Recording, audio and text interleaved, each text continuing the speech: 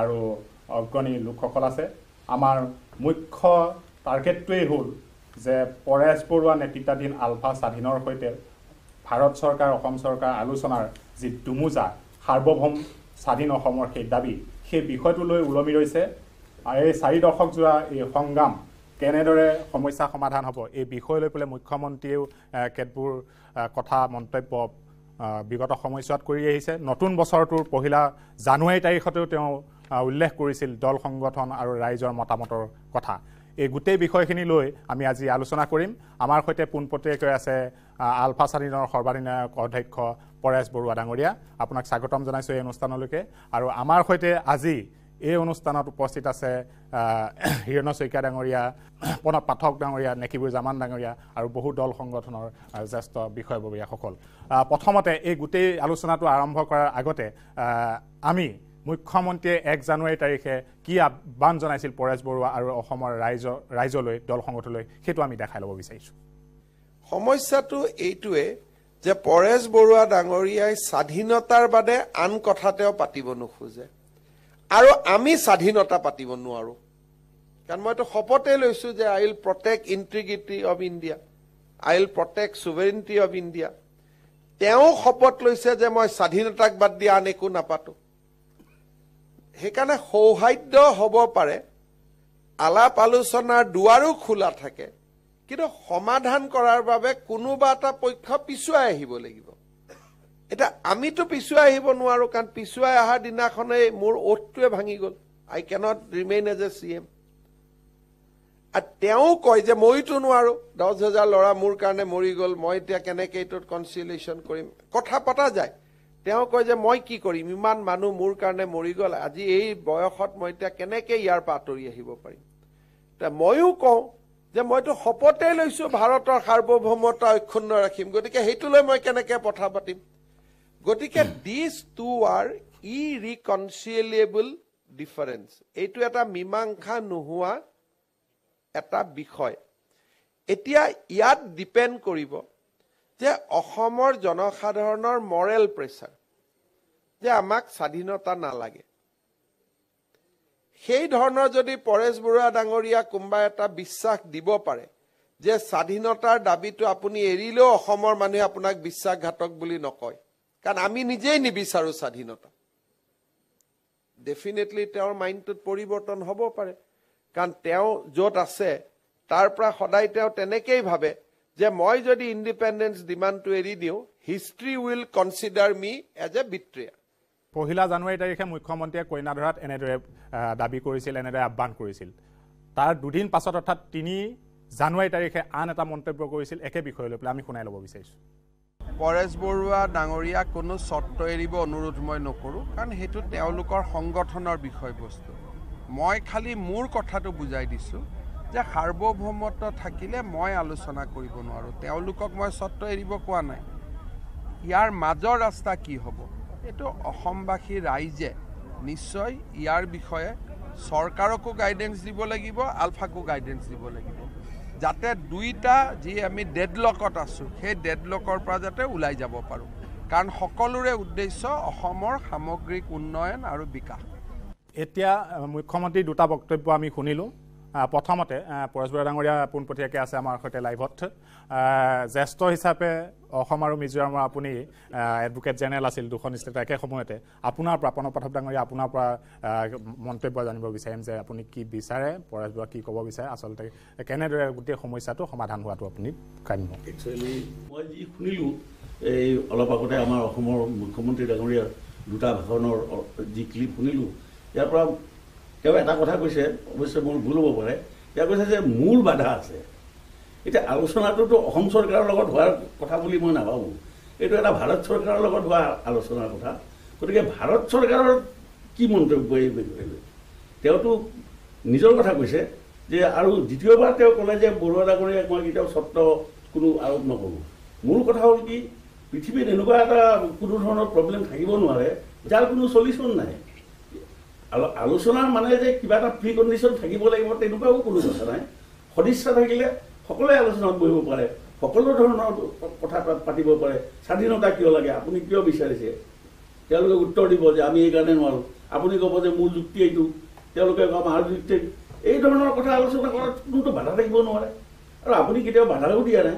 আৰু এটা অংশটো আলোচনাত বহিছে তেওঁলোকে কি ধৰণে আলোচনা কৰি আছে কি কৰা নাই সেইটো আপোনাৰ আপুনি অলপ অৱগত আছে আমি সিমানকৈ নাজানো কি লেভেলত কথাটো হৈ আছে।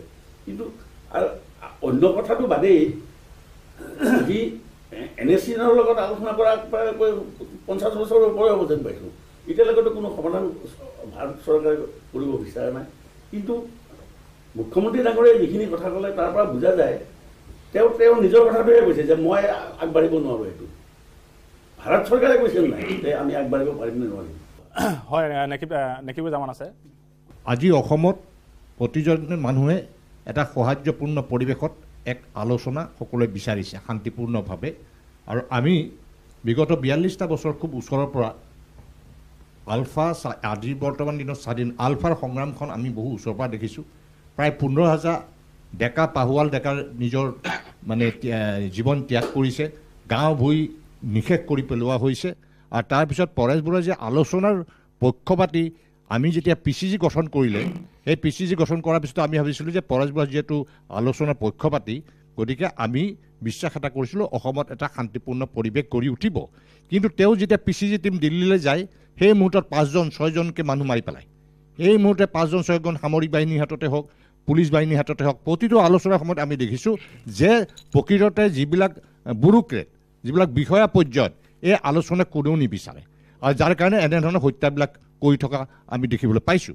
আৰু তাৰপিছত যেতিয়া দিল্লীত প্ৰধানমন্ত্ৰী যেতিয়া মনমোহন সিং আছিল তেওঁৱে কৈছিল সকলো বিষয়বস্তুৰ ওপৰত আলোচনা হ'ব পাৰে প্ৰয়োজন হ'লে তৃতীয় ৰাষ্ট্ৰতো এই আলোচনা হ'ব পাৰে। আজিৰ দিনত অসমৰ মুখ্যমন্ত্ৰীৰ এখতিয়াৰৰ কথা আহিছে হয় আমাৰ শ্ৰদ্ধা প্ৰণৱ পাঠক দাই কথাখিনি স্পষ্টভাৱে কৈছে। যদি সেই এখতিয়াৰটো কেন্দ্ৰীয় চৰকাৰৰ পৰা অসমত মুখ্যমন্ত্ৰী হাতলৈ আহিছে আৰু তেওঁৰ এটা দায়িত্ব আছে প্ৰপ'জেল দিয়াৰ যে তেওঁৰ বক্তব্যটো যে তেওঁ সাৰ্বভৌমত্বৰ ওপৰত তেওঁ বক্তব্য ৰাখিব আলোচনা কৰিব নোৱাৰে ব্যক্তিগত লেভেলত কিন্তু আমি বিচাৰিছোঁ যে আলোচনাৰ প্ৰক্ৰিয়াটো আৰম্ভ হওক।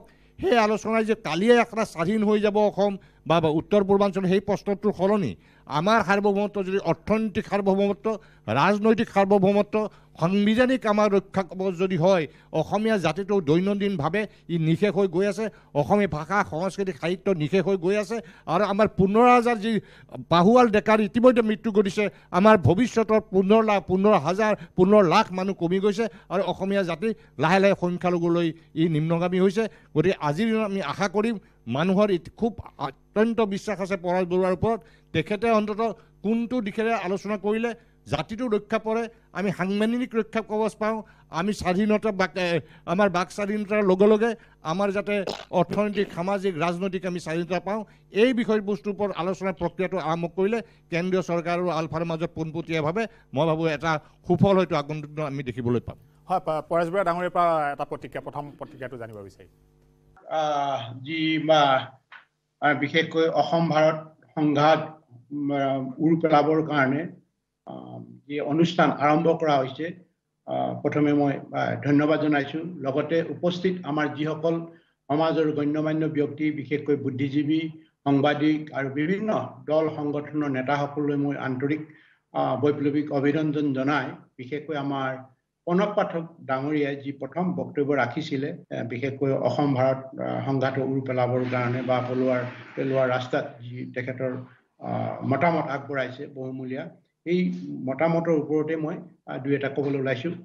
প্ৰথম কথাটো হ'ল আপোনালোকে নিশ্চয় শুনিছে অসমৰ বিভিন্ন বিভিন্ন চেনেলত অসমৰ মুখ্যমন্ত্ৰীগৰাকীয়ে এক জানুৱাৰী আৰু তিনি জানুৱাৰীত তেখেতৰ যি বক্তব্য ৰাখিছিলে বিশেষকৈ অসম ভাৰত সংঘাতৰ কাৰণে যি আলোচনা যে প্ৰয়োজন আছে সেই বিষয়ত তেখেতে প্ৰকাশ নিজৰ দুৰ্বলতা কথাখিনি অৱশ্যে কৈছে। কিন্তু ইয়াৰ আচল কথাটোলৈ আমি সকলোৱে আহিব লাগিব আৰু আমি সকলোৱে জানিব লাগিব যে অসমৰ মুখ্যমন্ত্ৰী গৰাকীৰ লগত সংযুক্ত মুক্তি বাহিনী অসম স্বাধীনে কেতিয়াও কথা পাতিম বুলি কোৱা নাছিলে আৰু তেখেতৰ এইটো ক্ষমতাৰ বাহিৰত যিহেতু নেকি অসমৰ মুখ্যমন্ত্ৰীগৰাকী বৰ্তমান যি হিমন্ত বিশ্ব ডাঙৰীয়াৰ দিল্লীত বহুতেই কৈছে অসমৰ জনগণে কৈছে যে এটা প্ৰভাৱ আছে আৰু সেই পৰিপ্ৰেক্ষিত আৰু তেখেতে নিজেও আগবাঢ়ি আহিছে যে এই সংঘাতটো মোক এটা সুযোগ দিব লাগে। আমাকো কৈছিলে যে আমাক মোক এটা সুযোগ দিব লাগে। এই পাতনি মেলিব পৰা মই দুৱাৰ মোকালিব পাৰোঁ নেকি? আৰু সেই কথাটো তেখেতে বাৰে বাৰে কৰিছিলে বা এতিয়াও কৈ আছে। আৰু তাৰ পৰিপ্ৰেক্ষিতত আমি কৈছিলোঁ আপুনি আমি এটা ইংলিছৰ এটা শব্দ ব্যৱহাৰ কেটেলিষ্ট আৰু সেই শব্দটো আপোনালোকক মই অসমীয়ালৈ আকৌ বিশ্লেষণ কৰি মই ধৃষ্টতা দেখাব যোৱা নাই সকলোৱে শব্দটো জানে। হা শব্দটো জনাৰ কাৰণে আৰু এই জনগণৰ এই কেটলিষ্ট কোনোবাই সুধিলে আপোনালোকে তাৰ ব্যাখ্যাটো দি দিব? সেইকাৰণে আমি কৈছোঁ তেখেতক নামাকৰণ কৰিছিলোঁ কেটলিষ্ট। কৈ কেটলিষ্ট শব্দটো ব্যৱহাৰ কৰিছিলোঁ আৰু তেখেতে এইটো একচেপ্ট কৰি লৈছিলে। এ, সাদৰে গ্ৰহণ কৰি লৈছে। সেইকাৰণে কৈছে যে মই ৰাস্তাটো এতিয়া এতিয়া হয়তো তেখেতৰ কিছু অসুবিধা আহি পৰিছে ক'বলৈ অসুবিধা হৈছে বা কনভিন্স কৰাব পৰা নাই। নেপাৰী তাৰ পৰিপ্ৰেক্ষিতত তেখেতে এটা মানে এক জানুৱাৰী তিনি আৰু এক আৰু তিনিত যি বক্তব্য ৰাখিছে তাৰে এটা বহিঃপ্ৰকাশ ঘটিছে। আৰু এই কথাটো যে উন্নতিয়ে কৈছে যে পৰেশ বৰাই ডাঙৰীয়াই নিজৰ যিটো নেকি লক্ষ্য উদ্দেশ্য নীতি আদৰ্শ এই আদৰ্শৰ কাৰণে নীতিৰ কাৰণে হাজাৰ হাজাৰ পাহোৱাল ডেকা গাভৰুৱে জীৱন জীৱন দি আহিছে। আৰু সেই তাৰ পৰিপ্ৰেক্ষিতত তেখেতেও মোক এই বিষয়টো যে এৰি আহিব বুলি লাগে বুলি কোৱা নাই এইটো ন দি কোৱা নাই। সন্মান সহকাৰে বা সকলোৱে বিচাৰিছে। আচলতে এই চাৰি দশক স- সংগ্ৰাম আপোনালোকৰ যি সংগ্ৰাম এই সংগ্ৰামৰ এটা আশু মীমাংসাটো সকলোৱে বিচাৰিছে। আছুৰ প্ৰতিনিধি আছে সভাপতি উৎপল শৰ্মা। আপোনাৰ পৰা আলোচনাৰ মজিয়াত এই সমস্যাটোৰ সমাধান হোৱাৰ পোষকতা সদৌ অসম ছাত্ৰ সন্থাই অতীজৰে পৰা কৰি আহিছে। অসমত স্থায়ী শান্তিৰ পোষকতা আমি কৰি আহিছোঁ। আৰু শেহতীয়াকৈ খুব ইতিবাচক কথা যে উভয় পক্ষৰ পৰা আলোচনাৰ কাৰণে সদিচ্ছা দেখুওৱা গৈছে। কাৰণ পৰেশ বৰুৱা ডাঙৰীয়াই কেতিয়াও কোৱা নাই যে তেখেত আলোচনাৰ বিৰোধী বুলি। তেখেতে সদায় আলোচনাৰ মাজেৰে সমস্যাটোৰ মীমাংসাৰ কথাটো সদায় তেখেতে কৈ আহিছে।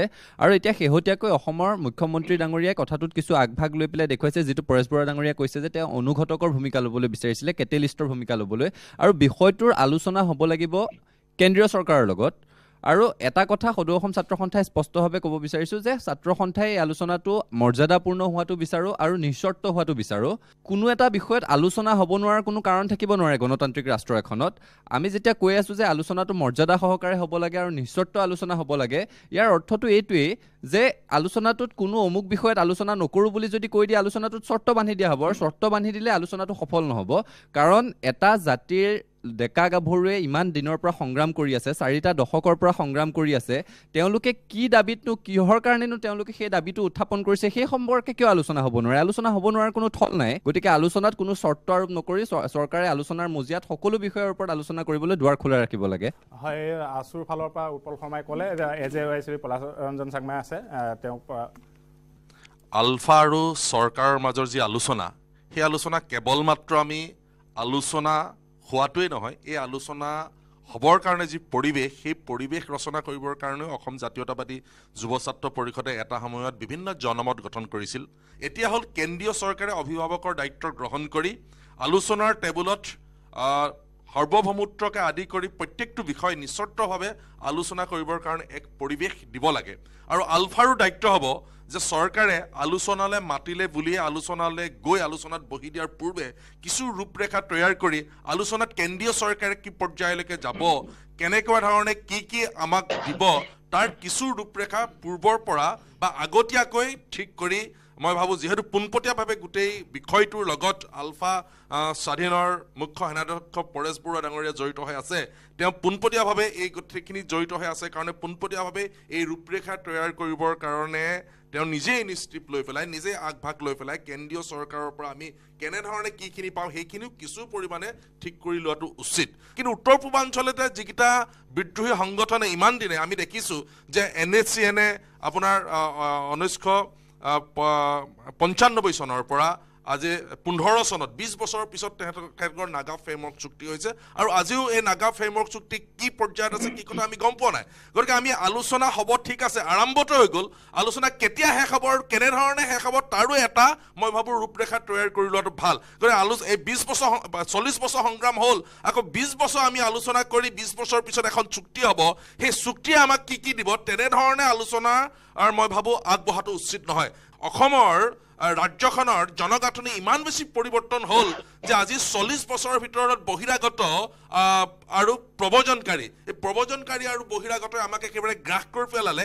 এতিয়া আমাৰ এটা বছৰ ৰ'বলৈ সময় নাই। যিহেতু মুখ্যমন্ত্ৰীগৰাকীয়ে কৈ আছে যে সাৰ্বভৌমত্বটো এটা অসাংবিধানিক বা সংবিধান প্ৰদত্ত নহয়। কিন্তু সংবিধান প্ৰদত্তও কেতবোৰ অধিকাৰ আছে যিবিলাক অধিকাৰে আমাৰ অনাদি অনন্ত কালৰ কাৰণে আমাৰ জাতিটোক আমাৰ খিলঞ্জীয়া মানুহক আমাৰ জনজাতীয় জনগোষ্ঠীয় মানুহক সুৰক্ষিত কৰিব পাৰে। তেনেধৰণৰ যিবিলাক বিষয়ৰ জৰিয়তেও আমি এই যি আলফা চৰকাৰৰ আলোচনাৰ ৰাজনৈতিক পৰিসমাপ্তি ঘটাব পাৰোঁ নেকি তেনেধৰণেও ভাবিবৰ কাৰণেও মই আলফা সেনাধ্যক্ষ পৰেশ বৰুৱা ডাঙৰীয়াক আহ্বান জনাইছোঁ। ধন্যবাদ পলাশন চাংবাই নগৰীয়া এটা বিৰতি লৈ লৈছোঁ এটা বিৰতিৰ সময় হৈছে এটা চমু বিৰতি। ধন্যবাদ।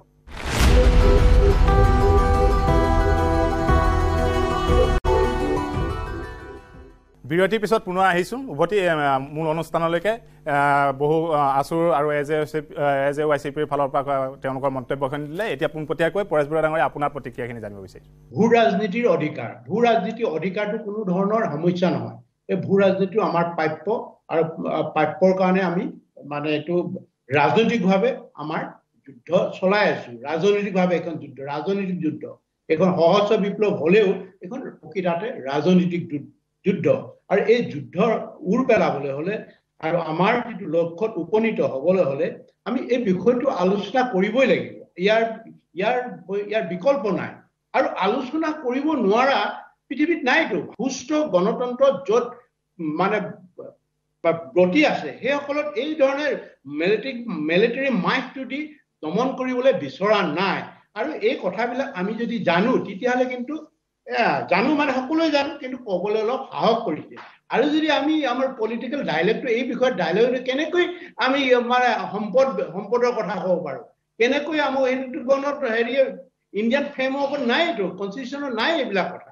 যে এই এনেকৈ এখন ৰাজ্যক হেৰি দিব লাগে। কি কয়? বা সিহঁতৰ সম্পদৰ অধিকাৰ দিব লাগে আমুক অধিকাৰ দিব লাগে এইটোতো এইটো এনেকুৱা ধৰণৰ কনষ্টিটিউশ্যন বনাই থৈছে তাততো আমি কেনেকৈ কথা পাতিম তাত? মানে প্ৰথমে সেইকাৰণেতো এইটো আমাক মুখনি মাৰি দিল যে এইটো সাৰ্বভৌম স্বাধীন অসমৰ ওপৰত কথা পাতিব নোৱাৰো বুলি কয়। তেতিয়াহ'লে অন্য কি ক'ব?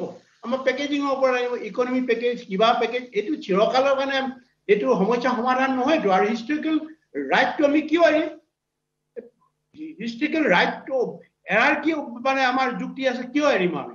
আমাৰ বুৰঞ্জীখন এতিয়া ইয়াণ্ডাবুৰ পেকখন শেষ হৈ যোৱা নাই। ইয়াণ্ডাবুৰ পেক হৈ যোৱা নাই অন্যান্য আমাৰ যিবিলাক মহাত্মা গান্ধীয়ে লিপিবদ্ধভাৱে এইটো ৰেকৰ্ডেড হৈ আছে। বিভিন্ন কিতাপে আদি কৰি এতিয়াও আছে। জৱাহৰলাল নেহৰুৱে কি কৰিছে? কি কৰি এই এই যে আমাৰ ভূখণ্ডটো এই ভূখণ্ডটো যে স্বাধীন আছিলো এই স্বাধীন যেতিয়া দেশখনক ভাৰতে ভাৰত বোলা নামটোৱে কেতিয়াও ভাৰত নামৰ এখন দেশ নাছিল তাত সেই দেশে আমাক কেতিয়াও পৰাভূত কৰিব পৰা নাছিলে। আমি আজি ভূমিপুত্ৰ কোনোদিনে এনমাছ হোৱা নাই বিতাড়িত হোৱা নাছিলো। এইবিলাক আমি জানো। আৰু এতিয়া সিহঁতি অকল বিতাড়িত হোৱাবিলাকে ইমূৰৰ পৰা সিমূৰলৈ বিতাড়িত হৈ আছে। সেই বিতাড়িত সকল সকলে কিন্তু এইটো ভাৰত ভাৰত নামৰ সেইটো প্ৰতিষ্ঠা কৰিছে। আকৌ বিভাগ এতিয়া আপোনালোকে চাওক দুশ বছৰে হোৱা নাই। ইয়াণ্ডাবুৰখন এতিয়াও ইনভেলিড হোৱা নাই। এতিয়াও সেইটো স্বাধীন হিচাপে আছো। আমাক কিয় এইটো কৰা নাই? আমিতো সদায় কোনোদিন ভাৰতৰ হাতত পৰাজিত হোৱা নাছিলো মোগলেও পৰাজিত কৰিব পৰা নাছিলে। আমি কিয় ক'ব নোৱাৰো আমাৰ এইটো যে অধিকাৰ এইটোৰ ওপৰত আলোচনা কৰিবই লাগিব। আলোচনা নকৰিলে কেৱল মাত্ৰ আমাৰ চাব ষ্টেণ্ডাৰ্ড বহুৱাই কেৱল মাত্ৰ যিটো নেকি আছুৱে কৰিছিলে আছুৰ যিটো মানে একে নিশাই চুক্তি কৰি তাৰ পৰৱৰ্তীত কি হ'ল? এইবিলাকৰ আমি কেনেকৈ যাম? প্ৰকৃত ৰাজনৈতিক অধিকাৰৰ ওপৰত আলোচনা হলে গোটেই গোটেই বিষয়টো এইটো নিৰাময় হ'ব। ইয়াত শান্তিৰ কথা নাই ইয়াত শান্তি বুলি এটা সংঘাত সংঘাতটো মানে এটা সমাধানৰ পথ ওলাব এটা সংঘাতটো মানে উৰ পেলাবৰ কাৰণে যিখিনি যি যিটো বিষয়ৰ ওপৰত আলোচনা কৰিব সেইটোৰে সেইটো চাইড মানে চাব চাইড কৰি ৰাখি আমাৰ লগত এটা চাব ষ্টেণ্ডাৰ্ড এখন আলোচনা কৰিবলৈ বিচাৰিছে আৰু সেইকাৰণে ভাৰতীয় সংবিধান ভাৰতীয় ইয়াৰ সমাধানটো ক'ত ইয়াৰ সমাধানটো ক'ত? চৰকাৰৰ ফালৰ পৰা বিভিন্ন ধৰণৰ কথা কৈ আছে। আপুনিও আপোনাৰ স্থিতিত অটল হৈ আছে। আহ, হিৰণ্য শইকীয়া ডাঙৰীয়া আছে। হিৰণ্য শইকীয়া ডাঙৰীয়া আপোনাৰ পৰা আপোনাৰ মতামতখিনি জানো আচলতে সমাধানৰ পথ ক'ত? ভাৰত চৰকাৰে ইতিমধ্যে যিবোৰ ধৰি লওক আলোচনা কৰিলে এতিয়া পলাক চামুৱেও কৈছে যে এন এছ চিৰ লগত আজি দীৰ্ঘদিন ধৰি আলোচনা কৰি পেলাই আজিলৈকে ফ্ৰেমৱৰ্ক কৰি দুহেজাৰ পোন্ধৰ চনত আজিলৈকে এইটো মীমাংসা হোৱা নাই। পৰেশ বৰা ডাঙৰীয়াক তেওঁ এটা আহ্বান জনাইছে যে আলোচনাটো যদি হয় তাৰ আগতে এটা মোটামুটি ফ্ৰেমৱৰ্ক কৰি ল'ব লাগিব। ময়ো বহু মঞ্চত বহুত কথা এই বক্তব্য মই ৰাখিছিলোঁ যে সৰ্বভৌমৰ ওপৰতো আলোচনাটো হ'ব লাগে বুলি তাৰমানে আমি প্ৰথম যেতিয়া পি চি জি হৈ পেলাই গৈছিলোঁ মনমোহন সিঙৰ ৰেচিডেঞ্চত মুখ প্ৰধানমন্ত্ৰী তেওঁৰ নিজৰ বাসগৃহত আমি যেতিয়া কথাখিনি উত্থাপন কৰিছিলোঁ আমি এই কথাটোৱে কৈছিলোঁ যে আলফাৰ জন্ম হৈছে সৰ্বভৌম অসম প্ৰতিষ্ঠা কৰাত। তাৰ ইভেন বাজপেয়ীও যেতিয়া এন এছ এনত আলোচনা আৰম্ভ কৰিছিল পেৰিছত গৈ পেলাই তেওঁ কিন্তু এটা কথা কৈছিল যে সূৰ্যৰ তলত যিকোনো বিষয়ত আলোচনা হ'ব পাৰে। যেনেকৈ পৰিব ডাঙৰীয়া কৈছে এইটো আমাৰ জন্মগত আৰু ঐতিহাসিক হিষ্টৰিকেল আৰু এইটো ৰাষ্ট্ৰসংঘত যিটো মানে খিলঞ্জীয়াৰ যিটো অধিকাৰ নিজক প্ৰতিষ্ঠা কৰাৰ কাৰণে ৰাইট টু চেল্ফ ডিটাৰমিনেশ্যন সেই একে থিয়ৰিতে তাৰমানে আজি পৰেশ বৰা ডাঙৰীয়াই যিখিনি কথা কৈছে নহয় বা আজি ইমান বছৰ বছৰ আজি তিয়াল্লিছ বছৰ যে সংগ্ৰামত চলি আছে তাত দুটা পটভূমি এটা হ'ল হিষ্টৰিকেল আৰু এটা হ'ল পলিটিকেল যিটো নেকি ৰাষ্ট্ৰসংঘৰ মানে অনুমোদন দিয়া এটা পলিটিকেল পেকেজ বুলি ক'ব লাগিব য'ত খিলঞ্জীয়াখিনিৰ যেতিয়া বিপদ হয় তেতিয়াহ'লে খিলঞ্জীয়া মানুহখিনি সেইখিনি অধিকাৰ থাকে নিজক সাব্যস্ত কৰাৰ কাৰণে স্বাধীনতাৰ কথা কোৱাৰ কাৰণে। তো ইয়াণ্ডাবু চুক্তিৰে অলপ বেমানি কৰি অসমক গ্ৰাস কৰিছিল তেতিয়া ব্ৰিটিছখিনিয়ে কাৰণ চুক্তিখন চহী হৈছিল ব্ৰিটিছ আৰু বাৰ্মিজখিনিৰ মাজত তাকো ইয়াণ্ডাবুত। আৰু সেই হিচাপে অসম মণিপুৰ বা কাছাৰ এণ্ড জয়ন্তীয়া এই চাৰিখন দেশক একচুৱেলি কেপচাৰ কৰিলে তেতিয়া। ইতিহাসটো একদম দীঘলীয়া। সংঘাতপূৰ্ণ। এতিয়া সমাধানৰ পথটো পথ আমি কৈছোঁ যে সৰ্বমুহূৰ্তৰ ওপৰত আলোচনা কৰা মানে অলপ আগতে কৈছোঁ যে সৰ্বমুহূৰ্ত দি নুবুজায়। আৰু আলোচনাৰ খাতিৰত আলোচনা হৈ দীঘলীয়া হ'ব নালাগে। তাৰ আগতে কিছু বস্তু নিৰ্ণয় কৰি ল'ব লাগিব। আমাক যিখিনি চিম্বল অফ ছভেনিটি ধৰি লওক আমাৰ এখন সুকীয়া সংবিধান কাৰণ অসমৰ পৰিস্থিতি বেলেগ ৰাজ্যৰ নিচিনা নহয় ইয়াত বিদেশী গ্ৰাস কৰিছে অসমত খিলঞ্জীয়া মানুহখিনি লাহে লাহে লাহে লাহে সংখ্যালঘু হৈ পৰিছে তো লাহে লাহে আমাৰ ৰাজনৈতিক আমাৰ যিখিনি পাৱাৰ এইটো চিফ্ট হৈছে আমাৰ মাটি গ্ৰাস হৈছে তো আমাৰ সামাজিক সাংস্কৃতিক দিশত ভাবুকি আহিছে তো তেনে ক্ষেত্ৰত আমাৰ এখন যিখন আলো যিটো আলোচনা হ'ব আমাৰ এখন সুকীয়া সংবিধান আমাক লাগিবই আৰু এখন আমাক সুকীয়া পতাকা লাগিব। যিটো নাগাসকলে বিচাৰি আছে সেইটো। এইটো সাধাৰণ কথা কাৰণ আজি ইউ এছ এৰ পঞ্চাছখন ষ্টেটৰ তাতো ডেমক্ৰেচি চলি আছে তাত পঞ্চাছখন ষ্টেটৰ নিজৰ সুকীয়া সংবিধান আছে নিজৰ ফ্লেগ আছে আৰু ফেডাৰেল ল তাতে ইম্প'জ হয়। য'ত আমাৰ আপোনাৰ ওচৰলৈকে আকৌ আহিম। আহ, মটক যুৱ ছাত্ৰ সন্মিলনী মিণ্টু বৰপাত্ৰ আছে। সমস্যাৰ সমাধানটোৰ পথটো কেনেকুৱা হোৱাটো বিচাৰে? আমি সকলোৱে অসমবাসী সকলোৱে বিচাৰি থাকোঁ বিভিন্ন সময় আমি কৈ থাকোঁ যে এইটো এটা মানে উৰ্পৰক কাৰণ আলফাৰ সংগ্ৰামখনক আমি ওলাই কৰিব পৰা বিধৰ সংগ্ৰাম নহয়। আলফা এটা অসমবাসী সত্তা। আৰু অসমৰ প্ৰতিজন ব্যক্তি হৃদয়ত আজিৰ তাৰিখত আলফা আছে। গতিকে অসমবাসীও দায়িত্ব পালন কৰিব লাগিব। আৰু অসমৰ সকলো ৰাজনৈতিক দলক আমি কওঁ যে কংগ্ৰেছ হওক এ ইউ ডি এফ এই ৰাজ্যৰ দল অখিল গগৈ সকলোৱে কিন্তু এই আলফা সমস্যাটোৰ ক্ষেত্ৰত কিন্তু কেতিয়াও মানে বোকা চুতীয়া ৰাজনীতি কিবা মানে নিজৰ ব্যক্তিগত ৰাজনীতি পৰিহাৰ কৰি এই সমস্যাটোৰ ক্ষেত্ৰত কিন্তু অসমৰ মুখ্যমন্ত্ৰী মহোদয় সহযোগ আগবঢ়াওক। সহযোগ আগবঢ়াওক যাতে মুখ্যমন্ত্ৰী মহোদয়ে এটা পদক্ষেপ লৈ দিল্লীক জনাব পাৰে। গতিকে এইটো আমাৰ স্পষ্ট কথা। আমি বিচাৰোঁ যে আলফা আৰু চৰকাৰৰ যিটো সংঘাত অসম ভাৰতৰ যিটো সংঘাত এইটো উৰ পৰিব লাগে আৰু এটা সফল পৰিসমাপ্তি ঘটি যাতে অসমবাসী চৰকাৰ- চৰকাৰৰ ফালৰ পৰাও সেইখিনিয়ে কৈ আছে কিন্তু সমস্যাৰ পথটো এতিয়ালৈকে ওলোৱা নাই। কে এম এছ এছৰ দেৱান শৰ্মা ডাঙৰী আছে আপোনাৰ কেনেধৰণে বিচাৰিব আপুনি? বিয়াল্লিছ বছৰ হ'ল আলফাৰ জন্ম হোৱা আৰু এই এই সময়ছোৱাত প্ৰায় পোন্ধৰ হাজাৰতকৈ অধিক আমি যুৱকক যুৱতীক হেৰুৱাইছোঁ। আজি আলোচনা আলোচনা বুলি কেইবাবাৰো হৈছে। কিন্তু গণতান্ত্ৰিকভাৱে সকলো সমস্যা সমাধান কৰিব পাৰি। হয় আমি প্ৰত্যেকটো কথায়ে চালি জাৰি চাব লাগিব। যোৱা বিয়াল্লিছ বছৰত কি হ'ল? আমি অসমে কি পাব লাগিছিলে? গণতান্ত্ৰিকভাৱে যিবিলাক বস্তু পাব লাগে আমি বিশেষ এই যি আজি বিশেষ অধিকাৰৰ যি ব্যৱস্থা আছিল সেইটো নাইকিয়া হৈ গ'ল। আমাৰ ছয় জনগোষ্ঠীক জনজাতিকৰণৰ ব্যৱস্থা কৰিব লাগে। আমাৰ সম্পদৰ অধিকাৰখিনি আমাৰ অসমীয়া জাতিৰ হাতত থাকিব লাগে। তাৰমানে জাতি মাতৃ ভাষা সংস্কৃতি যদি ৰক্ষা কৰিব নোৱাৰে তেতিয়াহ'লে আলোচনা কৰি একো লাভ নাই। মই সেইকাৰণে আজি ইয়াৰ পৰাই পৰেশ বৰুৱা ডাঙৰীয়া আৰু ভাৰতৰ প্ৰধানমন্ত্ৰী তথা অসমৰ মুখ্যমন্ত্ৰীক আহ্বান জনাওঁ যে আলোচনা কৰক যি আলোচনাই গণতান্ত্ৰিকভাৱে অসমীয়া জাতিক ৰক্ষা কৰিব পাৰে অসমীয়া জাতিৰ সংস্কৃতি ভাষা সম্পদৰ অধিকাৰ অসমীয়া জাতিৰ হাতত থাকে তেনেকুৱা এটা আলোচনা হোৱাটো আমি বিচাৰোঁ। ধন্যবাদ চৰণকে পৰেশ বৰুৱাৰ পৰা পোনপটীয়াকৈ আমি আহ, জানিম কিন্তু এটা চমু বিৰতি লৈছোঁ। বিৰতিৰ পাছত পৰেশ বৰুৱাৰ পৰা আমি প্ৰতিক্ৰিয়াটো লৈছোঁ।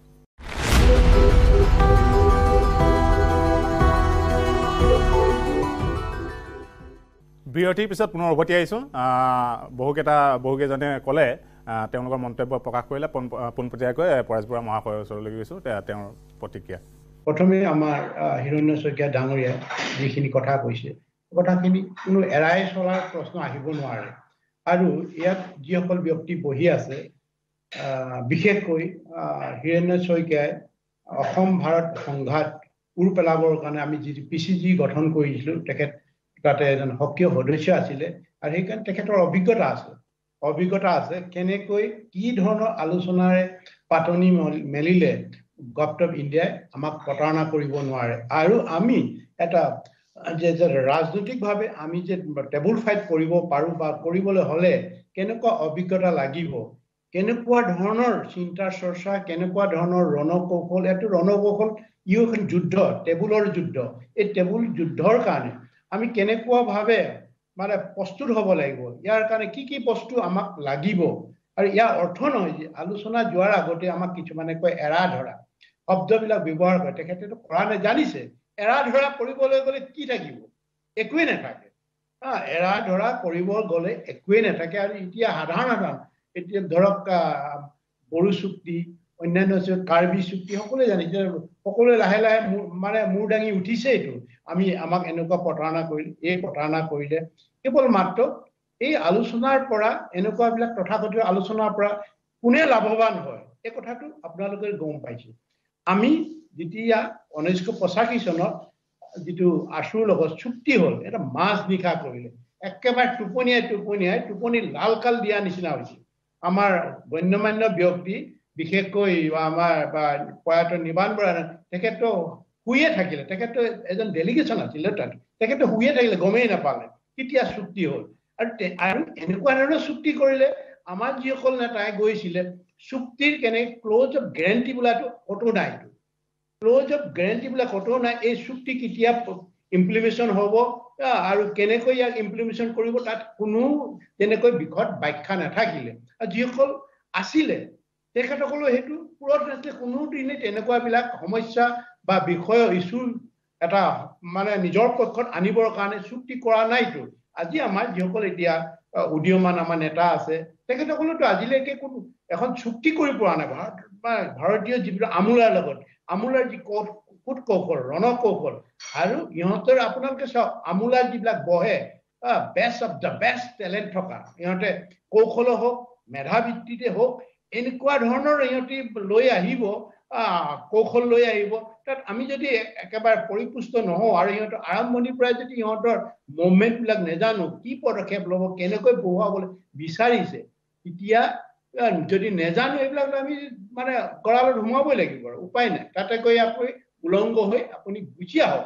এইবিলাক হৈ আছেতো আৰু যিবিলাক আন্তঃৰাষ্ট্ৰীয় চুক্তিবিলাক হৈছে বিভিন্ন দেশত এই ধৰণৰ সংঘাত সহস্ৰ বিপ্লৱৰ যিবিলাক সংঘাত পক্ষৰ ৰাষ্ট্ৰ আৰু আৰু বিপ্লৱী সংগঠনৰ মাজত যিবিলাক আলোচনা হয় চৌকল যি পিষ্টক বুলি কয় ৰাষ্ট্ৰপক্ষে মানে পিষ্টক ক'ব আমি ক'ম প্ৰকৃতাৰ্থ আমি সংঘাত সমাধানৰ আলোচনা টক্স হ'ব মানে কনফ্লিক্ট ৰিজলিউশ্যন টক্স হোৱাটো বা সেইটো আমি পোষকতা কৰোঁ। তাত আপুনি যে পিছত ৰাষ্ট্ৰপক্ষে বিভিন্ন ধৰণৰ লগাই আছে আলোচনা নামত আলোচনা এটা কিছুমানে আমাক দিহাপৰণ কৰিছে আমি দিহাপৰণৰ আন্তৰিকতাই আমাৰ আমাৰ ক্ষোভ নাই আন্তৰিকতাই লৈছো খুব মানে হৃদয়ৰ পৰা আমি কথাবিলাক শুনো আৰু সেইকাৰণে ৰিচিপিকেশ্যন কৰিবলৈ আমাৰ সহজ হয়। এটা জাতিৰ ইছ্যুত এটা জাতিৰ জ্বলন্ত দলিল আছে সকলো আমি এতিয়া মডাৰ্ণ হিষ্ট্ৰীত আমি পাব পাৰো। যেনেকৈ হংকং ঘূৰাই পাইছে মাকাও ঘূৰাই পাইছে এইবোৰ মডাৰ্ণ হিষ্ট্ৰীত থকা এইবিলাক চুক্তি যে আজি অসম উন্নতি হৈছে। কাৰ মুখত শুনো? অকল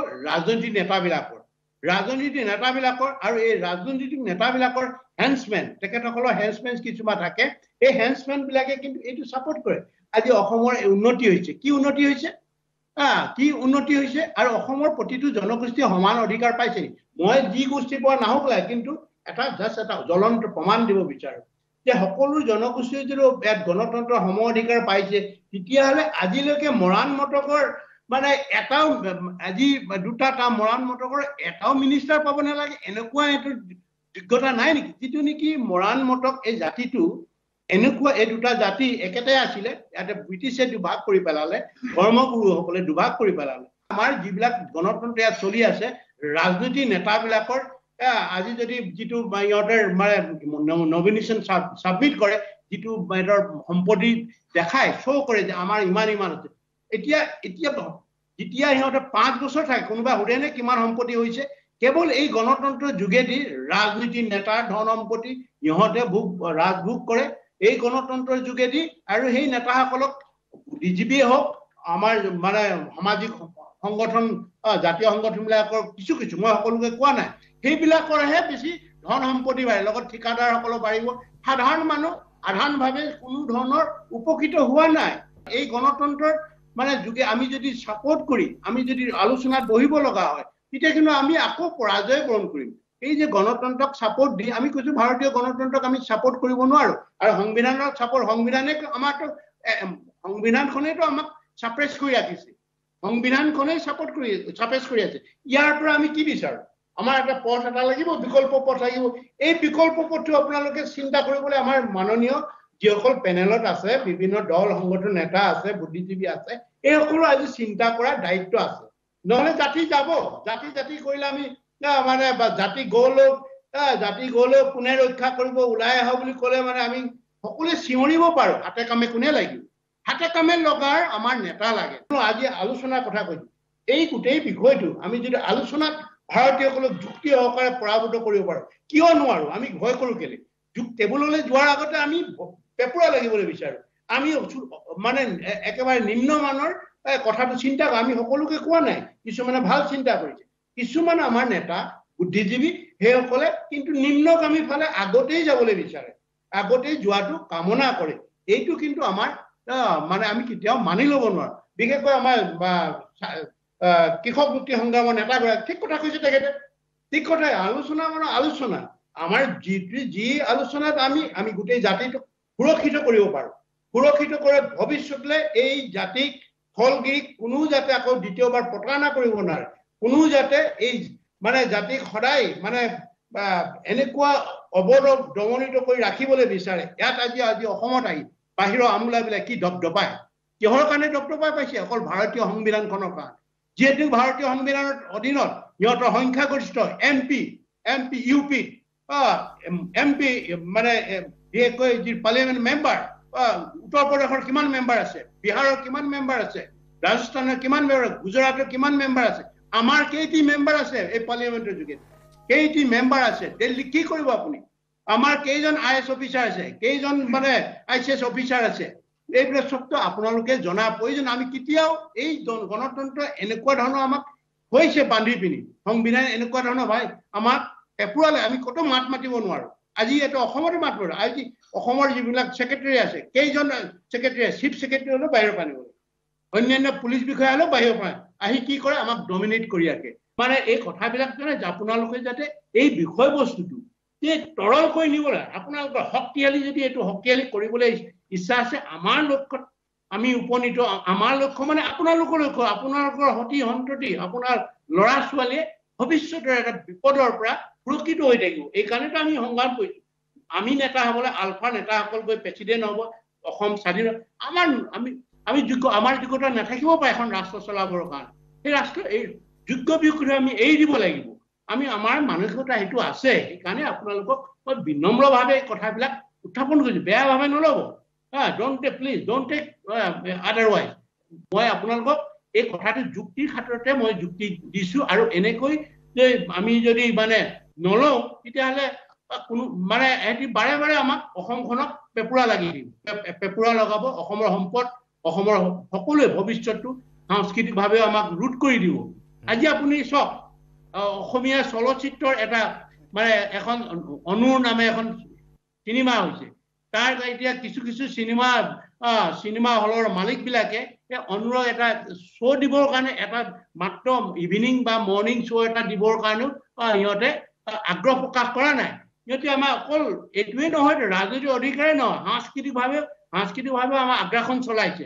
ব্যৱসায় ইকনমিকটো একেবাৰে চলাইছে চকুৰ আগত সকলো দিশতে আমাক আগ্ৰাসন চলাই চলাই শেষ কৰিবলৈ বিচাৰিছে। ইমানবিলাক দেখিও আমি কিয় নিমাত কিয় আমি ৰাজনৈতিক অধিকাৰটো পাব লাগে বা এই বিষয়টো আমি সকলোৱে একমত হ'ব লাগে ইয়াত দ্বিমত হ'ব নালাগে। সকলোৱেতো উপ উপ- উপকাৰ হ'ব যিটো বাঘে অকল আলফাকে নাখায় সমগ্ৰ অসমৰ থলগিৰি জাতিক শেষ কৰি আহিছে। এফালৰ পৰা একেবাৰে নিবলিং এ কৰিছে ভৰিৰ পৰা একেবাৰে মূৰলৈকে খাবৰ কাৰণে এটি চেষ্টা চলাই আহিছে খাই আহিছে এতিয়া অকল ডিঙিটো ওলাই আছো আমি। অকল ডিঙি ওলাই আহিছে আমাৰ। ডিঙিটো গিলিবলৈ বাকী আছে। ইয়া ইমান জানিও আমি কিয়? এইবাৰ আমি ষ্টুডিঅ'ত উপস্থিত থকা অংশগ্ৰহণ কৰা দল সংগঠন বাকীসকলৰ সৈতে কথা পাতিম। আৰু দাদা আপুনি আপোনাৰ পৰা। যি কি নহওক মই পৰেশ বৰা ডাঙৰীয়াক ধন্যবাদ জ্ঞাপন কৰিছোঁ আৰু শুভেচ্ছাও জনাইছোঁ। যিহেতু আজি সুদীৰ সুদীৰ্ঘ চল্লিছ বছৰ সুদীৰ্ঘ চল্লিছ বছৰ দিন কাৰ কাৰণে কৈছে অসমৰ ৰাইজৰ কাৰণে কৈছে অসমৰ অসমৰ অসমৰ ৰাইজৰ কাৰণে যদি নকৰিলেহেঁতেন তেতিয়াহ'লে হয়তো আজি বাৰ হাজাৰ পোন্ধৰ হাজাৰ মানুহ মৃত্যু নহ'লহেঁতেন। আৰু প্ৰতিজনী আই মাতৃৰ বুকু সুধা কৰি আৰু যিজন মানুহ ইতিমধ্যে যি পোন্ধৰ হাজাৰ বা বাৰ হাজাৰ যিমান মানুহ মৰিছে তাত অসমীয়া মানুহৰ এটোপাল এটোপাল তেজ আছে। আৰু আমি কেতিয়াও বিচৰা নাই যে এনেকুৱা এটা বেবেৰ বাং আলোচনা কৰিব সেনেকুৱাটো আমি কেতিয়াও বিচৰা নাই। আৰু পৰেশ বৰা ডাঙৰীয়াক আমি সন্মান সহকাৰে বিচাৰোঁ যে এটা আলোচনা কৰাটো আমাৰ দৰকাৰ। আৰু আলোচনা কৰিব লাগিবই। যদি আলোচনা কৰা নাযায় তেতিয়াহ'লে কিমান দিন জংঘলত থাকিব? কিমান দিন আন্দোলন কৰিব? আৰু এটা এনেকুৱা এটা আলোচনা যদি কৰা যায় যিটো আলোচনাৰ যদি কোনো সুংসুত্ৰ নোলায় তেতিয়াহ'লে আজি অসম কি হৈছে? স্বাধীন অসম। স্বাধীন অসমৰ যিটো আলফা যিটো জন্ম হৈছিল অন্য এটা আকৌ আলফা জন্ম হ'ব। তে প্ৰতিবাদ হ'বই। যেতিয়ালৈকে প্ৰতিবাদ মানুহৰ উত্তৰ নাপায় সু আচল উত্তৰটো নাপায় তেতিয়াহ'লে প্ৰতিবাদ আকৌ প্ৰতিবাদৰ প্ৰতি প্ৰতিবাদ হ'ব। আৰু কেতিয়াও অসমৰ ৰাইজে বা আলফা স্বাধীনে এইটো বিচৰা নাই যে নিজৰ স্বাৰ্থৰ কাৰণে কাৰো বিচৰা নাই অসমৰ ৰাইজৰ কাৰণে বিচাৰিছে। আৰু যেতিয়া ভাল কথা ভাল প্ৰতিবাদ কৰে ভাল ধৰণে যেতিয়া কথা কয় সেই কথা যদি মানুহে শুনি নাপায় তেতিয়াহ'লে প্ৰতিবাদ মুখৰ সা- সা- সহস্ত সংগ্ৰামলৈ আগবাঢ়ি যায়। কেতিয়া যায়? খঙৰ ভমকত যায়। গতিকে আমাৰ আলোচনা কৰিব নোৱাৰা কোনো এটা দিশ হ'ব নোৱাৰে যে আমাৰ অসম চৰকাৰে ইয়াৰ আগভাগ ল'ব লাগে আৰু অসম চৰকাৰে আগভাগ লৈ অসমৰ মাননীয় মুখ্যমন্ত্ৰীয়ে আগভাগ ল'ব লাগে আৰু বৈ- ত্ৰিপাক্ষিক আলোচনা হ'ব লাগে চেণ্ট্ৰেল গভৰ্ণমেণ্টৰ লগত আৰু এইটো চেণ্ট্ৰেল গভৰ্ণমেণ্টৰ লগত আলোচনা নোহোৱালৈকে কেতিয়াও ইয়াৰ ৰিজাল্ট ওলাব নোৱাৰিব। আৰু এইটো এটা কথা নাই যে পৃথিৱীত এনেকুৱা এটা কথা নাই যিটো কথা আলোচনা কৰিলে ইয়াৰ সোঁহতত নোলাব। নোলোৱা কোনো অৰ্থই হ'ব নোৱাৰে। আমি এইটোও কোৱা নাই পৰেশ বৰা ডাঙৰীয়াক যে আপুনি এৰা ধেৰা মাজেৰে আলোচনা কৰক। আমি কৈছোঁ সাৰ্বভৌমত্ব বিষয়টো থাকিব লাগিবই। সাৰ্বভৌমত্ব দিয়ক নিদিয়ক এইটো পিছৰ কথা। কিন্তু সাৰ- সাৰ্বভৌমত্ব অৰ্থটোৱে হৈছে তেওঁ সেই সেইটো কাৰণেইতো আন্দোলনটো আৰম্ভ হৈছে। গতিকে সেই সেইকাৰণে আমি কৈছোঁ যে সাৰ্বভৌমত্ব থাকিব লাগিব বিষয়টো। সাৰ্বভৌমত্ব বিষয়ৰ ওপৰতে আলোচনা কৰক আৰু পৰৱৰ্তী পৰ্যায়ত তেওঁলোকে আমি সাৰ্বভৌমত্ব পাওঁ নাপাওঁ এই ছেকেণ্ডাৰী ছেকেণ্ড পৰ্যায়ত ইয়াৰ বিষয়ে আলোচনা হ'ব। ধন্যবাদ। পৰেশ বৰুৱা ডাঙৰীয়া আৰু নিউজ এইটিনক মই মানৱ অধিকাৰ সংগ্ৰাম সমিতিৰ তৰফৰ পৰা মই আদিত্য লখৰে ধন্যবাদ জনাইছোঁ। আমি আলোচনা সদায় বিচাৰি আহিছোঁ কিন্তু আলোচনাৰ নামত আলোচনা নহয় যে এক মৰ্যাদাপূৰ্ণ আৰু ৰাজনৈতিকভাৱে এই সমস্যাটোৰ সমাধান হ'ব লাগিব। কেৱল আলোচনা বুলি কৈ মানুহক মাতি আনি তাৰপিছত পিঞ্জৰাত আবদ্ধ কৰি ৰখা এই নীতিৰ পক্ষপাতি আমি নহয়। কাৰণ আজি ভাৰত চৰকাৰে হওক বা আজি অসম চৰকাৰৰ মুখ্যমন্ত্ৰী ডাঙৰীয়াই যি কথা কৈ আছে সাৰ্বভৌমত্বৰ ক্ষেত্ৰত তেওঁলোকে শপত গ্ৰহণ কৰিছে শপত লৈছে ভাৰতৰ অখণ্ডতাৰ ক্ষেত্ৰত। কিন্তু সাৰ্বভৌমত্বৰ ওপৰত আলোচনা হ'ব নোৱাৰে বুলি তেওঁলোকে শপত লোৱা নাই। এই ক্ষেত্ৰত আমি যদি চাওঁ বাংলাদেশৰ লগত তেওঁলোকে ভাৰতৰ সাৰ্বভৌমত্বৰ ক্ষেত্ৰত আলোচনা কৰিছে চীনৰ লগত আলোচনা কৰিছে। গতিকে ভাৰতবৰ্ষৰ এটা ভূখণ্ডৰ মানুহৰ লগত কিয় তেখেতসকলে আলোচনা কৰিব নোৱাৰে? তেওঁলোকে প্ৰয়োজন হ'লে এটা কাম কৰক ৰাষ্ট্ৰসংঘৰ যিটো আত্মনিয়ন্ত্ৰণৰ যিটো সংজ্ঞা I C C P R যিখন যিখন দলিল সেই দলিলৰ আধাৰতে তেওঁলোকে আৰম্ভ কৰক আত্মনিয়ন্ত্ৰণৰ বিষয়ে বা সাৰ্বভৌমত্বৰ বিষয়ত হওক গতিকে আমি সেইটো বিচাৰোঁ কিন্তু আলোচনাৰ নামত আলোচনা নহয়। শান্তি আজি তেওঁলোকে বহুতে কৈ থাকে যে আমাক শান্তি লাগে শান্তি লাগে। কিন্তু শান্তিটো কি শান্তি বিচাৰিছে? এছামে বিচাৰিছে যে লুটি পুতি খাই যিবিলাক ধন সাধাৰণ মানুহৰ পৰা নি তেওঁলোকে ৰাজভঁৰাল বা তেওঁলোকৰ বেংক বেলেঞ্চ বৃদ্ধি কৰিছে তেওঁলোকক শান্তি লাগে। কিন্তু আমি বিচাৰোঁ কি শান্তি? যে দেশৰ বা আমাৰ অসমখনৰ যি সাধাৰণ মানুহ খিলঞ্জীয়া মানুহে যাতে মানে হাঁহিৰে এষাৰ এসাঁজ ভাত খাব পাৰে যে তেওঁলোকৰ অন্ন বস্ত্ৰ বাসস্থান এইখিনিৰ যাতে সুযোগ পায় তেওঁলোকৰ যিটো সংস্কৃতি তেওঁলোকে ৰক্ষা কৰিব পাৰে তেনেকুৱা এটা আলোচনা আমাক লাগে। কিন্তু আলোচনাৰ নামত আলোচনা আমি বিচৰা নাই। গতিকে মই এইটো পৰেশ বৰুৱা ডাঙৰলৈকে এটা আহ্বান জনাম। যে আপোনালোকে এই ধৰণৰ যিটো কথাত কিন্তু আপোনালোকে ওলাই আহিলে কিন্তু আপুনি কোৱাৰ দৰে যে আমি আকৌ এবাৰ প্ৰতাৰিত হ'ম। গতিকে আমি যোৱা সময়ছোৱাত বিভিন্ন হেৰিত দেখিছোঁ আলোচনা যে এন এছ চি এনৰ লগত আজি বিছ বছৰতকৈ অধিক সময় আলোচনা হ'ল। আজি আমি দেখিছোঁ জীৱন সিংহক কমতাবোৰ দিম বুলি কৈ মাতি আনি আজি চুচুৰাই ফুৰিছে। আজি অসমৰ মুখ্যমন্ত্ৰী ডাঙৰীয়াই কৈছে কমতাবোৰ সম্পৰ্কত তেখেতে একোৱেই নাজানে। কাইলৈ যদি এই ধৰণৰ ঘটনাবিলাকে হয় যে ইমানখিনি আমাৰ যুৱক যুৱতীক আমি যি বলিদান দিলোঁ তাৰ অৰ্থটো কি হ'ব? গতিকে আমি এই তেজৰ বিনিময়ত আমি আমি জাতিটোৱে কিবা এটা পাব লাগিব। গতিকে আমি সেই আলোচনাটো বিচাৰোঁ। তেনেকুৱা আলোচনাহে মৰ্যাদাপূৰ্ণ আলোচনা আমি বিচাৰোঁ। লাগিলে পি চি জিৰ লেখীয়াকৈ আকৌ এটা গ্ৰুপ গঠন কৰি দি আপোনালোকে আলোচনা আগবঢ়াই নিয়ক। হয় আমাৰ ডেপুটি এডিটৰ নীলভ ভট্টাচাৰ্য আছে। ডাঙৰীয়া প্ৰথমতে এই সুযোগকণ লৈ আপোনাক দুটা বস্তু ক'ব বিচাৰিম। এটা হ'ল যে আপুনি প্ৰায় পাঁচ ছজনমানৰ প্ৰশ্ন একেলগে লৈ তাৰপিছত একো এজন এজনকৈ উত্তৰ দিয়া আপোনাৰ সেই মানে স্মৃতি শক্তিটো কিন্তু এতিয়াও খুব একেবাৰে বলিষ্ঠ হৈ আছে। আপুনি পাঁচজনৰ প্ৰশ্নক লৈ এজন এজনকৈ উত্তৰ দিব দি আছে। দ্বিতীয় কথা আপুনি কৈছে যে গোটেই সংগ্ৰামটো যদিও সশস্ত্ৰ সংগ্ৰাম এতিয়া ৰাজনৈতিক সংগ্ৰাম এটা। চ' আপুনি যি ধৰণে আপোনাৰ বক্তব্য ৰাখিছে বক্তব্য ৰখাৰ যি ধৰণ সেইটোত আপুনি ৰাজনৈতিক যি বা টেবুল ফাইটৰ কথা যি আপুনি কৈছে সেইটোৰ বাবে আপুনি প্ৰস্তুত। সেয়াও কিন্তু প্ৰতীয়মান হৈছে। মোৰ প্ৰশ্ন মই প্ৰশ্নই সুধিছোঁ।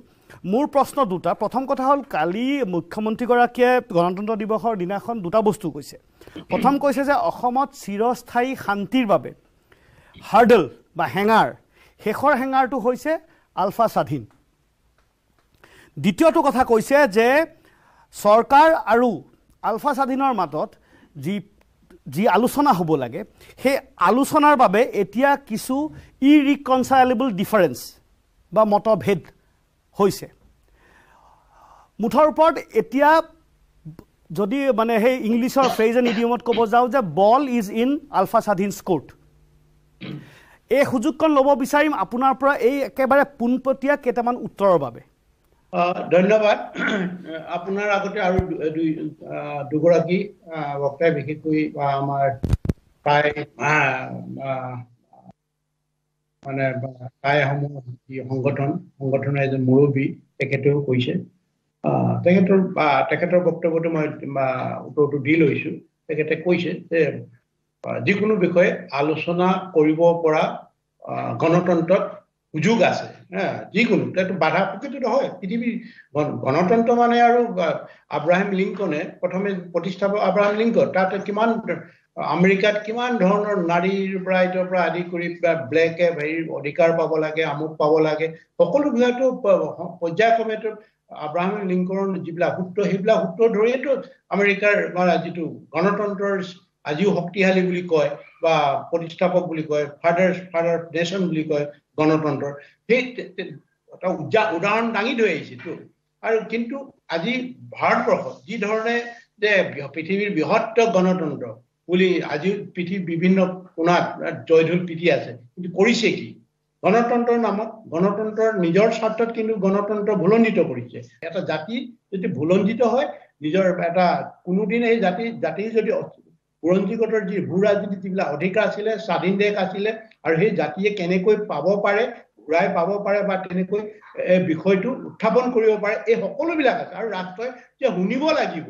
তাৰ সমাধানৰ সূত্ৰ দিব লাগিব ৰাষ্ট্ৰৰ কথা ball is not in my court ball is not in our ULFA court ULFA I court এই কথাটো ৰাষ্ট্ৰৰে ৰাষ্ট্ৰই সৃষ্টি কৰিছে। এই গোটেই বিষয়টো আমি কৰা নাইতো অসমৰ ফলগিৰি মানুহে এই সমস্যাটো বা এই মানে আমি সৃষ্টি কৰা নাই সমস্যাটো এই ইছ্যুটোক জটিলতা কৰিছে সমস্যাৰ ফালে ঠেলি দিছে ৰাষ্ট্ৰপক্ষই ঠেলি দিছে। ৰাষ্ট্ৰপক্ষৰ উদ্দেশ্য হৈছে এটা জাতিৰ যিটো জাতিৰ মানে হেৰি এটা বুজা পৰাৰ মাজত সংগ্ৰাম কৰিছিলে স্বাধীনতা সংগ্ৰাম কৰিছিলে এই জাতিটোৱে এই জাতিটোৱে যে প্ৰথম এই ভাৰতীয়সকলক আজি কেলৈ এইটো মানি ল'ব নোৱাৰে? ভাৰতীয়সকলৰ ব্ৰিটিছৰ বিৰুদ্ধে দুটা মানে স্বাধীনতা সংগ্ৰাম কৰাৰ পাতনিটো অসমে মেলিছিলে। এই কথাটোতো বিজ্ঞজনে জানে বুৰঞ্জীবদ্ধ লিপিবদ্ধ আছে আমি এইটো কেনেকে মানি লওঁ সংগ্ৰাম আমি আগতে কৈছিলো অসমৰ মানুহে আমাৰ পূৰ্বপুৰুষে ব্ৰিটিছৰ বিৰুদ্ধত আহ, সহস্ৰ হওক নিৰস্ব হওক অসহযোগ যোগেদি অসমৰ মানুহে প্ৰথম পাতনি মেলিছিলে। এই কথাবিলাকো যে সিহঁতে আমাক পাহৰাবলৈ বিচাৰিছে নিজেও আৰু আমাৰ যিসকল হেন্সমেন আছে যিসকল ভাৰতীয়সকল ৰাজনীতিৰ সোৱাদ লৈ আকৌ ভাৰতীয় হৈ থাকিবলৈ যি ইচ্ছা আছে নিজৰ জাতি অৰ্ধপত্নে যাওক ভাষা অৰ্ধ- অৰ্ধপত্নে উম, মানে যিটো জাতি গোষ্ঠীৰ মাজত অনৈক্য সৃষ্টি কৰি নিজৰ স্বাৰ্থ সিদ্ধি কৰা যিবিলাক ৰাজনৈতিক নেতা আছে এইবিলাকে এইবিলাক কথা কৈ আছে। কিয় নোৱাৰিব গণতন্ত্ৰত? কিয় নোৱাৰিব? প্ৰকৃত গণতন্ত্ৰত এই সমস্যাটো সমাধান কৰা বা এই সমস্যাটো বিশেষকৈ এই ইছ্যুটো লৈ সংগ্ৰাম কৰা এই সংগ্ৰামখন উৰ পেলাবৰ কাৰণে যথেষ্ট উপাদান আছে। কিন্তু উপনিৱেশিক সদায় উপনিৱেশিক মনোবৃত্তি লৈ আছে। অসমৰ জনগণৰ যিসকল মানে সামাজিক যিবিলাক জাতি জনগোষ্ঠীক লৈ প্ৰতিনিধিত্ব কৰিছে সবল স্থিতি ৰাখিব লাগিব। সবল স্থিতি আপোনাৰ প্ৰাপ্যৰ কাৰণে কৈছেতো আজি জনগোষ্ঠীয়েও ইমান আন্দোলন কৰি আছে জনগোষ্ঠীটো এনেই পাব লাগে আন্দোলন নকৰিলেও পাব লাগে কিয় দিয়া নাই? আমাৰ দুৰ্বলতাবিলাক জানে আমাক সহজে মেনেজ কৰিব পাৰে সহজে উপঢাকুন দি আমাক কিবা কিবি এই যে হয়তো কোনোবাই বিজেপিলে কোনোবা কোনোবাক বিজেপিৰ কাৰণে টিকেট দিব নমিনেশ্যন দিব সেইটোতে আমি সন্তুষ্ট হৈ আৰু আমাৰ চিন্তাধাৰাক বিপথে লৈ যায়। সেইকাৰণে আমাৰ এই অৱস্থা হৈ আছেতো একেটা বাঘেই আমাক খাই খাই মাৰিছে। এই বাঘটোৰ লগত আমি কেনেকৈ যুঁজিব লাগিব? কেনেকৈ সাহসে থিয় দিব লাগিব? আমাৰ যুক্তিবিলাক ক'ত হ'ব? কেনেকৈ কি হ'ব? যিটো নেকি আমি যিখন যুঁজলৈ যাম বা যদি মানে ভাৰতীয়সকলে এই আমাৰ যিটো সাৰ্বভৌম স্বাধীন অসমৰ ওপৰত আলোচনা কৰিম বুলি তেতিয়াহ'লে অৱশ্যে তাৰপিছত আহিব আপোনাৰ এতিয়ালৈকে সিহঁতে আলোচনা এই বহাম কেনেকৈ সিহঁতক? এই কৌশলটো আমি ল'ব লাগিব। আলোচনাত কেনেকৈ বহাম সাৰ্বভৌম স্বাধীন অসমত কেনেকৈ এইটো আলোচনাত বহি বহি এই এইটোৱে যে প্ৰথম মূল দাবী হ'ব মূল দাবী নহয় এইটো আমাৰ এই ইছ্যুটো পলিটিকেল ইছ্যুটোৰ ওপৰত কথা পাতিব লাগিব। এই এচুৰেঞ্চটো আমি পাব লাগিব। এচুৰেঞ্চ নোপোৱালৈকে আমি যাব নোৱাৰো এইটো প্ৰকাশ্য হ'ব লাগিব। হাইড এণ্ড চিক হ'ব নালাগে। অকল মই জানি মূলত কি কথা ক'লে আমাৰ সংযুক্ত মুক্তি বাহিনী কেইজনমান বিষয়ববীয়া জানিলে আৰু বাদ বাকী গোটেইটো লুকাই ৰাখিলো। আৰু পিছত গৈ বুমেৰাং এইটো নহয়। সকলোৱে জানিব এইটো বিষয়ৰ লগত আলোচনা হ'ব সাৰ্বভৌমৰ ওপৰত আলোচনা। তেতিয়া আপোনালোকে আৰু সবল যুক্তি দিয়ক। আমাৰ সাৰ্বভৌম স্বাধীন অসমৰ ক্ষেত্ৰত আমি কি কি আমি যুক্তি দাঙি ধৰিব পাৰো এইটোৱে হ'ব। আমি যদি আলোচনা যোৱাৰ আগতে আমাক নিম্ন ধৰণৰ কথাবিলাক য'ত নেকি আমি যুঁজিবই নোৱাৰো। যুঁজিবলৈ ক'ত কম্পজিট ডাইলগতে বহাই দিব না? কম্পজিট ডাইলগত বহাই কম্পজিট বুলি ক'লে মানে একেবাৰে আপোনালোকে গম পাইছে আহ, প- এই যে ইকনমিক পেকেজটো পিছত আনিব প্ৰথম আনিব চিজ ফায়াৰ কেনেকে হ'ব সৈন্য কিমান আছে অস্ত্ৰ কিমান আছে আৰু ক'ত ক'ত থাকিলে সুবিধা হ'ব কেম্পবিলাক ডিব্ৰুগড়ত পাতিব না নলবাৰীত পাতিব না এনেকৈ এই ধৰণে বনাই বনাই এই কম্পজিট ডাইলগতে কি কৰিব এই যে সাধাৰণটো চিজ ফায়াৰ লগতে দুবছৰ পঠাব দুবছৰ তিনি বছৰ তাতেই যাব তাৰপিছতে আহিব আকৌ ল'ৰাবিলাকে দৰমহা কিমান হ'ব মান্থলি কিমান দিব কিমান দিব এইবিলাকত কৰি আছে। হা এইবিলাক আৰু এটা আপোনালোকে সকলোৱে আৰু সন্মানিত সন্মানিত ব্যক্তিসকলে জনা প্ৰয়োজন। সিহঁতৰ প্ৰথম চৰ্ত হয় পৰেশ বৰুৱা আহিব নাই পৰেশ অসম আহিব নে নাহে? এইটোৱে এটা প্ৰথম। যেনেকে পি চি জি আলোচনা হৈ আছিলে মামণি বাইদেউক কৈছে এজন আনিবই লাগিব। মামণি বাইদেউক দায়িত্ব দিয়া হৈছিলে। লাষ্টতো দুটা চিটিঙৰ তিনি নম্বৰটো সেইটোতো লাগিছে ঝেমেলা। যে কৈছে যে পৰেশ বৰুৱা আহিব নাই পৰেশ অসম আহিব নাই। পৰেশ অসম যদি নাহে তেতিয়াহ'লে আমি কোনো আলোচনা নকৰো। তেতিয়াহ'লে সিহঁতৰ উদ্দেশ্যটো কি? পৰেশ অসমক কিয় লাগে? পৰেশ কিয় লাগে? সিহঁতি ভাবিছে অকল এটা দুৰ্বলতা ওলাই পৰিছে যে পৰেশ অসমে অকল সংগঠন চলোৱা নাই। এই কথাটো সিহঁতৰ দূৰদৰ্শ মানে দূৰদৰ্শিতাৰ অভাৱ হ'ব পাৰে। সেইকাৰণে হৈছে পৰেশ বৰুৱা থকালৈকে যে পৰেশ অসম থকালৈকে আলফা আই থাকিব তাৰ পিছত সেইটো কথা নহয়। নল মৰি গজালি ওলায়ে থাকিব। অলপ ৰাখ- ৰাখিব লাগিব। এইখিনিতে সময় হৈছে চমু বিৰতি। বিৰতিৰ পাছত আকৌ আহি আছো। বিৰতিৰ পিছত পুনৰ উভতি আহিছোঁ মূল অনুষ্ঠানলৈকে। বহুকেইটা দল সংগঠনৰ প্ৰতিনিধি আছে। গুৱাহাটী বিশ্ববিদ্যালয়ৰ ছাত্ৰী যুৱ প্ৰজন্মৰ প্ৰতিনিধি শাশ্বতী কোৱা? এজন বিছ বা বাইছ বছৰীয়া যুৱক বা যুৱতী এটা বিচ্ছিন্নতাবাদী চিন্তাধাৰাৰে পুষ্ট হৈ স্বৰাজৰ সপোন দেখি নিজৰ ঘৰ পৰিয়াল পঢ়া শুনা সকলো এৰি যি ত্যাগ আৰু কষ্টৰে সেই সংগ্ৰামৰ বাবে ওলাই গৈছিল সেই ত্যাগ আৰু কষ্ট সেই বলিদান তেওঁলোকৰ প্ৰাপ্য তেওঁলোকে পোৱা উচিত। আৰু আলোচনাত এইখিনি বিষয়েও স্থান পোৱা উচিত বুলি মই ভাবোঁ। দ্বিতীয় কথাটো হৈছে মাননীয় মুখ্যমন্ত্ৰী হিমন্ত বিশ্ব শৰ্মা ডাঙৰীয়াই কৈছে যে সাৰ্বভৌমত্বৰ বিষয়ত তেওঁ আলোচনা নকৰে আৰু পৰেশ বৰুৱা ডাঙৰীয়াই কৈছে যে সাৰ্বভৌমত্ব বিষয়ত তেওঁ আলোচনা কৰিব বিচাৰে। এতিয়া বিষয়টো সাৰ্বভৌমত্বৰ ওপৰত আলোচনা কৰা বা নকৰাতকৈ অসমীয়াৰ বৃহত্তৰ স্বাৰ্থক লৈ হৈ পৰিছে। গতিকে অসমীয়াৰ বৃহত্তক স্বাৰ্থক অগ্ৰাধিকাৰ দি তেওঁলোকে কিবা এটা পইণ্টত নেগচিয়েট কৰাটো উচিত বুলি মই ভাবোঁ। কিয় আৰু মই বুজি পোৱা নাই যে মুখ্যমন্ত্ৰী ডাঙৰীয়া সাৰ্বভৌমত্ব শব্দটোক লৈ কি ইমান সমস্যা আছে নে তেওঁ আলোচনা বিষয়টোক লৈ কিছু সমস্যা আছে নে তেওঁ অনুঘটকৰ কাম কৰি এই এই ইয়াৰ পৰা দায় সাৰিব বিচাৰিছে এই বিষয়টো আমি ধৰিব পৰা নাই। তৃতীয় কথাটো হৈছে আলোচনাত কোনবোৰ বিষয়ে প্ৰাধান্য পাব সেই বিষয়সমূহ আমি জনা উচিত নৱপ্ৰজন্মই জনা উচিত। কিয়নো অসমত যি অৰ্থনৈতিক সন্ত্ৰাসবাদ যি সাংস্কৃতিক সন্ত্ৰাসবাদ হৈ আছে সেয়া আমি দেখিছোঁ। কা আন্দোলন আমি দেখিছোঁ কা আন্দোলনত পাঁচজন শ্বহীদে কিদৰে প্ৰাণত্যাগ কৰিছে সেয়া আমি দেখিছোঁ। আৰু সেই সময়ত আমি আলফা স্বাধীনৰ পৰা যিখিনি সমৰ্থন বা তেওঁলোকৰ যিখিনি তেওঁলোকৰ পৰা যিখিনি আশা কৰিছিলোঁ সেইখিনি আমি পোৱা নাছিলোঁ। গতিকে সেইখিনি ক্ষোভ আমাৰ মনত আছে। গতিকে এই ক্ষেত্ৰত এতিয়াৰ সময়ত আমি বিচাৰোঁ যে তেওঁলোকে কিখিনি বিষয়ে আলোচনা কৰিব। ছয় জনগোষ্ঠীৰ জনজাতিকৰণই প্ৰাধান্য পাব নাই কা আন্দোলন কেনেদৰে পিছত চলি যাব সেইখিনিক লৈ প্ৰাধান্য পাব নাই অসমীয়া বৃহত্তৰ স্বাৰ্থই প্ৰাধান্য পাব নাই জাতীয় সমস্যাৰ প্ৰাধান্য পাব নাই সেইখিনি বিষয়ক লৈ আলোচনা হ'ব নাই সেইখিনি আমি জানিব বিচাৰোঁ। তাৰোপৰি তেওঁলোকে যদি আলোচনাত মিলিত হয় তাৰ পিছত আলফা স্বাধীনে কেনেদৰে এটা প্ৰেছাৰ গ্ৰুপ হিচাপে তেওঁলোকৰ কামখিনি চলাই যাব নে তেওঁলোকৰ ৰাজনৈতিক কিবা ৰাজনৈতিক দলত যোগদান কৰিব যিদৰে আমি কা আন্দোলনৰ পিছৰ সময়খিনিত দেখিছোঁ ৰাজনৈতিক মুনাফা আদায়ৰ স্বাৰ্থত বহুতো ৰাজনৈতিক দলে বহুতো ৰাজনৈতিক ব্যক্তিয়ে তেওঁলোকৰ মুনাফা আদায় কৰিলে কিন্তু অসমীয়াৰ বৃহত্তৰ স্বাৰ্থ আজিলৈকে সমাধান নহ'ল। গতিকে সেইখিনি বিষয়েও আমি নৱপ্ৰজন্মৰ এগৰাকী প্ৰতিনিধি হিচাপে মই পৰেশ অসম ডাঙৰীয়াৰ পৰা জানিবলৈ বিচাৰিম। আমি আজি যিখিনি বক্তব্য তেখেতে ৰাখিছে। সেই বক্তব্য বহুকেইটা বিষয়তে দাঙি ধৰিছে। আৰু প্ৰথমে মই কৈ গৈছিলো যে এই বিষয়টোত আমি কিহৰ কেনেকুৱা আলোচনা পোষকতা কৰো। আমি কম্পজিট কম্পজিট ডায়লগলৈ নেযাওঁ আমি। কম্পজিট ডায়লগত বিভিন্ন ধৰণৰ থাকিব পাৰে। তেখেতৰ উল্লেখ কৰি যোৱাৰ দৰে। আৰু আমি এইকাৰণেই কৈছো যে আমাক লাগে মানে কম্পজিট কম্পজিট ডায়লগৰ বাদ দি আমি বিচাৰো এটা ছিংগুল ইছ্যুৰ ওপৰত আমি আলোচনা কৰোঁ ছিংগুল ইছ্যুটো হৈছে আমি আমি সাৰ্বভৌম স্বাধীন অসম। স্বাধীন অসমৰ ৰূপৰেখা স্বাধীন অসমৰ ৰূপৰেখাতো এই যিবিলাক সমস্যা যিবিলাক বিষয় উঠাব সেইবিলাকতো আমি নিজে ৰূপৰেখা কৰোঁ। আমাৰ নিজে আমি যদি ৰাজনৈতিক অধিকাৰ পাওঁ আমাৰ সম্পদ কেনেকৈ বিতৰণ কৰিম? আমি এই সম্পদক যদি আমাৰ উভয় নদী সম্পদ আছে এই সম্পদখিনি আমি ব্যৱসায় ব্যৱসায় ভিত্তিত লগাম না? ভৱিষ্যতৰ আকৌ এই প্ৰজন্মৰ কাৰণে কিছু আমি সংৰক্ষণ কৰি ৰাখিম। এই তেনেকুৱা এটা আমি আমাৰ যিটো অৰ্থনৈতিক অৱস্থা হৈ আছে অসমৰ অসমৰ অৰ্থনৈতিক অৱস্থাটো আমাৰ ৰাজনৈতিক অধিকাৰ পালে আমি সেই অৰ্থনীতিটো আমি ৰূপৰেখা আমাৰ অসমৰ মানুহে অসমৰ গণ্য মান্য ব্যাগম্য অৰ্থনীতিবিদ আছে এখন ৰাষ্ট্ৰ কেনেকৈ চলাব লাগে আমাৰ সকলোৱে সকলোখিনি আছে আমাৰ ডক্টৰ আছে ইঞ্জিনিয়াৰ আছে চাইণ্টিষ্ট আছে অন্যান্য যি মানে ইকনমিষ্ট আছে চবেই আছে। এই ৰাষ্ট্ৰ পৰিচালনা কেনেকে কৰিব লাগে? আমিতো অসম আগতে স্বাধীন আছিলে। অসম স্বাধীন নাছিলে। গোপীনাথ বৰদলৈৰ সময়টোতো গোপীনাথ বৰদলৈ ডাঙৰীয়াটো অসম সুন্দৰ এখন ৰাষ্ট্ৰ হিচাপে বুলিয়ে ক'ব পাৰি।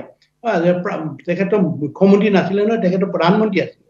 এনেকুৱা ধৰণৰ কিছুমান আমি যুক্তি দিব পাৰো। আৰু এই আজিৰ মানে এখন সমৃদ্ধ ৰাষ্ট্ৰ আমি। যদি আমি স্বাধীন হওঁ আমাৰ নিচিনা সম্পদ পৃথিৱীৰ ক'ত আছে? আমাৰ নিচিনা সম্পদ আজি নিবনুৱা সমস্যা আজি চিঞৰি আছে।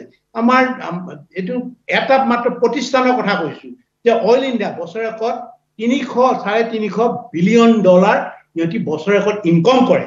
বছৰেকত সেই তিনিশ বিলিয়ন ডলাৰ আজি অসমৰ মানুহে মানে পাইছে নেকি? অ' এন জি চিয়ে কিমান কৰে?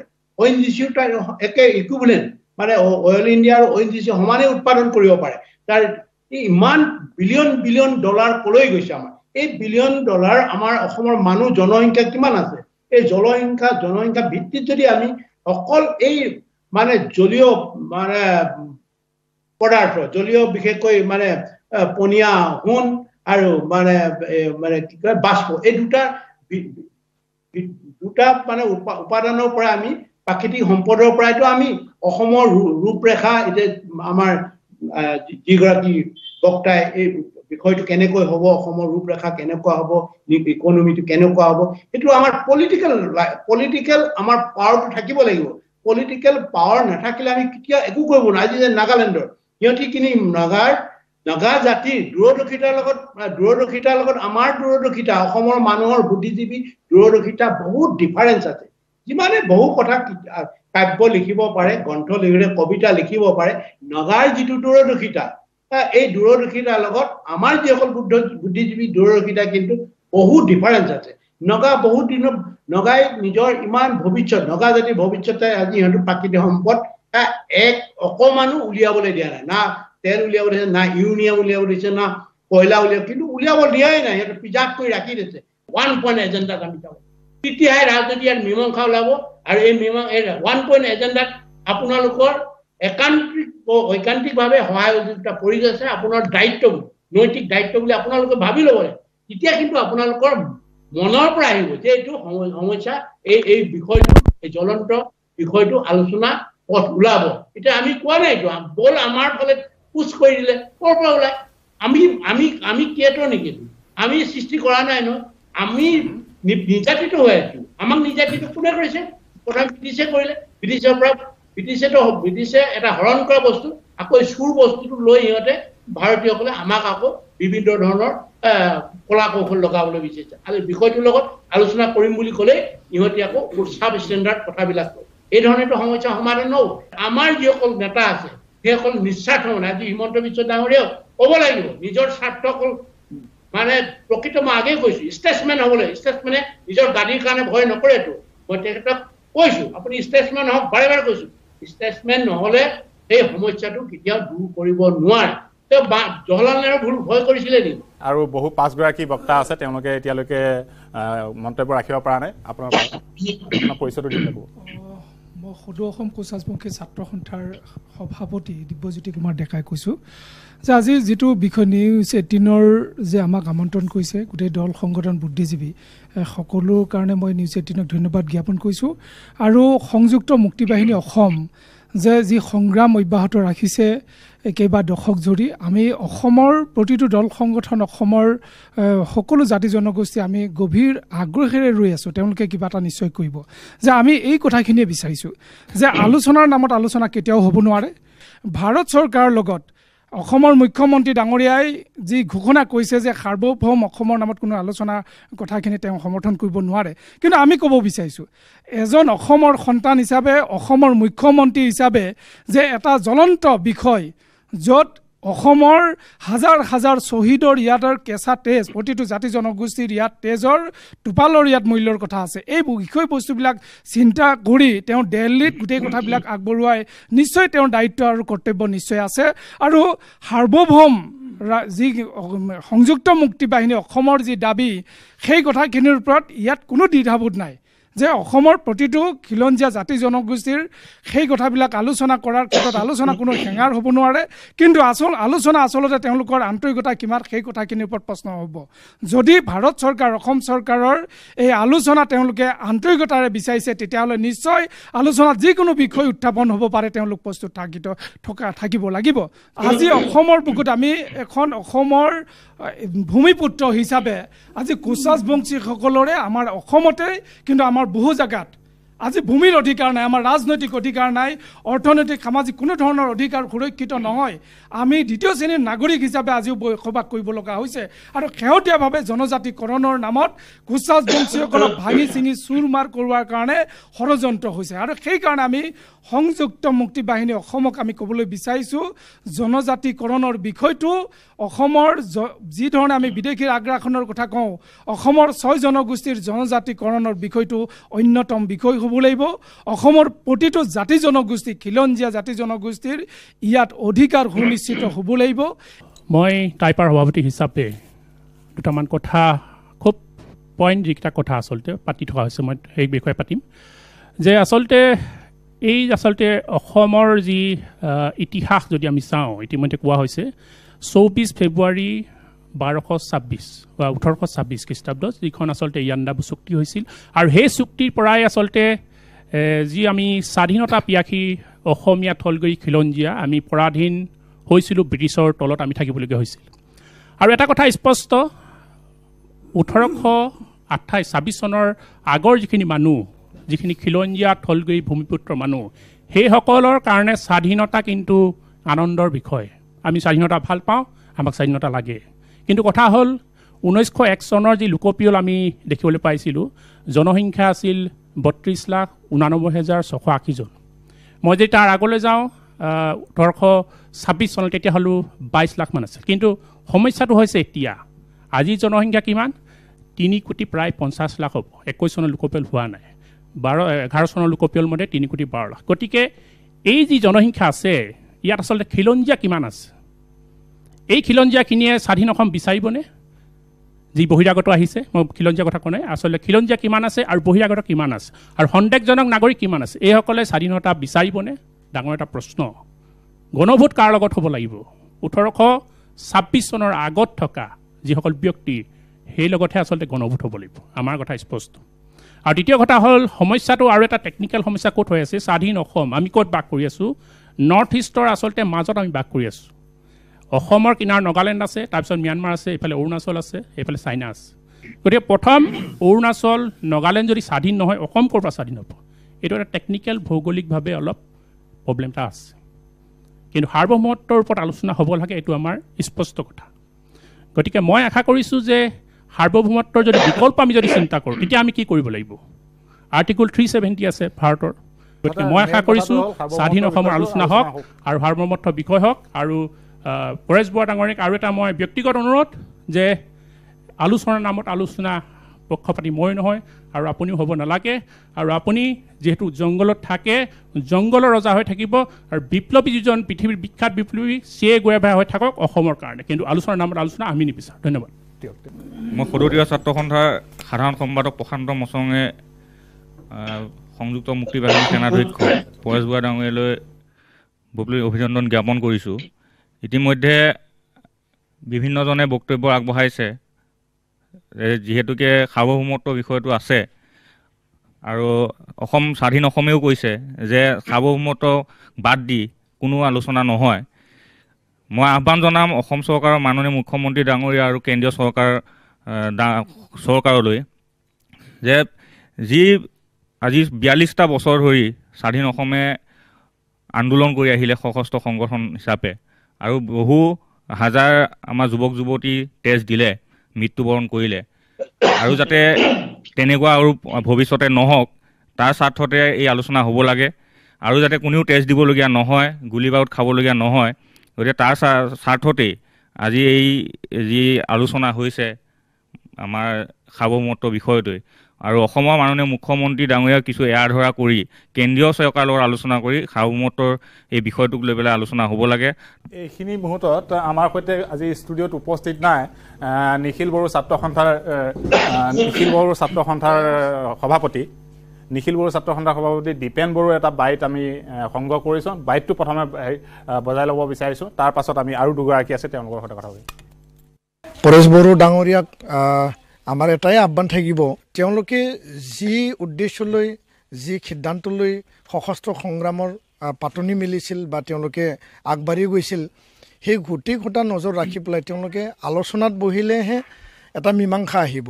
কাৰণ এটা সময়ত সংগ্ৰাম চলিব ইয়াৰ পিছত দাবী হ'ব ইয়াৰ পিছত কিছুমান ঘাত প্ৰতিঘাত সংগ্ৰাম হৈ গ'ল বহুতো মানুহ শ্বহীদ হৈ গ'ল।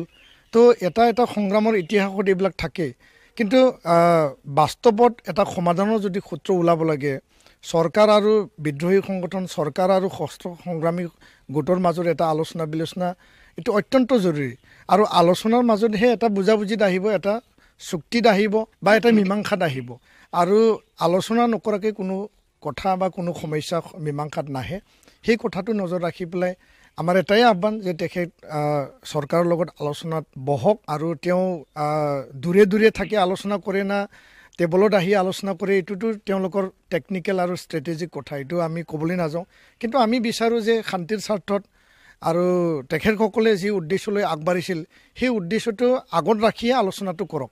এয়া আচলতে দীপেন দীপেন বড়ো নিখিল বড়ো ছাত্ৰ সন্থাৰ সভাপতি নৱমৰাণ আছে নৱমৰাণ। মৰাণ জাতি এটা ইতিহাস আছে এটা সংগ্ৰামী জাতি আৰু সংগ্ৰামী সত্তা আছে। আৰু ৰজাঘৰীয়াৰ পৰা আৰু আজিৰ তাৰিখলৈকে শোষক শ্ৰেণীলৈকে আমি আন্দোলন কৰি থাকিবলগীয়া হৈছে। কেৱল যে আমি চৰকাৰৰ বিৰুদ্ধে আন্দোলন হৈছে এনেকুৱা কথা নহয়। মৰাণ জাতিক প্ৰতিষ্ঠা কৰিবৰ কাৰণে একাংশ সাহিত্যিক বুদ্ধিজীৱীৰ লগতো আমাৰ আমাৰ আমি সংগ্ৰাম কৰিবলগীয়া হৈছে আমাৰ জাতিক প্ৰতিষ্ঠা কৰিবৰ কাৰণে। গতিকে এটা সংগ্ৰামী জাতিৰ প্ৰতিনিধিত্ব প্ৰতিনিধিত্ব কৰি আজি এই মঞ্চৰ পৰা এটা কথা আমি ক'ব খোজোঁ যে আলফা আৰু চৰকাৰৰ যি ৰাজনৈতিক সংঘাত এই সংঘাত ৰাজনৈতিকভাৱেই সমাধান হ'ব লাগিব। আৰু ইয়াত কেৱল মাতে ৰাজনৈতিকভাৱে আলোচনা কৰিলে সাৰ্বভৌমত্ব কথাখিনি নিশ্চিতভাৱে ইয়াত উপস্থাপন হ'ব। আৰু আলোচনাৰ মজিয়াত কেনেকুৱা ধৰণে আলোচনা কৰে তেওঁক সেই কথাবিলাক অভিজ্ঞ পৰেশ বৰুৱা ডাঙৰীয়া তেখেতক আমি কিবা পৰামৰ্শ দিব লাগে বুলি মই নাভাবোঁ। কিন্তু আলোচনা যে সাৰ্বভৌমত্বৰ ওপৰত আলোচনা হ'লে নিশ্চিতভাৱে অসমৰ থলগিৰি ৰাজ্যৰ খিলঞ্জীয়া মানুহৰ সুৰক্ষিত হোৱা এটা আলোচনা হ'ব এইটো কিন্তু আমি ধাৰণা কৰিব পাৰোঁ। এশ ছাব্বিছটা সমষ্টি খিলঞ্জীয়া মানুহৰ কাৰণে সুৰক্ষিত হোৱাটো বিচাৰোঁ। থলগিৰি মানুহৰ ভূমি অধিকাৰ হোৱাটো আমি বিচাৰোঁ।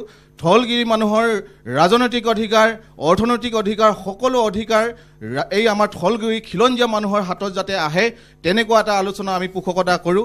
আৰু সময় যিহেতু বিশেষ নাই গতিকে আমাৰ এটাই আহ্বান যে চৰকাৰে অভিভাৱকত্বৰ দায়িত্ব পালন কৰিব লাগে। চৰকাৰে যিহেতু অসমৰ প্ৰত্যেকগৰাকী মানুহৰ তেওঁ অভিভাৱক সেই অভিভাৱক হিচাপে তেওঁ অভিভাৱকৰ দায়িত্ব পালন কৰি অসমৰ সুৰক্ষিত হোৱা হোৱাটো তেওঁ ব্যৱস্থা কৰিব লাগে বুলি মই মই ভাবোঁ। অসমীয়া মহাজাতিৰ ঐতিহ্য আৰু স্বকীয়তা অক্ষুণ্ণ ৰাখিবলৈ নিজৰ যৌৱন সমৰ্পিত কৰা পৰেশ বৰুৱা ককাইদেউলৈ বীৰ লাচিতানা অসমৰ তৰফৰ পৰা আন্তৰিক শ্ৰদ্ধা আমি জ্ঞাপন কৰিছোঁ। এতিয়া কথাটো হৈছে বেলেগ অসমৰ বিভিন্ন বেলেগ বেলেগ জাতীয় দল সংগঠন উত্থাপন উত্থাপন কৰা দাবী আৰু আলফাই উত্থাপন কৰা দাবীৰ মাজত কিছু পাৰ্থক্য আছে। এটা ঐতিহাসিক সত্যতা আছে। এতিয়া কথাটো হ'ল আলফাই কোনবিলাক কথা কৈছে? আলফাই কৈছে যে পূৰ্ণ জাতীয় আত্মনিয়ন্ত্ৰণৰ কথা কৈছে। আলফাই কৈছে যে সম্পূৰ্ণ ৰাজনৈতিক অৰ্থনৈতিক সামাজিক আৰু সাংস্কৃতিক অধিকাৰৰ কথা কৈছে। আৰু আমি ভাবোঁ যে এখন গণতান্ত্ৰিক দেশত সাৰ্বভৌমত্বৰ ওপৰত আলোচনা হ'ব পাৰে। আৰু বীৰ লাচিতানা আমি এইটো ক্ষেত্ৰত পোষকতা কৰোঁ। এতিয়া কথাটো হৈছে যে এই যে সংগ্ৰাম কিয় আৰম্ভ হৈছে যে আমি দেখিছোঁ দীৰ্ঘ সময় ৰাজনৈতিকভাৱে আমি প্ৰতাৰিত হৈছোঁ। আমি অৱহেলিত হৈছোঁ। অৰ্থনৈতিকভাৱে সামাজিকভাৱে আমি প্ৰতাৰণাৰ বলি হৈছোঁ। তাৰ লগে লগে সাংস্কৃতিকভাৱে আমি বিপদাপন্ন হৈছোঁ। আমাৰ কোনোবাখিনিত ভয় আৰু শংকা আছে যে অদূৰ ভৱিষ্যতে আমি ইয়াৰ পৰা নিশেষ হৈ গুচি যাম নেকি? আমি অস্তিত্বৰ সংকটত ভুগিম নেকি? গতিকে কাইলৈ এই গোটেই বিষয়টো মই ভাবোঁ এটা সংবেদনশীল বিষয়। কাইলৈ পৰহিলৈ আলফাই গুচি গ'লেও আহিবলগীয়া প্ৰজন্মই এই সংগ্ৰামখন কাৰণ নিজৰ য'ত অস্তিত্বৰ বিষয়টো জড়িত হৈ থাকে এই বিষয়টোক আকৌ ভণ্ডালনি ৰূপত লৈ যাব। বাকী একেই নহওক যে দক্ষিণ পূব এছিয়া আমি জানোৱেই যে এটা খুব চেঞ্চিটিভ ৱাৰ জোন হিচাপে আমাক ইয়াত চায়। গতিকে সেইকাৰণে আমি ভাবোঁ যে এইটো সমস্যা কেৱল আন্তঃদেশীয় নহয় ই বহিদেশীয় এটা সমস্যা। গতিকে আমি সেইকাৰণে ভাৰতবৰ্ষক কেন্দ্ৰীয় চৰকাৰক আমি জনাওঁ যে গোটেই বিষয়টো খুব সংবেদনশীল হৈ চিন্তা চৰ্চা কৰিব লাগে আৰু আগবাঢ়ি যাব লাগে। দ্বিতীয় কথাটো হ'ল হৰিণ মহন্ত এষাৰ কথা কৈছে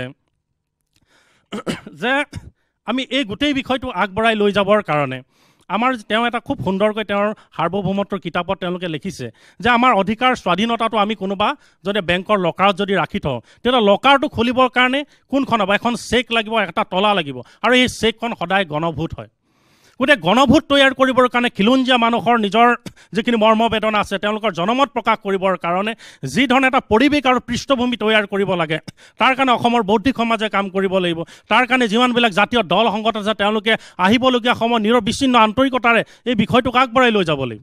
কিন্তু ইয়াত এটা কথা আছে যে জাতীয় দল সংগঠনে যিটো দায়িত্বৰ কৰ্তব্য তেওঁলোকে ল'ব যিটো জাতীয় দায়িত্বৰ কৰ্তব্য হিচাপে তেওঁলোকে গ্ৰহণ কৰিব কোনখিনিলৈকে যাব কেনেধৰণে তেওঁলোকে জড়িত হ'ব? অসমৰ বিভিন্ন প্ৰান্তত এই গণভোটৰ প্ৰক্ৰিয়াটো কৰিবলৈ যাওঁতে কেনেধৰণে যাব বা দুই পক্ষই কেনেধৰণে বিশ্বাস তেওঁলোকে কেনেধৰণে বিশ্বাসত ল'ব তেওঁলোকে কি তেওঁলোকৰ ধাৰণাবিলাক কেনেধৰণে লাগিব দায়িত্ব কেনেধৰণে অৰ্পণ কৰিব বা তেওঁলোকৰ লিমিটটো কি হ'ব? কোনটো পৰ্যায়লৈকে এই বিষয়টোক আগবঢ়াই নিবৰ কাৰণে তেওঁলোকৰ ওপৰত দায়িত্ব অৰ্পণ কৰিব এই বিষয়টো চাব লাগিব। আলফাৰ যিটো আলোচনা হ'ব এই আলফাৰ আলোচনাই অসমীয়া মানুহৰ স্বাধিকাৰ প্ৰতিষ্ঠা কৰিব লাগিব। অনাদি অনন্তকাললৈকে নিজৰ আজন্ম গৃহভূমিত খিলঞ্জীয়াই নিজৰ মূৰ তুলি জীয়াই থকাৰ এটা পৰিৱেশ আৰু পৃষ্ঠভূমি তৈয়াৰ হোৱাকৈ যাতে আলোচনা প্ৰক্ৰিয়াটো আগবঢ়ায় আলোচনাত এটা চিন্তন মন্থন সূক্ষ্মাদি পৰ্যবেক্ষণৰ বিশ্লেষণৰ জৰিয়তে যাতে আগবাঢ়ে তাৰ কাৰণে আহ্বান জনাইছোঁ। এইকেইটাকে মোৰ মন্তব্য জনালোঁ। এইখিনিতে সময় হৈছে চমু বিৰতি বিৰতিৰ পাছত আকৌ আহি আছোঁ। বিৰতিৰ পিছত পুনৰ উভতি আহিছোঁ আমাৰ মূল অনুষ্ঠানলৈকে। পাঁচজন পাঁচটা সংগঠনৰ পাঁচজনে বক্তব্য প্ৰদান কৰিলে নিজৰ নিজৰ সংগঠনৰ হৈ। এতিয়া পৰেশ বৰুৱাৰ পৰা আমি এই বিষয়খিনি লৈ পাঁচগৰাকী চমুকে বিচাৰিম। তাৰ পাছত আমি অনুষ্ঠান সামৰিব লাগিব কিন্তু প্ৰতিগৰাকী প্ৰতিটো দল সংগঠনৰ আমি মতামত এটা ল'ম যে আচলতে এই অনুষ্ঠানটো এই দীঘলীয়া অনুষ্ঠানটোৰ পৰা ৰাইজলৈ কি বাৰ্তা যাব? আমি কি কৰি কৰা উচিত? চৰকাৰলৈ কি আপিল থাকিব? বা আলফা স্বাধীনলৈ কি প্ৰস্তাৱ থাকিব? কেনেদৰে সমস্যাটো সমাধান কৰাৰ এটা বাট এই অনুষ্ঠানৰ জৰিয়তে ওলাবনে নাই সেইটো আমি শেষত পাতিম। কিন্তু পৰেশ বৰুৱাৰ পৰা আমি এই পাঁচগৰাকী নেতাৰ বক্তব্য শুনিব বিচাৰিছোঁ উত্তৰ। কোচ ৰাজমুখী নেতাগৰাকী যিটো কৈছে প্ৰতাৰিত হ'ব নেকি?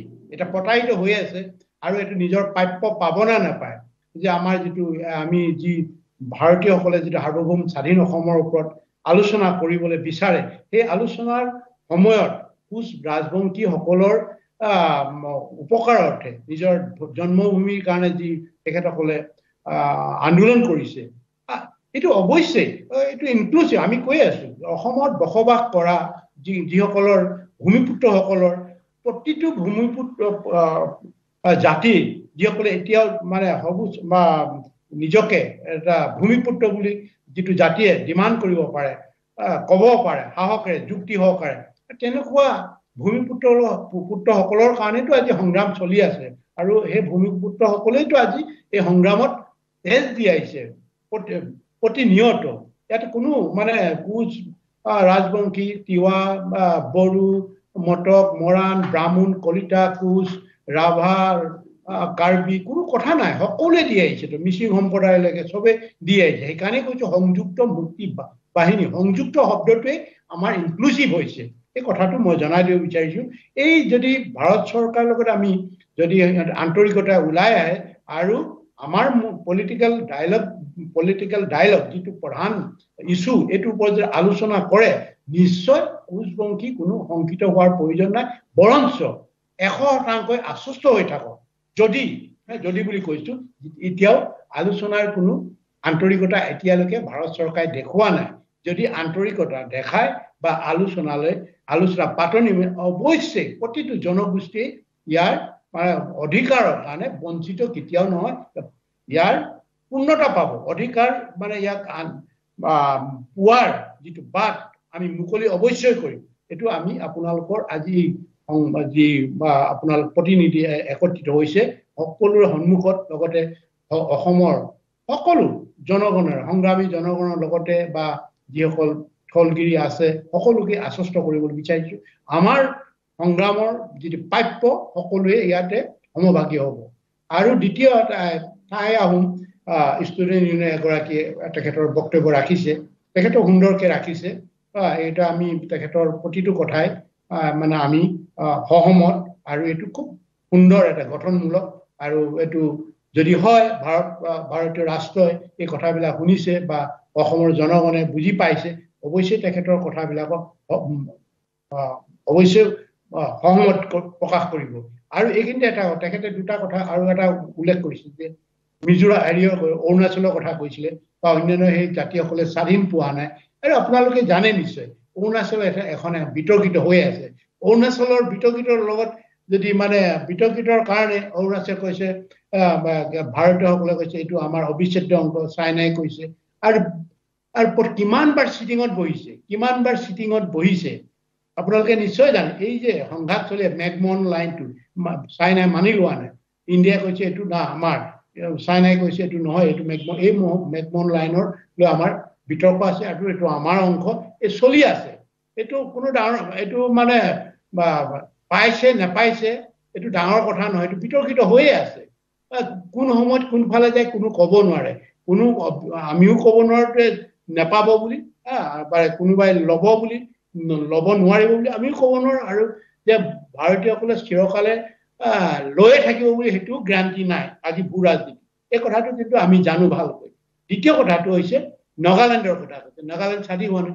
স্বাধীনত স্বাধীনতাৰ মানে সাৰ্বভৌম শ্বেয়াৰ কৰিবলৈ বিচাৰিছে। আহ শ্বেয়াৰ কৰিবলৈ বিচাৰিছে চুবাইনটি বিচাৰিছে এটা নাগালেণ্ড বিচাৰিছে। তহঁতিও এটা চুবাইন জাতি। আমিও চুবাইন নেশ্যন এই ধৰণে এটা মানে ডিবেট হৈ আছে। এতিয়াও মানি লোৱা নাই। এই কথাবিলাক আপুনি নেপায় বুলি ক'ব নাই ভূ ৰাজনীতিত কোনোটোৱেই নহ'ব বুলি ক'ব নোৱাৰি। যে বাংলাদেশে কোনোবাই ভাবিছিলে নেকি? ইমান দিন বাংলাদেশ ছিক্সটি ফাইভ ছেভেণ্টি ওৱানলৈকেতো আছিলে কোনো ভবা নাছিলে পটককে হৈ গুচি গ'ল। ভূ ৰাজনীতিত ধৈৰ্য ধৰিব লাগিব। ভূ ভূ ৰাজনীতিত ধৈৰ্য যদি নাই সাহস যদি নাই তেতিয়াহ'লে কিন্তু সকলোৰে কাৰণে এইটো অসম্ভৱ যেন লাগে। হয় এতিয়া আলোচনা কথাটো এই আলোচনা কথাটোত সাৰ্বভৌম স্বাধীনতাৰ বিষয়টো আলোচনা কৰিব লাগে এ, কোৱাৰ আগতে আপোনালোকে যদি চাফ ইচনাৰ কথা বুলি কৈ দিয়ে যে এনেকুৱা হ'ব লাগে ৰূপৰেখাটো এনেকুৱা এতিয়া আমি এক পইণ্টত আহিব লাগে। এক পইণ্টত আহিলে তেতিয়া ভাৰতীয়সকলৰ প্ৰেচাৰত আহিব আমাক প্ৰেচাৰ নহয়। আমাক প্ৰেচাৰ নিদি ভাৰতীয়সকলক দিব লাগে। যিহেতু সিহঁতি মানে ইউজাৰ পায় ইহঁতে আছে আমাৰ মানে উপনিৱেশিক শাসক গোষ্ঠীৰ দৰে আমাক ব্যৱহাৰ কৰি আছে। যদিও আমি একেলগে আন্দোলন কৰিছিলো স্বাধীনতাৰ কাৰণে কিন্তু আমাক উপনিৱেশ শাসক উম, ঔপনিৱেশিক মানে অধীনত থকা গোলামী বুলি এতিয়াও আমাক ব্যৱহাৰ কৰি আছে। আৰু এইটোৰ কাৰণে আমি সকলোৱে এই সহমতত আহিব লাগিব। আৰু এইটো কথা সেইকাৰণে কৈছো টাই আহোম আহ, যিটো আমাৰ ষ্টুডেণ্ট ইউনিয়নৰ বক্তাই ভাল কথা কৈছে কিন্তু এই এই দুটাহে তেখেতে অলপ তেখেতৰ লগত মোৰ অলপ অলপ মতানৈক্য মতানৈক্য মানে এই ধৰণৰ নহয় তেখেতে হয়তো আহ, যে নোহোৱালৈকে কি হ'ব। যে আমি তেতিয়াহ'লে তাৰ আগতে থ্ৰী ছেভেণ্টি আৰ্টিকুলত আছে থ্ৰী ছেভেণ্টি কাশ্মীৰখন কি হ'ল? থ্ৰী ছেভেণ্টি দি থৈছিলে থ্ৰী ছেভেণ্টিও কাইলৈ কাইলৈ আমাৰ যদি কোনোবাই আকৌ ভাৰতীয় গণতন্ত্ৰ থাকি না আমাৰ থ্ৰী ছেভেণ্টিন লাগে আমি ভাৰতীয়ৰ লগত থাকিম এইটো উঠাই লওক এইখিনি মানুহে এনজয় কৰিছে কিবা কৰিছে এইবিলাক বিভিন্ন ধৰণৰ উলিয়াব থ্ৰী ছেভেণ্টি ইয়াত যদি দিলেও আন্দোলন হ'ব। আন্দোলনৰ সহজ সংগ্ৰামো পাৰে হ'ব পাৰে বা গণতান্ত্ৰিক আন্দোলনো হ'ব পাৰে স্বাধীনতাৰ পক্ষত আমি এতিয়া খিলঞ্জীয়া বুলি কৈ আছো। ভূমিপুত্ৰ কোন? ভূমিপুত্ৰ ইয়াণ্ডাবুৰ পেকখন কেলে আছে এতিয়া? এই ইয়াণ্ডাবুৰ পেকখন যিয়েই অমান্য কৰিব সিয়েতো মানে তথাকথিত সি কেতিয়াও আমাৰ অসমৰ ভূমিপুত্ৰ হ'ব নোৱাৰে এইটো। সেইখনে আমাৰ দলিল। তাৰ আগতে। এই ভূ- নহয়, এই ভূখন ক'ব লাগিব এই ভূখণ্ডটো ৰক্ষা কৰিবৰ কাৰণে ভূমিপুত্ৰ ভূমিপুত্ৰসকলে জীৱন মানে আহুতি দিছে। আমাৰ পূৰ্বপুৰুষ যিসকল ভূমিপুত্ৰ আছিলে। সেইসকলেতো জীৱন আহুতি দিছে এইটোতো একে সহজ উপায়। এইটো সহজ উপায় এইখনকে আমাৰ বুদ্ধিজীৱীসকলে অন্যান্য এইটোকে এতিয়া আমাৰ যিসকল অসমৰ মানে সামাজিক সংগঠন বিভিন্ন জনগোষ্ঠী সেইসকলে ক'ব লাগিব যে আমাৰ জ্ঞানদাবুৰ পেকখনে হৈছে আমাৰ সীমা। এইখন তাৰ আগতে কোন আহিছে তাৰ পৰৱৰ্তী কোন আহিছে। সেইসকলে ভূমিপুত্ৰ ভূমিপুত্ৰসকলে হিষ্ট্ৰিকেল ৰাইটটো থাকিব পৰৱৰ্তী এখন সিহঁতৰ কামৰ যোগেদি সিহঁতে চিটিজেনশ্বিপ পাব। এই কথাটো স্পষ্ট হ'ল। মই লাষ্ট এটাকেইজনৰ নাম নললে বেয়া হ'ব। আমাৰ তিৱা ষ্টুডেণ্ট ইউনিয়নৰ যিজন নেতা তেখেতেও কৈছে। তেখেতৰ তেখেতৰ যিটো তিৱা জনগোষ্ঠীটো পৃথিৱী বা মানে অসমৰ সকলোৱে জানে এইটো ভূমিপুত্ৰ তিৱাসকল। আৰু তিৱাসকল বঞ্চিত হৈ আছে অধিকাৰ পাবই লাগিব। আমাৰ যিটো মানে ধৰক ভাৰত চৰকাৰ যদি হয় আলোচনা নিশ্চয় আমি এইবিলাক আমাৰ প্ৰতিটো জনগোষ্ঠীয়ে আমি এইটো পাব পোৱাটো স্বাভাৱিক। আৰু আমাৰ আপচু যিজন নেতাই তেখেতেও কৈছে যে আমিতো সদায় বড়ো যিকোনো জনজাতি মানে অসমত বসবাস কৰা ভূমিপুত্ৰসকলক এই ভূমিপুত্ৰসকলক কেতিয়া আমি স্বাৰ্থ পূৰ্ণ নকৰো আৰু ইকুৱেল ৰাইট ভূমিপুত্ৰসকলে পাবই লাগিব আৰু সেইটো আমি সদায় আমাৰ মনত আছে বা এই কথাটো গোটেই ভাৰতবৰ্ষৰ ওপৰত ভাৰতীয় ৰাষ্ট্ৰৰ ওপৰত ডিপেণ্ড কৰিছে আৰু এইটো আমাৰ প্ৰতিটো জনগোষ্ঠীৰ স্বাৰ্থ হ'বই আৰু মৰাণ আৰু তাৰপিছতে মৰাণ ছাত্ৰ যে নৱ ডাঙৰীয়াই কৈছে তেখেততো সঠিকেই কৈছে সুন্দৰ কৈছে। আৰু এইটো মৰাণ জন- জনগোষ্ঠী যে ডিপ্ৰাইভ হৈ আছে এই কথাটোতো মই ক'লোৱেই। আজিলৈকে মৰাণৰ এটা মিনিষ্টাৰ দিয়া নাই। মৰাণতো হেৰি হৈছে। আজি গণতন্ত্ৰ চাওক সিহঁতে আজি জাতি জনজাতি মৰাণ জাতিৰ নিচিনা মৰাণ মটক দুটা একেই আছে। মৰাণটো আজি হয়তো বহুতে বুৰঞ্জী নাযায় মৰাণক মৰাণ বুলি কয় মট- মটকক মৰিপ বুলি কয়। এইটো এটা ঠাই ঠাই নহয় ঠাই অলপ সম হেৰিৰ লগত আছে কিন্তু এইটো কাচিম চিম্ফ জাতিৰ এটা ঠাল চিম্ফ সাতটা আছে। সাতটাৰ ভিতৰতে মৰাণ এণ্ড মৰিপ মৰিপটো মটক বুলি কয়। এইটো চিম্ফ আৰু মৰাণৰ বুৰঞ্জী চবেই জানে। বুৰঞ্জী হেৰিয়ৰ লগত ব্ৰিটিছৰ বিৰুদ্ধত কিমান দিনলৈকে যুঁজি আছিলে। শেষটো যে ধনঞ্জয় যেতিয়া পলাই গৈছিলে পলাই গৈ মৰাণ মটকৰ ৰাজ্যত আছিলে। মটক আৰু মৰাণৰ ৰাজ্যত এতিয়া শেষৰ বাৰৰ কাৰণে যুদ্ধ দিছে। যিখন যুদ্ধত মটক মৰাণৰ সৈনিক প্ৰায় এক হেজাৰ মৰিছিলে। সেইটো তোৰ সু সিদিনাৰ কথা এইবিলাক। এই কথাবিলাক মানে আমি জানো। কিন্তু আজি তথাকথিত গণতন্ত্ৰত পৰি আজি মৰাণৰ যিখন যিখন ঠাই আছে যিখন ঠাই আছে কোনে ললে? মৰাণ মটকৰ ঠাই আজি তিনিচুকীয়া কোনে ললে? এইটোতো বুৰঞ্জী প্ৰকৃত কিমান মানে অৱস্থা। আজি আকৌ ভাৰতে তাতে তিনিচুকীয়াৰ পৰা আজি ভাৰতীয় গণতন্ত্ৰৰ যেতিয়া ইলেকশ্যন হয় নে কোনে হয়? কোনোবা বিহাৰৰ ৰাম সিং ধনোৱাৰ সিং ধনোৱাৰ সিং আহি এই তিনিচুকীয়াৰ পৰা মাত কিন্তু নামাতে আজি আমি আমাৰ সেইকাৰণে কৈছো আজি সুযোগ সুযোগ দিছো মই খেতও নহয় কিন্তু এই দেখিছো গণতন্ত্ৰৰ কাৰণে আহ, কেনেকে জনগোষ্ঠীয় পতিত হৈ আছে আজি হৈ আছে আজি আজিলৈকে এটা কেণ্ডিডেট মানে তিনিচুকীয়াৰ পৰা মই যিমান যিমান দিন দেখিছো তিনিচুকীয়াৰ পৰা কোনো দিনেই আহ, আমাৰ মৰাণ বা মটকৰ পৰা এটাও মানে প্ৰতিনিধি নাহে। এই কিয় হৈছে আজি? সংগত যিসকলে মৰাণ ছাত্ৰ সন্থা কৰিছে বা অন্যান্য সেইসকলে কিয় নকয় কিয় নিজৰ অধিকাৰ কৰিব নোৱাৰে? কাৰণ হৈছে এটি ৰাজনৈতিক উদ্দেশ্যটো বুজি পোৱা নাই। লাষ্ট মই কৈছো ছয় নম্বৰ এটা যিটো ছয় নম্বৰ ব্যক্তিজন লাচিত সেনাৰ তেখেত এজন নেতা সুন্দৰ কথা কৈছে। মই প্ৰতিটো কথাই মই সমৰ্থন কৰো আৰু সকলোৰে মনোবৃত্তি যদি তেনেকুৱা হয় নিশ্চয় আমি একত্ৰিত হৈ বল আমাৰ কৌটলে খেলিব নালাগে। আমি আমি চবেইতো অসমৰ থলগিৰি মানুহ। আমি সকলোৱে ভুগি আছো। আৰু সেইকাৰণে কৈছো যে ইয়াৰ সিহঁতি যদি কৰিব নিছে আমি যে অসমৰ মানুহে কওঁ আমি গণভোট কম। গণভোট মানে থলগিৰি মানুহে হ'ব লাগিব। থলগিৰি মানুহে যদি গণভোটৰ দ্বাৰা মানে আমি মানে তেনেকুৱা এটা হেৰি ব্যৱস্থা কৰে এইটো ৰাষ্ট্ৰপক্ষই নকৰে। ভাৰতীয় দ্বাৰা আমি যদি গণভোট কৰোঁ সিহঁতি ৰেগিং কৰিব ই ভি এম সৃষ্টি কৰিব আমাৰ নিজৰ মেকানিজিম আহিব। আমি চিলেক্ট কৰিম। আজি ইয়ান ডেভেলপে শুনাইছে আমি প্ৰতি ঘৰে ভলেণ্টিয়াৰলি কৰিব পাৰোঁ। প্ৰতিটো অঞ্চলতে ভলেণ্টিয়াৰ কিমান খিলঞ্জীয়া কিমান ভূমিপুত্ৰ আছে আমিতো হাতৰ এটা প্ৰতিটো ঘৰতে আমি ছাৰ্ভে কৰিব পাৰোঁ। কোনো পইচা নালাগেতো টকা পইচা খৰচ নকৰাকে আমি গণভোট পাতিব পাৰোঁ য'ত নেকি অবজাৰ্ভাৰ থাকিব।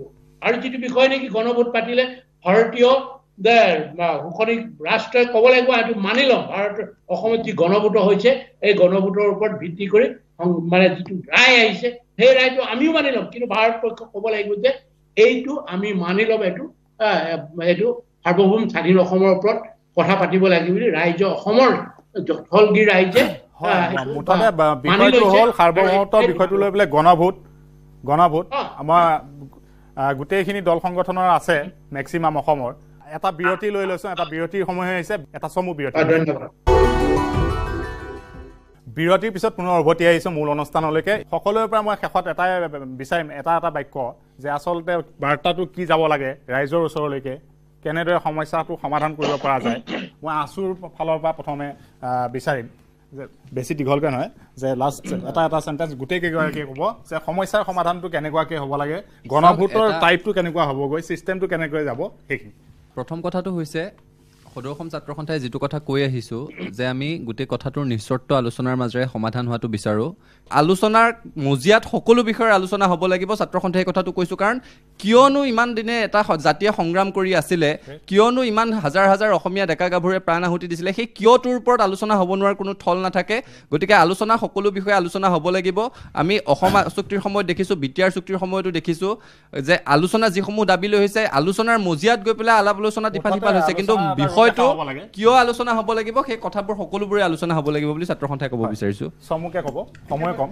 আমি আমি টাইমৰ তৰফৰ পৰা এটা কথা ক'ব বিচাৰিছোঁ যে আলোচনা হ'ব লাগিবই। আলোচনা অবিহনে কেতিয়াও এটা মানে মীমাংসা সংহত ওলাব নোৱাৰে। গতিকে আলো আলোচনাৰ ভিত্তিত অসমৰ যিটো থলুৱা যিটো খিলঞ্জীয়া আছে খিলঞ্জীয়াসকলৰ গণভোট হওক আৰু গণভোটৰ ভিত্তিতেই আলোচনা হওক আৰু আলোচনাত সাৰ্বভৌমত্বত মানে এক নম্বৰ স্থান পাব লাগিব। তাৰ তাৰোপৰি মানে আপুনি সাৰ্বভৌমত্ব ছাবজেক্টটোৰ ওপৰত গণভোটৰ কথা কৈছে। হয় হয় সেইটো কথা কৈছোঁ।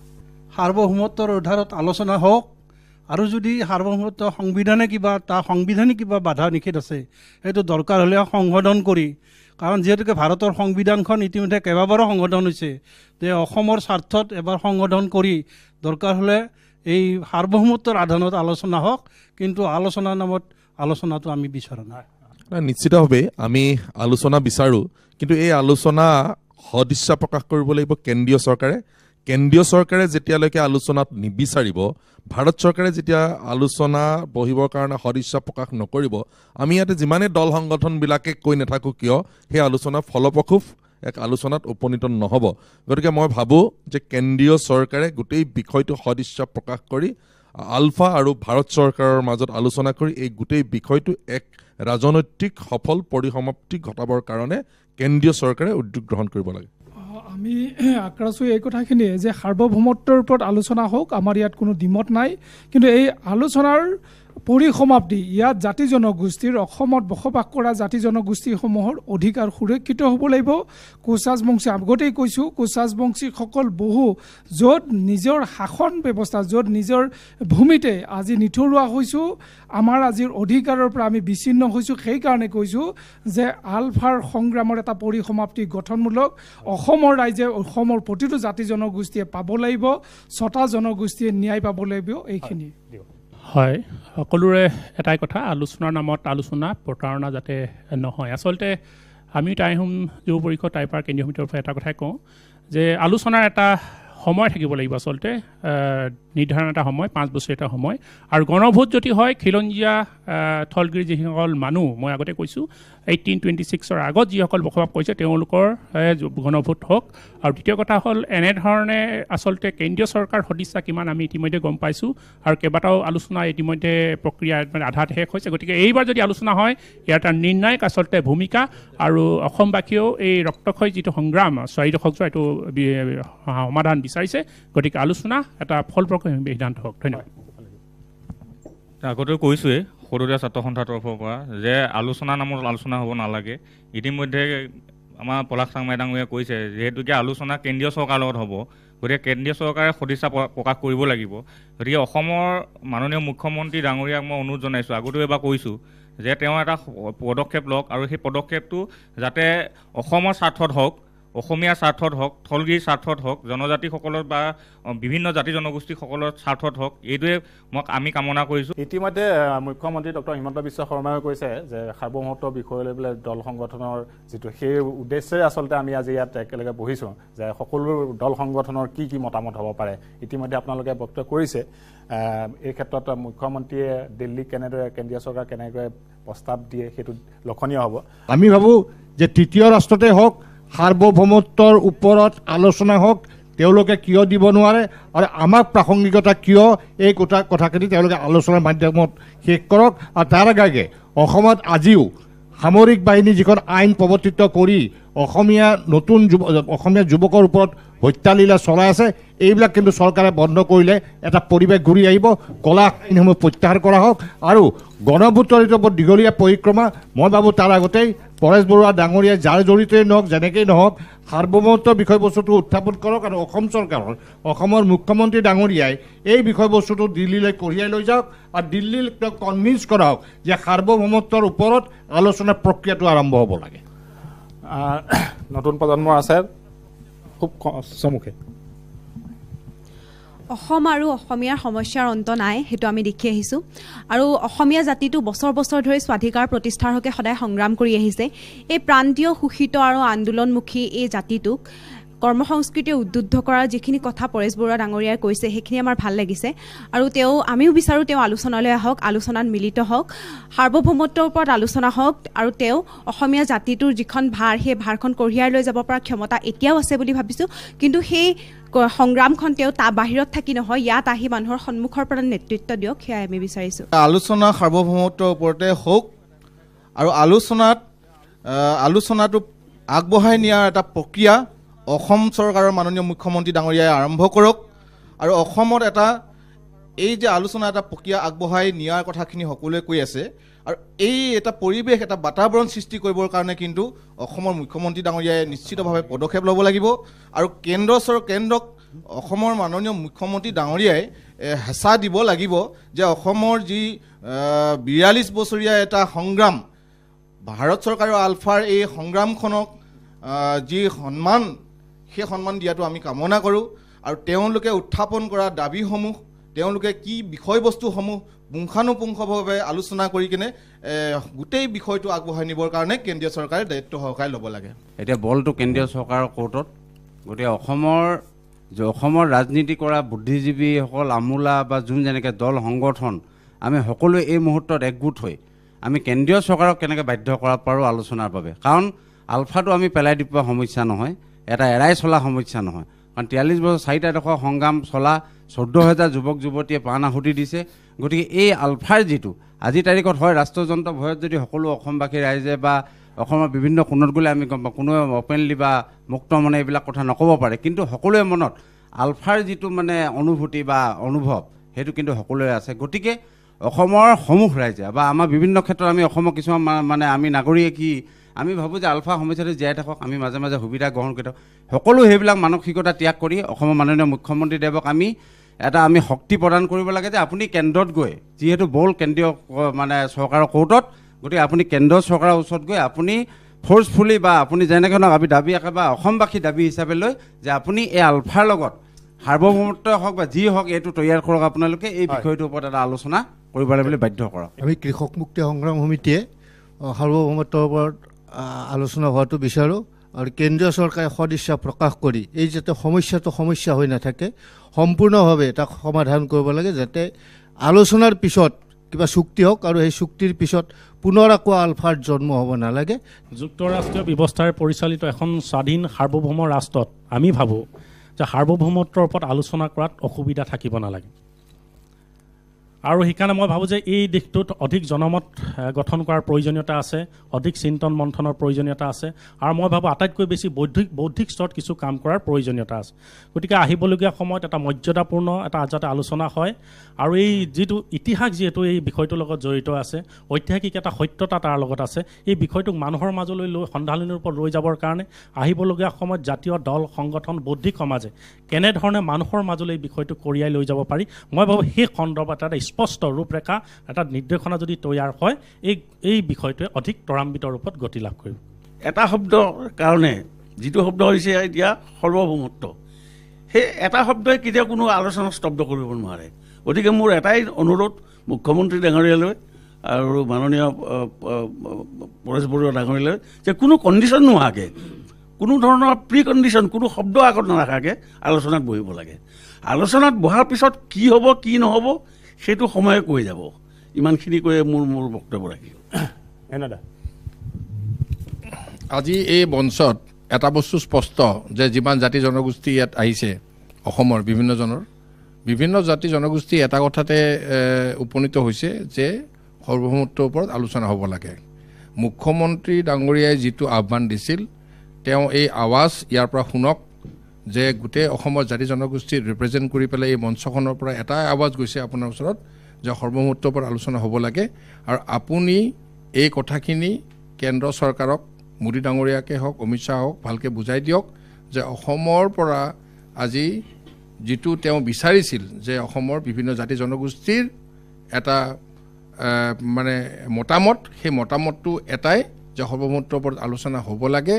আৰু অসমৰ যিটো থলুৱা জাতি জনগোষ্ঠীৰ ৰাজনৈতিক অধিকাৰ সুৰক্ষিত হ'ব লাগে সেই আলোচনাত তাৰমানে আৰু আমাৰ সম্পদ আৰু মাটিৰ ওপৰত আমাৰ প্ৰভুত্ব আৰু আমাৰ সামাজিক ছ'চিয়েল এণ্ড কালচাৰেল সামাজিক বা আমাৰ সাংস্কৃতিক আমাৰ সুৰক্ষা এই আন এই আলোচনাৰ মাধ্যমেৰে প্ৰতিষ্ঠিত হ'ব লাগে। এতিয়া কথাটো হ'ল মুখ্যমন্ত্ৰী বা চৰকাৰখনে নিজৰ কথা ৰাখিছে আলফা স্বাধীনেও নিজৰ কথা ৰাখিছে। যাত্ৰাটো আৰম্ভ হ'ব লাগে যাত্ৰাটো দুই পক্ষই মিলি আগুৱাই যাব লাগে। আৰু যাত্ৰাকালীন বহু কথা আহিব সেই কথা যেনেকুৱাকৈ যি- সময়ত উপস্থাপন হয় তেনেকুৱাকৈ তাৰ সমাধান বিচাৰি আগুৱাই যাব লাগে। কিন্তু আজি ইয়াৰ পৰাই যাত্ৰা প্ৰক্ৰিয়াটো আৰম্ভ হ'ব লাগে। ইয়াত যিমান দল সংগঠনৰ প্ৰতিনিধি আছে তেওঁলোকে সকলোৱে নিজৰ নিজৰ মন্তব্য প্ৰকাশ কৰিলে। পৰেশ বৰুৱাৰ পৰা দুটা চেণ্টেন্সত শুনিম সময় কম। সকলোৱে একমতত উপনীত হৈছে ইয়াত যিসকল বক্তা আছে দল সংগঠনৰ। সকলোৱে কৈছে যে আলোচনা হ'ব লাগে বিষয় যিয়েই নহওক সাৰ্বভৌমত্ব বিষয়টোত হেঙাৰ হ'ব নালাগে। এই বাৰ্তাটো এই মঞ্চৰ পৰা গৈছে। আপোনাৰ পৰা দুটা চেণ্টেন্সত শুনিব বিচাৰিম। আপোনাৰ বিশেষকৈ নিউজ এইটিনৰ আজি দ্বাৰা মানে পৰিচালিত যি বিষয় বিষয়ভিত্তিক আলোচনা মঞ্চ উপস্থিত আমাৰ সকলো নেতাই বুদ্ধিজীৱী মই বক্তব্য শুনিলোঁ সকলোৱে গঠনমূলক আৰু এই ধৰণে আৰু কিছু যদি মানে আলোচনা সৃষ্টি বা আলোচনা হয় বিভিন্ন আমাৰ মিডিয়া ইলেক্ট্ৰনিক মিডিয়াই হওক বা অন্যান্য মিডিয়াই যদি এই ধৰণৰ গঠনমূলক আলোচনাবিলাক কৰা কৰে বা ইয়াৰ পৰৱৰ্তীত এই তেখেতসকলৰ যিসকল ব্যক্তি আজি উপস্থিত আছে বা পৰৱৰ্তী থাকিব সেইসকলৰ মতামতবিলাক আমাৰ অসম চৰকাৰৰ যিসকল ৰাজনৈতিক নেতা বিশেষকৈ মুখ্যমন্ত্ৰী নিশ্চয় শুনিব আৰু তেখেতে যদি কথাবিলাক হৃদয়ংগম কৰে নিশ্চয় এটা ভৱিষ্যতলৈ এই যিটো পদক্ষেপ লোৱা হৈছে এই পদক্ষেপটো এটা সুফল পোৱা যায় বুলি মই আশাবাদী।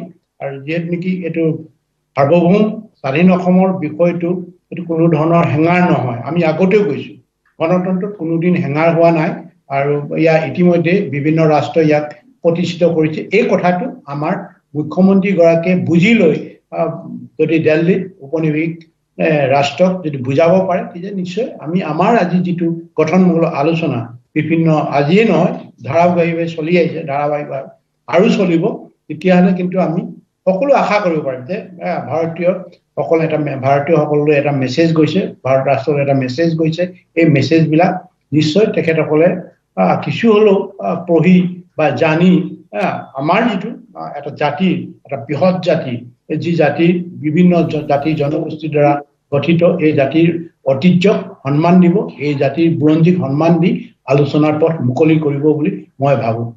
আজি ইতিবাচক সমাপ্তি ঘটিছে এই অনুষ্ঠানৰ জৰিয়তে। চৰকাৰলৈ এটা মেছেজ গৈছে। পৰেশ বৰুৱা ডাঙৰীয়াই আলফা স্বাধীনৰ হৈ তেওঁৰ বক্তব্য প্ৰদান কৰিলে আৰু যিসমূহ দল সংগঠনৰ প্ৰতিনিধিয়ে ইয়াত অংশগ্ৰহণ কৰিল তেওঁলোকৰ নিজৰ নিজৰ মন্তব্য দিলে যে আলোচনা হ'ব লাগে বিষয়ে কোনো হেঙাৰ হ'ব নোৱাৰে সাৰ্বভৌমত্ব হেঙাৰ হ'ব নোৱাৰে। সেইটো এটা স্পষ্টকৈ উল্লেখ কৰিছে তেওঁলোকে আৰু সেই বাৰ্তা অসম চৰকাৰ বা ভাৰত চৰকাৰলৈ যাব তেওঁলোকৰ ওপৰত এতিয়া বলটো গৈছে।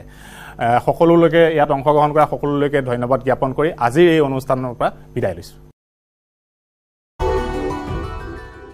নিউজ এইটিনৰ বিশেষ অনুষ্ঠানলৈ আপোনালোক সকলোকে স্বাগতম জনাইছোঁ। আজি এক বিশেষ কাৰ্যসূচী লৈ পেলাই আপোনালোকৰ ওচৰলৈকে আহিছোঁ। আৰু অসমৰ বহুকেইটা দল সংগঠনৰ জ্যেষ্ঠ প্ৰতিনিধিবৰ্গ আছে। বিশিষ্ট বুদ্ধিজীৱীসকল আছে আৰু অগ্ৰণী লোকসকল আছে। আমাৰ মুখ্য টাৰ্গেটটোৱেই হ'ল যে পৰেশ বৰুৱা নেতৃত্বাধীন আলফা স্বাধীনৰ সৈতে ভাৰত চৰকাৰ অসম চৰকাৰ আলোচনাৰ যি দুমোজা সাৰ্বভৌম স্বাধীন অসমৰ সেই দাবী সেই বিষয়টোলৈ ওলমি ৰৈছে। আৰু এই চাৰি দশকজোৰা এই সংগ্ৰাম কেনেদৰে সমস্যা সমাধান হ'ব এই বিষয় লৈ পেলাই মুখ্যমন্ত্ৰীয়েও কেতবোৰ কথা মন্তব্য বিগত সময়ছোৱাত কৰি আহিছে। নতুন বছৰটোৰ পহিলা জানুৱাৰী তাৰিখতেও তেওঁ উল্লেখ কৰিছিল দল সংগঠন আৰু ৰাইজৰ মতামতৰ কথা। এই গোটেই বিষয়খিনি লৈ আমি আজি আলোচনা কৰিম। আমাৰ সৈতে পোনপটীয়াকৈ আছে আলফা স্বাধীনৰ সৰ্বাধিনায়ক অধ্যক্ষ পৰেশ বৰুৱা ডাঙৰীয়া। আপোনাক স্বাগতম জনাইছোঁ এই অনুষ্ঠানলৈকে। আৰু আমাৰ সৈতে আজি এই অনুষ্ঠানত উপস্থিত আছে আহ, হিৰণ্য শইকীয়া ডাঙৰীয়া প্ৰণৱ পাঠক ডাঙৰীয়া নেকিবুৰ জামান ডাঙৰীয়া আৰু বহু দল সংগঠনৰ জ্যেষ্ঠ বিষয়ববীয়াসকল। প্ৰথমতে এই গোটেই আলোচনাটো আৰম্ভ কৰাৰ আগতে আমি মুখ্যমন্ত্ৰীয়ে এক জানুৱাৰী তাৰিখে কি আহ্বান জনাইছিল পৰেশ বৰুৱা আৰু অসমৰ ৰাইজ ৰাইজলৈ দল সংগঠনলৈ সেইটো আমি দেখাই ল'ব বিচাৰিছোঁ। সমস্যাটো এইটোৱে যে পৰেশ বৰুৱা ডাঙৰীয়াই স্বাধীনতাৰ বাদে আন কথা তেওঁ পাতিব নোখোজে। আৰু আমি স্বাধীনতা পাতিব নোৱাৰোঁ। কাৰণ মইতো শপতে লৈছোঁ যে I will protect integrity of India I will protect sovereignty of India. তেওঁ শপত লৈছে যে মই স্বাধীনতাক বাদ দি আন একো নাপাতোঁ। সেইকাৰণে সৌহাৰ্দ্য হ'ব পাৰে আলাপ আলোচনাৰ দুৱাৰো খোলা থাকে কিন্তু সমাধান কৰাৰ বাবে কোনোবা এটা পক্ষ পিছুৱাই আহিব লাগিব। এতিয়া আমিতো পিছুৱাই আহিব নোৱাৰো কাৰণ পিছুৱাই অহাৰ দিনাখনেই মোৰ অ'থটোৱে ভাঙি গ'ল। I cannot remain as a C M আৰু তেওঁ কয় যে মইতো নোৱাৰো দহ হাজাৰ ল'ৰা মোৰ কাৰণে মৰি গ'ল মই এতিয়া কেনেকে এইটোত কনচিলেশ্যন কৰিম? কথা পতা যায়। তেওঁ কয় যে মই কি কৰিম? ইমান মানুহ মোৰ কাৰণে মৰি গ'ল। আজি এই বয়সত মই এতিয়া কেনেকে ইয়াৰ পৰা আঁতৰি আহিব পাৰিম? ময়ো কওঁ যে মইতো শপতে লৈছো ভাৰতৰ সাৰ্বভৌমতা অক্ষুণ্ণ ৰাখিম। গতিকে সেইটোলৈ মই কেনেকে কথা পাতিম? গতিকে these two are irreconcilable difference এইটো এটা মীমাংসা নোহোৱা এটা বিষয়। এতিয়া ইয়াত ডিপেণ্ড কৰিব যে অসমৰ জনসাধাৰণৰ মৰেল প্ৰেচাৰ যে আমাক স্বাধীনতা নালাগে। সেই ধৰণৰ যদি পৰেশ বৰুৱা ডাঙৰীয়া কোনোবা এটা বিশ্বাস দিব পাৰে যে স্বাধীনতাৰ দাবীটো আপুনি এৰিলেও অসমৰ মানুহে আপোনাক বিশ্বাসঘাতক বুলি নকয় কাৰণ আমি নিজেই নিবিচাৰো স্বাধীনতা। ডেফিনেটলি তেওঁৰ মাইণ্ডটোত পৰিৱৰ্তন হ'ব পাৰে কাৰণ তেওঁ য'ত আছে তাৰ পৰা সদায় তেওঁ তেনেকেই ভাবে যে মই যদি ইণ্ডিপেণ্ডেঞ্চ ডিমাণ্ডটো এৰি দিওঁ history will consider me as a betrayer পহিলা জানুৱাৰী তাৰিখে মুখ্যমন্ত্ৰীয়ে কইনাধৰাত এনেদৰে দাবী কৰিছিল এনেদৰে আহ্বান কৰিছিল। তাৰ দুদিন পাছত অৰ্থাৎ তিনি জানুৱাৰী তাৰিখে আন এটা মন্তব্য কৰিছিল একে বিষয় লৈ পেলাই আমি শুনাই ল'ব বিচাৰিছোঁ। পৰেশ বৰুৱা ডাঙৰীয়াক কোনো চৰ্ত এৰিব অনুৰোধ মই নকৰোঁ কাৰণ সেইটো তেওঁলোকৰ সংগঠনৰ বিষয়বস্তু। মই খালি মোৰ কথাটো বুজাই দিছোঁ যে সাৰ্বভৌমত্ব থাকিলে মই আলোচনা কৰিব নোৱাৰোঁ। তেওঁলোকক মই চৰ্ত এৰিব কোৱা নাই। ইয়াৰ মাজৰ ৰাস্তা কি হ'ব?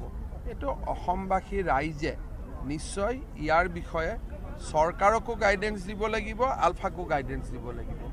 যাতে দুইটা যি আমি ডেডলকত আছোঁ সেই ডেডলকৰ পৰা যাতে ওলাই যাব পাৰোঁ। কাৰণ সকলোৰে উদ্দেশ্য অসমৰ সামগ্ৰিক উন্নয়ন আৰু বিকাশ। এতিয়া মুখ্যমন্ত্ৰীৰ দুটা বক্তব্য আমি শুনিলোঁ। প্ৰথমতে পৰেশ বৰা ডাঙৰীয়া পোনপটীয়াকৈ আছে আমাৰ সৈতে লাইভত। জ্যেষ্ঠ হিচাপে অসম আৰু মিজোৰামৰ আপুনি এডভোকেট জেনেৰেল আছিল দুখন ষ্টেট একে সময়তে। আপোনাৰ পৰা প্ৰণৱ পাঠক ডাঙৰীয়া আপোনাৰ পৰা মন্তব্য জানিব বিচাৰিম যে আপুনি কি বিচাৰে পৰেশ বৰা কি ক'ব বিচাৰে আচলতে কেনেদৰে গোটেই সমস্যাটো সমাধান হোৱাটো আপুনি কাম্য মই যি শুনিলোঁ এই অলপ আগতে আমাৰ অসমৰ মুখ্যমন্ত্ৰী ডাঙৰীয়াৰ দুটা ভাষণৰ যি ক্লিপ শুনিলোঁ ইয়াৰ পৰা তেওঁ এটা কথা কৈছে অৱশ্যে মোৰ ভুল হ'ব পাৰে। তেওঁ কৈছে যে মূল বাধা আছে। এতিয়া আলোচনাটোতো অসম চৰকাৰৰ লগত হোৱাৰ কথা বুলি মই নাভাবোঁ। এইটো এটা ভাৰত চৰকাৰৰ লগত হোৱা আলোচনাৰ কথা। গতিকে ভাৰত চৰকাৰৰ কি মন্তব্য এই বিষয়ে? লৈ? তেওঁতো নিজৰ কথা কৈছে যে আৰু দ্বিতীয়বাৰ তেওঁ ক'লে যে বৰুৱা ডাঙৰীয়াক মই কেতিয়াও স্বত্ব কোনো আৰোপ নকৰোঁ। মূল কথা হ'ল কি পৃথিৱীত এনেকুৱা এটা কোনো ধৰণৰ প্ৰব্লেম থাকিব নোৱাৰে যাৰ কোনো চলিউশ্যন নাই। আলো- আলোচনাৰ মানে যে কিবা এটা প্ৰি কণ্ডিশ্যন থাকিব লাগিব তেনেকুৱাও কোনো কথা নাই। সদিচ্ছা থাকিলে সকলোৱে আলোচনাত বহিব পাৰে সকলো ধৰণৰ কথা পাতিব পাৰে। স্বাধীনতা কিয় লাগে? আপুনি কিয় বিচাৰিছে? তেওঁলোকে উত্তৰ দিব যে আমি এইকাৰণে নোৱাৰোঁ। আপুনি ক'ব যে মোৰ যুক্তি এইটো। তেওঁলোকে আমাৰ যুক্তি। এই ধৰণৰ কথা আলোচনা কৰাত কোনোতো বাধা থাকিব নোৱাৰে। আৰু আপুনি কেতিয়াও বাধাও দিয়া নাই।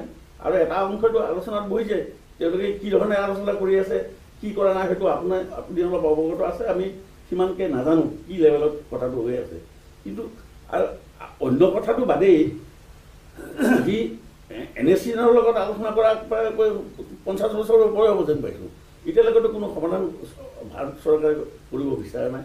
কিন্তু মুখ্যমন্ত্ৰী ডাঙৰীয়াই যিখিনি কথা ক'লে তাৰ পৰা বুজা যায় তেওঁ তেওঁ নিজৰ কথাটোৱে কৈছে যে মই আগবাঢ়িব নোৱাৰোঁ এইটো। ভাৰত চৰকাৰে কৈছে নাই যে আমি আগবাঢ়িব পাৰিম নে নোৱাৰিম? হয় নেকিব নেকিব জামান আছে। আজি অসমত প্ৰতিজন মানুহে এটা সৌহাৰ্যপূৰ্ণ পৰিৱেশত এক আলোচনা সকলোৱে বিচাৰিছে শান্তিপূৰ্ণভাৱে। আৰু আমি বিগত বিয়াল্লিছটা বছৰ খুব ওচৰৰ পৰা আলফা চা- আজিৰ বৰ্তমান দিনত স্বাধীন আলফাৰ সংগ্ৰামখন আমি বহু ওচৰৰ পৰা দেখিছোঁ। প্ৰায় পোন্ধৰ হাজাৰ ডেকা পাহুৱাল ডেকাৰ নিজৰ মানে জীৱন ত্যাগ কৰিছে গাঁও ভূঁই নিশেষ কৰি পেলোৱা হৈছে। আৰু তাৰপিছত পৰেশ বৰুৱাই যে আলোচনাৰ পক্ষপাতি আমি যেতিয়া পি চি জি গঠন কৰিলে সেই পি চি জি গঠন কৰাৰ পিছত আমি ভাবিছিলোঁ যে পৰেশ বৰুৱা যিহেতু আলোচনাৰ পক্ষপাতি গতিকে আমি বিশ্বাস এটা কৰিছিলোঁ অসমত এটা শান্তিপূৰ্ণ পৰিৱেশ গঢ়ি উঠিব। কিন্তু তেওঁ যেতিয়া পি চি জি টীম দিল্লীলৈ যায় সেই মুহূৰ্তত পাঁচজন ছয়জনকৈ মানুহ মাৰি পেলায়। এই মুহূৰ্তে পাঁচজন ছয়জন সামৰিক বাহিনীৰ হাততে হওক পুলিচ বাহিনীৰ হাততে হওক প্ৰতিটো আলোচনাৰ সময়ত আমি দেখিছোঁ যে প্ৰকৃততে যিবিলাক ব্যুৰোক্ৰেট যিবিলাক বিষয়া পৰ্যায়ত এই আলোচনা কোনেও নিবিচাৰে। আৰু যাৰ কাৰণে এনেধৰণৰ হত্যাবিলাক কৰি থকা আমি দেখিবলৈ পাইছোঁ। আৰু তাৰপিছত যেতিয়া দিল্লীত প্ৰধানমন্ত্ৰী যেতিয়া মনমোহন সিং আছিল তেওঁৱে কৈছিল সকলো বিষয়বস্তুৰ ওপৰত আলোচনা হ'ব পাৰে। প্ৰয়োজন হ'লে তৃতীয় ৰাষ্ট্ৰতো এই আলোচনা হ'ব পাৰে। আজিৰ দিনত অসমৰ মুখ্যমন্ত্ৰীৰ এখতিয়াৰৰ কথা আহিছে। হয় আমাৰ শ্ৰদ্ধা প্ৰণৱ পাঠক দাই কথাখিনি স্পষ্টভাৱে কৈছে। যদি সেই এখতিয়াৰটো কেন্দ্ৰীয় চৰকাৰৰ পৰা অসমত মুখ্যমন্ত্ৰী হাতলৈ আহিছে আৰু তেওঁৰো এটা দায়িত্ব আছে প্ৰপ'জেল দিয়াৰ যে তেওঁৰ বক্তব্যটো যে তেওঁ সাৰ্বভৌমত্বৰ ওপৰত তেওঁ বক্তব্য ৰাখিব আলোচনা কৰিব নোৱাৰে ব্যক্তিগত লেভেলত। কিন্তু আমি বিচাৰিছোঁ যে আলোচনাৰ প্ৰক্ৰিয়াটো আৰম্ভ হওক।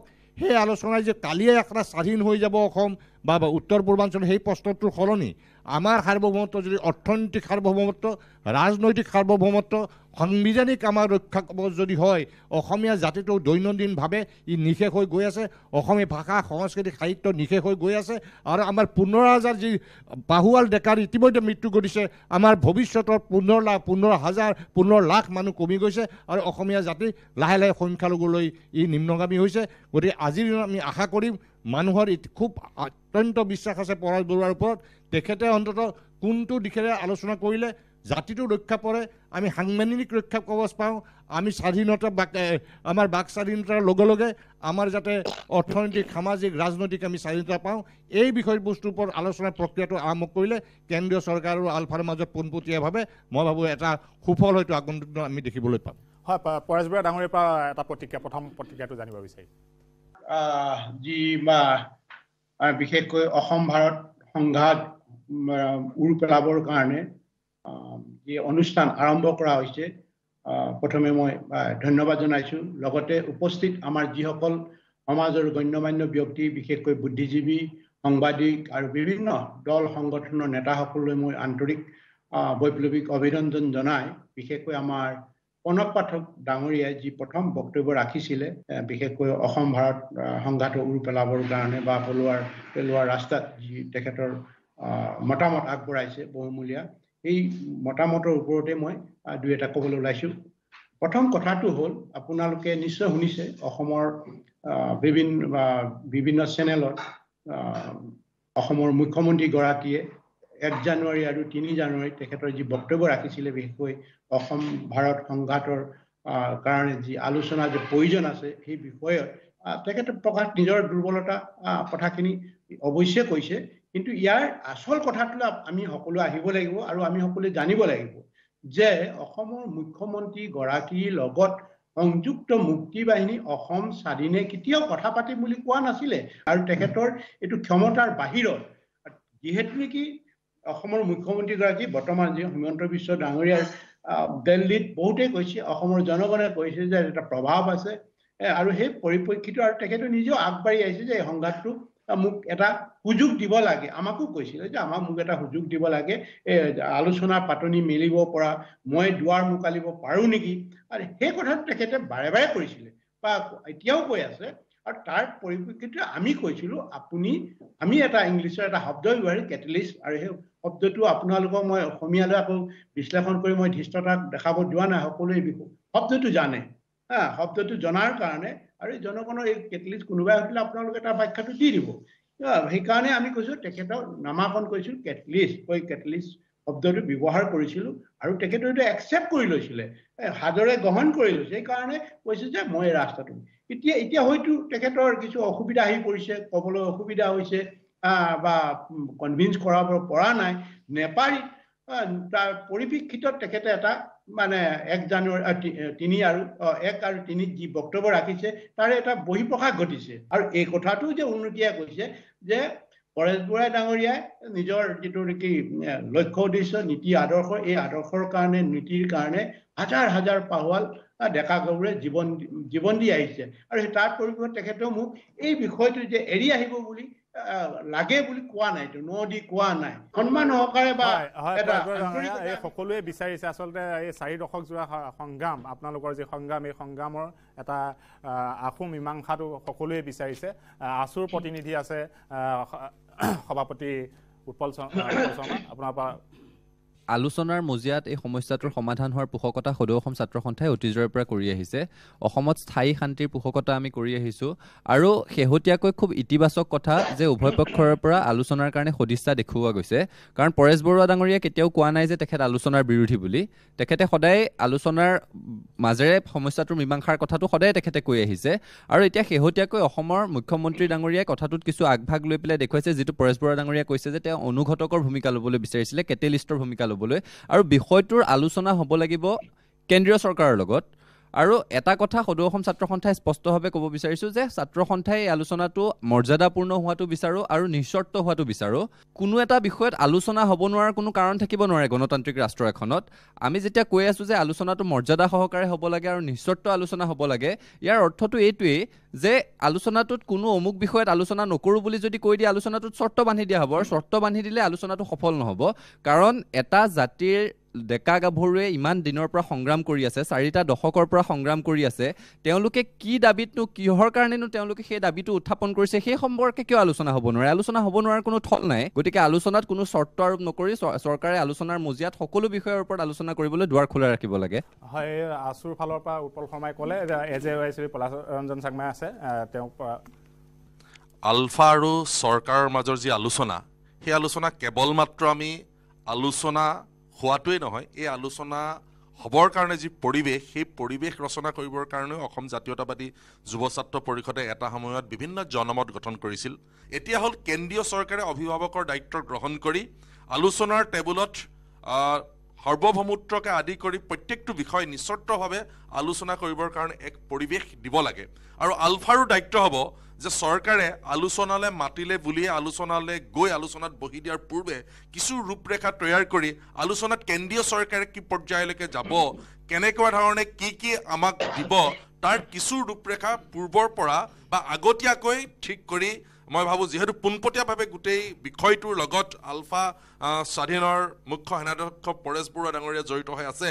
তেওঁ পোনপটীয়াভাৱে এই গোটেইখিনি জড়িত হৈ আছে কাৰণে পোনপটীয়াভাৱে এই ৰূপৰেখা তৈয়াৰ কৰিবৰ কাৰণে তেওঁ নিজেই ইনিচিয়েটিভ লৈ পেলাই নিজেই আগভাগ লৈ পেলাই কেন্দ্ৰীয় চৰকাৰৰ পৰা আমি কেনেধৰণে কিখিনি পাওঁ সেইখিনিও কিছু পৰিমাণে ঠিক কৰি লোৱাটো উচিত। কিন্তু উত্তৰ পূৰ্বাঞ্চলতে যিকেইটা বিদ্ৰোহী সংগঠনে ইমান দিনে আমি দেখিছোঁ যে এন এছ চি এনে আপোনাৰ ঊনৈছশ আহ, প- পঞ্চান্নব্বৈ চনৰ পৰা আজি পোন্ধৰ চনত বিছ বছৰৰ পিছত তেহেঁতৰ নাগা ফ্ৰেমৱৰ্ক চুক্তি হৈছে।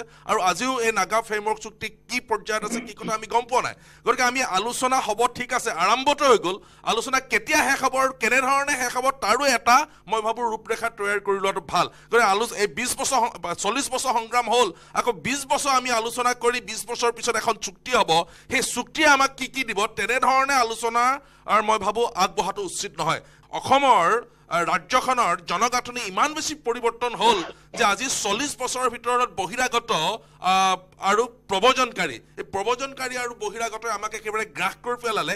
এতিয়া আমাৰ এটা বছৰ ৰ'বলৈ সময় নাই। যিহেতু মুখ্যমন্ত্ৰীগৰাকীয়ে কৈ আছে যে সাৰ্বভৌমত্বটো এটা অসাংবিধানিক বা সংবিধান প্ৰদত্ত নহয়। কিন্তু সংবিধান প্ৰদত্তও কেতবোৰ অধিকাৰ আছে যিবিলাক অধিকাৰে আমাৰ অনাদি অনন্ত কালৰ কাৰণে আমাৰ জাতিটোক আমাৰ খিলঞ্জীয়া মানুহক আমাৰ জনজাতীয় জনগোষ্ঠীয় মানুহক সুৰক্ষিত কৰিব পাৰে। তেনেধৰণৰ যিবিলাক বিষয়ৰ জৰিয়তেও আমি এই যি আলফা চৰকাৰৰ আলোচনাৰ ৰাজনৈতিক পৰিসমাপ্তি ঘটাব পাৰোঁ নেকি তেনেধৰণেও ভাবিবৰ কাৰণেও মই আলফা সেনাধ্যক্ষ পৰেশ বৰুৱা ডাঙৰীয়াক আহ্বান জনাইছোঁ। ধন্যবাদ পলাশ ৰঞ্জন চাংমাই নগৰীয়া এটা বিৰতি লৈ লৈছোঁ এটা বিৰতিৰ সময় হৈছে এটা চমু বিৰতি। ধন্যবাদ।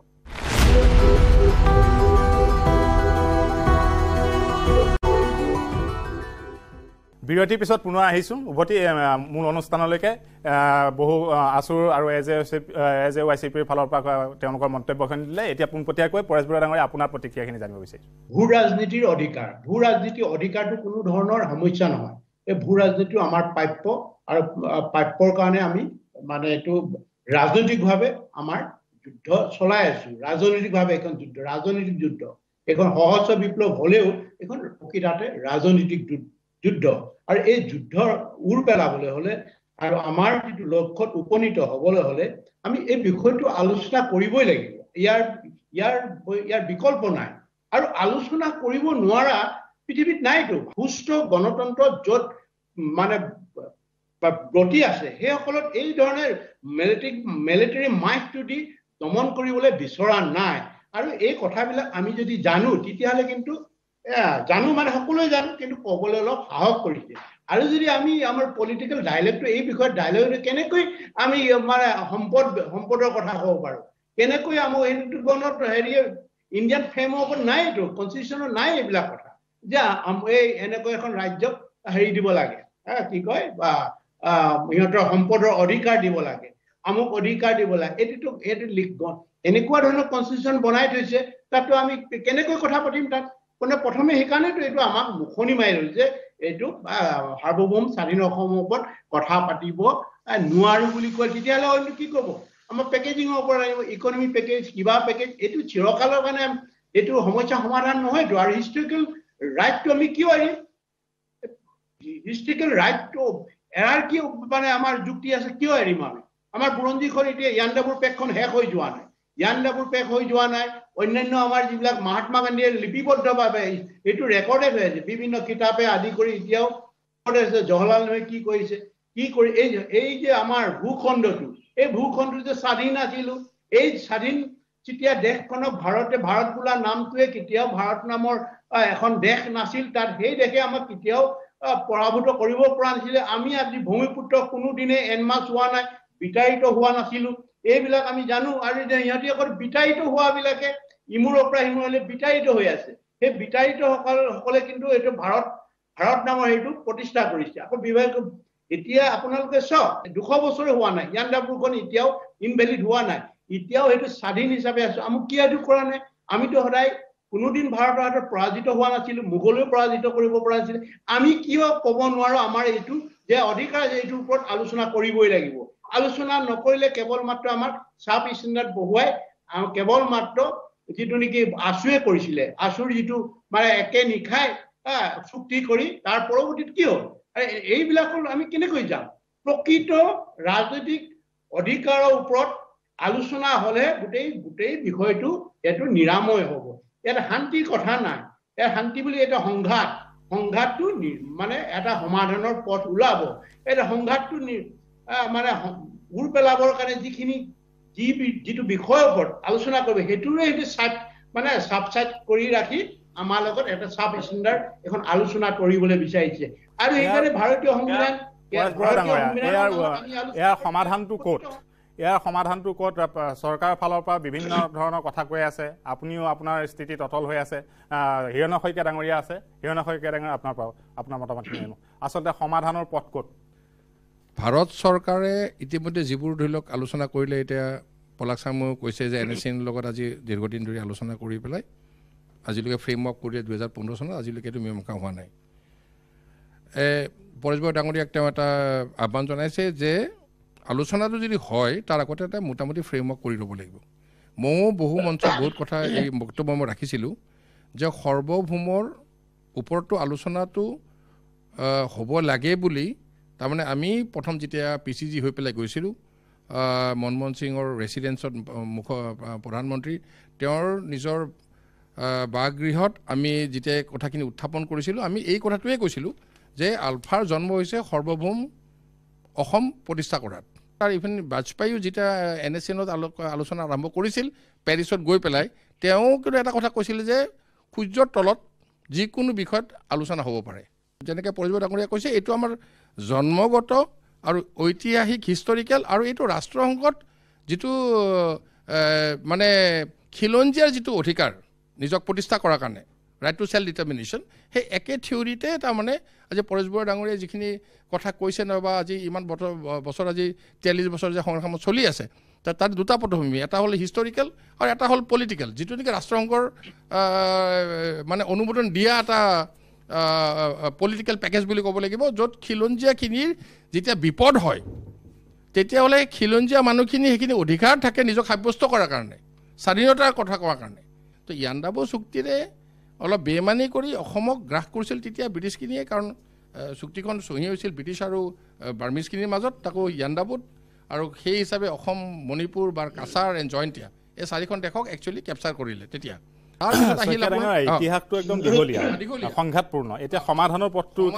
পথ আমি কৈছোঁ যে সৰ্বভৌমত্বৰ ওপৰত আলোচনা কৰা মানে অলপ আগতে কৈছোঁ যে সৰ্বভৌমত্ব দি নুবুজায়। আৰু আলোচনাৰ খাতিৰত আলোচনা হৈ দীঘলীয়া হ'ব নালাগে। তাৰ আগতে কিছু বস্তু নিৰ্ণয় কৰি ল'ব লাগিব। আমাক যিখিনি চিম্বল অফ ছভেৰিটি ধৰি আমাৰ এখন সুকীয়া সংবিধান কাৰণ অসমৰ পৰিস্থিতি বেলেগ ৰাজ্যৰ নিচিনা নহয় ইয়াত বিদেশী গ্ৰাস কৰিছে অসমত খিলঞ্জীয়া মানুহখিনি লাহে লাহে লাহে লাহে সংখ্যালঘু হৈ পৰিছে তো লাহে লাহে আমাৰ ৰাজনৈতিক আমাৰ যিখিনি পাৱাৰ এইটো চিফ্ট হৈছে আমাৰ মাটি গ্ৰাস হৈছে তো আমাৰ সামাজিক সাংস্কৃতিক দিশত ভাবুকি আহিছে তো তেনে ক্ষেত্ৰত আমাৰ এখন যিখন আলো যিটো আলোচনা হ'ব আমাৰ এখন সুকীয়া সংবিধান আমাক লাগিবই আৰু এখন আমাক সুকীয়া পতাকা লাগিব। যিটো নাগাসকলে বিচাৰি আছে সেইটো। এইটো সাধাৰণ কথা। কাৰণ আজি ইউ এছ এত পঞ্চাছখন ষ্টেটৰ তাতো ডেমক্ৰেচি চলি আছে তাত পঞ্চাছখন ষ্টেটৰ নিজৰ সুকীয়া সংবিধান আছে নিজৰ ফ্লেগ আছে আৰু ফেডাৰেল ল তাতে ইম্প'জ হয়। য'ত আমাৰ আপোনাৰ ওচৰলৈকে আকৌ আহিম। আহ, মটক যুৱ ছাত্ৰ সন্মিলনী মিণ্টু বৰপাত্ৰ আছে। সমস্যাৰ সমাধানটোৰ পথটো কেনেকুৱা হোৱাটো বিচাৰে আমি সকলোৱে অসমবাসী সকলোৱে বিচাৰি থাকোঁ বিভিন্ন সময় আমি কৈ থাকোঁ যে এইটো এটা মানে উৰ্পৰক কাৰণ আলফাৰ সংগ্ৰামখনক আমি ওলাই কৰিব পৰা বিধৰ সংগ্ৰাম নহয়। আলফা এটা অসমবাসী সত্তা। আৰু অসমৰ প্ৰতিজন ব্যক্তি হৃদয়ত আজিৰ তাৰিখত আলফা আছে। গতিকে অসমবাসীও দায়িত্ব পালন কৰিব লাগিব। আৰু অসমৰ সকলো ৰাজনৈতিক দলক আমি কওঁ যে কংগ্ৰেছ হওক এ ইউ ডি এফ এই ৰাজ্যৰ দল অখিল গগৈ সকলোৱে কিন্তু এই আলফা সমস্যাটোৰ ক্ষেত্ৰত কিন্তু কেতিয়াও মানে বোকা চুতীয়া ৰাজনীতি কিবা মানে নিজৰ ব্যক্তিগত ৰাজনীতি পৰিহাৰ কৰি এই সমস্যাটোৰ ক্ষেত্ৰত কিন্তু অসমৰ মুখ্যমন্ত্ৰী মহোদয় সহযোগ আগবঢ়াওক। সহযোগ আগবঢ়াওক যাতে মুখ্যমন্ত্ৰী মহোদয়ে এটা পদক্ষেপ লৈ দিল্লীক জনাব পাৰে। গতিকে এইটো আমাৰ স্পষ্ট কথা। আমি বিচাৰোঁ যে আলফা আৰু চৰকাৰৰ যিটো সংঘাত অসম ভাৰতৰ যিটো সংঘাত এইটো উৰ পৰিব লাগে আৰু এটা সফল পৰিসমাপ্তি ঘটি যাতে অসমবাসী চৰকাৰ- চৰকাৰৰ ফালৰ পৰাও সেইখিনিয়ে কৈ আছে কিন্তু সমস্যাৰ পথটো এতিয়ালৈকে ওলোৱা নাই। কে এম এছ এছৰ দেৱান শৰ্মা ডাঙৰীয়া আছে আপোনাৰ কেনেধৰণে বিচাৰিব আপুনি? বিয়াল্লিছ বছৰ হ'ল আলফাৰ জন্ম হোৱা আৰু এই এই সময়ছোৱাত প্ৰায় পোন্ধৰ হাজাৰতকৈ অধিক আমি যুৱকক যুৱতীক হেৰুৱাইছোঁ। আজি আলোচনা আলোচনা বুলি কেইবাবাৰো হৈছে। কিন্তু গণতান্ত্ৰিকভাৱে সকলো সমস্যা সমাধান কৰিব পাৰি। হয় আমি প্ৰত্যেকটো কথায়ে চালি জাৰি চাব লাগিব।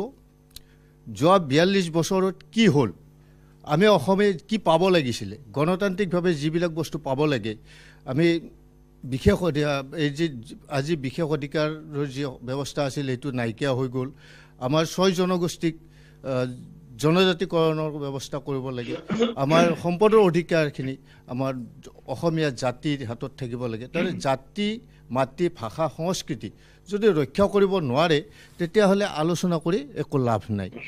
মই সেইকাৰণে আজি ইয়াৰ পৰাই পৰেশ বৰুৱা ডাঙৰীয়া আৰু ভাৰতৰ প্ৰধানমন্ত্ৰী তথা অসমৰ মুখ্যমন্ত্ৰীক আহ্বান জনাওঁ যে আলোচনা কৰক যি আলোচনাই গণতান্ত্ৰিকভাৱে অসমীয়া জাতিক ৰক্ষা কৰিব পাৰে অসমীয়া জাতিৰ সংস্কৃতি ভাষা সম্পদৰ অধিকাৰ অসমীয়া জাতিৰ হাতত থাকে তেনেকুৱা এটা আলোচনা হোৱাটো আমি বিচাৰোঁ। ধন্যবাদ পৰেশ বৰুৱাৰ পৰা পোনপটীয়াকৈ আমি প্ৰতিক্ৰিয়া জানিম কিন্তু এটা চমু বিৰতি লৈছোঁ। বিৰতিৰ পাছত পৰেশ বৰুৱাৰ পৰা আমি প্ৰতিক্ৰিয়াটো লৈছোঁ।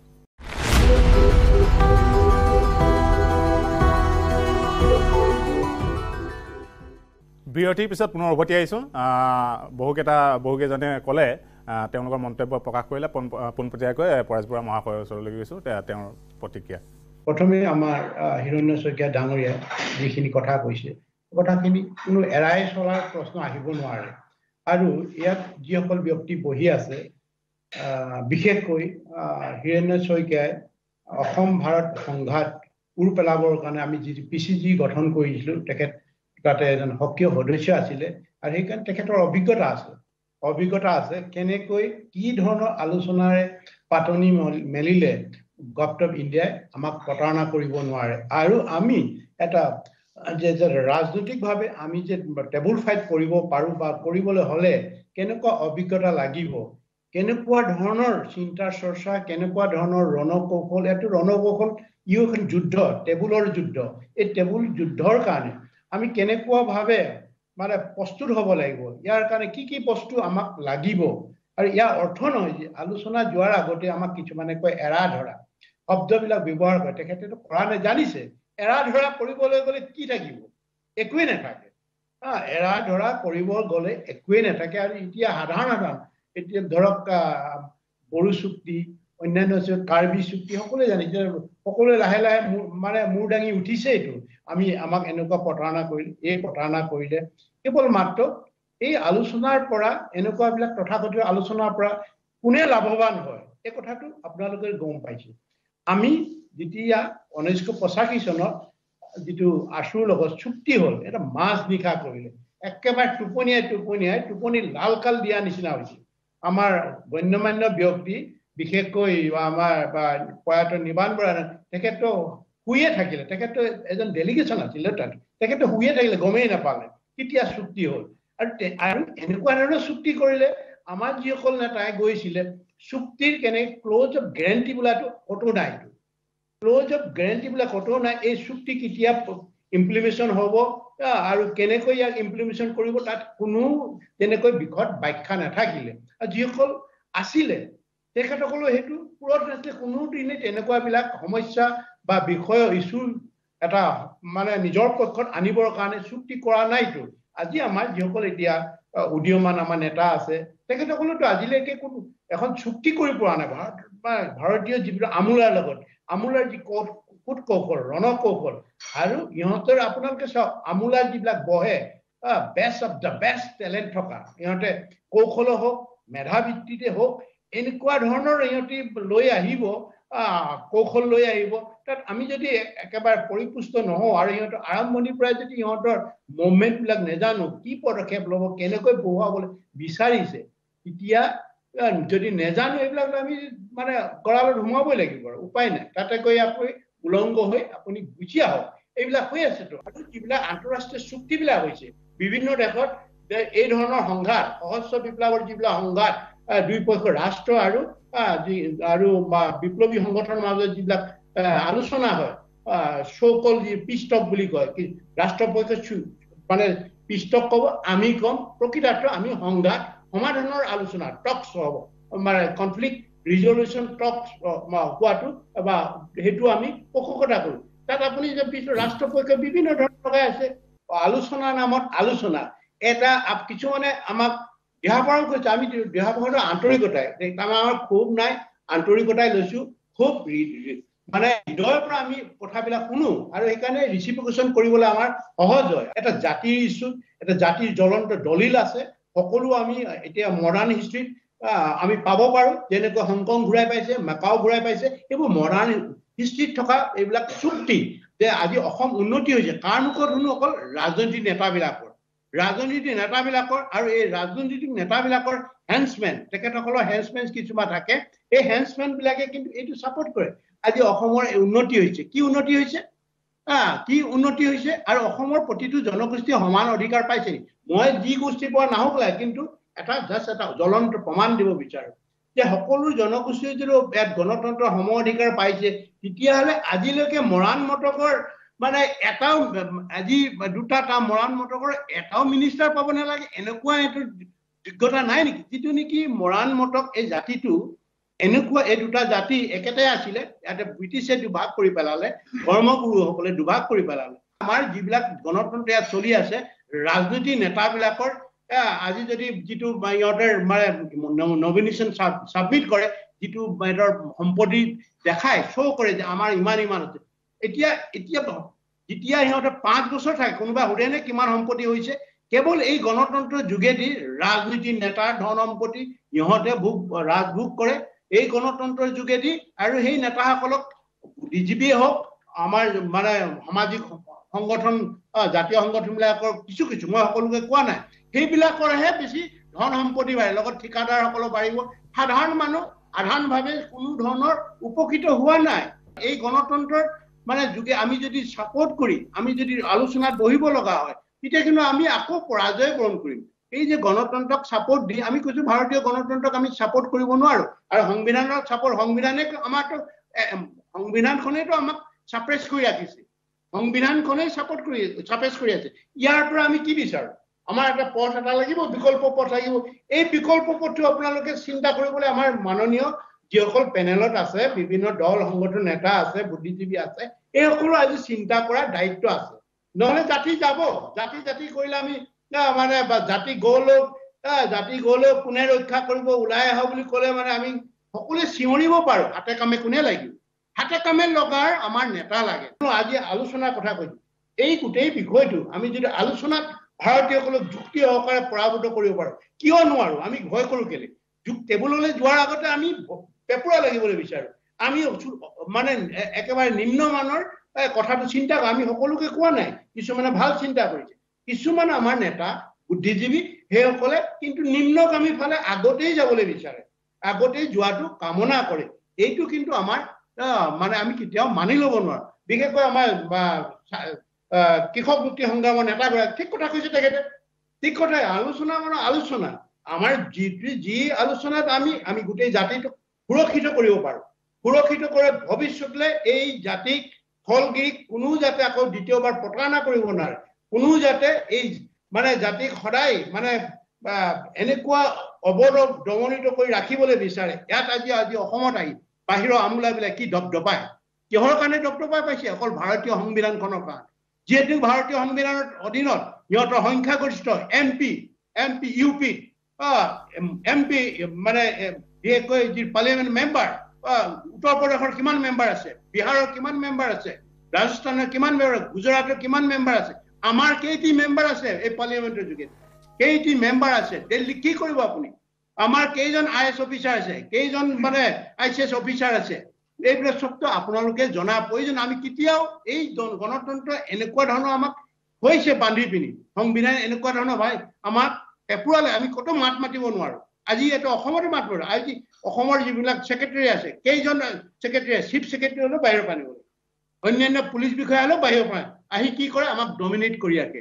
মানে এই কথাবিলাক যে আপোনালোকে যাতে এই বিষয়বস্তুটো যে তৰল কৰি নিব লাগে আপোনালোকৰ শক্তিশালী যদি এইটো শক্তিশালী কৰিবলৈ ইচ্ছা আছে আমাৰ লক্ষ্যত আমি উপনীত আমাৰ লক্ষ্য মানে আপোনালোকৰ লক্ষ্য আপোনালোকৰ সতি সন্ততি আপোনাৰ ল'ৰা ছোৱালীয়ে ভৱিষ্যতৰ এটা বিপদৰ পৰা সুৰক্ষিত হৈ থাকিব। এই কাৰণেতো আমি সংগ্ৰাম কৰিছো আমি নেতা হ'বলৈ আলফা নেতাসকল গৈ প্ৰেচিডেণ্ট হ'ব অসম স্বাধীন আমাৰ আমি আমি যোগ্য আমাৰ যোগ্যতা নাথাকিব পাৰে এখন ৰাষ্ট্ৰ চলাবৰ কাৰণে।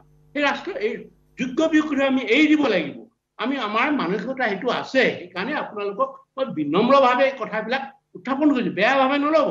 হা don't take please don't take otherwise মই আপোনালোকক এই কথাটো যুক্তিৰ খাতৰতে মই যুক্তি দিছো আৰু এনেকৈ যে আমি যদি মানে নলওঁ তেতিয়াহ'লে কোনো মানে এহেঁতি বাৰে বাৰে আমাক অসমখনক পেপুৰা লাগি দিব পেপুৰা লগাব অসমৰ সম্পদ অসমৰ সকলোৱে ভৱিষ্যতটো সাংস্কৃতিকভাৱেও আমাক ৰোধ কৰি দিব।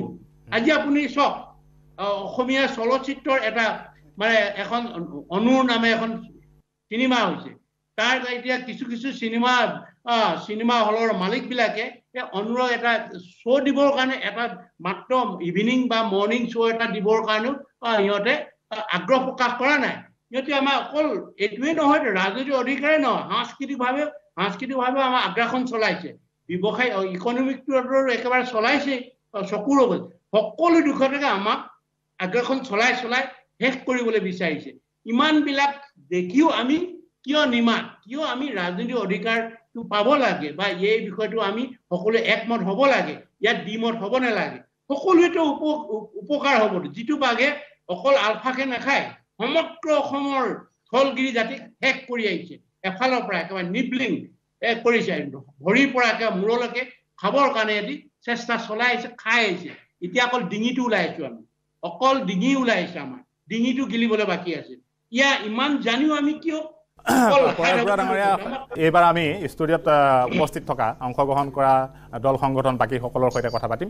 আৰু দাদা আপুনি আপোনাৰ পৰা যি কি নহওক মই পৰেশ বৰুৱা ডাঙৰীয়াক ধন্যবাদ জ্ঞাপন কৰিছোঁ আৰু শুভেচ্ছাও জনাইছোঁ। যিহেতু আজি সুদীৰ সুদীৰ্ঘ চল্লিছ বছৰ সুদীৰ্ঘ চল্লিছ বছৰ দিন কাৰ কাৰণে কৈছে অসমৰ ৰাইজৰ কাৰণে কৈছে অসমৰ অসমৰ অসমৰ ৰাইজৰ কাৰণে যদি নকৰিলেহেঁতেন তেতিয়াহ'লে হয়তো আজি বাৰ হাজাৰ পোন্ধৰ হাজাৰ মানুহ মৃত্যু নহ'লহেঁতেন।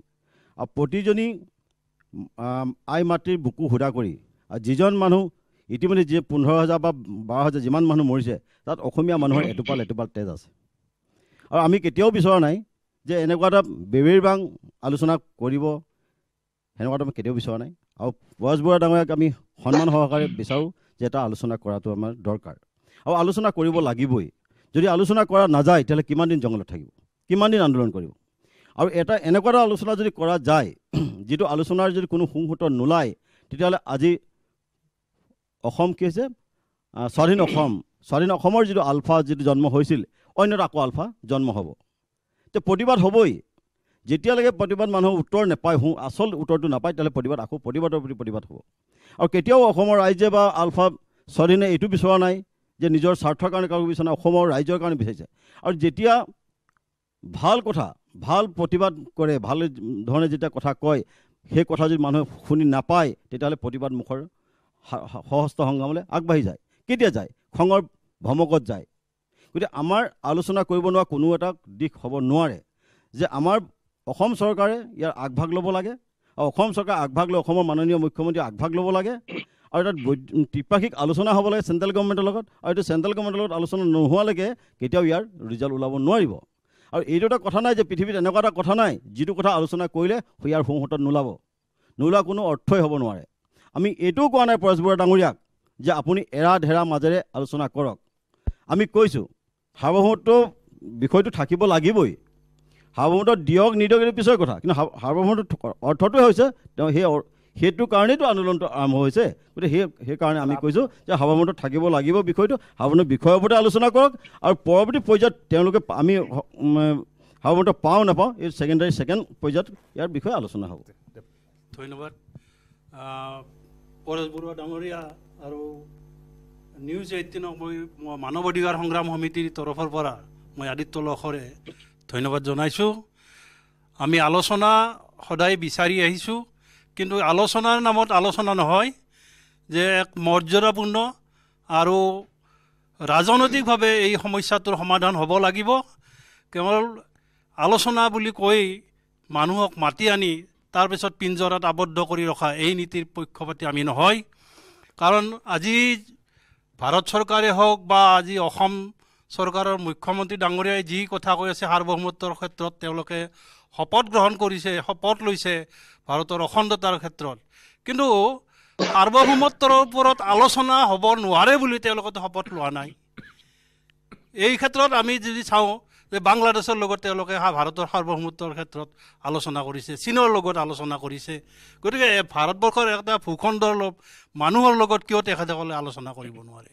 তেওঁলোকে প্ৰয়োজন হ'লে এটা কাম কৰক ৰাষ্ট্ৰসংঘৰ যিটো আত্মনিয়ন্ত্ৰণৰ যিটো সংজ্ঞা I C C P R যিখন যিখন দলিল সেই দলিলৰ আধাৰতে তেওঁলোকে আৰম্ভ কৰক আত্মনিয়ন্ত্ৰণৰ বিষয়ত বা সাৰ্বভৌমত্বৰ বিষয়ত হওক গতিকে আমি সেইটো বিচাৰোঁ।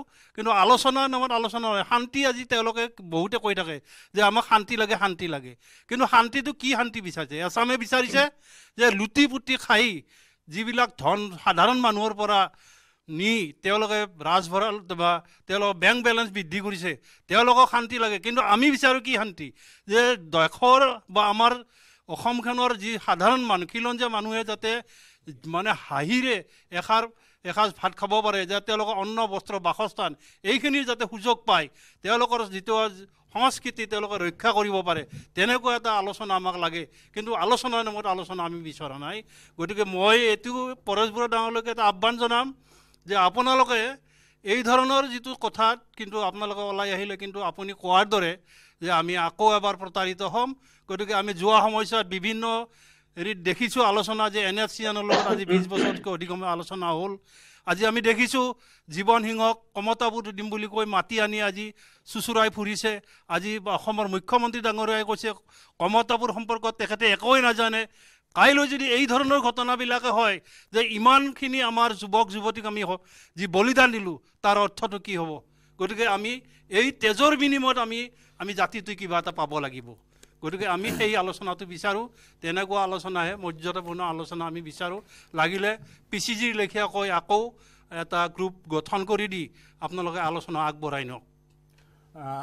হয় আমাৰ ডেপুটি এডিটৰ নীলয় ভট্টাচাৰ্য আছে ডাঙৰীয়া প্ৰথমতে এই সুযোগকণ লৈ আপোনাক দুটা বস্তু ক'ব বিচাৰিম। এটা হ'ল যে আপুনি প্ৰায় পাঁচ ছজনমানৰ প্ৰশ্ন একেলগে লৈ তাৰপিছত একো এজন এজনকৈ উত্তৰ দিয়া আপোনাৰ সেই মানে স্মৃতি শক্তিটো কিন্তু এতিয়াও খুব একেবাৰে বলিষ্ঠ হৈ আছে আপুনি পাঁচজনৰ প্ৰশ্নক লৈ এজন এজনকৈ উত্তৰ দিব দি আছে। দ্বিতীয় কথা আপুনি কৈছে যে গোটেই সংগ্ৰামটো যদিও সশস্ত্ৰ সংগ্ৰাম এতিয়া ৰাজনৈতিক সংগ্ৰাম এটা। চ' আপুনি যি ধৰণে আপোনাৰ বক্তব্য ৰাখিছে বক্তব্য ৰখাৰ যি ধৰণ সেইটোত আপুনি ৰাজনৈতিক যি বা টেবুল ফাইটৰ কথা যি আপুনি কৈছে সেইটোৰ বাবে আপুনি প্ৰস্তুত। সেয়াও কিন্তু প্ৰতীয়মান হৈছে। মোৰ প্ৰশ্ন মই প্ৰশ্নই সুধিছোঁ। মোৰ প্ৰশ্ন দুটা। প্ৰথম কথা হ'ল কালি মুখ্যমন্ত্ৰীগৰাকীয়ে গণতন্ত্ৰ দিৱসৰ দিনাখন দুটা বস্তু কৈছে। প্ৰথম কৈছে যে অসমত চিৰস্থায়ী শান্তিৰ বাবে হাৰ্ডল বা হেঙাৰ শেষৰ হেঙাৰটো হৈছে আলফা স্বাধীন। দ্বিতীয়টো কথা কৈছে যে চৰকাৰ আৰু আলফা স্বাধীনৰ মাজত যি যি আলোচনা হ'ব লাগে সেই আলোচনাৰ বাবে এতিয়া কিছু ইৰিকনচাইলেবল ডিফাৰেঞ্চ বা মতভেদ হৈছে। মুঠৰ ওপৰত এতিয়া যদি মানে সেই ইংলিছৰ ফ্ৰেজ এণ্ড ইডিয়মত ক'ব যাওঁ যে বল ইজ ইন আলফা স্বাধীনছ কোৰ্ট এই সুযোগকণ ল'ব বিচাৰিম আপোনাৰ পৰা এই একেবাৰে পোনপটীয়া কেইটামান উত্তৰৰ বাবে। ধন্যবাদ। আপোনাৰ আগতে আৰু দুই দুগৰাকী বক্তাই বিশেষকৈ আমাৰ প্ৰায় মানে বা- প্ৰায়সমূহ যি সংগঠন সংগঠনৰ এজন মুৰব্বী তেখেতেও কৈছে। তেখেতৰ বা তেখেতৰ বক্তব্যটো মই উত্তৰটো দি লৈছোঁ। তেখেতে কৈছে যে যিকোনো বিষয়ে আলোচনা কৰিব পৰা গণতন্ত্ৰত সুযোগ আছে। যিকোনো বাধা প্ৰকৃতিত হয়। পৃথিৱীৰ গণ- গণতন্ত্ৰ মানে আৰু আব্ৰাহিম লিংকনে প্ৰথমে প্ৰতিষ্ঠাপক আব্ৰাহিম লিংকন তাতে কিমান আমেৰিকাত কিমান ধৰণৰ নাৰীৰ পৰা এইটোৰ পৰা আদি কৰি ব্লেকে হেৰি অধিকাৰ পাব লাগে আমুক পাব লাগে সকলো বিষয়টো পৰ্যায়ক্ৰমেতো আব্ৰাহিম লিংকনৰ যিবিলাক সূত্ৰ সেইবিলাক সূত্ৰ ধৰিয়েতো আমেৰিকাৰ যিটো গণতন্ত্ৰৰ আজিও শক্তিশালী বুলি কয় বা প্ৰতিষ্ঠাপক বুলি কয় ফাদাৰ ফাদাৰ নেশ্যন বুলি কয় গণতন্ত্ৰৰ সেই তে- তে- এটা উদাহৰণ দাঙি ধৰি আহিছেতো আৰু কিন্তু আজি ভাৰতবৰ্ষত যি ধৰণে যে পৃথিৱীৰ বৃহত্তৰ গণতন্ত্ৰ বুলি আজিও পৃথিৱীৰ বিভিন্ন কোণাত জয়ঢোল পিটি আছে। কিন্তু কৰিছে কি? গণতন্ত্ৰৰ নামত গণতন্ত্ৰৰ নিজৰ স্বাৰ্থত কিন্তু গণতন্ত্ৰ ভুলণ্ডিত কৰিছে। এটা জাতি যদি ভুলণ্ডিত হয় নিজৰ এটা কোনোদিন এই জাতি জাতিৰ যদি বুৰঞ্জীগতৰ যি ভূ ৰাজনীতি যিবিলাক অধিকাৰ আছিলে স্বাধীন দেশ আছিলে আৰু সেই জাতিয়ে কেনেকৈ পাব পাৰে ঘূৰাই পাব পাৰে বা তেনেকৈ বিষয়টো উত্থাপন কৰিব পাৰে এই সকলোবিলাক আছে। আৰু ৰাষ্ট্ৰই যে শুনিব লাগিব তাৰ সমাধানৰ সূত্ৰ দিব লাগিব ৰাষ্ট্ৰৰ কথা। All is not in my court. All is not in our alpha court alpha i court. এই কথাটো ৰাষ্ট্ৰৰে ৰাষ্ট্ৰই সৃষ্টি কৰিছে। এই গোটেই বিষয়টো আমি কৰা নাইতো অসমৰ ফলগিৰি মানুহে এই সমস্যাটো বা আমি সৃষ্টি কৰা নাই সমস্যাটো এই ইছ্যুটোক জটিলতা কৰিছে সমস্যাৰ ফালে ঠেলি দিছে ৰাষ্ট্ৰপক্ষই ঠেলি দিছে। ৰাষ্ট্ৰপক্ষৰ উদ্দেশ্য হৈছে যে এটা জাতিৰ যিটো জাতিৰ মানে এটা বুজা পৰাৰ মাজত সংগ্ৰাম কৰিছিলে স্বাধীনতা সংগ্ৰাম কৰিছিলে এই জাতিটোৱে। এই জাতিটোৱে যে প্ৰথমে ভাৰতীয়সকলক আজি কেলৈ এইটো মানি ল'ব নোৱাৰে? ভাৰতীয়সকলৰ ব্ৰিটিছৰ বিৰুদ্ধে দুটা মানে স্বাধীনতা সংগ্ৰাম কৰাৰ পাতনিটো অসমে মেলিছিলে। এই কথাটোতো বিজ্ঞজনে জানে বুৰঞ্জীবদ্ধ লিপিবদ্ধ আছে। আমি এইটো কেনেকে মানি লওঁ সংগ্ৰাম আমি আগতে কৈছিলো অসমৰ মানুহে আমাৰ পূৰ্বপুৰুষে ব্ৰিটিছৰ বিৰুদ্ধত সহস্ৰ হওক নিৰস্ব হওক আহ, অসহযোগ যুগ- যোগেদি অসমৰ মানুহে প্ৰথম পাতনি মেলিছিলে। এই কথাবিলাকো যে সিহঁতে আমাক পাহৰাবলৈ বিচাৰিছে নিজেও আৰু আমাৰ যিসকল হেন্সমেন আছে যিসকল ভাৰতীয়সকল ৰাজনীতিৰ সোৱাদ লৈ আকৌ ভাৰতীয় হৈ থাকিবলৈ যি ইচ্ছা আছে নিজৰ জাতি অৰ্ধপত্নে যাওক ভাষা অৰ্ধ- অৰ্ধপত্নে যাওক মানে যিটো জাতি গোষ্ঠীৰ মাজত অনৈক্য সৃষ্টি কৰি নিজৰ স্বাৰ্থ সিদ্ধি কৰা যিবিলাক ৰাজনৈতিক নেতা আছে এইবিলাকে এইবিলাক কথা কৈ আছে। কিয় নোৱাৰিব গণতন্ত্ৰত? কিয় নোৱাৰিব? প্ৰকৃত গণতন্ত্ৰত এই সমস্যাটো সমাধান কৰা বা এই সমস্যাটো বিশেষকৈ এই ইছ্যুটোলৈ সংগ্ৰাম কৰা এই সংগ্ৰামখন উৰ পেলাবৰ কাৰণে যথেষ্ট উপাদান আছে। কিন্তু উপনিৱেশিক সদায় উপনিৱেশিক মনোবৃত্তি লৈ আছে। অসমৰ জনগণৰ যিসকল মানে সামাজিক যিবিলাক জাতি জনগোষ্ঠীক লৈ প্ৰতিনিধিত্ব কৰিছে সবল স্থিতি ৰাখিব লাগিব। সবল আপোনাৰ যদি প্ৰাপ্যৰ কাৰণে কৈছেতো আজি জনগোষ্ঠীয়ে ইমান আন্দোলন কৰি আছে জনগোষ্ঠীটো এনেই পাব লাগে আন্দোলন নকৰিলেও পাব লাগে। কিয় দিয়া নাই? আমাৰ দুৰ্বলতাবিলাক জানে আমাক সহজে মেনেজ কৰিব পাৰে। সহজে উপঢাকুন দি আমাক কিবা কিবি এই যে হয়তো কোনোবাই বিজেপিলে কোনোবা কোনোবাক বিজেপিৰ কাৰণে টিকেট দিব নমিনেশ্যন দিব সেইটোতে আমি সন্তুষ্ট হৈ আৰু আমাৰ চিন্তাধাৰাক বিপথে লৈ যায়। সেইকাৰণে আমাৰ এই অৱস্থা হৈ আছেতো একেটা বাঘেই আমাক খাই খাই মাৰিছে। এই বাঘটোৰ লগত আমি কেনেকৈ যুঁজিব লাগিব? কেনেকৈ সাহসে থিয় দিব লাগিব? আমাৰ যুক্তিবিলাক ক'ত হ'ব? কেনেকৈ কি হ'ব? যিটো নেকি আমি যিখন যুদ্ধলৈ যাম বা যদি মানে ভাৰতীয়সকলে এই আমাৰ যিটো সাৰ্বভৌম স্বাধীন অসমৰ ওপৰত আলোচনা কৰিম বুলি তেতিয়াহ'লে অৱশ্যে তাৰপিছত আহিব আপোনাৰ এতিয়ালৈকে সিহঁতে আলোচনা এই বহাম কেনেকৈ সিহঁতক? এই কৌশলটো আমি ল'ব লাগিব। আলোচনাত কেনেকৈ বহাম?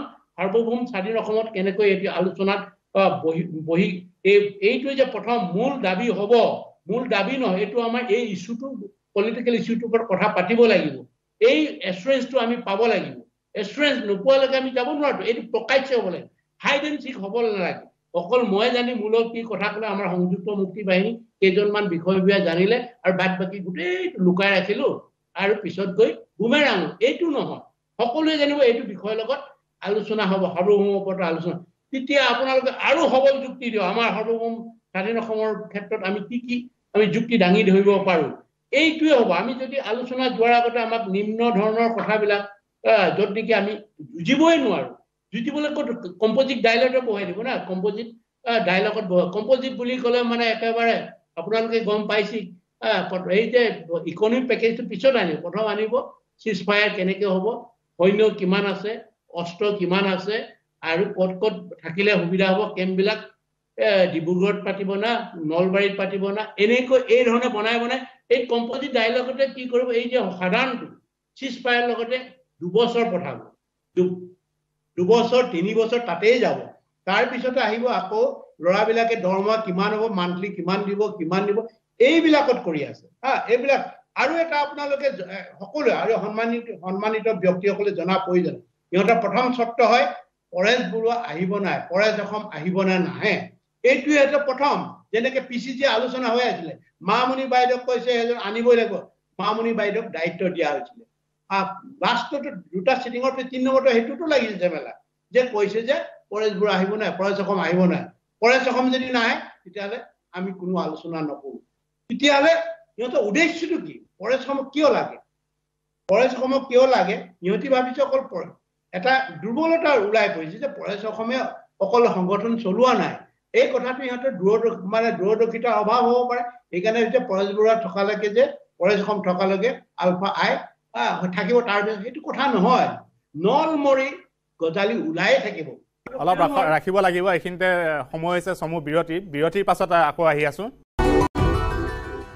বিৰতিৰ পিছত পুনৰ উভতি আহিছোঁ মূল অনুষ্ঠানলৈকে। বহুকেইটা দল সংগঠনৰ প্ৰতিনিধি আছে। আহ, গুৱাহাটী বিশ্ববিদ্যালয়ৰ ছাত্ৰী যুৱ প্ৰজন্মৰ প্ৰতিনিধি শাশ্বতী কোৱা।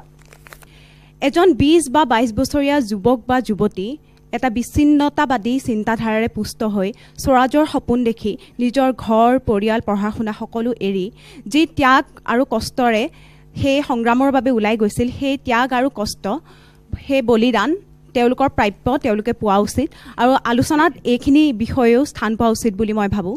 দ্বিতীয় কথাটো হৈছে মাননীয় মুখ্যমন্ত্ৰী হিমন্ত বিশ্ব শৰ্মা ডাঙৰীয়াই কৈছে যে সাৰ্বভৌমত্বৰ বিষয়ত তেওঁ আলোচনা নকৰে আৰু পৰেশ বৰুৱা ডাঙৰীয়াই কৈছে যে সাৰ্বভৌমত্ব বিষয়ত তেওঁ আলোচনা কৰিব বিচাৰে। এতিয়া বিষয়টো সাৰ্বভৌমত্বৰ ওপৰত আলোচনা কৰা বা নকৰাতকৈ অসমীয়াৰ বৃহত্তৰ স্বাৰ্থক লৈ হৈ পৰিছে। গতিকে অসমীয়াৰ বৃহত্তৰ স্বাৰ্থক অগ্ৰাধিকাৰ দি তেওঁলোকে কিবা এটা পইণ্টত নেগচিয়েট কৰাটো উচিত বুলি মই ভাবোঁ। কিয় আৰু মই বুজি পোৱা নাই যে মুখ্যমন্ত্ৰী ডাঙৰীয়া সাৰ্বভৌমত্ব শব্দটোক লৈ কি ইমান সমস্যা আছে নে তেওঁ আলোচনা বিষয়টোক লৈ কিছু সমস্যা আছে নে তেওঁ অনুঘটকৰ কাম কৰি এই ইয়াৰ পৰা দায় সাৰিব বিচাৰিছে এই বিষয়টো আমি ধৰিব পৰা নাই। তৃতীয় কথাটো হৈছে আলোচনাত কোনবোৰ বিষয়ে প্ৰাধান্য পাব সেই বিষয়সমূহ আমি জনা উচিত নৱপ্ৰজন্মই জনা উচিত। কিয়নো অসমত যি অৰ্থনৈতিক সন্ত্ৰাসবাদ যি সাংস্কৃতিক সন্ত্ৰাসবাদ হৈ আছে সেয়া আমি দেখিছোঁ। কা আন্দোলন আমি দেখিছোঁ কা আন্দোলনত পাঁচজন শ্বহীদে কিদৰে প্ৰাণত্যাগ কৰিছে সেয়া আমি দেখিছোঁ। আৰু সেই সময়ত আমি আলফা স্বাধীনৰ পৰা যিখিনি সমৰ্থন বা তেওঁলোকৰ যিখিনি তেওঁলোকৰ পৰা যিখিনি আশা কৰিছিলোঁ সেইখিনি আমি পোৱা নাছিলোঁ। গতিকে সেইখিনি ক্ষোভ আমাৰ মনত আছে। গতিকে এই ক্ষেত্ৰত এতিয়াৰ সময়ত আমি বিচাৰোঁ যে তেওঁলোকে কিখিনি বিষয়ে আলোচনা কৰিব। ছয় জনগোষ্ঠীৰ জনজাতিকৰণে প্ৰাধান্য পাব নাই কা আন্দোলন কেনেদৰে পিছত চলি যাব সেইখিনিক লৈ প্ৰাধান্য পাব নাই অসমীয়া বৃহত্তৰ স্বাৰ্থই প্ৰাধান্য পাব নাই জাতীয় সমস্যাৰ প্ৰাধান্য পাব নাই সেইখিনি বিষয়ক লৈ আলোচনা হ'ব নাই সেইখিনি আমি জানিব বিচাৰোঁ। তাৰোপৰি তেওঁলোকে যদি আলোচনাত মিলিত হয় তাৰ পিছত আলফা স্বাধীনে কেনেদৰে এটা প্ৰেছাৰ গ্ৰুপ হিচাপে তেওঁলোকৰ কামখিনি চলাই যাব নে তেওঁলোকৰ ৰাজনৈতিক কিবা ৰাজনৈতিক দলত যোগদান কৰিব যিদৰে আমি কা আন্দোলনৰ পিছৰ সময়খিনিত দেখিছোঁ ৰাজনৈতিক মুনাফা আদায়ৰ স্বাৰ্থত বহুতো ৰাজনৈতিক দলে বহুতো ৰাজনৈতিক ব্যক্তিয়ে তেওঁলোকৰ মুনাফা আদায় কৰিলে কিন্তু অসমীয়াৰ বৃহত্তৰ স্বাৰ্থ আজিলৈকে সমাধান নহ'ল। গতিকে সেইখিনি বিষয়েও আমি নৱপ্ৰজন্মৰ এগৰাকী প্ৰতিনিধি হিচাপে মই পৰেশ অসম ডাঙৰীয়াৰ পৰা জানিবলৈ বিচাৰিম। আমি আজি যিখিনি বক্তব্য তেখেতে ৰাখিছে। সেই বক্তব্য বহুকেইটা বিষয়তে দাঙি ধৰিছে। আৰু প্ৰথমেই মই কৈ গৈছিলো যে এই বিষয়টোত আমি কিহৰ কেনেকুৱা আলোচনা পোষকতা কৰোঁ আমি কম্পজিট কম্পজিট ডাইলেগলৈ নেযাওঁ আমি। কম্পজিট ডাইলেগত বিভিন্ন ধৰণৰ থাকিব পাৰে। তেখেতৰ উল্লেখ কৰি যোৱাৰ দৰে। আৰু আমি এইকাৰণেই কৈছো যে আমাক লাগে মানে কম্পজিট কম্পজিট ডাইলগৰ বাদ দি আমি বিচাৰো এটা ছিংগুল ইছ্যুৰ ওপৰত আমি আলোচনা কৰিম ছিংগুল ইছ্যুটো হৈছে আমি সাৰ্বভৌম স্বাধীন অসম। স্বাধীন অসমৰ ৰূপৰেখা স্বাধীন অসমৰ ৰূপৰেখাতো এই যিবিলাক সমস্যা যিবিলাক বিষয় উঠাব সেইবিলাকতো আমি নিজে ৰূপৰেখা কৰোঁ। আমাৰ নিজে আমি যদি ৰাজনৈতিক অধিকাৰ পাওঁ আমাৰ সম্পদ কেনেকৈ বিতৰণ কৰিম? আমি এই সম্পদক যদি আমাৰ উভয় নদী সম্পদ আছে এই সম্পদখিনি আমি ব্যৱসায় ব্যৱসায় ভিত্তিত লগাম না? ভৱিষ্যতৰ আকৌ এই প্ৰজন্মৰ কাৰণে কিছু আমি সংৰক্ষণ কৰি ৰাখিম। এই তেনেকুৱা এটা আমি আমাৰ যিটো অৰ্থনৈতিক অৱস্থা হৈ আছে অসমৰ অসমৰ অৰ্থনৈতিক অৱস্থাটো আমাৰ ৰাজনৈতিক অধিকাৰ পালে আমি সেই অৰ্থনীতিটো আমি ৰূপৰেখা আমাৰ অসমৰ মানুহে অসমৰ গণ্যমান্য ব্যয়তে ব্যাগম্য অৰ্থনীতিবিদ আছে এখন ৰাষ্ট্ৰ কেনেকৈ চলাব লাগে আমাৰ সকলোৱে সকলোখিনি আছে আমাৰ ডক্টৰ আছে ইঞ্জিনিয়াৰ আছে চাইণ্টিষ্ট আছে অন্যান্য যি মানে ইকনমিষ্ট আছে চবেই আছে। এই ৰাষ্ট্ৰ পৰিচালনা কেনেকে কৰিব লাগে? আমিতো অসম আগতে স্বাধীন আছিলে। অসম স্বাধীন নাছিলে। গোপীনাথ বৰদলৈৰ সময়টোতো গোপীনাথ বৰদলৈ ডাঙৰীয়াটো অসম সুন্দৰ এখন ৰাষ্ট্ৰ হিচাপে বুলিয়ে ক'ব পাৰি। তেখেতৰ মুখ্যমন্ত্ৰী নাছিলে নহয় তেখেতৰ প্ৰধানমন্ত্ৰী আছিলে। এনেকুৱা ধৰণৰ কিছুমান আমি যুক্তি দিব পাৰো। হা, আৰু এই আজিৰ মানে এখন সমৃদ্ধ ৰাষ্ট্ৰ আমি। যদি আমি স্বাধীন হওঁ আমাৰ নিচিনা সম্পদ পৃথিৱীৰ ক'ত আছে আমাৰ নিচিনা সম্পদ আজি নিবনুৱা সমস্যা আজি চিঞৰি আছে আমাৰ আম- এইটো এটা মাত্ৰ প্ৰতিষ্ঠানৰ কথা কৈছো যে অইল ইণ্ডিয়া বছৰেকত তিনিশ চাৰে তিনিশ বিলিয়ন ডলাৰ সিহঁতি বছৰেকত ইনকম কৰে বছৰেকত সেই তিনিশ বিলিয়ন ডলাৰ আজি অসমৰ মানুহে মানে পাইছে নেকি অ' এন জি চিয়ে কিমান কৰে অ' এন জি চিও তাৰ একে ইকুইভেলেণ্ট মানে অইল ইণ্ডিয়া আৰু অ' এন জি চি সমানে উৎপাদন কৰিব পাৰে তাৰ এই ইমান বিলিয়ন বিলিয়ন ডলাৰ কলৈ গৈছে আমাৰ? এই বিলিয়ন ডলাৰ আমাৰ অসমৰ মানুহ জনসংখ্যা কিমান আছে? এই জনসংখ্যা জনসংখ্যা ভিত্তিত যদি আমি অকল এই মানে জলীয় মানে পদাৰ্থ জলীয় বিশেষকৈ মানে পনীয়া সোণ আৰু মানে মানে কি কয় বাষ্প এই দুটা দুটা মানে উপা- উপাদানৰ পৰা আমি প্ৰাকৃতিক সম্পদৰ পৰাইতো আমি অসমৰ ৰূপৰেখা এতিয়া আমাৰ যিগৰাকী বক্তাই এই বিষয়টো কেনেকৈ হ'ব অসমৰ ৰূপৰেখা কেনেকুৱা হ'ব ইকনমিটো কেনেকুৱা হ'ব সেইটো আমাৰ পলিটিকেল পলিটিকেল আমাৰ পাৱাৰটো থাকিব লাগিব।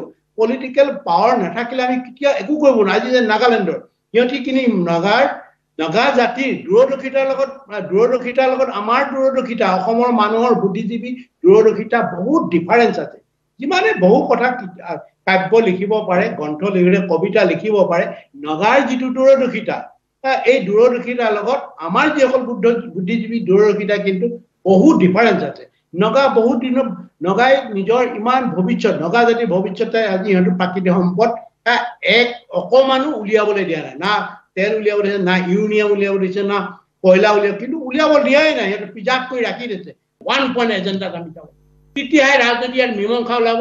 আৰু এই মীমাং ওৱান পইণ্ট এজেণ্ডাত আপোনালোকৰ একান্তিক ঐকান্তিকভাৱে সহায় সহযোগিতা কৰি গৈছে আপোনাৰ দায়িত্ব নৈতিক দায়িত্ব বুলি আপোনালোকে ভাবি ল'ব লাগে। তেতিয়া কিন্তু আপোনালোকৰ মনৰ পৰা আহিব যে এইটো সম- সমস্যা এই এই বিষয়টো এই জ্বলন্ত বিষয়টো আলোচনা পথ ওলাব। এতিয়া আমি কোৱা নাইতো আম- বল আমাৰ ফালে পুচ কৰি দিলে ক'ৰ পৰা ওলাই আমি আমি আমি ক্ৰিয়েটৰ নেকি এইটো? আমি সৃষ্টি কৰা নাই নহয়। আমি নিৰ্যাতিত হৈ আছো। আমাক নিৰ্যাতিত কোনে কৰিছে? প্ৰথম ব্ৰিটিছে কৰিলে? ব্ৰিটিছৰ পৰা ব্ৰিটিছেতো ব্ৰিটিছে এটা হৰণ কৰা বস্তু আকৌ এই চুৰ বস্তুটো লৈ সিহঁতে ভাৰতীয়সকলে আমাক আকৌ বিভিন্ন ধৰণৰ কলা কৌশল লগাবলৈ বিচাৰিছে। আৰু বিষয়টোৰ লগত আলোচনা কৰিম বুলি ক'লে ইহঁতি আকৌ চাব ষ্টেণ্ডাৰ্ড কথাবিলাক কয়। এই ধৰণেতো সমস্যা সমাধান নহ'ব। আমাৰ যিসকল নেতা আছে সেইসকল নিস্বাৰ্থ মানে। আজি হিমন্ত বিশ্ব ডাঙৰীয়াও ক'ব লাগিব নিজৰ স্বাৰ্থ অকল মানে প্ৰকৃত মই আগেই কৈছো ষ্টেটছমেন হ'ব লাগে ষ্টেটছমেনে নিজৰ গাদীৰ কাৰণে ভয় নকৰেতো। মই তেখেতক কৈছো আপুনি ষ্টেটছমেন হওক বাৰে বাৰে কৈছো ষ্টেটছমেন নহ'লে সেই সমস্যাটো কেতিয়াও দূৰ কৰিব নোৱাৰে। তেওঁ বা- জৱাহৰলাল নেহৰু ভুল ভয় কৰিছিলে নেকি? আৰু বহু পাঁচগৰাকী বক্তা আছে তেওঁলোকে এতিয়ালৈকে মন্তব্য ৰাখিব পৰা নাই। আপোনাৰ পৰিচয়টো দিলে ক'ব মই সদৌ অসম কোচ ৰাজবংশী ছাত্ৰ সন্থাৰ সভাপতি দিব্যজ্যোতি কুমাৰ ডেকাই কৈছোঁ। যে আজি যিটো বিষয় নিউজ এইটিনৰ যে আমাক আমন্ত্ৰণ কৰিছে গোটেই দল সংগঠন বুদ্ধিজীৱী এ, সকলো কাৰণে মই নিউজ এইটিনক ধন্যবাদ জ্ঞাপন কৰিছোঁ। আৰু সংযুক্ত মুক্তিবাহিনী অসম যে যি সংগ্ৰাম অব্যাহত ৰাখিছে কেইবা দশক জুৰি আমি অসমৰ প্ৰতিটো দল সংগঠন অসমৰ সকলো জাতি জনগোষ্ঠী আমি গভীৰ আগ্ৰহেৰে ৰৈ আছোঁ তেওঁলোকে কিবা এটা নিশ্চয় কৰিব। যে আমি এই কথাখিনিয়ে বিচাৰিছোঁ যে আলোচনাৰ নামত আলোচনা কেতিয়াও হ'ব নোৱাৰে। ভাৰত চৰকাৰৰ লগত অসমৰ মুখ্যমন্ত্ৰী ডাঙৰীয়াই যি ঘোষণা কৰিছে যে সাৰ্বভৌম অসমৰ নামত কোনো আলোচনা কথাখিনি তেওঁ সমৰ্থন কৰিব নোৱাৰে। কিন্তু আমি ক'ব বিচাৰিছোঁ এজন অসমৰ সন্তান হিচাপে অসমৰ মুখ্যমন্ত্ৰী হিচাপে যে এটা জ্বলন্ত বিষয় য'ত অসমৰ হাজাৰ হাজাৰ শ্বহীদৰ ইয়াতৰ কেঁচা তেজ প্ৰতিটো জাতি জনগোষ্ঠীৰ ইয়াত তেজৰ টোপালৰ ইয়াত মূল্যৰ কথা আছে। এই বিষয়বস্তুবিলাক চিন্তা কৰি তেওঁ দিল্লীত গোটেই কথাবিলাক আগবঢ়োৱাই নিশ্চয় তেওঁৰ দায়িত্ব আৰু কৰ্তব্য নিশ্চয় আছে। আৰু সাৰ্বভৌম যি সংযুক্ত মুক্তি বাহিনী অসমৰ যি দাবী সেই কথাখিনিৰ ওপৰত ইয়াত কোনো দ্বিধাবোধ নাই। যে অসমৰ প্ৰতিটো খিলঞ্জীয়া জাতি জনগোষ্ঠীৰ সেই কথাবিলাক আলোচনা কৰাৰ ক্ষেত্ৰত আলোচনা কোনো হেঙাৰ হ'ব নোৱাৰে। কিন্তু আচল আলোচনা আচলতে তেওঁলোকৰ আন্তৰিকতা কিমান সেই কথাখিনিৰ ওপৰত প্ৰশ্ন হ'ব। যদি ভাৰত চৰকাৰ অসম চৰকাৰৰ এই আলোচনা তেওঁলোকে আন্তৰিকতাৰে বিচাৰিছে তেতিয়াহ'লে নিশ্চয় আলোচনাত যিকোনো বিষয় উত্থাপন হ'ব পাৰে তেওঁলোক প্ৰস্তুত থাকিত থকা থাকিব লাগিব। আজি অসমৰ বুকুত আমি এখন অসমৰ ভূমিপুত্ৰ হিচাপে আজি কোচাছ বংশীসকলৰে আমাৰ অসমতে কিন্তু আমাৰ বহু জেগাত আজি ভূমিৰ অধিকাৰ নাই আমাৰ ৰাজনৈতিক অধিকাৰ নাই অৰ্থনৈতিক সামাজিক কোনো ধৰণৰ অধিকাৰ সুৰক্ষিত নহয়। আমি দ্বিতীয় শ্ৰেণীৰ নাগৰিক হিচাপে আজিও বসবাস কৰিব লগা হৈছে আৰু শেহতীয়াভাৱে জনজাতিকৰণৰ নামত কোচাছ বংশীসকলক ভাঙি চিঙি চুৰ মাৰ কৰোৱাৰ কাৰণে ষড়যন্ত্ৰ হৈছে। আৰু সেইকাৰণে আমি সংযুক্ত মুক্তি বাহিনী অসমক আমি ক'বলৈ বিচাৰিছোঁ জনজাতিকৰণৰ বিষয়টো অসমৰ জ- যি ধৰণে আমি বিদেশীৰ আগ্ৰাসনৰ কথা কওঁ অসমৰ ছয় জনগোষ্ঠীৰ জনজাতিকৰণৰ বিষয়টো অন্যতম বিষয় হ'ব লাগিব। অসমৰ প্ৰতিটো জাতি জনগোষ্ঠী খিলঞ্জীয়া জাতি জনগোষ্ঠীৰ ইয়াত অধিকাৰ সুনিশ্চিত হ'ব লাগিব। মই টাইপাৰ সভাপতি হিচাপে দুটামান কথা খুব পইণ্ট যিকেইটা কথা আচলতে পাতি থকা হৈছে মই সেই বিষয়ে পাতিম। যে আচলতে এই আচলতে অসমৰ যি ইতিহাস যদি আমি চাওঁ ইতিমধ্যে কোৱা হৈছে চৌবিছ ফেব্ৰুৱাৰী বাৰশ ছাব্বিছ বা ওঠৰশ ছাব্বিছ খ্ৰীষ্টাব্দত যিখন আচলতে ইয়াণ্ডা চুক্তি হৈছিল। আৰু সেই চুক্তিৰ পৰাই আচলতে যি আমি স্বাধীনতা পিয়াসী অসমীয়া থলগৰি খিলঞ্জীয়া আমি পৰাধীন হৈছিলোঁ ব্ৰিটিছৰ তলত আমি থাকিবলগীয়া হৈছিল। আৰু এটা কথা স্পষ্ট ওঠৰশ আঠাইছ ছাব্বিছ চনৰ আগৰ যিখিনি মানুহ যিখিনি খিলঞ্জীয়া থলগৰি ভূমিপুত্ৰ মানুহ সেইসকলৰ কাৰণে স্বাধীনতা কিন্তু আনন্দৰ বিষয়। আমি স্বাধীনতা ভাল পাওঁ আমাক স্বাধীনতা লাগে। কিন্তু কথা হ'ল ঊনৈছশ এক চনৰ যি লোকপিয়ল আমি দেখিবলৈ পাইছিলোঁ জনসংখ্যা আছিল বত্ৰিছ লাখ ঊনানব্বৈ হেজাৰ ছশ আশীজন মই যদি তাৰ আগলৈ যাওঁ ওঠৰশ ছাব্বিছ চনত তেতিয়া হ'লেও বাইছ লাখমান আছিল। কিন্তু সমস্যাটো হৈছে এতিয়া আজি জনসংখ্যা কিমান? তিনি কোটি প্ৰায় পঞ্চাছ লাখ হ'ব। একৈছ চনৰ লোকপিয়ল হোৱা নাই। বাৰ এঘাৰ চনৰ লোকপিয়ল মতে তিনি কোটি বাৰ লাখ। গতিকে এই যি জনসংখ্যা আছে ইয়াত আচলতে খিলঞ্জীয়া কিমান আছে? এই খিলঞ্জীয়াখিনিয়ে স্বাধীন অসম বিচাৰিবনে? যি বহিৰাগত আহিছে মই খিলঞ্জীয়া কথা কোৱা নাই আচলতে খিলঞ্জীয়া কিমান আছে আৰু বহিৰাগত কিমান আছে? আৰু সন্দেহজনক নাগৰিক কিমান আছে? এইসকলে স্বাধীনতা বিচাৰিবনে? ডাঙৰ এটা প্ৰশ্ন। গণভোট কাৰ লগত হ'ব লাগিব?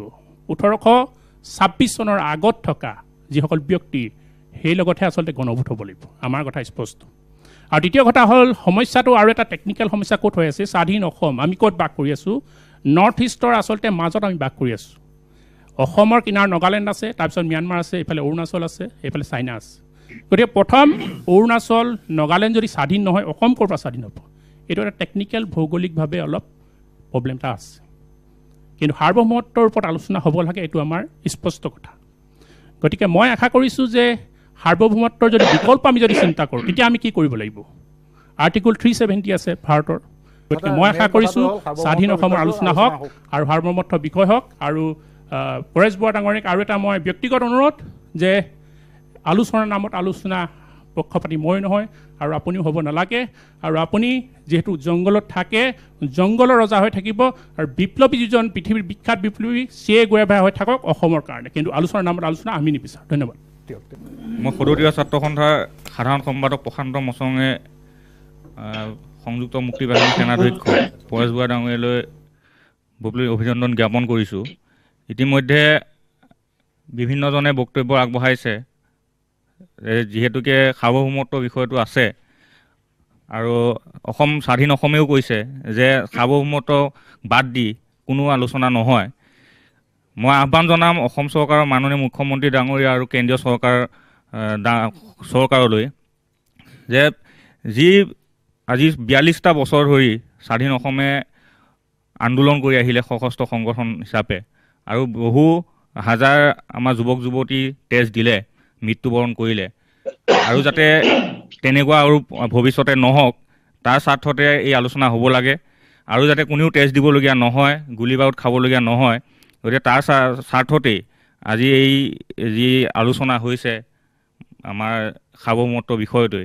আৰু অসমৰ মাননীয় মুখ্যমন্ত্ৰী ডাঙৰীয়া কিছু এৰা ধৰা কৰি কেন্দ্ৰীয় চৰকাৰৰ লগত আলোচনা কৰি সাৰ্বভৌমত্বৰ এই বিষয়টোক লৈ পেলাই আলোচনা হ'ব লাগে। এইখিনি মুহূৰ্তত আমাৰ সৈতে আজি ষ্টুডিঅ'ত উপস্থিত নাই নিখিল বড়ো ছাত্ৰ সন্থাৰ নিখিল বড়ো ছাত্ৰ সন্থাৰ সভাপতি। নিখিল বড়ো ছাত্ৰ সন্থাৰ সভাপতি দীপেন বড়োৰ এটা বাইট আমি সংগ্ৰহ কৰিছোঁ। বাইটটো প্ৰথমে বজাই ল'ব বিচাৰিছোঁ। তাৰ পাছত আমি আৰু দুগৰাকী আছে তেওঁলোকৰ সৈতে কথা পাতিম। পৰেশ বড়ো ডাঙৰীয়াক আমাৰ এটাই আহ্বান থাকিব তেওঁলোকে যি উদ্দেশ্যলৈ যি সিদ্ধান্ত লৈ সশস্ত্ৰ সংগ্ৰামৰ পাতনি মেলিছিল বা তেওঁলোকে আগবাঢ়ি গৈছিল সেই গোটেই কথা নজৰ ৰাখি পেলাই তেওঁলোকে আলোচনাত বহিলেহে এটা মীমাংসা আহিব। কাৰণ এটা সময়ত সংগ্ৰাম চলিব ইয়াৰ পিছত দাবী হ'ব ইয়াৰ পিছত কিছুমান ঘাত প্ৰতিঘাত সংগ্ৰাম হৈ গ'ল বহুতো মানুহ শ্বহীদ হৈ গ'ল। তো এটা এটা সংগ্ৰামৰ ইতিহাসত এইবিলাক থাকে। কিন্তু বাস্তৱত এটা সমাধানৰ যদি সূত্ৰ ওলাব লাগে চৰকাৰ আৰু বিদ্ৰোহী সংগঠন চৰকাৰ আৰু সশস্ত্ৰ সংগ্ৰামী গোটৰ মাজত এটা আলোচনা বিলোচনা এইটো অত্যন্ত জৰুৰী। আৰু আলোচনাৰ মাজতহে এটা বুজাবুজিত আহিব এটা চুক্তিত আহিব বা এটা মীমাংসাত আহিব। আৰু আলোচনা নকৰাকৈ কোনো কথা বা কোনো সমস্যা মীমাংসাত নাহে। সেই কথাটো নজৰ ৰাখি পেলাই আমাৰ এটাই আহ্বান যে তেখেত চৰকাৰৰ লগত আলোচনাত বহক আৰু তেওঁ দূৰে দূৰে থাকি আলোচনা কৰে না টেবলত আহি আলোচনা কৰে এইটোতো তেওঁলোকৰ টেকনিকেল আৰু ষ্ট্ৰেটেজিক কথা এইটো আমি ক'বলৈ নাযাওঁ। কিন্তু আমি বিচাৰোঁ যে শান্তিৰ স্বাৰ্থত আৰু তেখেতসকলে যি উদ্দেশ্যলৈ আগবাঢ়িছিল সেই উদ্দেশ্যটো আগত ৰাখিয়ে আলোচনাটো কৰক। এয়া আচলতে দীপেন দীপেন বড়ো নিখিল বড়ো ছাত্ৰ সন্থাৰ সভাপতি নৱমৰাণ আছে নৱমৰাণ। মৰাণ জাতি এটা ইতিহাস আছে এটা সংগ্ৰামী জাতি আৰু সংগ্ৰামী সত্তা আছে। আৰু ৰজাঘৰীয়াৰ পৰা আৰু আজিৰ তাৰিখলৈকে শোষক শ্ৰেণীলৈকে আমি আন্দোলন কৰি থাকিবলগীয়া হৈছে। কেৱল যে আমি চৰকাৰৰ বিৰুদ্ধে আন্দোলন হৈছে এনেকুৱা কথা নহয়। মৰাণ জাতিক প্ৰতিষ্ঠা কৰিবৰ কাৰণে একাংশ সাহিত্যিক বুদ্ধিজীৱীৰ লগতো আমাৰ আমাৰ আমি সংগ্ৰাম কৰিবলগীয়া হৈছে আমাৰ জাতিক প্ৰতিষ্ঠা কৰিবৰ কাৰণে। গতিকে এটা সংগ্ৰামী জাতিৰ প্ৰতিনিধিত্ব প্ৰতিনিধিত্ব কৰি আজি এই মঞ্চৰ পৰা এটা কথা আমি ক'ব খোজোঁ যে আলফা আৰু চৰকাৰৰ যি ৰাজনৈতিক সংঘাত এই সংঘাত ৰাজনৈতিকভাৱেই সমাধান হ'ব লাগিব আৰু ইয়াত কেৱল মাতে ৰাজনৈতিকভাৱে আলোচনা কৰিলে সাৰ্বভৌমত্ব কথাখিনি নিশ্চিতভাৱে ইয়াত উপস্থাপন হ'ব আৰু আলোচনাৰ মজিয়াত কেনেকুৱা ধৰণে আলোচনা কৰে তেওঁক সেই কথাবিলাক অভিজ্ঞ পৰেশ বৰুৱা ডাঙৰীয়া তেখেতক আমি কিবা পৰামৰ্শ দিব লাগে বুলি মই নাভাবোঁ। কিন্তু আলোচনা যে সাৰ্বভৌমত্বৰ ওপৰত আলোচনা হ'লে নিশ্চিতভাৱে অসমৰ থলগিৰি ৰাজ্যৰ খিলঞ্জীয়া মানুহৰ সুৰক্ষিত হোৱা এটা আলোচনা হ'ব এইটো কিন্তু আমি ধাৰণা কৰিব পাৰোঁ। এশ ছাব্বিছটা সমষ্টি খিলঞ্জীয়া মানুহৰ কাৰণে সুৰক্ষিত হোৱাটো বিচাৰোঁ। থলগিৰি মানুহৰ ভূমি অধিকাৰ হোৱাটো আমি বিচাৰোঁ। থলগিৰি মানুহৰ ৰাজনৈতিক অধিকাৰ অৰ্থনৈতিক অধিকাৰ সকলো অধিকাৰ এই আমাৰ থলগিৰি খিলঞ্জীয়া মানুহৰ হাতত যাতে আহে তেনেকুৱা এটা আলোচনা আমি পোষকতা কৰোঁ। আৰু সময় যিহেতু বিশেষ নাই গতিকে আমাৰ এটা আহ্বান যে চৰকাৰে অভিভাৱকত্বৰ দায়িত্ব পালন কৰিব লাগে। চৰকাৰে যিহেতু অসমৰ প্ৰত্যেকগৰাকী মানুহৰ তেওঁ অভিভাৱক সেই অভিভাৱক হিচাপে তেওঁ অভিভাৱকৰ দায়িত্ব পালন কৰি অসমৰ সুৰক্ষিত হোৱা হোৱাটো তেওঁ ব্যৱস্থা কৰিব লাগে বুলি মই মই ভাবোঁ। অসমীয়া মহাজাতিৰ ঐতিহ্যৰ স্বকীয়তা অক্ষুণ্ণ ৰাখিবলৈ নিজৰ যৌৱন সমৰ্পিত কৰা পৰেশ বৰুৱা ককাইদেউলৈ বীৰ লাচিতানা অসমৰ তৰফৰ পৰা আন্তৰিক শ্ৰদ্ধা আমি জ্ঞাপন কৰিছোঁ। এতিয়া কথাটো হৈছে বেলেগ অসমৰ বিভিন্ন বেলেগ বেলেগ জাতীয় দল সংগঠন উত্থাপন উত্থাপন কৰা দাবী আৰু আলফাই উত্থাপন কৰা দাবীৰ মাজত কিছু পাৰ্থক্য আছে। এটা ঐতিহাসিক সত্যতা আছে। এতিয়া কথাটো হ'ল আলফাই কোনবিলাক কথা কৈছে? আলফাই কৈছে যে পূৰ্ণ জাতীয় আত্মনিয়ন্ত্ৰণৰ কথা কৈছে। আলফাই কৈছে যে সম্পূৰ্ণ ৰাজনৈতিক অৰ্থনৈতিক সামাজিক আৰু সাংস্কৃতিক অধিকাৰৰ কথা কৈছে। আৰু আমি ভাবোঁ যে এখন গণতান্ত্ৰিক দেশত সাৰ্বভৌমত্বৰ ওপৰত আলোচনা হ'ব পাৰে। আৰু বীৰ লাচিতানা আমি এইটো ক্ষেত্ৰত পোষকতা কৰোঁ। এতিয়া কথাটো হৈছে যে এই যে সংগ্ৰাম কিয় আৰম্ভ হৈছে যে আমি দেখিছোঁ দীৰ্ঘ সময় ৰাজনৈতিকভাৱে আমি প্ৰতাৰিত হৈছোঁ। আমি অৱহেলিত হৈছোঁ। অৰ্থনৈতিকভাৱে সামাজিকভাৱে আমি প্ৰতাৰণাৰ বলি হৈছোঁ। তাৰ লগে লগে সাংস্কৃতিকভাৱে আমি বিপদাপন্ন হৈছোঁ। আমাৰ কোনোবাখিনিত ভয় আৰু শংকা আছে যে অদূৰ ভৱিষ্যতে আমি ইয়াৰ পৰা নিশেষ হৈ গুচি যাম নেকি? আমি অস্তিত্বৰ সংকটত ভুগিম নেকি? গতিকে কাইলৈ এই গোটেই বিষয়টো মই ভাবোঁ এটা সংবেদনশীল বিষয়। কাৰণ কাইলৈ পৰহিলে আলফাই গুচি গ'লেও আহিবলগীয়া প্ৰজন্মই এই সংগ্ৰামখন কাৰণ নিজৰ য'ত অস্তিত্বৰ বিষয়টো জড়িত হৈ থাকে এই বিষয়টোক আকৌ ভণ্ডালনিৰ ৰূপত লৈ যাব। বাকী কি নহওক যে দক্ষিণ পূব এছিয়া আমি জানোৱেই যে এটা খুব চেঞ্চিটিভ ৱাৰ জোন হিচাপে আমাক ইয়াত চায়। গতিকে সেইকাৰণে আমি ভাবোঁ যে এইটো সমস্যা কেৱল আন্তঃদেশীয় নহয় ই বহিদেশীয় এটা সমস্যা। গতিকে আমি সেইকাৰণে ভাৰতবৰ্ষক কেন্দ্ৰীয় চৰকাৰক আমি জনাওঁ যে গোটেই বিষয়টো খুব সংবেদনশীল হৈ চিন্তা চৰ্চা কৰিব লাগে আৰু আগবাঢ়ি যাব লাগে। দ্বিতীয় কথাটো হ'ল হৰিণ মহন্ত এষাৰ কথা কৈছে যে আমি এই গোটেই বিষয়টো আগবঢ়াই লৈ যাবৰ কাৰণে আমাৰ তেওঁ এটা খুব সুন্দৰকৈ তেওঁৰ সাৰ্বভৌমত্বৰ কিতাপত তেওঁলোকে লিখিছে যে আমাৰ অধিকাৰ স্বাধীনতাটো আমি কোনোবা যদি বেংকৰ লকাৰত যদি ৰাখি থওঁ তেতিয়া লকাৰটো খুলিবৰ কাৰণে কোনখন হ'ব? এখন চেক লাগিব এটা তলা লাগিব। আৰু এই চেকখন সদায় গণভোট হয়। গতিকে গণভোট তৈয়াৰ কৰিবৰ কাৰণে খিলঞ্জীয়া মানুহৰ নিজৰ যিখিনি মৰ্মবেদনা আছে তেওঁলোকৰ জনমত প্ৰকাশ কৰিবৰ কাৰণে যি ধৰণে এটা পৰিৱেশ আৰু পৃষ্ঠভূমি তৈয়াৰ কৰিব লাগে তাৰ কাৰণে অসমৰ বৌদ্ধিক সমাজে কাম কৰিব লাগিব। তাৰ কাৰণে যিমানবিলাক জাতীয় দল সংগঠন আছে তেওঁলোকে আহিবলগীয়া সময় নিৰবিচ্ছিন্ন আন্তৰিকতাৰে এই বিষয়টোক আগবঢ়াই লৈ যাব লাগিব। কিন্তু ইয়াত এটা কথা আছে যে জাতীয় দল সংগঠনে যিটো দায়িত্বৰ কৰ্তব্য তেওঁলোকে ল'ব যিটো জাতীয় দায়িত্বৰ কৰ্তব্য হিচাপে তেওঁলোকে গ্ৰহণ কৰিব কোনখিনিলৈকে যাব কেনেধৰণে তেওঁলোকে জড়িত হ'ব? অসমৰ বিভিন্ন প্ৰান্তত এই গণভোটৰ প্ৰক্ৰিয়াটো কৰিবলৈ যাওঁতে কেনেধৰণে যাব বা দুই পক্ষই কেনেধৰণে বিশ্বাস তেওঁলোকে কেনেধৰণে বিশ্বাসত ল'ব তেওঁলোকে কি তেওঁলোকৰ ধাৰণাবিলাক কেনেধৰণে লাগিব দায়িত্ব কেনেধৰণে অৰ্পণ কৰিব বা তেওঁলোকৰ লিমিটটো কি হ'ব? কোনটো পৰ্যায়লৈকে এই বিষয়টোক আগবঢ়াই নিবৰ কাৰণে তেওঁলোকৰ ওপৰত দায়িত্ব অৰ্পণ কৰিব এই বিষয়টো চাব লাগিব। আলফাৰ যিটো আলোচনা হ'ব এই আলফাৰ আলোচনাই অসমীয়া মানুহৰ স্বাধিকাৰ প্ৰতিষ্ঠা কৰিব লাগিব।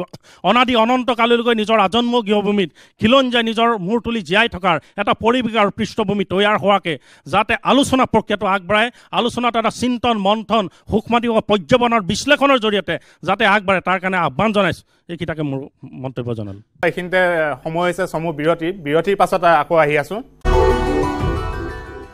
বিৰতিৰ পিছত পুনৰ উভতি আহিছোঁ আমাৰ মূল অনুষ্ঠানলৈকে। পাঁচজন পাঁচটা সংগঠনৰ পাঁচজনে বক্তব্য প্ৰদান কৰিলে নিজৰ নিজৰ সংগঠনৰ হৈ।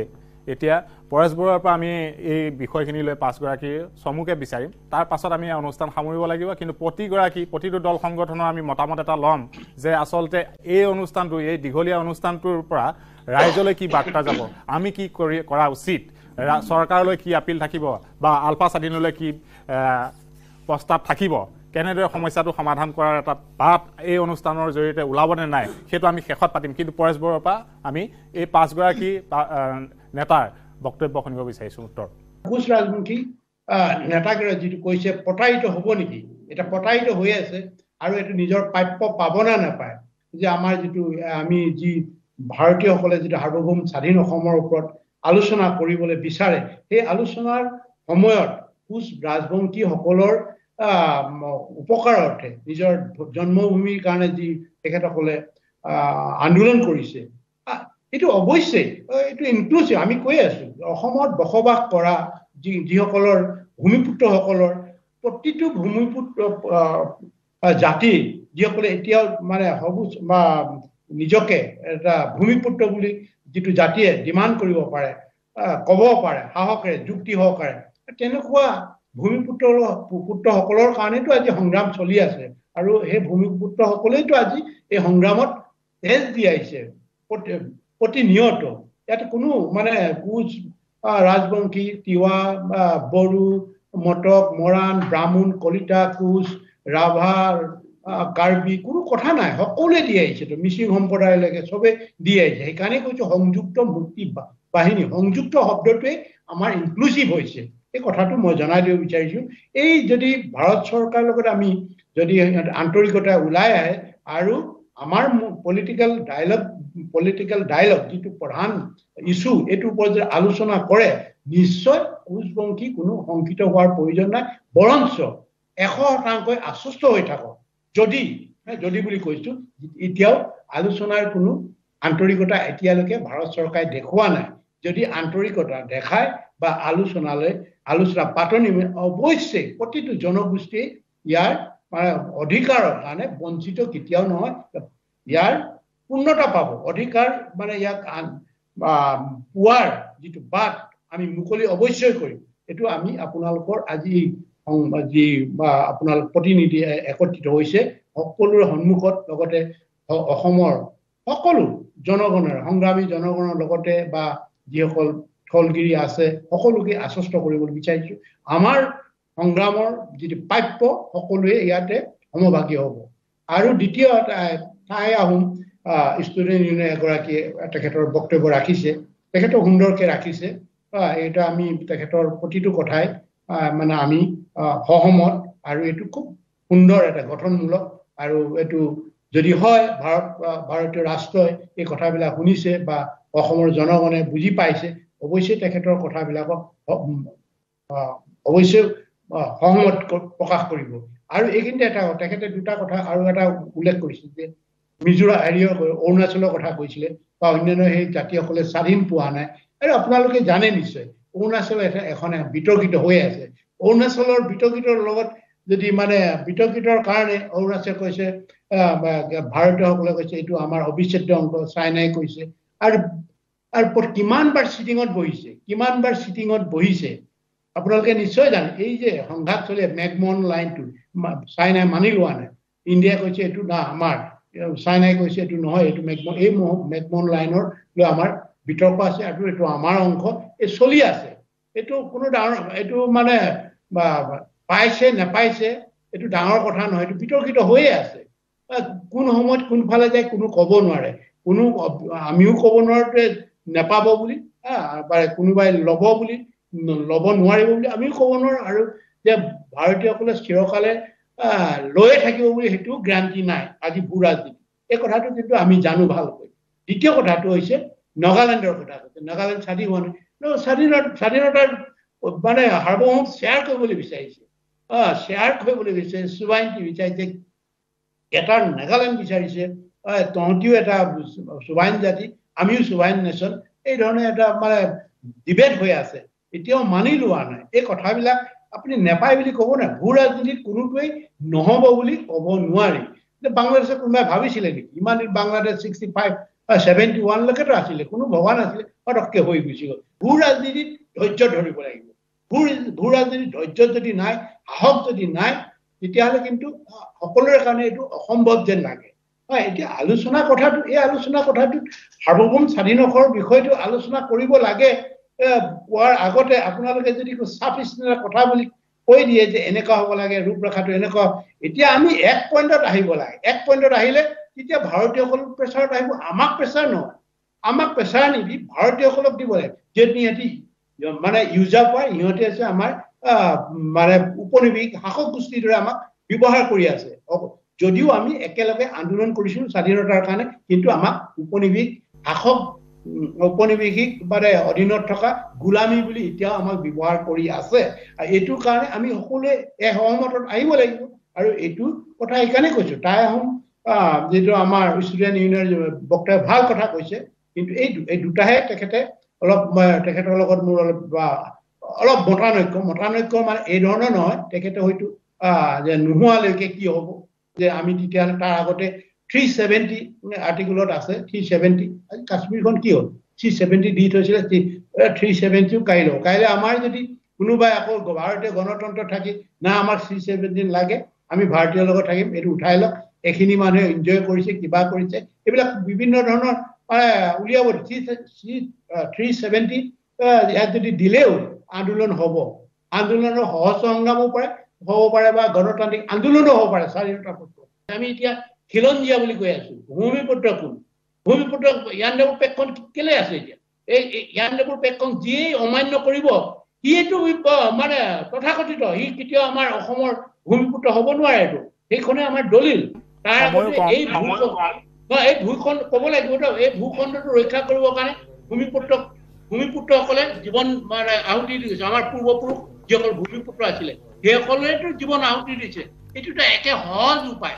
এইটো সহজ উপায়। এইখনকে আমাৰ বুদ্ধিজীৱীসকলে অন্যান্য এইটোকে এতিয়া আমাৰ যিসকল অসমৰ মানে সামাজিক সংগঠন বিভিন্ন জনগোষ্ঠী সেইসকলে ক'ব লাগিব যে আমাৰ জ্ঞানদাবুৰ পেকখনে হৈছে আমাৰ সীমা। এইখন তাৰ আগতে কোন আহিছে তাৰ পৰৱৰ্তী কোন আহিছে সেইসকলে ভূমিপুত্ৰ ভূমিপুত্ৰসকলে হিষ্ট্ৰিকেল ৰাইটটো থাকিব পৰৱৰ্তী অহাসকলে এখন সিহঁতৰ কামৰ যোগেদি সিহঁতে চিটিজেনশ্বিপ পাব। এই কথাটো স্পষ্ট হ'ল। মই লাষ্ট এটাকেইজনৰ নাম নললে বেয়া হ'ব। আমাৰ তিৱা ষ্টুডেণ্ট ইউনিয়নৰ যিজন নেতা তেখেতেও কৈছে তেখেতৰ তেখেতৰ যিটো তিৱা জনগোষ্ঠীটো পৃথিৱী বা মানে অসমৰ সকলোৱে জানে এইটো ভূমিপুত্ৰ তিৱাসকল। আৰু তিৱাসকল বঞ্চিত হৈ আছে অধিকাৰ পাবই লাগিব। আমাৰ যিটো মানে ধৰ ভাৰত চৰকাৰ যদি হয় আলোচনা হয় নিশ্চয় আমি এইবিলাক আমাৰ প্ৰতিটো জনগোষ্ঠীয়ে আমি এইটো পাব পোৱাটো স্বাভাৱিক। আৰু আমাৰ আপচু যিজন নেতাই তেখেতেও কৈছে যে আমিতো সদায় বড়ো যিকোনো জনজাতি মানে অসমত বসবাস কৰা ভূমিপুত্ৰসকলক এই ভূমিপুত্ৰসকলক কেতিয়া আমি স্বাৰ্থ পূৰ্ণ নকৰো আৰু ইকুৱেল ৰাইট ভূমিপুত্ৰসকলে পাবই লাগিব। আৰু সেইটো আমি সদায় আমাৰ মনত আছে। এই কথাটো গোটেই ভাৰতবৰ্ষৰ ওপৰত ভাৰতীয় ৰাষ্ট্ৰৰ ওপৰত ডিপেণ্ড কৰিছে আৰু এইটো আমাৰ প্ৰতিটো জনগোষ্ঠীৰ স্বাৰ্থ হ'বই আৰু। মৰাণ আৰু তাৰপিছতে মৰাণ ছাত্ৰ ইউনিয়নৰ যে নৱ ডাঙৰীয়াই কৈছে তেখেতে সঠিকেই কৈছে সুন্দৰ কৈছে। আৰু এইটো মৰাণ জন- জনগোষ্ঠী যে ডিপ্ৰাইভ হৈ আছে এই কথাটোতো মই ক'লোৱেই। আজিলৈকে মৰাণৰ এটা মিনিষ্টাৰ দিয়া নাই। মৰাণতো হেৰি হৈছে। আজি গণতন্ত্ৰ চাওক সিহঁতে আজি জাতি জনজাতি মৰাণ জাতিৰ নিচিনা মৰাণ মটক দুটা একেই আছে। মৰাণটো আজি হয়তো বহুতে বুৰঞ্জী নাযায় মৰাণক মৰাণ বুলি কয় মটকক মৰিপ বুলি কয়। এইটো এটা ঠাই ঠাই নহয় ঠাই অলপ সম হেৰিৰ লগত আছে কিন্তু এইটো কাচিং চিম্ফ জাতিৰ এটা ঠাল চিম্ফ সাতটা আছে। সাতটাৰ ভিতৰতে মৰাণ এণ্ড মৰিপ মৰিপটো মটক বুলি কয়। এইটো চিম্ফ আৰু মৰাণৰ বুৰঞ্জী চবেই জানে। বুৰঞ্জী হেৰিয়ৰ লগত ব্ৰিটিছৰ বিৰুদ্ধত কিমান দিনলৈকে যুঁজি আছিলে। শেষটো যে ধনঞ্জয় যেতিয়া পলাই গৈছিলে পলাই গৈ মৰাণ মটকৰ ৰাজ্যত আছিলে মটক আৰু মৰাণৰ ৰাজ্যত এতিয়া শেষৰ বাৰৰ কাৰণে যুদ্ধ দিছে। যিখন যুদ্ধত মটক মৰাণৰ সৈনিক প্ৰায় এক হেজাৰ মৰিছিলে। সেইটোতো বহু সিদিনাৰ কথা এইবিলাক।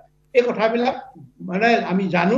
কিন্তু আজি তথাকথিত গণতন্ত্ৰত পৰি আজি মৰাণৰ যিখন যিখন ঠাই আছে যিখন ঠাই আছে কোনে ললে মৰাণ মটকৰ ঠাই আজি তিনচুকীয়া কোনে ললে এইটোতো বুৰঞ্জী প্ৰকৃত। কিমান মানে অৱস্থা। আজি আকৌ ভাৰতে তাতে তিনিচুকীয়াৰ পৰা আজি ভাৰতীয় গণতন্ত্ৰৰ যেতিয়া ইলেকশ্যন হয় নে কোনে হয় কোনোবা বিহাৰৰ ৰাম সিং কনৱাৰ সিং ধনোৱাৰ সিং আহি এই তিনিচুকীয়াৰ পৰা মাত কিন্তু নামাতে। আজি আমি আমি সেইকাৰণে কৈছো আজি সুযোগ সুযোগ দিছো মই খেতও নহয় কিন্তু এই দেখিছো গণতন্ত্ৰৰ কাৰণে কেনেকে কেনেকে জনগোষ্ঠীয় পতিত হৈ আছে। আজি হৈ আছে আজি আজিলৈকে এটা কেণ্ডিডেট মানে তিনিচুকীয়াৰ পৰা মই যিমান যিমান দিন দেখিছো তিনিচুকীয়াৰ পৰা কোনো দিনেই আহ, আমাৰ মৰাণ বা মটকৰ পৰা এটাও মানে প্ৰতিনিধি নাহে। এই কিয় হৈছে আজি সংগত যিসকলে মৰাণ ছাত্ৰ সন্থা কৰিছে বা অন্যান্য সেইসকলে কিয় নকয় কিয় নিজৰ অধিকাৰ কৰিব নোৱাৰে? কাৰণ হৈছে এটি ৰাজনৈতিক উদ্দেশ্যটো বুজি পোৱা নাই। লাষ্ট মই কৈছো ছয় নম্বৰ এটা যিটো ছয় নম্বৰ ব্যক্তিজন লাচিত সেনাৰ তেখেত এজন নেতা। সুন্দৰ কথা কৈছে। মই প্ৰতিটো কথাই মই সমৰ্থন কৰো আৰু সকলোৰে মনোবৃত্তি যদি তেনেকুৱা হয় নিশ্চয় আমি একত্ৰিত হৈ বল আমাৰ কৌটলে চেলিব নালাগে। আমি আমি চবেইতো অসমৰ থলগিৰি মানুহ। আমি সকলোৱে ভুগি আছো। আৰু সেইকাৰণে কৈছো যে ইয়াৰ সিহঁতি যদি কৰিব লৈছে আমি যে অসমৰ মানুহে কওঁ আমি গণভোট কম। গণভোট মানে ফলগিৰি মানুহে হ'ব লাগিব। ফলগিৰি মানুহে যদি গণভোটৰ দ্বাৰা মানে আমি মানে তেনেকুৱা এটা হেৰি ব্যৱস্থা কৰে এইটো ৰাষ্ট্ৰপক্ষই নকৰে। ভাৰতীয়ৰ দ্বাৰা আমি যদি গণভোট কৰোঁ সিহঁতি ৰেগিং কৰিব ই ভি এম সৃষ্টি কৰিব আমাৰ নিজৰ মেকানিজিম আহিব। আমি চিলেক্ট কৰিম। আজি ইয়ান ডেভেলপে কোনাইছে আমি প্ৰতি ঘৰে ভলেণ্টিয়াৰলি কৰিব পাৰোঁ। প্ৰতিটো অঞ্চলতে ভলেণ্টিয়াৰ কিমান খিলঞ্জীয়া আছে কিমান ভূমিপুত্ৰ আছে আমিতো হাতৰ প্ৰতিটো ঘৰতে আমি ছাৰ্ভে কৰিব পাৰোঁ। কোনো পইচা নালাগেতো। টকা পইচা খৰচ নকৰাকে আমি গণভোট পাতিব পাৰোঁ য'ত নেকি অবজাৰ্ভাৰ থাকিব। আৰু যিটো বিষয় নেকি গণভোট পাতিলে ভাৰতীয় সুখনিক ৰাষ্ট্ৰই ক'ব লাগিব এইটো মানি ল'ম। ভাৰতৰ অসমত যি গণভোট হৈছে এই গণভোটৰ ওপৰত ভিত্তি কৰি মানে যিটো ৰায় আহিছে সেই ৰায়টো আমিও মানি ল'ম। কিন্তু ভাৰত পক্ষক ক'ব লাগিব যে এইটো আমি মানি ল'ম এইটো এইটো সাৰ্বভৌম স্বাধীন অসমৰ ওপৰত কথা পাতিব লাগিব বুলি ৰাইজৰ অসমৰ থলগিৰ ৰাইজে সেইটো, মুঠতে বিষয়টো। হ'ল বিষয়টো লৈ পেলাই গণভোট গণভোট। আমাৰ গোটেইখিনি দল সংগঠনৰ আছে মেক্সিমাম অসমৰ। এটা বিৰতি লৈ লৈছো এটা বিৰতিৰ সময় হৈছে এটা চমু বিৰতি। বিৰতিৰ পিছত পুনৰ উভতি আহিছোঁ মূল অনুষ্ঠানলৈকে। সকলোৰে পৰা মই শেষত এটাই বিচাৰিম এটা এটা বাক্য যে আচলতে বাৰ্তাটো কি যাব লাগে ৰাইজৰ ওচৰলৈকে কেনেদৰে সমস্যাটো সমাধান কৰিব পৰা যায় মই আছুৰ ফালৰ পৰা প্ৰথমে বিচাৰিম। যে বেছি দীঘলকৈ নহয় যে লাষ্ট এটা এটা চেণ্টেঞ্চ গোটেই কেইগৰাকীয়ে ক'ব যে সমস্যাৰ সমাধানটো কেনেকুৱাকৈ হ'ব লাগে গণভোটৰ টাইপটো কেনেকুৱা হ'বগৈ ছিষ্টেমটো কেনেকৈ যাব সেইখিনি। প্ৰথম কথাটো হৈছে সদৌ অসম ছাত্ৰ সন্থাই যিটো কথা কৈ আহিছোঁ যে আমি গোটেই কথাটোৰ নিঃচৰ্ত আলোচনাৰ মাজেৰে সমাধান হোৱাটো বিচাৰোঁ আলোচনাৰ মজিয়াত সকলো বিষয়ৰ আলোচনা হ'ব লাগিব ছাত্ৰ সন্থাই এই কথাটো কৈছোঁ কাৰণ কিয়নো ইমান দিনে এটা জাতিয়ে সংগ্ৰাম কৰি আছিলে কিয়নো ইমান হাজাৰ হাজাৰ অসমীয়া ডেকা গাভৰুৱে প্ৰাণ আহুতি দিছিলে সেই কিয়টোৰ ওপৰত আলোচনা হ'ব নোৱাৰাৰ কোনো থল নাথাকে। গতিকে আলোচনা সকলো বিষয়ে আলোচনা হ'ব লাগিব। আমি অসম চুক্তিৰ সময়ত দেখিছোঁ বি টি আৰ চুক্তিৰ সময়তো দেখিছোঁ যে আলোচনা যিসমূহ দাবী লৈ হৈছে আলোচনাৰ মজিয়াত গৈ পেলাই আলাপ আলোচনাত ইফাল সিফাল হৈছে। কিন্তু বিষয়টো। কিয় আলোচনা হ'ব লাগিব সেই কথাবোৰ সকলোবোৰে আলোচনা হ'ব লাগিব বুলি ছাত্ৰ সন্থাই ক'ব বিচাৰিছোঁ। চমুকে ক'ব সময় কম। আমি আমি টাইমৰ তৰফৰ পৰা এটা কথা ক'ব বিচাৰিছোঁ যে আলোচনা হ'ব লাগিবই। আলোচনা অবিহনে কেতিয়াও এটা মানে মীমাংসা সংহত ওলাব নোৱাৰে। গতিকে আলো আলোচনা ভিত্তিত অসমৰ যি থলুৱা যিটো খিলঞ্জীয়া আছে খিলঞ্জীয়াসকলৰ গণভোট হওক আৰু গণভোটৰ ভিত্তিতেই আলোচনা হওক আৰু আলোচনাত সাৰ্বভৌমত্বৰ মানে এক নম্বৰ স্থান পাব লাগিব। তাৰ তাৰোপৰি আপুনি সাৰ্বভৌমত্ব ছাবজেক্টটোৰ ওপৰত গণভোটৰ কথা হয় হয় সেইটো কথা কৈছোঁ। সাৰ্বভৌমত্বৰ আধাৰত আলোচনা হওক আৰু যদি সাৰ্বভৌমত্ব সংবিধানে কিবা তাৰ সাংবিধানিক কিবা বাধা নিষেধ আছে সেইটো দৰকাৰ হ'লে সংশোধন কৰি কাৰণ যিহেতুকে ভাৰতৰ সংবিধানখন ইতিমধ্যে কেইবাবাৰো সংশোধন হৈছে যে অসমৰ স্বাৰ্থত এবাৰ সংশোধন কৰি দৰকাৰ হ'লে এই সাৰ্বভৌমত্বৰ আধাৰত আলোচনা হওক কিন্তু আলোচনাৰ নামত আলোচনাটো আমি বিচৰা নাই, নিশ্চিতভাৱে আমি আলোচনা বিচাৰোঁ কিন্তু এই আলোচনা সদিচ্ছা প্ৰকাশ কৰিব লাগিব কেন্দ্ৰীয় চৰকাৰে। কেন্দ্ৰীয় চৰকাৰে যেতিয়ালৈকে আলোচনাত নিবিচাৰিব ভাৰত চৰকাৰে যেতিয়া আলোচনা বহিবৰ কাৰণে সদিচ্ছা প্ৰকাশ নকৰিব আমি ইয়াতে যিমানেই দল সংগঠনবিলাকে কৈ নাথাকোঁ কিয় সেই আলোচনা ফলপ্ৰসূ এক আলোচনাত উপনীত নহ'ব। গতিকে মই ভাবোঁ যে কেন্দ্ৰীয় চৰকাৰে গোটেই বিষয়টো সদিচ্ছা প্ৰকাশ কৰি আলফা আৰু ভাৰত চৰকাৰৰ মাজত আলোচনা কৰি এই গোটেই বিষয়টো এক ৰাজনৈতিক সফল পৰিসমাপ্তি ঘটাবৰ কাৰণে কেন্দ্ৰীয় চৰকাৰে উদ্যোগ গ্ৰহণ কৰিব লাগে। আমি আক্ৰাছো এই কথাখিনিয়ে যে সাৰ্বভৌমত্বৰ ওপৰত আলোচনা হওক আমাৰ ইয়াত কোনো দ্বিমত নাই। কিন্তু এই আলোচনাৰ পৰিসমাপ্তি ইয়াত জাতি জনগোষ্ঠীৰ অসমত বসবাস কৰা জাতি জনগোষ্ঠীসমূহৰ অধিকাৰ সুৰক্ষিত হ'ব লাগিব। কোচাজ বংশী আগতেই কৈছোঁ কোচাজ বংশীসকল বহু য'ত নিজৰ শাসন ব্যৱস্থা য'ত নিজৰ ভূমিতে আজি নিথৰুৱা হৈছোঁ আমাৰ আজিৰ অধিকাৰৰ পৰা আমি বিচ্ছিন্ন হৈছোঁ সেইকাৰণে কৈছোঁ যে আলফাৰ সংগ্ৰামৰ এটা পৰিসমাপ্তি গঠনমূলক অসমৰ ৰাইজে অসমৰ প্ৰতিটো জাতি জনগোষ্ঠীয়ে পাব লাগিব ছটা জনগোষ্ঠীয়ে ন্যায় পাব লাগিব এইখিনিয়ে হয়। সকলোৰে এটাই কথা আলোচনাৰ নামত আলোচনা প্ৰতাৰণা যাতে নহয়। আচলতে আমি টাইহোম যুৱ পৰিষদ টাইপাৰ কেন্দ্ৰীয় সমিতিৰ পৰা এটা কথাই কওঁ যে আলোচনাৰ এটা সময় থাকিব লাগিব আচলতে নিৰ্ধাৰণ এটা সময় পাঁচ বছৰ এটা সময়। আৰু গণভোট যদি হয় খিলঞ্জীয়া থলগিৰি যিসকল মানুহ মই আগতে কৈছোঁ এইটিন টুৱেণ্টি ছিক্সৰ আগত যিসকল বসবাস কৰিছে তেওঁলোকৰ গণভোট হওক।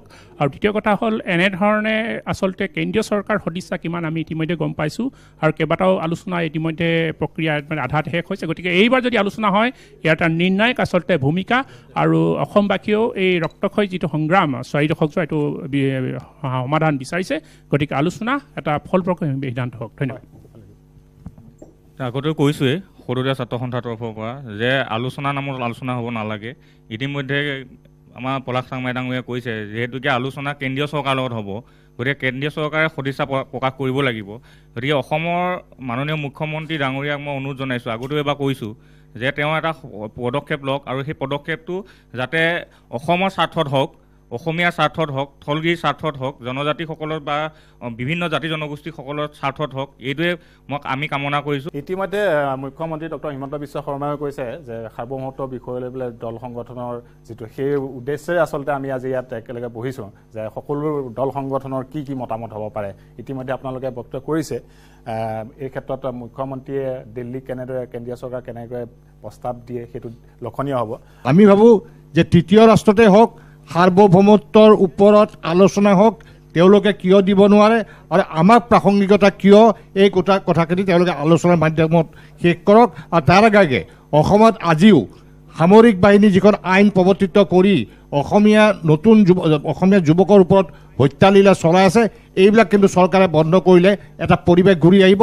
কলা আইনসমূহ প্ৰত্যাহাৰ কৰা হওক আৰু গণভোটৰ এইটো বৰ দীঘলীয়া পৰিক্ৰমা মই ভাবোঁ তাৰ আগতেই পৰেশ বৰুৱা ডাঙৰীয়াই যাৰ জড়িতই নহওক যেনেকেই নহওক সাৰ্বভৌমত্ব বিষয়বস্তুটো উত্থাপন কৰক আৰু অসম চৰকাৰৰ অসমৰ মুখ্যমন্ত্ৰী ডাঙৰীয়াই এই বিষয়বস্তুটো দিল্লীলৈ কঢ়িয়াই লৈ যাওক আৰু দিল্লীক তেওঁক কনভিন্স কৰাওক যে সাৰ্বভৌমত্বৰ ওপৰত আলোচনা প্ৰক্ৰিয়াটো আৰম্ভ হ'ব লাগে।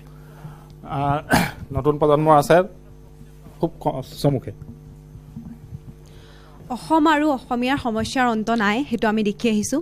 আৰু অসমীয়া জাতিটো বছৰ বছৰ ধৰি স্বাধিকাৰ প্ৰতিষ্ঠাৰ হকে সদায় সংগ্ৰাম কৰি আহিছে। এই প্ৰান্তীয় শোষিত আৰু আন্দোলনমুখী এই জাতিটোক কৰ্মসংস্কৃতিয়ে উদ্বুদ্ধ কৰাৰ যিখিনি কথা পৰেশ বৰুৱা ডাঙৰীয়াই কৈছে সেইখিনি আমাৰ ভাল লাগিছে। আৰু তেওঁ আমিও বিচাৰোঁ তেওঁ আলোচনালৈ আহক আলোচনাত মিলিত হওক সাৰ্বভৌমত্বৰ ওপৰত আলোচনা হওক আৰু তেওঁ অসমীয়া জাতিটোৰ যিখন ভাৰ সেই ভাৰখন কঢ়িয়াই লৈ যাব পৰা ক্ষমতা এতিয়াও আছে বুলি ভাবিছোঁ। কিন্তু সেই সংগ্ৰামখন তেওঁ তাৰ বাহিৰত থাকি নহয় ইয়াত আহি মানুহৰ সন্মুখৰ পৰা নেতৃত্ব দিয়ক সেয়াই আমি বিচাৰিছোঁ। আলোচনা সাৰ্বভৌমত্বৰ ওপৰতে হওক আৰু আলোচনাত আলোচনাটো আগবঢ়াই নিয়াৰ এটা প্ৰক্ৰিয়া অসম চৰকাৰৰ মাননীয় মুখ্যমন্ত্ৰী ডাঙৰীয়াই আৰম্ভ কৰক। আৰু অসমত এটা এই যে আলোচনা এটা প্ৰক্ৰিয়া আগবঢ়াই নিয়াৰ কথাখিনি সকলোৱে কৈ আছে। আৰু এই এটা পৰিৱেশ এটা বাতাবৰণ সৃষ্টি কৰিবৰ কাৰণে কিন্তু অসমৰ মুখ্যমন্ত্ৰী ডাঙৰীয়াই নিশ্চিতভাৱে পদক্ষেপ ল'ব লাগিব। আৰু কেন্দ্ৰ চৰ কেন্দ্ৰক অসমৰ মাননীয় মুখ্যমন্ত্ৰী ডাঙৰীয়াই হেঁচা দিব লাগিব যে অসমৰ যি বিয়াল্লিছ বছৰীয়া এটা সংগ্ৰাম ভাৰত চৰকাৰৰ আলফাৰ এই সংগ্ৰামখনক যি সন্মান সেই সন্মান দিয়াটো আমি কামনা কৰোঁ আৰু তেওঁলোকে উত্থাপন কৰা দাবীসমূহ তেওঁলোকে কি বিষয়বস্তুসমূহ পুংখানুপুংখভাৱে আলোচনা কৰি কিনে গোটেই বিষয়টো আগবঢ়াই নিবৰ কাৰণে কেন্দ্ৰীয় চৰকাৰে দায়িত্ব সহকাৰে ল'ব লাগে। এতিয়া বলটো কেন্দ্ৰীয় চৰকাৰৰ কোৰ্টত গতিকে অসমৰ অসমৰ ৰাজনীতি কৰা বুদ্ধিজীৱীসকল আমোলা বা যোন যেনেকৈ দল সংগঠন আমি সকলোৱে এই মুহূৰ্তত একগোট হৈ আমি কেন্দ্ৰীয় চৰকাৰক কেনেকৈ বাধ্য কৰাব পাৰোঁ আলোচনাৰ বাবে। কাৰণ আলফাটো আমি পেলাই দিব সমস্যা নহয়। এটা এৰাই চলা সমস্যা নহয়। কাৰণ তিয়াল্লিছ বছৰ চাৰিটা ডোখৰ সংগ্ৰাম চলা চৈধ্য হাজাৰ যুৱক যুৱতীয়ে প্ৰাণ আহুতি দিছে। গতিকে এই আলফাৰ যিটো আজিৰ তাৰিখত হয় ৰাষ্ট্ৰযন্ত্ৰ ভয়ত যদি সকলো অসমবাসী ৰাইজে বা অসমৰ বিভিন্ন কোণত গ'লে আমি গম পাওঁ কোনোৱে অপেনলি বা মুক্ত মনে এইবিলাক কথা নক'ব পাৰে। কিন্তু সকলোৰে মনত আলফাৰ যিটো মানে অনুভূতি বা অনুভৱ সেইটো কিন্তু সকলোৰে আছে। গতিকে অসমৰ সমূহ ৰাইজে বা আমাৰ বিভিন্ন ক্ষেত্ৰত আমি অসমৰ কিছুমান মানে আমি নাগৰিকে কি আমি ভাবোঁ যে আলফা সমস্যাটো জীয়াই থাকক আমি মাজে মাজে সুবিধা গ্ৰহণ কৰি থাকক।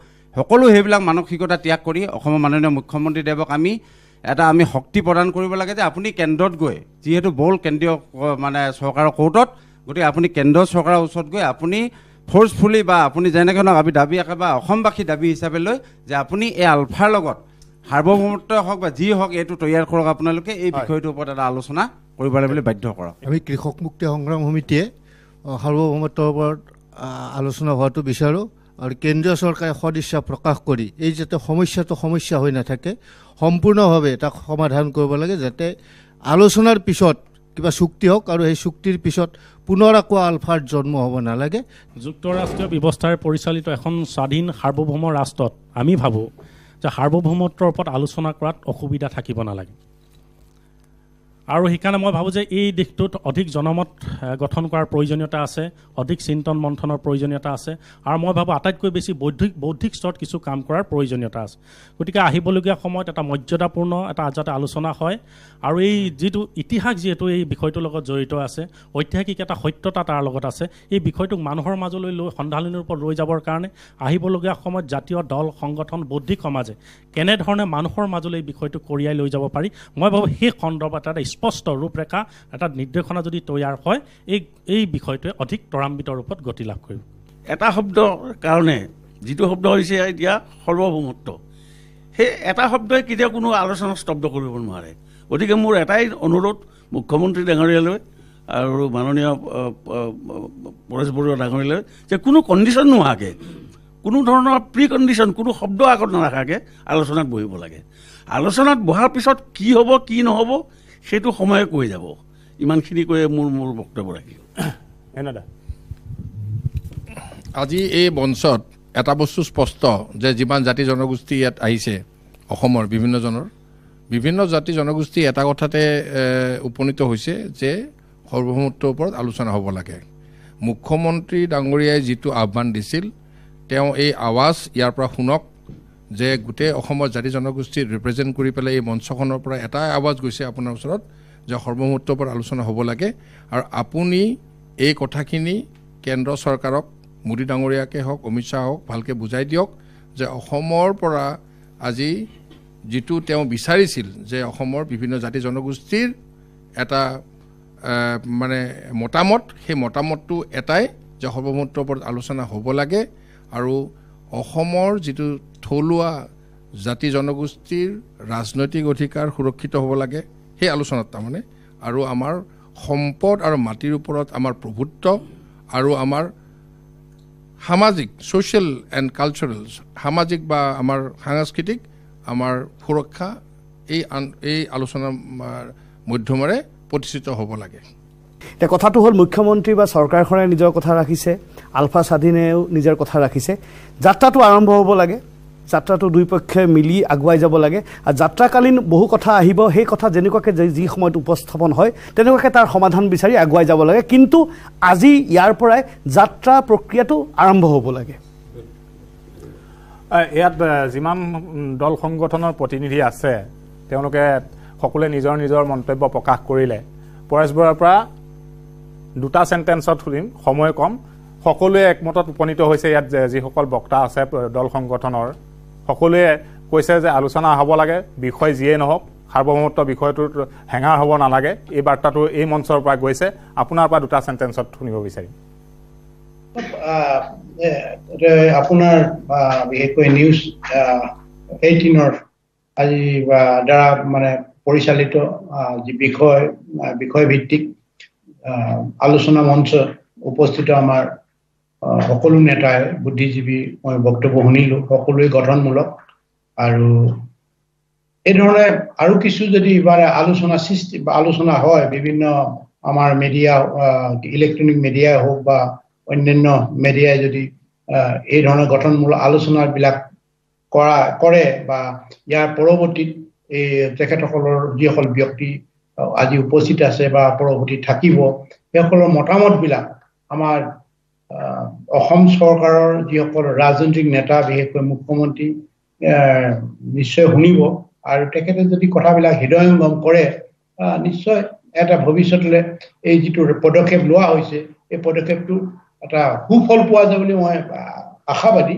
আৰু যিহেতু নেকি এইটো সাৰ্বভৌম স্বাধীন অসমৰ বিষয়টো এইটো কোনো ধৰণৰ হেঙাৰ নহয়। আমি আগতেও কৈছোঁ গণতন্ত্ৰত কোনোদিন হেঙাৰ হোৱা নাই আৰু ইয়াৰ ইতিমধ্যে বিভিন্ন ৰাষ্ট্ৰই ইয়াক প্ৰতিষ্ঠিত কৰিছে। এই কথাটো আমাৰ মুখ্যমন্ত্ৰীগৰাকীয়ে বুজি লৈ যদি দিল্লীত উপনিবেশিক ৰাষ্ট্ৰক যদি বুজাব পাৰে তেতিয়া নিশ্চয় আমি আমাৰ আজি যিটো গঠনমূলক আলোচনা বিভিন্ন আজিয়ে নহয় ধাৰাবাহিকভাৱে চলি আহিছে ধাৰাবাহিকভাৱে আৰু চলিব তেতিয়াহ'লে কিন্তু আমি সকলো আশা কৰিব পাৰিম যে ভাৰতীয় সকল এটা ভাৰতীয়সকললৈ এটা মেছেজ গৈছে ভাৰত ৰাষ্ট্ৰলৈ এটা মেছেজ গৈছে এই মেছেজবিলাক নিশ্চয় তেখেতসকলে কিছু হ'লেও পঢ়ি বা জানি আমাৰ যিটো এটা জাতি এটা বৃহৎ জাতি যি জাতিৰ বিভিন্ন জাতি জনগোষ্ঠীৰ দ্বাৰা গঠিত এই জাতিৰ ঐতিহ্যক সন্মান দিব এই জাতিৰ বুৰঞ্জীক সন্মান দি আলোচনাৰ পথ মুকলি কৰিব বুলি মই ভাবোঁ।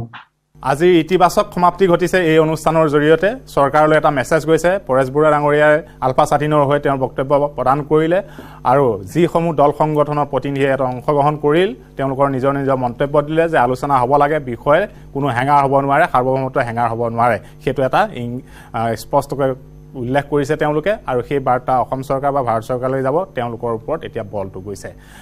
সকলোলৈকে ইয়াত অংশগ্ৰহণ কৰা সকলোলৈকে ধন্যবাদ জ্ঞাপন কৰি আজিৰ এই অনুষ্ঠানৰ পৰা বিদায় লৈছোঁ। নিউজ এইটিনৰ বিশেষ অনুষ্ঠানলৈ আপোনালোক সকলোকে স্বাগতম জনাইছোঁ। আজি এক বিশেষ কাৰ্যসূচী লৈ পেলাই আপোনালোকৰ ওচৰলৈকে আহিছোঁ। আৰু অসমৰ বহুকেইটা দল সংগঠনৰ জ্যেষ্ঠ প্ৰতিনিধিবৰ্গ আছে বিশিষ্ট বুদ্ধিজীৱীসকল আছে আৰু অগ্ৰণী লোকসকল আছে। আমাৰ মুখ্য টাৰ্গেটটোৱেই হ'ল যে পৰেশ বৰুৱা নেতৃত্বাধীন আলফা স্বাধীনৰ সৈতে ভাৰত চৰকাৰ অসম চৰকাৰ আলোচনাৰ যি দুমোজা সাৰ্বভৌম স্বাধীন অসমৰ সেই দাবী সেই বিষয়টোলৈ ওলমি ৰৈছে। এই চাৰি দশকজোৰা এই সংগ্ৰাম কেনেদৰে সমস্যা সমাধান হ'ব এই বিষয় লৈ পেলাই মুখ্যমন্ত্ৰীয়েও কেতবোৰ কথা মন্তব্য বিগত সময়ছোৱাত কৰি আহিছে। নতুন বছৰটোৰ পহিলা জানুৱাৰী তাৰিখতেও তেওঁ উল্লেখ কৰিছিল দল সংগঠন আৰু ৰাইজৰ মতামতৰ কথা। এই গোটেই বিষয়খিনি লৈ আমি আজি আলোচনা কৰিম।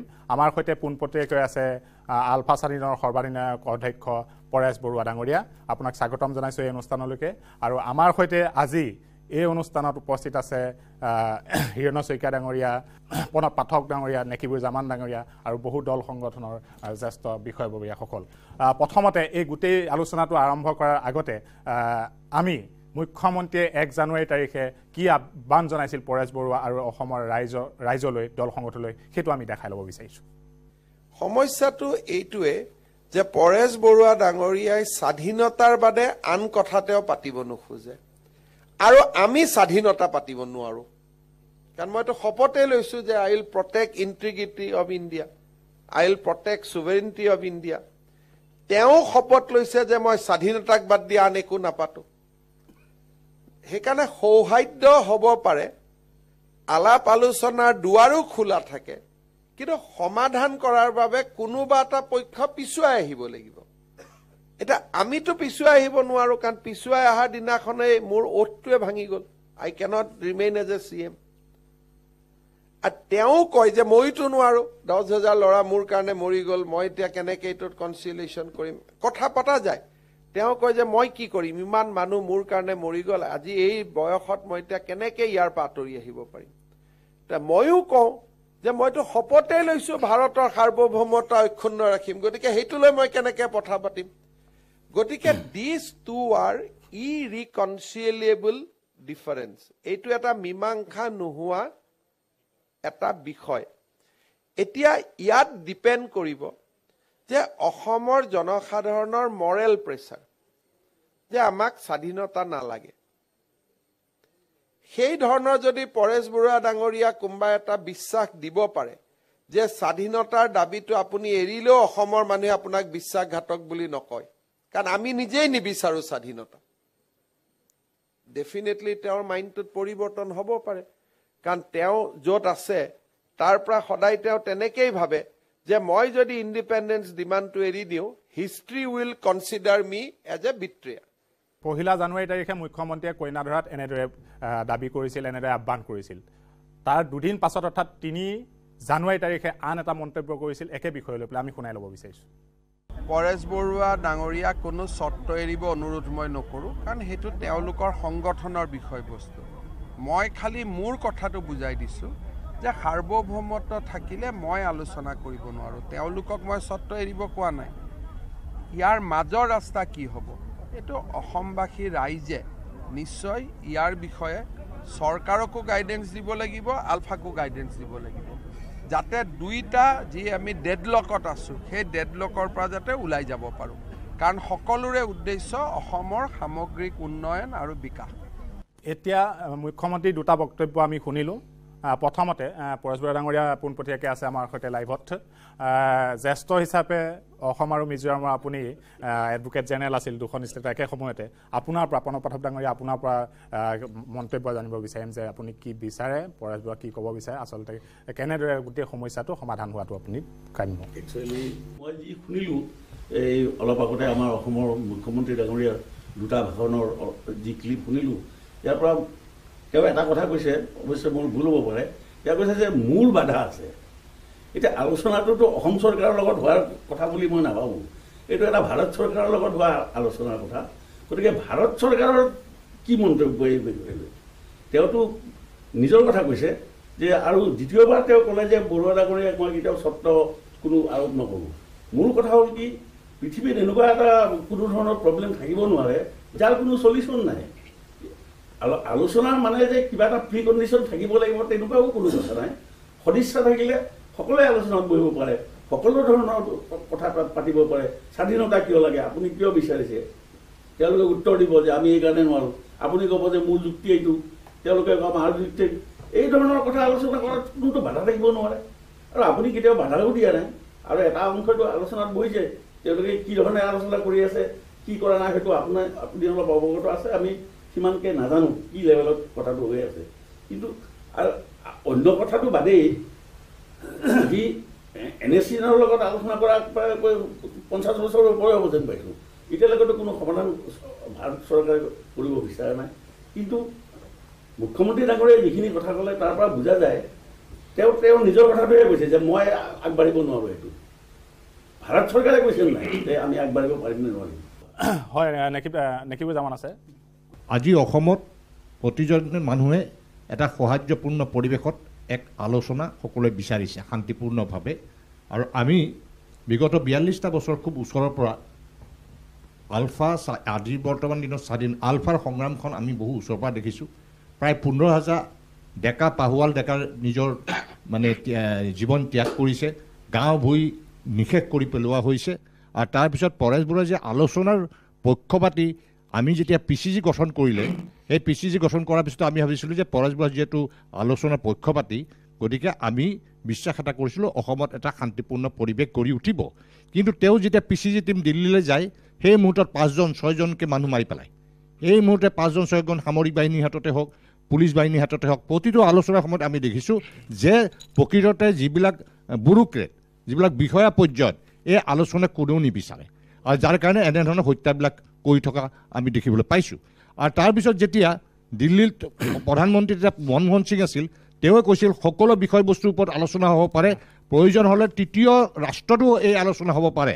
আজিৰ দিনত অসমৰ মুখ্যমন্ত্ৰীৰ এখতিয়াৰৰ কথা আহিছে হয় আমাৰ শ্ৰদ্ধা প্ৰণৱ পাঠক দাই কথাখিনি স্পষ্টভাৱে কৈছে। যদি সেই এখতিয়াৰটো কেন্দ্ৰীয় চৰকাৰৰ পৰা অসমত মুখ্যমন্ত্ৰী হাতলৈ আহিছে আৰু তেওঁৰ এটা দায়িত্ব আছে প্ৰপ'জেল দিয়াৰ যে তেওঁৰ বক্তব্যটো যে তেওঁ সাৰ্বভৌমত্বৰ ওপৰত তেওঁ বক্তব্য ৰাখিব আলোচনা কৰিব নোৱাৰে ব্যক্তিগত লেভেলত। কিন্তু আমি বিচাৰিছোঁ যে আলোচনাৰ প্ৰক্ৰিয়াটো আৰম্ভ হওক। সেই আলোচনাই যে কালিয়ে এটা স্বাধীন হৈ যাব অসম বা উত্তৰ পূৰ্বাঞ্চল সেই প্ৰশ্নটোৰ সলনি। আমাৰ সাৰ্বভৌমত্ব যদি অৰ্থনৈতিক সাৰ্বভৌমত্ব ৰাজনৈতিক সাৰ্বভৌমত্ব সাংবিধানিক আমাৰ ৰক্ষা কৱচ যদি হয় অসমীয়া জাতিটো দৈনন্দিনভাৱে ই নিশেষ হৈ গৈ আছে অসমীয়া ভাষা সংস্কৃতি সাহিত্য নিশেষ হৈ গৈ আছে আৰু আমাৰ পোন্ধৰ হাজাৰ যি বাহুৱাল ডেকাৰ ইতিমধ্যে মৃত্যু ঘটিছে আমাৰ ভৱিষ্যতৰ পোন্ধৰ লাখ পোন্ধৰ হাজাৰ পোন্ধৰ লাখ মানুহ কমি গৈছে আৰু অসমীয়া জাতি লাহে লাহে সংখ্যালঘুলৈ ই নিম্নগামী হৈছে। গতিকে আজিৰ দিনত আমি আশা কৰিম মানুহৰ খুব অত্যন্ত বিশ্বাস আছে পৰাজ বৰুৱাৰ ওপৰত। তেখেতে অন্ততঃ কোনটো দিশেৰে আলোচনা কৰিলে জাতিটো ৰক্ষা পৰে আমি সাংবিধানিক ৰক্ষা কৱচ পাওঁ আমি স্বাধীনতা বাক আমাৰ বাক স্বাধীনতাৰ লগে লগে আমাৰ যাতে অৰ্থনৈতিক সামাজিক ৰাজনৈতিক আমি স্বাধীনতা পাওঁ এই বিষয়বস্তুৰ ওপৰত আলোচনাৰ প্ৰক্ৰিয়াটো আৰম্ভ কৰিলে কেন্দ্ৰীয় চৰকাৰ আৰু আলফাৰ মাজত পোনপটীয়াভাৱে মই ভাবোঁ এটা সুফল হয়তো আগন্তুক আমি দেখিবলৈ পাম।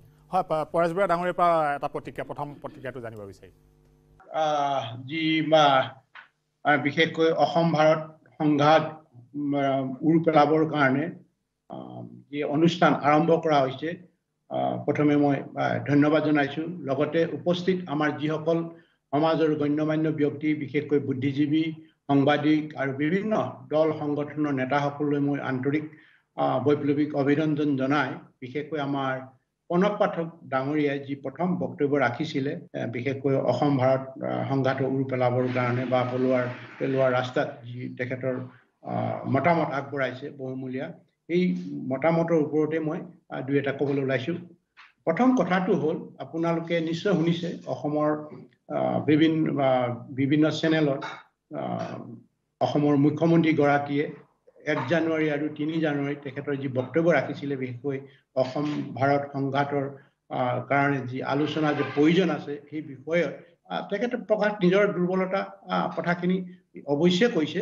কিন্তু ইয়াৰ আচল কথাটোলৈ আমি সকলো আহিব লাগিব আৰু আমি সকলোৱে জানিব লাগিব যে অসমৰ মুখ্যমন্ত্ৰী গৰাকীৰ লগত সংযুক্ত মুক্তি বাহিনী অসম স্বাধীনে কেতিয়াও কথা পাতিম বুলি কোৱা নাছিলে। আৰু তেখেতৰ এইটো ক্ষমতাৰ বাহিৰত যিহেতু নেকি অসমৰ মুখ্যমন্ত্ৰীগৰাকী বৰ্তমান যি হিমন্ত বিশ্ব ডাঙৰীয়াৰ আহ, দিল্লীত বহুতেই কৈছে অসমৰ জনগণে কৈছে যে এটা প্ৰভাৱ আছে। আৰু সেই পৰিপ্ৰেক্ষিত আৰু তেখেতে নিজেও আগবাঢ়ি আহিছে যে এই সংঘাতটো মোক এটা সুযোগ দিব লাগে। আমাকো কৈছিলে যে আমাক মোক এটা সুযোগ দিব লাগে। এ, আলোচনা পাতনি মেলিব পৰা মই দুৱাৰ মোকালিব পাৰোঁ নেকি? আৰু সেই কথাটো তেখেতে বাৰে বাৰে কৰিছিলে। বা এতিয়াও কৈ আছে আৰু তাৰ পৰিপ্ৰেক্ষিতত আমি কৈছিলোঁ আপুনি আমি এটা ইংলিছৰ এটা শব্দ ব্যৱহাৰ কেটেলিষ্ট আৰু সেই শব্দটো আপোনালোকক মই অসমীয়ালৈ আকৌ বিশ্লেষণ কৰি মই ধৃষ্টতা দেখাব যোৱা নাই সকলোৱে শব্দটো জানে। হা শব্দটো জনাৰ কাৰণে আৰু এই জনগণৰ এই কেটলিষ্ট কোনোবাই সুধিলে আপোনালোকে তাৰ ব্যাখ্যাটো দি দিব। সেইকাৰণে আমি কৈছোঁ তেখেতক নামাকৰণ কৰিছোঁ কেটলিষ্ট কৈ কেটলিষ্ট শব্দটো ব্যৱহাৰ কৰিছিলোঁ আৰু তেখেতে এইটো একচেপ্ট কৰি লৈছিলে। সাদৰে গ্ৰহণ কৰি লৈছে। সেইকাৰণে কৈছে যে মই ৰাস্তাটো। এতিয়া এতিয়া হয়তো তেখেতৰ কিছু অসুবিধা আহি পৰিছে ক'বলৈ অসুবিধা হৈছে বা কনভিন্স কৰাব পৰা নাই। নেপাৰী তাৰ পৰিপ্ৰেক্ষিতত তেখেতে এটা মানে এক জানুৱাৰী তিনি আৰু এক আৰু তিনিত যি বক্তব্য ৰাখিছে তাৰে এটা বহিঃপ্ৰকাশ ঘটিছে। আৰু এই কথাটো যে উন্নতিয়ে কৈছে যে পৰেশ বৰাই ডাঙৰীয়াই নিজৰ যিটো নেকি লক্ষ্য উদ্দেশ্য নীতি আদৰ্শ এই আদৰ্শৰ কাৰণে নীতিৰ কাৰণে হাজাৰ হাজাৰ পাহোৱাল আহ, ডেকা গাভৰুৱে জীৱন জীৱন দি আহিছে। আৰু সেই তাৰ পৰিপ্ৰেক্ষিতত তেখেতেও মোক এই বিষয়টো যে এৰি আহিব বুলি লাগে বুলি কোৱা নাই ন দি কোৱা নাই। সন্মান সহকাৰে বা সকলোৱে বিচাৰিছে। আচলতে এই চাৰি দশক যোৰা স- সংগ্ৰাম আপোনালোকৰ যি সংগ্ৰাম এই সংগ্ৰামৰ এটা আহ, আশু মীমাংসাটো সকলোৱে বিচাৰিছে। আছুৰ প্ৰতিনিধি আছে সভাপতি উৎপল শ- আহ, উৎপল শৰ্মা আপোনাৰ পৰা আলোচনাৰ মজিয়াত এই সমস্যাটোৰ সমাধান হোৱাৰ পোষকতা সদৌ অসম ছাত্ৰ সন্থাই অতীজৰে পৰা কৰি আহিছে। অসমত স্থায়ী শান্তিৰ পোষকতা আমি কৰি আহিছোঁ। আৰু শেহতীয়াকৈ খুব ইতিবাচক কথা যে উভয় পক্ষৰ পৰা আলোচনাৰ কাৰণে সদিচ্ছা দেখুওৱা গৈছে। কাৰণ পৰেশ বৰুৱা ডাঙৰীয়াই কেতিয়াও কোৱা নাই যে তেখেত আলোচনাৰ বিৰোধী বুলি। তেখেতে সদায় আলোচনাৰ মাজেৰে সমস্যাটোৰ মীমাংসাৰ কথাটো সদায় তেখেতে কৈ আহিছে। আৰু এতিয়া শেহতীয়াকৈ অসমৰ মুখ্যমন্ত্ৰী ডাঙৰীয়াই কথাটোত কিছু আগভাগ লৈ পেলাই দেখুৱাইছে যিটো পৰেশ বৰুৱা ডাঙৰীয়াই কৈছে যে তেওঁ অনুঘটকৰ ভূমিকা ল'বলৈ বিচাৰিছিলে কেটেলিষ্টৰ ভূমিকা ল'বলৈ আৰু বিষয়টোৰ আলোচনা হ'ব লাগিব কেন্দ্ৰীয় চৰকাৰৰ লগত। আৰু এটা কথা সদৌ অসম ছাত্ৰ সন্থাই স্পষ্টভাৱে ক'ব বিচাৰিছোঁ যে ছাত্ৰ সন্থাই এই আলোচনাটো মৰ্যাদাপূৰ্ণ হোৱাটো বিচাৰোঁ আৰু নিঃচৰ্ত হোৱাটো বিচাৰোঁ। কোনো এটা বিষয়ত আলোচনা হ'ব নোৱাৰাৰ কোনো কাৰণ থাকিব নোৱাৰে গণতান্ত্ৰিক ৰাষ্ট্ৰ এখনত। আমি যেতিয়া কৈ আছোঁ যে আলোচনাটো মৰ্যাদা সহকাৰে হ'ব লাগে আৰু নিঃচৰ্ত আলোচনা হ'ব লাগে ইয়াৰ অৰ্থটো এইটোৱেই যে আলোচনাটোত কোনো অমুক বিষয়ত আলোচনা নকৰোঁ বুলি যদি কৈ দিয়ে আলোচনাটোত চৰ্ত বান্ধি দিয়া হ'ব আৰু চৰ্ত বান্ধি দিলে আলোচনাটো সফল নহ'ব। কাৰণ এটা জাতিৰ ডেকা গাভৰুৱে ইমান দিনৰ পৰা সংগ্ৰাম কৰি আছে চাৰিটা দশকৰ পৰা সংগ্ৰাম কৰি আছে তেওঁলোকে কি দাবীতনো কিহৰ কাৰণেনো তেওঁলোকে সেই দাবীটো উত্থাপন কৰিছে সেই সম্পৰ্কে কিয় আলোচনা হ'ব নোৱাৰে? আলোচনা হ'ব নোৱাৰাৰ কোনো থল নাই। গতিকে আলোচনাত কোনো চৰ্ত আৰোপ নকৰি চৰকাৰে আলোচনাৰ মজিয়াত সকলো বিষয়ৰ ওপৰত আলোচনা কৰিবলৈ দুৱাৰ খোলা ৰাখিব লাগে। হয় আছুৰ ফালৰ পৰা উৎপল শৰ্মাই ক'লে A Y C Palash Ranjan Changmai আছে পৰা আলফা আৰু চৰকাৰৰ মাজৰ যি আলোচনা সেই আলোচনা কেৱল মাত্ৰ আমি আলোচনা হোৱাটোৱেই নহয় এই আলোচনা হ'বৰ কাৰণে যি পৰিৱেশ সেই পৰিৱেশ ৰচনা কৰিবৰ কাৰণেও অসম জাতীয়তাবাদী যুৱ ছাত্ৰ পৰিষদে এটা সময়ত বিভিন্ন জনমত গঠন কৰিছিল।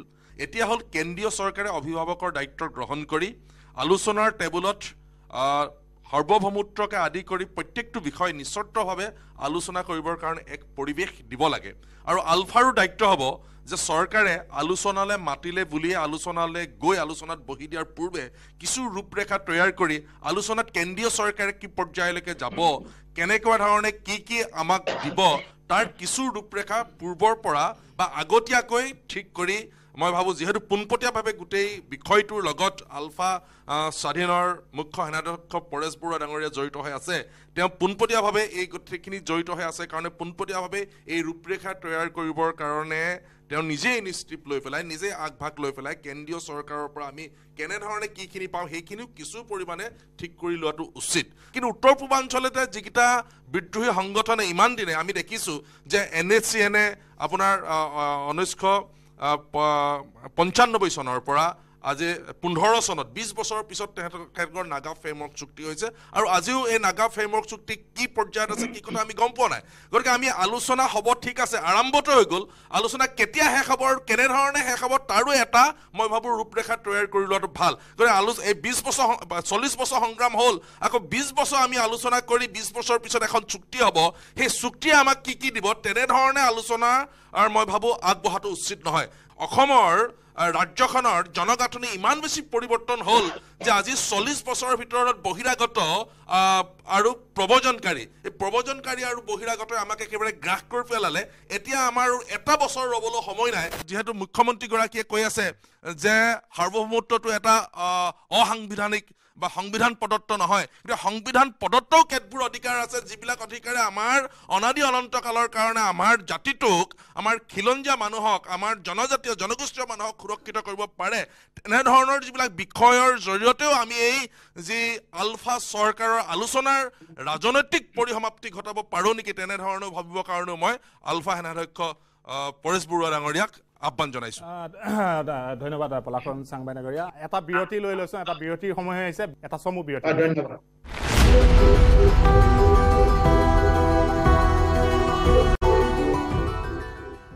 বিৰতিৰ পিছত পুনৰ আহিছোঁ উভতি মূল অনুষ্ঠানলৈকে। বহু আছুৰ আৰু as a as a Y C পিৰ ফালৰ পৰা তেওঁলোকৰ মন্তব্যখিনি দিলে। এতিয়া পোনপটীয়াকৈ পৰেশ বৰুৱা ডাঙৰীয়া আপোনাৰ প্ৰতিক্ৰিয়াখিনি জানিব বিচাৰিছোঁ। ভূ ৰাজনীতিৰ অধিকাৰ। ভূ ৰাজনীতিৰ অধিকাৰটো কোনো ধৰণৰ সমস্যা নহয়। এই ভূ ৰাজনীতিটো আমাৰ প্ৰাপ্য আৰু প্ৰাপ্যৰ কাৰণে আমি মানে এইটো ৰাজনৈতিকভাৱে আমাৰ যুদ্ধ চলাই আছো। ৰাজনৈতিকভাৱে এখন যুদ্ধ ৰাজনৈতিক যুদ্ধ। এখন সহস্ৰ বিপ্লৱ হলেও এখন প্ৰকৃতাতে ৰাজনৈতিক যুদ্ধ। আৰু এই যুদ্ধৰ উৰ পেলাবলৈ হলে আৰু আমাৰ যিটো লক্ষ্যত উপনীত হবলৈ হলে আমি এই বিষয়টো আলোচনা কৰিবই লাগিব। ইয়াৰ ইয়াৰ ইয়াৰ বিকল্প নাই।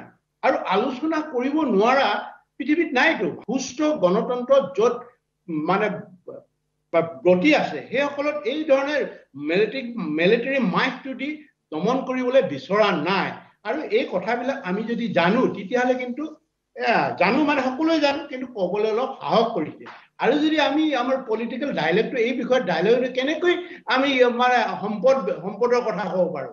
কেনেকৈ আমাৰ হিন্দুগণত হেৰি ইণ্ডিয়ান ফ্ৰেমৱৰ্কত নাইতো কনষ্টিটিউশ্যনত নাই এইবিলাক কথা যে এই এনেকৈ এখন ৰাজ্যক হেৰি দিব লাগে।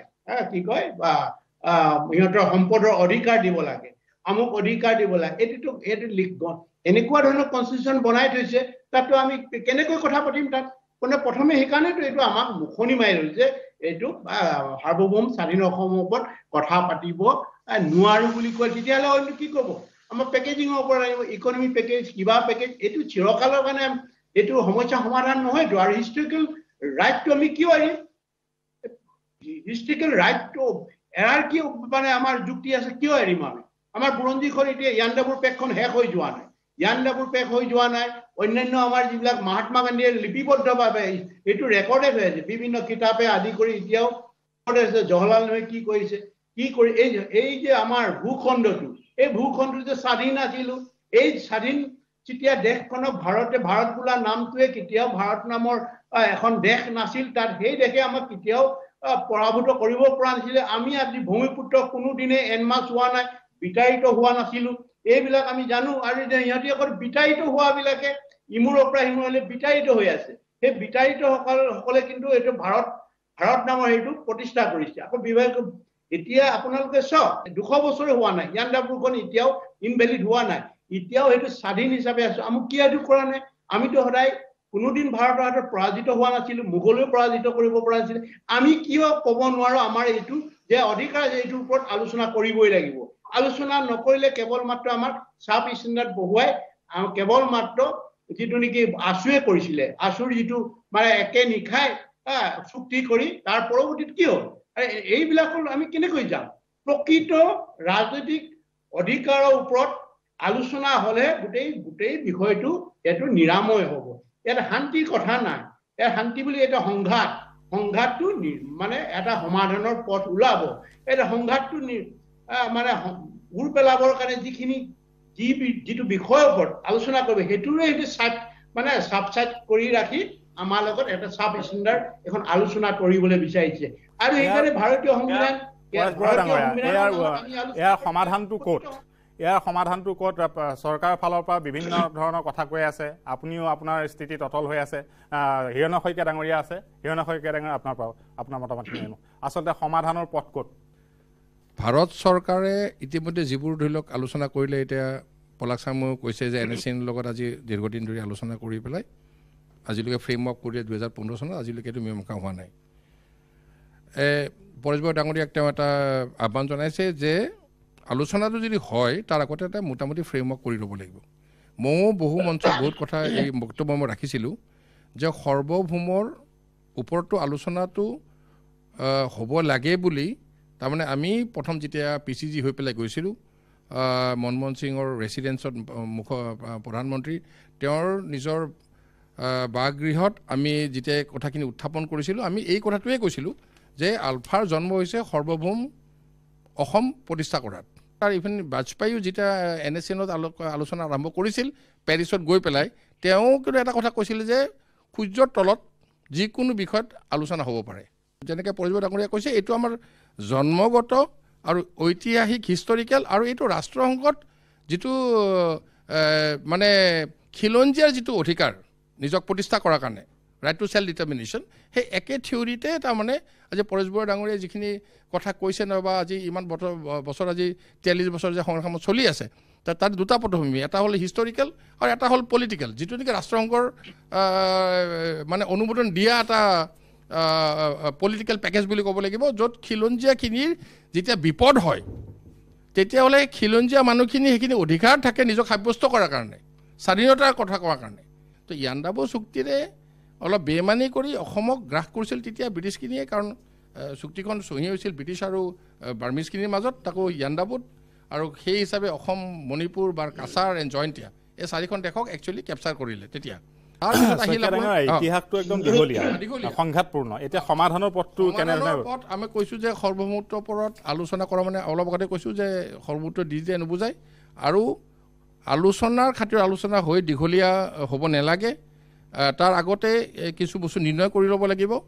আমাক যিখিনি চিম্বল অফ ছভেনিটি লওক আমাৰ এখন সুকীয়া সংবিধান কাৰণ অসমৰ পৰিস্থিতি বেলেগ ৰাজ্যৰ নিচিনা নহয় ইয়াত বিদেশী গ্ৰাস কৰিছে অসমত খিলঞ্জীয়া মানুহখিনি লাহে লাহে লাহে লাহে সংখ্যালঘু হৈ পৰিছে তো লাহে লাহে আমাৰ ৰাজনৈতিক আমাৰ যিখিনি পাৱাৰ এইটো চিফ্ট হৈছে আমাৰ মাটি গ্ৰাস হৈছে তো আমাৰ সামাজিক সাংস্কৃতিক দিশত ভাবুকি আহিছে তো তেনে ক্ষেত্ৰত আমাৰ এখন যিখন আলো যিটো আলোচনা হ'ব আমাৰ এখন সুকীয়া সংবিধান আমাক লাগিবই আৰু এখন আমাক সুকীয়া পতাকা লাগিব। যিটো নাগাসকলে বিচাৰি আছে। সেইটো এইটো সাধাৰণ কথা। কাৰণ আজি ইউ এছ এত পঞ্চাছখন ষ্টেটৰ তাতো ডেমক্ৰেচি চলি আছে তাত পঞ্চাছখন ষ্টেটৰ নিজৰ সুকীয়া সংবিধান আছে নিজৰ ফ্লেগ আছে আৰু ফেডাৰেল ল তাতে ইম্প'জ হয়। য'ত আমাৰ আপোনাৰ ওচৰলৈকে আকৌ আহিম। আহ, মটক যুৱ ছাত্ৰ সন্মিলনী মিণ্টু বৰপাত্ৰ আছে। সমস্যাৰ সমাধানটোৰ পথটো কেনেকুৱা হোৱাটো বিচাৰে আমি সকলোৱে অসমবাসী সকলোৱে বিচাৰি থাকোঁ বিভিন্ন সময় আমি কৈ থাকোঁ যে এইটো এটা মানে উৰ্পৰক কাৰণ আলফাৰ সংগ্ৰামখনক আমি ওলাই কৰিব পৰা বিধৰ সংগ্ৰাম নহয়।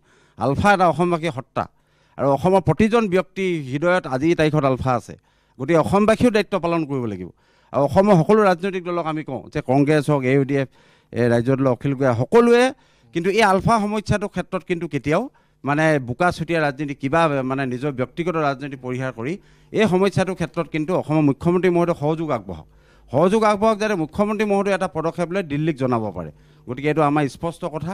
আমি বিচাৰোঁ যে আলফা আৰু চৰকাৰৰ যিটো সংঘাত অসম ভাৰতৰ যিটো সংঘাত এইটো উৰ পৰিব লাগে আৰু এটা সফল পৰিসমাপ্তি ঘটি যাতে অসমবাসী চৰকাৰ- চৰকাৰৰ ফালৰ পৰাও সেই- সেইখিনিয়ে কৈ আছে কিন্তু সমস্যাৰ পথটো এতিয়ালৈকে ওলোৱা নাই। কে এম এছ এছৰ দেৱান শৰ্মা ডাঙৰীয়া আছে আপোনাৰ কেনেধৰণে বিচাৰিব আপুনি? বিয়াল্লিছ বছৰ হ'ল আলফাৰ জন্ম হোৱা আৰু এই এই সময়ছোৱাত প্ৰায় পোন্ধৰ হাজাৰতকৈ অধিক আমি যুৱকক যুৱতীক হেৰুৱাইছোঁ। আজি আলোচনা আলোচনা বুলি কেইবাবাৰো হৈছে। কিন্তু গণতান্ত্ৰিকভাৱে সকলো সমস্যা সমাধান কৰিব পাৰি। হয় আমি প্ৰত্যেকটো কথায়ে চালি জাৰি চাব লাগিব। যোৱা বিয়াল্লিছ বছৰত কি হ'ল? আমি অসমে কি পাব লাগিছিলে? গণতান্ত্ৰিকভাৱে যিবিলাক বস্তু পাব লাগে আমি বিশেষ এই যি আজি বিশেষ অধিকাৰৰ যি ব্যৱস্থা আছিল সেইটো নাইকিয়া হৈ গ'ল। আমাৰ ছয় জনগোষ্ঠীক জনজাতিকৰণৰ ব্যৱস্থা কৰিব লাগে। আমাৰ সম্পদৰ অধিকাৰখিনি আমাৰ অসমীয়া জাতিৰ হাতত থাকিব লাগে। তাৰমানে জাতি মাতৃ ভাষা সংস্কৃতি যদি ৰক্ষা কৰিব নোৱাৰে তেতিয়াহ'লে আলোচনা কৰি একো লাভ নাই। মই সেইকাৰণে আজি ইয়াৰ পৰাই পৰেশ বৰুৱা ডাঙৰীয়া আৰু ভাৰতৰ প্ৰধানমন্ত্ৰী তথা অসমৰ মুখ্যমন্ত্ৰীক আহ্বান জনাওঁ যে আলোচনা কৰক যি আলোচনাই গণতান্ত্ৰিকভাৱে অসমীয়া জাতিক ৰক্ষা কৰিব পাৰে অসমীয়া জাতিৰ সংস্কৃতি ভাষা সম্পদৰ অধিকাৰ অসমীয়া জাতিৰ হাতত থাকে তেনেকুৱা এটা আলোচনা হোৱাটো আমি বিচাৰোঁ। ধন্যবাদ পৰেশ বৰাৰ পৰা পোনপটীয়াকৈ আমি প্ৰতিক্ৰিয়া জানিম কিন্তু এটা চমু বিৰতি লৈছোঁ। বিৰতিৰ পাছত পৰেশ বৰাৰ পৰা আমি প্ৰতিক্ৰিয়াটো লৈছোঁ।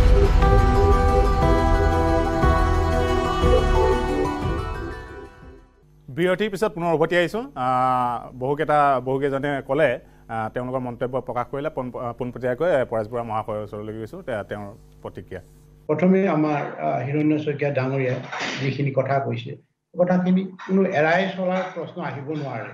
আৰু ইয়াত যিসকল ব্যক্তি বহি আছে বিশেষকৈ হিৰণ্য শইকীয়াই অসম ভাৰত সংঘাত উৰ পেলাবৰ কাৰণে আমি যি পি চি জি গঠন কৰিছিলোঁ তেখেত তাতে এজন সক্ৰিয় সদস্য আছিলে আৰু সেইকাৰণে তেখেতৰ অভিজ্ঞতা আছে। অভিজ্ঞতা আছে কেনেকৈ কি ধৰণৰ আলোচনাৰে পাতনি মল- মেলিলে গভট অফ ইণ্ডিয়াই আমাক প্ৰতাৰণা কৰিব নোৱাৰে। আৰু আমি এটা যে যে ৰাজনৈতিকভাৱে আমি যে টেবুল ফাইট কৰিব পাৰোঁ বা কৰিবলৈ হ'লে কেনেকুৱা অভিজ্ঞতা লাগিব কেনেকুৱা ধৰণৰ চিন্তা চৰ্চা কেনেকুৱা ধৰণৰ ৰণকৌশল এইটো ৰণকৌশল ইও এখন যুদ্ধ টেবুলৰ যুদ্ধ। এই টেবুল যুদ্ধৰ কাৰণে আমি কেনেকুৱাভাৱে মানে প্ৰস্তুত হ'ব লাগিব? ইয়াৰ কাৰণে কি কি বস্তু আমাক লাগিব? আৰু ইয়াৰ অৰ্থ নহয় যে আলোচনা যোৱাৰ আগতে আমাক কিছুমানে কয় এৰা ধৰা। শব্দবিলাক ব্যৱহাৰ কৰে। তেখেতেতো কৰা নাই জানিছে এৰা ধৰা কৰিবলৈ গ'লে কি থাকিব? একোৱেই নাথাকে। হা এৰা ধৰা কৰিব গ'লে একোৱেই নাথাকে। আৰু এতিয়া সাধাৰণ সাধাৰণ এতিয়া ধৰক বড়ো চুক্তি অন্যান্য কাৰ্বি চুক্তি সকলোৱে জানিছে সকলোৱে লাহে লাহে মানে মূৰ দাঙি উঠিছে এইটো। আমি আমাক এনেকুৱা প্ৰতাৰণা কৰিলে এই প্ৰতাৰণা কৰিলে। কেৱল মাত্ৰ এই আলোচনাৰ পৰা এনেকুৱাবিলাক তথাকথিত আলোচনাৰ পৰা কোনে লাভৱান হয় এই কথাটো আপোনালোকে গম পাইছে। আমি যেতিয়া ঊনৈছশ পঁচাশী চনত যিটো আছুৰ লগত চুক্তি হ'ল এটা মাছ নিশা কৰিলে একেবাৰে টোপনিয়াই টোপনিয়াই টোপনি লাল কাল দিয়া নিচিনা হৈছে। আমাৰ গণ্যমান্য ব্যক্তি বিশেষকৈ আমাৰ বা প্ৰয়াত নিবান বৰা তেখেতটো শুয়ে থাকিলে তেখেতটো এজন ডেলিগেশ্যন আছিলে তাত তেখেতটো শুয়ে থাকিলে গমেই নাপালে কেতিয়া চুক্তি হ'ল আৰু আৰু এনেকুৱা ধৰণৰ চুক্তি কৰিলে আমাৰ যিসকল নেতাই গৈছিলে চুক্তিৰ কেনে ক্ল'জ অফ গেৰেণ্টি বোলাটো ক'তো নাই ক্ল'জ অফ গেৰেণ্টি বোলা ক'তো নাই এই চুক্তি কেতিয়া ইমপ্লিমেশ্যন হ'ব আৰু কেনেকৈ ইয়াক ইমপ্লিমেশ্যন কৰিব তাত কোনো তেনেকৈ বিশদ ব্যাখ্যা নাথাকিলে আৰু যিসকল আছিলে তেখেতসকলেও সেইটো পূৰত নাছিলে কোনোদিনে তেনেকুৱাবিলাক সমস্যা বা বিষয় ইছ্যু এটা মানে নিজৰ পক্ষত আনিবৰ কাৰণে চুক্তি কৰা নাইতো। আজি আমাৰ যিসকল এতিয়া উদীয়মান আমাৰ নেতা আছে তেখেতসকলেতো আজিলৈকে কোনো এখন চুক্তি কৰি পৰা নাই। ভাৰত ভাৰতীয় যিবিলাক আমোলাৰ লগত আমোলাৰ যি কূট কৌশল ৰণকৌশল আৰু ইহঁতৰ আপোনালোকে চাওক আমোলাৰ যিবিলাক বহে best of the best talent থকা ইহঁতে কৌশলো হওক মেধাবৃত্তিতে হওক এনেকুৱা ধৰণৰ ইহঁতি লৈ আহিব আহ, কৌশল লৈ আহিব। তাত আমি যদি একেবাৰে পৰিপুষ্ট নহওঁ আৰু সিহঁতৰ আৰম্ভণিৰ পৰাই যদি সিহঁতৰ মুভমেণ্টবিলাক নেজানো কি পদক্ষেপ ল'ব কেনেকৈ বহুৱাবলৈ বিচাৰিছে তেতিয়া যদি নেজানো এইবিলাক আমি মানে গঁৰালত সোমাবই লাগিব আৰু উপায় নাই। তাতে গৈ আপুনি উলংগ হৈ আপুনি গুচি আহক। এইবিলাক হৈ আছেতো আৰু যিবিলাক আন্তঃৰাষ্ট্ৰীয় চুক্তিবিলাক হৈছে বিভিন্ন দেশত এই ধৰণৰ সংঘাত সহস্ৰ বিপ্লৱৰ যিবিলাক সংঘাত দুই পক্ষৰ ৰাষ্ট্ৰ আৰু আৰু বিপ্লৱী সংগঠনৰ মাজত যিবিলাক আলোচনা হয় চৌকল যি পিষ্টক বুলি কয় ৰাষ্ট্ৰপক্ষে মানে পিষ্টক ক'ব আমি ক'ম প্ৰকৃতাৰ্থ আমি সংঘাত সমাধানৰ আলোচনা টক্স হ'ব মানে কনফ্লিক্ট ৰিজলিউশ্যন টক্স হোৱাটো বা সেইটো আমি পোষকতা কৰোঁ। তাত আপুনি যে পিছত ৰাষ্ট্ৰপক্ষে বিভিন্ন ধৰণৰ লগাই আছে আলোচনা নামত আলোচনা এটা কিছুমানে আমাক দিহাপৰণ কৰিছে আমি দিহাপৰণৰ আন্তৰিকতাই তাৰমানে আমাৰ ক্ষোভ নাই আন্তৰিকতাই লৈছো খুব মানে হৃদয়ৰ পৰা আমি কথাবিলাক শুনো আৰু সেইকাৰণে ৰিচিপিকেশ্যন কৰিবলৈ আমাৰ সহজ হয়। এটা জাতিৰ ইছ্যু এটা জাতিৰ জ্বলন্ত দলিল আছে সকলো আমি এতিয়া মডাৰ্ণ হিষ্ট্ৰীত আমি পাব পাৰো যেনেকৈ হংকং ঘূৰাই পাইছে মেকাও ঘূৰাই পাইছে এইবোৰ মডাৰ্ণ হিষ্ট্ৰীত থকা এইবিলাক চুক্তি যে আজি অসম উন্নতি হৈছে কাৰ মুখত শুনো অকল ৰাজনৈতিক নেতাবিলাকৰ। ৰাজনীতিক নেতাবিলাকৰ আৰু এই ৰাজনৈতিক নেতাবিলাকৰ হেণ্ডছমেন তেখেতসকলৰ হেণ্ডছমেন কিছুমান থাকে। এই হেণ্ডছমেন বিলাকে কিন্তু এইটো ছাপৰ্ট কৰে। আজি অসমৰ উন্নতি হৈছে। কি উন্নতি হৈছে? আহ কি উন্নতি হৈছে? আৰু অসমৰ প্ৰতিটো জনগোষ্ঠীয়ে সমান অধিকাৰ পাইছে? মই যি গোষ্ঠীৰ পৰা নাহক লাগে কিন্তু এটা জাষ্ট এটা জ্বলন্ত প্ৰমাণ দিব বিচাৰো।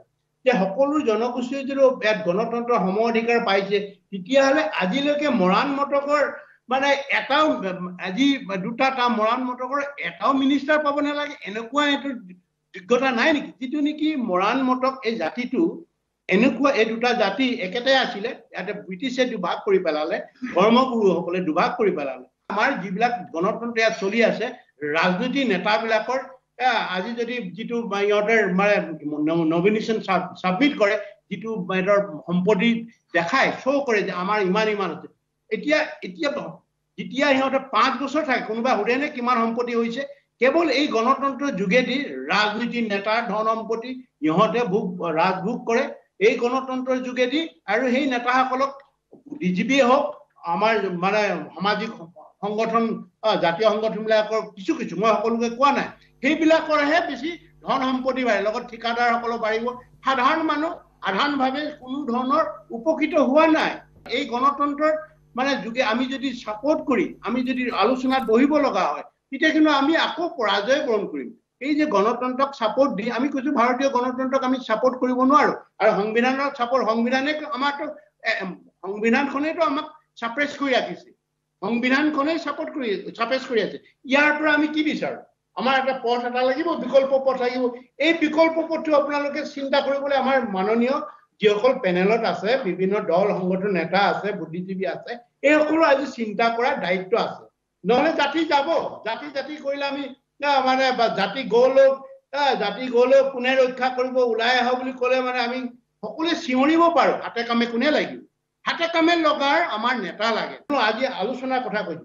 এই গোটেই বিষয়টো আমি যদি আলোচনাত ভাৰতীয়সকলক যুক্তি সহকাৰে পৰাভূত কৰিব পাৰো কিয় নোৱাৰো? আমি ভয় কৰো কেলে? টেবুললৈ যোৱাৰ আগতে আমি পেপুৰা লাগিবলৈ বিচাৰো। আমি মানে একেবাৰে নিম্নমানৰ কথাটো চিন্তা আমি সকলোকে কোৱা নাই। কিছুমানে ভাল চিন্তা কৰিছে। কিছুমান আমাৰ নেতা বুদ্ধিজীৱী সেইসকলে কিন্তু নিম্নগামী ফালে আগতেই যাবলৈ বিচাৰে। আগতেই যোৱাটো কামনা কৰে। এইটো কিন্তু আমাৰ মানে আমি কেতিয়াও মানি ল'ব নোৱাৰো। বিশেষকৈ আমাৰ কৃষক মুক্তি সংগ্ৰামৰ নেতাগৰাকী ঠিক কথা কৈছে তেখেতে। ঠিক কথাই আলোচনা মানে আলোচনা। আমাৰ যিটো যি আলোচনাত আমি আমি গোটেই জাতিটোক সুৰক্ষিত কৰিব পাৰো। সুৰক্ষিত কৰে ভৱিষ্যতলৈ এই জাতিক ফলগিৰিক কোনো যাতে আকৌ দ্বিতীয়বাৰ প্ৰতাৰণা কৰিব নোৱাৰে। কোনো যাতে এই মানে জাতিক সদায় মানে এনেকুৱা অৱদব দমনিত কৰি ৰাখিবলৈ বিচাৰে। ইয়াত আজি আজি অসমত আহি বাহিৰৰ আমোলাবিলাক কি দপদপায় কিহৰ কাৰণে দপদপাই পাইছে? অকল ভাৰতীয় সংবিধানখনৰ কাৰণে। যিহেতু ভাৰতীয় সংবিধানৰ অধীনত সিহঁতৰ সংখ্যাগৰিষ্ঠ M P M P U P M P মানে পাৰ্লিয়ামেণ্ট মেম্বাৰ উত্তৰ প্ৰদেশৰ কিমান মেম্বাৰ আছে বিহাৰৰ কিমান মেম্বাৰ আছে ৰাজস্থানৰ কিমান মেম্বাৰ গুজৰাটৰ কিমান মেম্বাৰ আছে আমাৰ কেইটি মেম্বাৰ আছে এই পাৰ্লিয়ামেণ্টৰ যোগেদি? কেইটি মেম্বাৰ আছে? দিল্লী কি কৰিব আপুনি? আমাৰ কেইজন আই এছ অফিচাৰ আছে কেইজন মানে আই চি এছ অফিচাৰ আছে এইবিলাক চবটো আপোনালোকে জনা প্ৰয়োজন। আমি কেতিয়াও এই গণতন্ত্ৰ এনেকুৱা ধৰণৰ আমাক হৈছে বান্ধি পিনি। সংবিধান এনেকুৱা ধৰণৰ ভাই আমাক এপুৰালে আমি কতো মাত মাতিব নোৱাৰো। আজি এইটো অসমতে মাত মাতিব আজি অসমৰ যিবিলাক ছেক্ৰেটাৰী আছে কেইজন ছেক্ৰেটাৰী চিফ ছেক্ৰেটাৰী হ'লেও বাহিৰৰ পৰা আনিব অন্যান্য পুলিচ বিষয়া হ'লেও বাহিৰৰ পৰা আহি কি কৰে? আমাক ডমিনেট কৰি ৰাখে। মানে এই কথাবিলাক যে আপোনালোকে যাতে এই বিষয়বস্তুটো যে তৰল কৰি নিবলৈ আপোনালোকৰ শক্তিশালী যদি এইটো শক্তিশালী কৰিবলৈ ইচ্ছা আছে আমাৰ লক্ষ্যত আমি উপনীত আমাৰ লক্ষ্য মানে আপোনালোকৰ লক্ষ্য আপোনালোকৰ সতি সন্ততি আপোনাৰ ল'ৰা ছোৱালীয়ে ভৱিষ্যতৰ এটা বিপদৰ পৰা সুৰক্ষিত হৈ থাকিব। এই কাৰণেতো আমি সংগ্ৰাম কৰিছো। আমি নেতা হবলৈ আলফা নেতাসকল গৈ প্ৰেচিডেণ্ট হ'ব অসম স্বাধীন আমাৰ আমি আমি যোগ্য আমাৰ যোগ্যতা নাথাকিব পাৰে এখন ৰাষ্ট্ৰ চলাবৰ কাৰণে। সেই ৰাষ্ট্ৰ এই যোগ্য বিয়োগ্য আমি এৰি দিব লাগিব। আমি আমাৰ মানসিকতা সেইটো আছে। সেইকাৰণে আপোনালোকক মই বিনম্ৰভাৱে এই কথাবিলাক উত্থাপন কৰিছো। বেয়াভাৱে নল'ব। হা take please don't take otherwise মই আপোনালোকক এই কথাটো যুক্তিৰ খাতিৰতে মই যুক্তি দিছো আৰু এনেকৈ যে আমি যদি মানে নলওঁ তেতিয়াহ'লে কোনো মানে এহেঁতি বাৰে বাৰে আমাক অসমখনক পেপুৰা লাগি দিব পেপুৰা লগাব অসমৰ সম্পদ অসমৰ সকলোৱে ভৱিষ্যতটো সাংস্কৃতিকভাৱেও আমাক ৰোধ কৰি দিব। আজি আপুনি চাওক অসমীয়া চলচ্চিত্ৰৰ এটা মানে এখন অনুৰ নামে এখন চিনেমা হৈছে। তাৰ এতিয়া কিছু কিছু চিনেমা চিনেমা হলৰ মালিক বিলাকে এই অনুৰক এটা শ্ব' দিবৰ কাৰণে এটা মাত্ৰ ইভিনিং বা মৰ্ণিং শ্ব' এটা দিবৰ কাৰণেও সিহঁতে আগ্ৰহ প্ৰকাশ কৰা নাই। সিহঁতে আমাৰ অকল এইটোৱেই নহয় ৰাজনৈতিক অধিকাৰে নহয় সাংস্কৃতিকভাৱে সাংস্কৃতিকভাৱে আমাৰ আগ্ৰাসন চলাইছে। ব্যৱসায় ইকনমিকটো একেবাৰে চলাইছে আহ, চকুৰ আগত সকলো দিশতে আমাক আগ্ৰাসন চলাই চলাই শেষ কৰিবলৈ বিচাৰিছে। ইমানবিলাক দেখিও আমি কিয় নিমাত কিয় আমি ৰাজনৈতিক অধিকাৰটো পাব লাগে বা এই বিষয়টো আমি সকলোৱে একমত হ'ব লাগে ইয়াত দ্বিমত হ'ব নালাগে। সকলোৱেতো উপ উপ- উপকাৰ হ'ব যিটো বাঘে অকল আলফাকে নাখায় সমগ্ৰ অসমৰ থলগিৰি জাতিক শেষ কৰি আহিছে এফালৰ পৰা একেবাৰে নিবলিং কৰিছে ভৰিৰ পৰা একেবাৰে মূৰলৈকে খাবৰ কাৰণে এটি চেষ্টা চলাই আহিছে খাই আহিছে। এতিয়া অকল ডিঙিটো ওলাই আছো আমি অকল ডিঙি ওলাই আহিছে আমাৰ ডিঙিটো গিলিবলৈ বাকী আছে। ইয়াৰ ইমান জানিও আমি কিয় ডাঙৰীয়া এইবাৰ আমি ষ্টুডিঅ'ত উপস্থিত থকা অংশগ্ৰহণ কৰা দল সংগঠন বাকীসকলৰ সৈতে কথা পাতিম। দাদা আপুনি আপোনাৰ পদ যি কি নহওক মই পৰেশ বৰুৱা ডাঙৰীয়াক ধন্যবাদ জ্ঞাপন কৰিছোঁ আৰু শুভেচ্ছাও জনাইছোঁ। যিহেতু আজি সুদীৰ সুদীৰ্ঘ চল্লিছ বছৰ সুদীৰ্ঘ চল্লিছ বছৰ দিন কাৰ কাৰণে কৈছে অসমৰ ৰাইজৰ কাৰণে কৈছে অসমৰ অসমৰ অসমৰ ৰাইজৰ কাৰণে যদি নকৰিলেহেঁতেন তেতিয়াহ'লে হয়তো আজি বাৰ হাজাৰ পোন্ধৰ হাজাৰ মানুহ মৃত্যু নহ'লহেঁতেন। আৰু প্ৰতিজনী আই মাতৃৰ বুকু সুধা কৰি যিজন মানুহ ইতিমধ্যে যি পোন্ধৰ হাজাৰ বা বাৰ হাজাৰ যিমান মানুহ মৰিছে তাত অসমীয়া মানুহৰ এটোপাল এটোপাল তেজ আছে। আৰু আমি কেতিয়াও বিচৰা নাই যে এনেকুৱা এটা বেবেৰ বাং আলোচনা কৰিব সেনেকুৱাটো আমি কেতিয়াও বিচৰা নাই। আৰু পৰেশ বৰুৱা ডাঙৰীয়াক আমি সন্মান সহকাৰে বিচাৰোঁ যে এটা আলোচনা কৰাটো আমাৰ দৰকাৰ। আৰু আলোচনা কৰিব লাগিবই। যদি আলোচনা কৰা নাযায় তেতিয়াহ'লে কিমান দিন জংঘলত থাকিব? কিমান দিন আন্দোলন কৰিব? আৰু এটা এনেকুৱা এটা আলোচনা যদি কৰা যায় যিটো আলোচনাৰ যদি কোনো সুংহূত নোলায় তেতিয়াহ'লে আজি অসম কি হৈছে? স্বাধীন অসম স্বাধীন অসমৰ যিটো আলফা যিটো জন্ম হৈছিল অন্য এটা আকৌ আলফা জন্ম হ'ব। তে প্ৰতিবাদ হ'বই। যেতিয়ালৈকে প্ৰতিবাদ মানুহৰ উত্তৰ নাপায় সু আচল উত্তৰটো নাপায় তেতিয়াহ'লে প্ৰতিবাদ আকৌ প্ৰতিবাদৰ প্ৰতি প্ৰতিবাদ হ'ব। আৰু কেতিয়াও অসমৰ ৰাইজে বা আলফা স্বাধীনে এইটো বিচৰা নাই যে নিজৰ স্বাৰ্থৰ কাৰণে কাৰোঁ বিচৰা নাই অসমৰ ৰাইজৰ কাৰণে বিচাৰিছে আৰু যেতিয়া ভাল কথা ভাল প্ৰতিবাদ কৰে ভাল ধৰণে যেতিয়া কথা কয় সেই কথা যদি মানুহে শুনি নাপায় তেতিয়াহ'লে প্ৰতিবাদ মুখৰ সহস্ত সংগ্ৰামলৈ আগবাঢ়ি যায়। কেতিয়া যায়? খঙৰ ভমকত যায়। গতিকে আমাৰ আলোচনা কৰিব নোৱাৰা কোনো এটা দিশ হ'ব নোৱাৰে যে আমাৰ অসম চৰকাৰে ইয়াৰ আগভাগ ল'ব লাগে আৰু অসম চৰকাৰে আগভাগ লৈ অসমৰ মাননীয় মুখ্যমন্ত্ৰীয়ে আগভাগ ল'ব লাগে আৰু তাত ত্ৰিপাক্ষিক আলোচনা হ'ব লাগে চেণ্ট্ৰেল গভৰ্ণমেণ্টৰ লগত আৰু এইটো চেণ্ট্ৰেল গভৰ্ণমেণ্টৰ লগত আলোচনা নোহোৱালৈকে কেতিয়াও ইয়াৰ ৰিজাল্ট ওলাব নোৱাৰিব। আৰু এইটো এটা কথা নাই যে পৃথিৱীত এনেকুৱা এটা কথা নাই যিটো কথা আলোচনা কৰিলে ইয়াৰ সোঁহতত নোলাব। নোলোৱা কোনো অৰ্থই হ'ব নোৱাৰে। আমি এইটোও কোৱা নাই পৰেশ বৰুৱা ডাঙৰীয়াক যে আপুনি এৰা ধেৰা মাজেৰে আলোচনা কৰক। আমি কৈছোঁ সাৰ্বভৌমত্ব বিষয়টো থাকিব লাগিবই। সাৰ্বভৌমত্ব দিয়ক নিদিয়ক এইটো পিছৰ কথা। কিন্তু সাৰ- সাৰ্বভৌমত্ব অৰ্থটোৱে হৈছে তেওঁ সেই সেইটো কাৰণেইতো আন্দোলনটো আৰম্ভ হৈছে। গতিকে সেই সেইকাৰণে আমি কৈছোঁ যে সাৰ্বভৌমত্ব থাকিব লাগিব বিষয়টো সাৰ্বভৌম বিষয়ৰ ওপৰতে আলোচনা কৰক আৰু পৰৱৰ্তী পৰ্যায়ত তেওঁলোকে আমি সাৰ্বভৌমত্ব পাওঁ নাপাওঁ এই ছেকেণ্ডাৰী ছেকেণ্ড পৰ্যায়ত ইয়াৰ বিষয়ে আলোচনা হ'ব। ধন্যবাদ। পৰেশ বৰুৱা ডাঙৰীয়া আৰু নিউজ এইটিনক মই মানৱ অধিকাৰ সংগ্ৰাম সমিতিৰ তৰফৰ পৰা মই আদিত্য লখৰে ধন্যবাদ জনাইছোঁ। আমি আলোচনা সদায় বিচাৰি আহিছোঁ। কিন্তু আলোচনাৰ নামত আলোচনা নহয় যে এক মৰ্যাদাপূৰ্ণ আৰু ৰাজনৈতিকভাৱে এই সমস্যাটোৰ সমাধান হ'ব লাগিব। কেৱল আলোচনা বুলি কৈ মানুহক মাতি আনি তাৰপিছত পিঞ্জৰাত আবদ্ধ কৰি ৰখা এই নীতিৰ পক্ষপাতি আমি নহয়। কাৰণ আজি ভাৰত চৰকাৰে হওক বা আজি অসম চৰকাৰৰ মুখ্যমন্ত্ৰী ডাঙৰীয়াই যি কথা কৈ আছে সাৰ্বভৌমত্বৰ ক্ষেত্ৰত তেওঁলোকে শপত গ্ৰহণ কৰিছে শপত লৈছে ভাৰতৰ অখণ্ডতাৰ ক্ষেত্ৰত। কিন্তু সাৰ্বভৌমত্বৰ ওপৰত আলোচনা হ'ব নোৱাৰে বুলি তেওঁলোকে শপত লোৱা নাই। এই ক্ষেত্ৰত আমি যদি চাওঁ যে বাংলাদেশৰ লগত তেওঁলোকে ভাৰতৰ সাৰ্বভৌমত্বৰ ক্ষেত্ৰত আলোচনা কৰিছে চীনৰ লগত আলোচনা কৰিছে।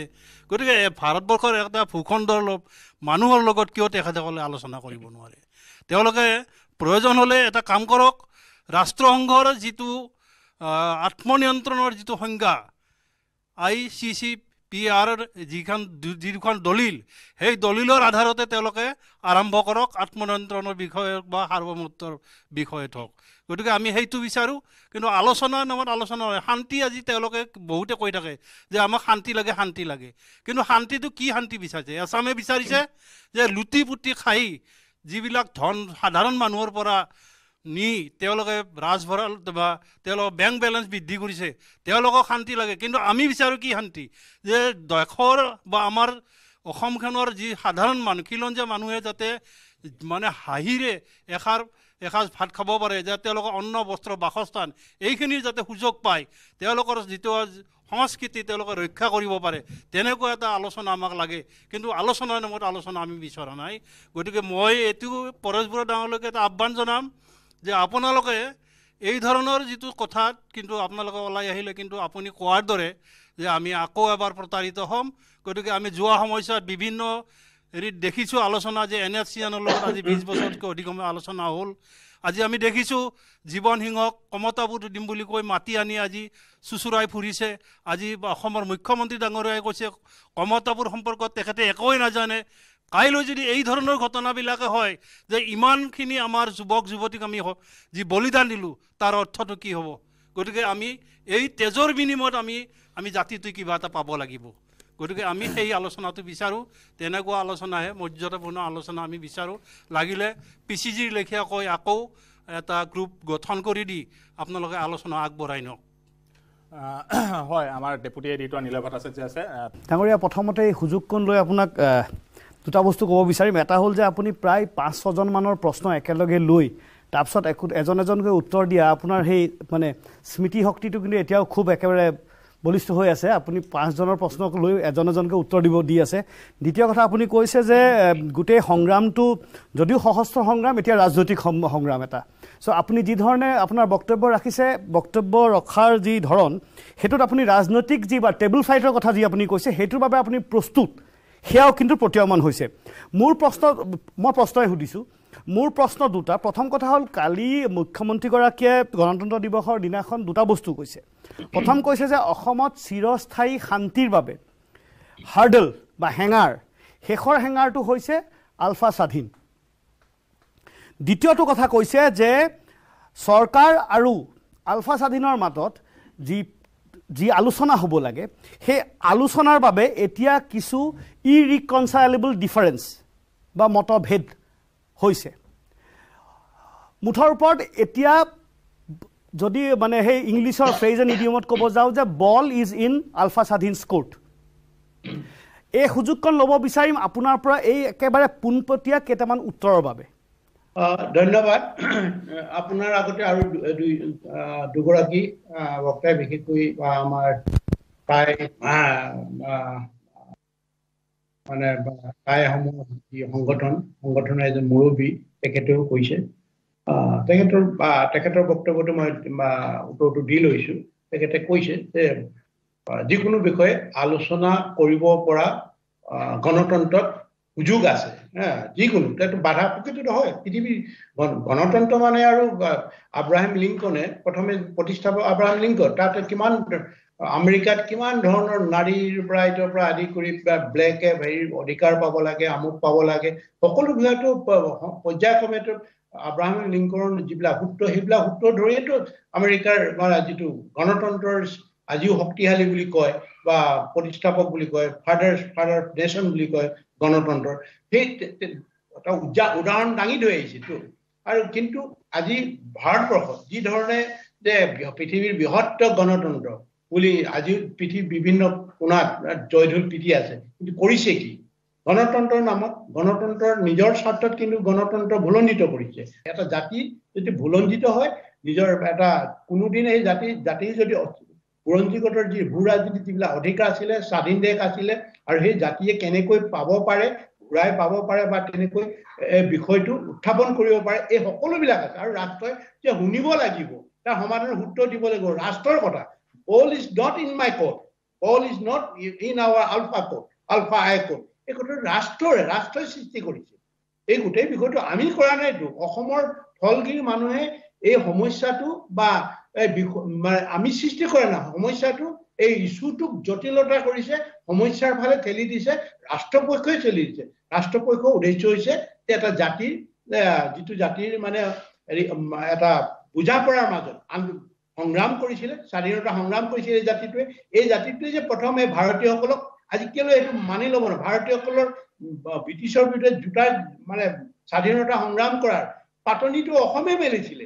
এই কথাটোতো বিজ্ঞজনে জানে বুৰঞ্জীবদ্ধ লিপিবদ্ধ আছে আমি এইটো কেনেকে মানি লওঁ সংগ্ৰাম আমি আগতে কৈছিলো অসমৰ মানুহে আমাৰ পূৰ্বপুৰুষে ব্ৰিটিছৰ বিৰুদ্ধত সহস্ৰ হওক নিৰস্ব হওক অসহযোগ যুগ- যোগেদি অসমৰ মানুহে প্ৰথম পাতনি মেলিছিলে। এই কথাবিলাকো যে সিহঁতে আমাক পাহৰাবলৈ বিচাৰিছে নিজেও আৰু আমাৰ যিসকল হেঞ্চমেন আছে যিসকল ভাৰতীয়সকল ৰাজনীতিৰ সোৱাদ লৈ আকৌ ভাৰতীয় হৈ থাকিবলৈ যি ইচ্ছা আছে নিজৰ জাতি যাওক ভাষা অৰ্ধ- অৰ্ধপত্নে উম, মানে যিটো জাতি গোষ্ঠীৰ মাজত অনৈক্য সৃষ্টি কৰি নিজৰ স্বাৰ্থ সিদ্ধি কৰা যিবিলাক ৰাজনৈতিক নেতা আছে এইবিলাকে এইবিলাক কথা কৈ আছে কিয় নোৱাৰিব গণতন্ত্ৰত? কিয় নোৱাৰিব? প্ৰকৃত গণতন্ত্ৰত এই সমস্যাটো সমাধান কৰা বা এই সমস্যাটো বিশেষকৈ এই ইছ্যুটো লৈ সংগ্ৰাম কৰা এই সংগ্ৰামখন উৰ পেলাবৰ কাৰণে যথেষ্ট উপাদান আছে।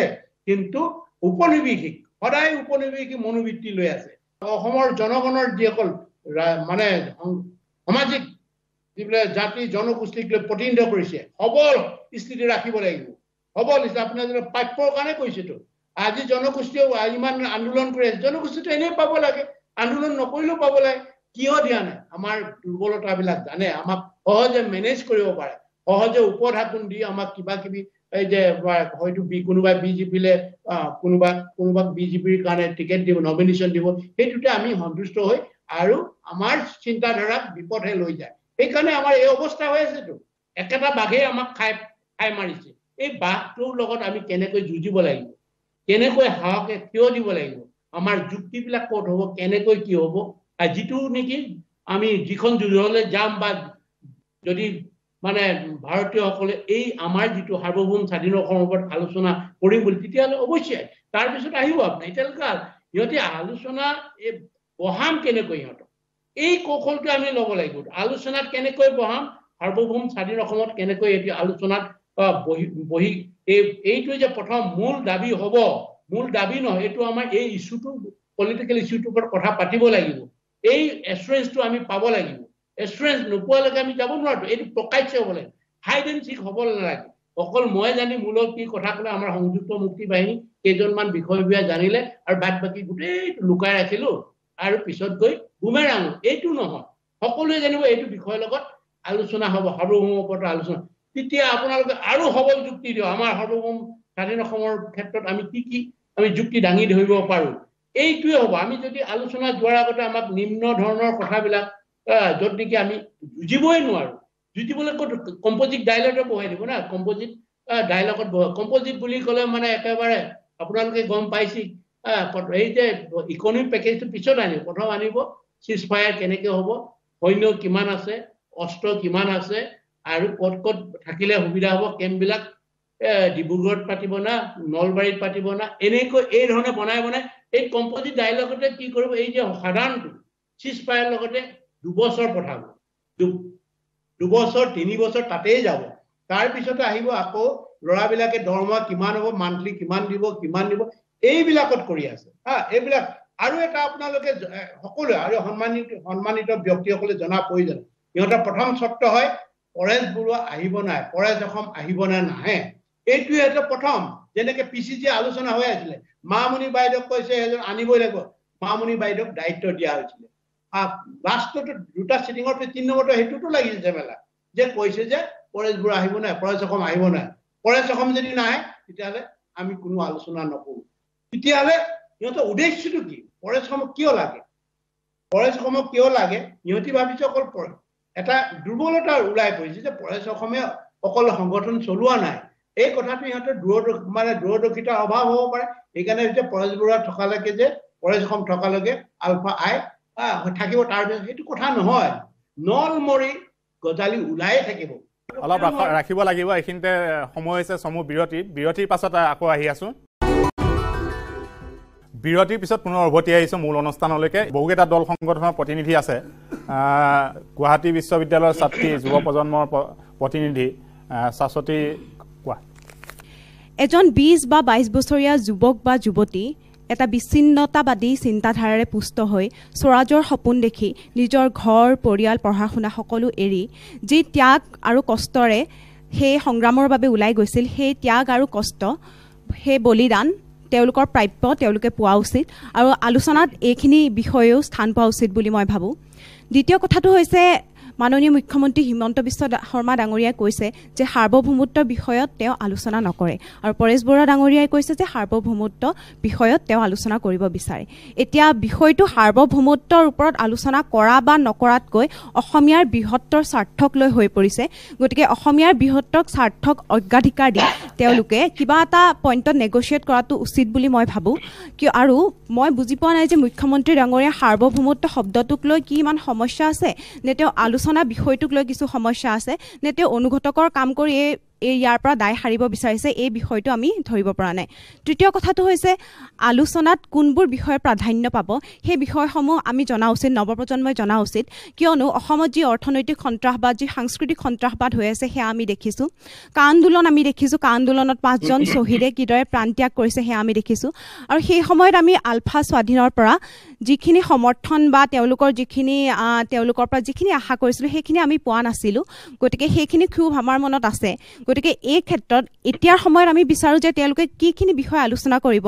ছয় জনগোষ্ঠীৰ জনজাতিকৰণে প্ৰাধান্য পাব নাই কা আন্দোলন কেনেদৰে পিছত চলি যাব সেইখিনিক লৈ প্ৰাধান্য পাব নাই অসমীয়া বৃহত্তৰ স্বাৰ্থই প্ৰাধান্য পাব নাই জাতীয় সমস্যাৰ প্ৰাধান্য পাব নাই সেইখিনি বিষয়ক লৈ আলোচনা হ'ব নাই সেইখিনি আমি জানিব বিচাৰোঁ। তাৰোপৰি তেওঁলোকে যদি আলোচনাত মিলিত হয় তাৰ পিছত আলফা স্বাধীনে কেনেদৰে এটা প্ৰেছাৰ গ্ৰুপ হিচাপে তেওঁলোকৰ কামখিনি চলাই যাব নে তেওঁলোকৰ ৰাজনৈতিক কিবা ৰাজনৈতিক দলত যোগদান কৰিব যিদৰে আমি কা আন্দোলনৰ পিছৰ সময়খিনিত দেখিছোঁ ৰাজনৈতিক মুনাফা আদায়ৰ স্বাৰ্থত বহুতো ৰাজনৈতিক দলে বহুতো ৰাজনৈতিক ব্যক্তিয়ে তেওঁলোকৰ মুনাফা আদায় কৰিলে কিন্তু অসমীয়াৰ বৃহত্তৰ স্বাৰ্থ আজিলৈকে সমাধান নহ'ল। গতিকে সেইখিনি বিষয়েও আমি নৱপ্ৰজন্মৰ এগৰাকী প্ৰতিনিধি হিচাপে মই পৰেশ অসম ডাঙৰীয়াৰ পৰা জানিবলৈ বিচাৰিম।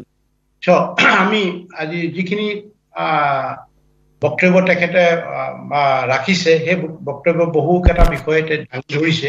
আৰু প্ৰথমে মই কৈ গৈছিলো যে এই বিষয়টোত আমি কিহৰ কেনেকুৱা আলোচনা পোষকতা কৰো। আমি কম্পজিট কম্পজিট ডায়লগলৈ নেযাওঁ আমি। কম্পজিট ডায়লগত বিভিন্ন ধৰণৰ থাকিব পাৰে। তেখেতৰ উল্লেখ কৰি যোৱাৰ দৰে। আৰু আমি এইকাৰণেই কৈছো যে আমাক লাগে মানে কম্পজিট কম্পজিট ডায়লগৰ বাদ দি আমি বিচাৰো এটা ছিংগুল ইছ্যুৰ ওপৰত আমি আলোচনা কৰিম ছিংগুল ইছ্যুটো হৈছে আমি আমি সাৰ্বভৌম স্বাধীন অসম। স্বাধীন অসমৰ ৰূপৰেখা স্বাধীন অসমৰ ৰূপৰেখাটো এই যিবিলাক সমস্যা যিবিলাক বিষয় উঠাব সেইবিলাকতো আমি নিজে ৰূপৰেখা কৰোঁ। আমাৰ নিজে আমি যদি ৰাজনৈতিক অধিকাৰ পাওঁ আমাৰ সম্পদ কেনেকৈ বিতৰণ কৰিম? আমি এই সম্পদক যদি আমাৰ উভয় নদী সম্পদ আছে এই সম্পদখিনি আমি ব্যৱসায় ব্যৱসায় ভিত্তিত লগাম না? ভৱিষ্যতৰ আকৌ এই প্ৰজন্মৰ কাৰণে কিছু আমি সংৰক্ষণ কৰি ৰাখিম। এই তেনেকুৱা এটা আমি আমাৰ যিটো অৰ্থনৈতিক অৱস্থা হৈ আছে অসমৰ অসমৰ অৰ্থনৈতিক অৱস্থাটো আমাৰ ৰাজনৈতিক অধিকাৰ পালে আমি সেই অৰ্থনীতিটো আমি ৰূপৰেখা আমাৰ অসমৰ মানুহে অসমৰ গণ্য মান্য ব্যাগম্য অৰ্থনীতিবিদ আছে এখন ৰাষ্ট্ৰ কেনেকৈ চলাব লাগে আমাৰ সকলোৱে সকলোখিনি আছে আমাৰ ডক্টৰ আছে ইঞ্জিনিয়াৰ আছে চাইণ্টিষ্ট আছে অন্যান্য যি মানে ইকনমিষ্ট আছে চবেই আছে। এই ৰাষ্ট্ৰ পৰিচালনা কেনেকে কৰিব লাগে? আমিতো অসম আগতে স্বাধীন আছিলে। অসম স্বাধীন নাছিলে। গোপীনাথ বৰদলৈৰ সময়টোতো গোপীনাথ বৰদলৈ ডাঙৰীয়াটো অসম সুন্দৰ এখন ৰাষ্ট্ৰ হিচাপে বুলিয়ে ক'ব পাৰি। তেখেতৰ মুখ্যমন্ত্ৰী নাছিলে নহয় তেখেতৰ প্ৰধানমন্ত্ৰী আছিলে। এনেকুৱা ধৰণৰ কিছুমান আমি যুক্তি দিব পাৰো। আহ, আৰু এই আজিৰ মানে এখন সমৃদ্ধ ৰাষ্ট্ৰ আমি। যদি আমি স্বাধীন হওঁ আমাৰ নিচিনা সম্পদ পৃথিৱীৰ ক'ত আছে আমাৰ নিচিনা সম্পদ আজি নিবনুৱা সমস্যা আজি চিঞৰি আছে আমাৰ আম- এইটো এটা মাত্ৰ প্ৰতিষ্ঠানৰ কথা কৈছো যে অইল ইণ্ডিয়া বছৰেকত তিনিশ চাৰে তিনিশ বিলিয়ন ডলাৰ সিহঁতি বছৰেকত ইনকম কৰে বছৰেকত সেই তিনিশ বিলিয়ন ডলাৰ আজি অসমৰ মানুহে মানে পাইছে নেকি অ এন জি চিয়ে কিমান কৰে অ এন জি চিও তাৰ একে ইকুইভেলেণ্ট মানে অইল ইণ্ডিয়া আৰু অ এন জি চি সমানে উৎপাদন কৰিব পাৰে তাৰ এই ইমান বিলিয়ন বিলিয়ন ডলাৰ কলৈ গৈছে আমাৰ? এই বিলিয়ন ডলাৰ আমাৰ অসমৰ মানুহ জনসংখ্যা কিমান আছে? এই জনসংখ্যা জনসংখ্যা ভিত্তিত যদি আমি অকল এই মানে জলীয় মানে পদাৰ্থ জলীয় বিশেষকৈ মানে পনীয়া সোণ আৰু মানে মানে কি কয় বাষ্প এই দুটা দুটা মানে উপা- উপাদানৰ পৰা আমি প্ৰাকৃতিক সম্পদৰ পৰাইতো আমি অসমৰ ৰূপৰেখা এতিয়া আমাৰ যিগৰাকী বক্তাই এই বিষয়টো কেনেকৈ হ'ব অসমৰ ৰূপৰেখা কেনেকুৱা হ'ব ইকনমিটো কেনেকুৱা হ'ব সেইটো আমাৰ পলিটিকেল পলিটিকেল আমাৰ পাৱাৰটো থাকিব লাগিব। পলিটিকেল পাৱাৰ নাথাকিলে আমি কেতিয়া একো কৰিব নোৱাৰো। আজি যে নাগালেণ্ডৰ সিহঁতি কিনি নাগাৰ নাগা জাতিৰ দূৰদৰ্শিতাৰ লগত দূৰদৰ্শিতাৰ লগত আমাৰ দূৰদৰ্শিতা অসমৰ মানুহৰ বুদ্ধিজীৱী দূৰদৰ্শিতা বহুত ডিফাৰেঞ্চ আছে। যিমানে বহু কথা কাব্য লিখিব পাৰে গ্ৰন্থ লিখিলে কবিতা লিখিব পাৰে নগাৰ যিটো দূৰদৰ্শিতা এই দূৰদৰ্শিতাৰ লগত আমাৰ যিসকল বুদ্ধ বুদ্ধিজীৱী দূৰদৰ্শিতা কিন্তু বহুত ডিফাৰেঞ্চ আছে। নগা বহুত দিনৰ নগাই নিজৰ ইমান ভৱিষ্যত নগা জাতিৰ ভৱিষ্যতে আজি সিহঁতৰ প্ৰাকৃতিক সম্পদ এক অকমানো উলিয়াবলৈ দিয়া নাই। না তেল উলিয়াব দিছে না ইউৰিনিয়াম উলিয়াব দিছে না কয়লা উলিয়াব কিন্তু উলিয়াব দিয়াই নাই। সিহঁতে প্ৰিজাৰ্ভ কৰি ৰাখি দিছে। ওৱান পইণ্ট এজেণ্ডাত আমি যাব। তেতিয়াহে ৰাজনীতি ইয়াত মীমাংসা ওলাব আৰু এই মীমাং এই ওৱান পইণ্ট এজেণ্ডাত আপোনালোকৰ একান্তিক ঐকান্তিকভাৱে সহায় পৰি গৈছে আপোনাৰ দায়িত্ব নৈতিক দায়িত্ব বুলি আপোনালোকে ভাবি ল'ব লাগে। তেতিয়া কিন্তু আপোনালোকৰ মনৰ পৰা আহিব যে এইটো সম- সমস্যা এই এই বিষয়টো এই জ্বলন্ত বিষয়টো আলোচনা পথ ওলাব। এতিয়া আমি কোৱা নাইতো ব'ল আমাৰ ফালে পুচ কৰি দিলে ক'ৰ পৰা ওলাই আমি আমি আমি ক্ৰিয়েটৰ নেকি আমি সৃষ্টি কৰা নাই নহয়। আমি নিৰ্যাতিত হৈ আছো। আমাক নিৰ্যাতিত কোনে কৰিছে? প্ৰথম ব্ৰিটিছে কৰিলে। ব্ৰিটিছৰ পৰা ব্ৰিটিছেতো ব্ৰিটিছে এটা হৰণ কৰা বস্তু আকৌ এই চুৰ বস্তুটো লৈ সিহঁতে ভাৰতীয়সকলে আমাক আকৌ বিভিন্ন ধৰণৰ কলা কৌশল লগাবলৈ বিচাৰিছে। আৰু বিষয়টোৰ লগত আলোচনা কৰিম বুলি ক'লেই ইহঁতে আকৌ চাব ষ্টেণ্ডাৰ্ড কথাবিলাক কয়। এই ধৰণেতো সমস্যা সমাধান নহ'ব। আমাৰ যিসকল নেতা আছে সেইসকল নিস্বাৰ্থ মানে। আজি হিমন্ত বিশ্ব ডাঙৰীয়াও ক'ব লাগিব নিজৰ স্বাৰ্থ মানে প্ৰকৃত মই আগেই কৈছো। ষ্টেটছমেন হ'বলৈ ষ্টেটছমেনে নিজৰ গাড়ীৰ কাৰণে ভয় নকৰেতো। মই তেখেতক কৈছো আপুনি ষ্টেটছমেন হওক বাৰে বাৰে কৈছো ষ্টেটছমেন নহ'লে সেই সমস্যাটো কেতিয়াও দূৰ কৰিব নোৱাৰে।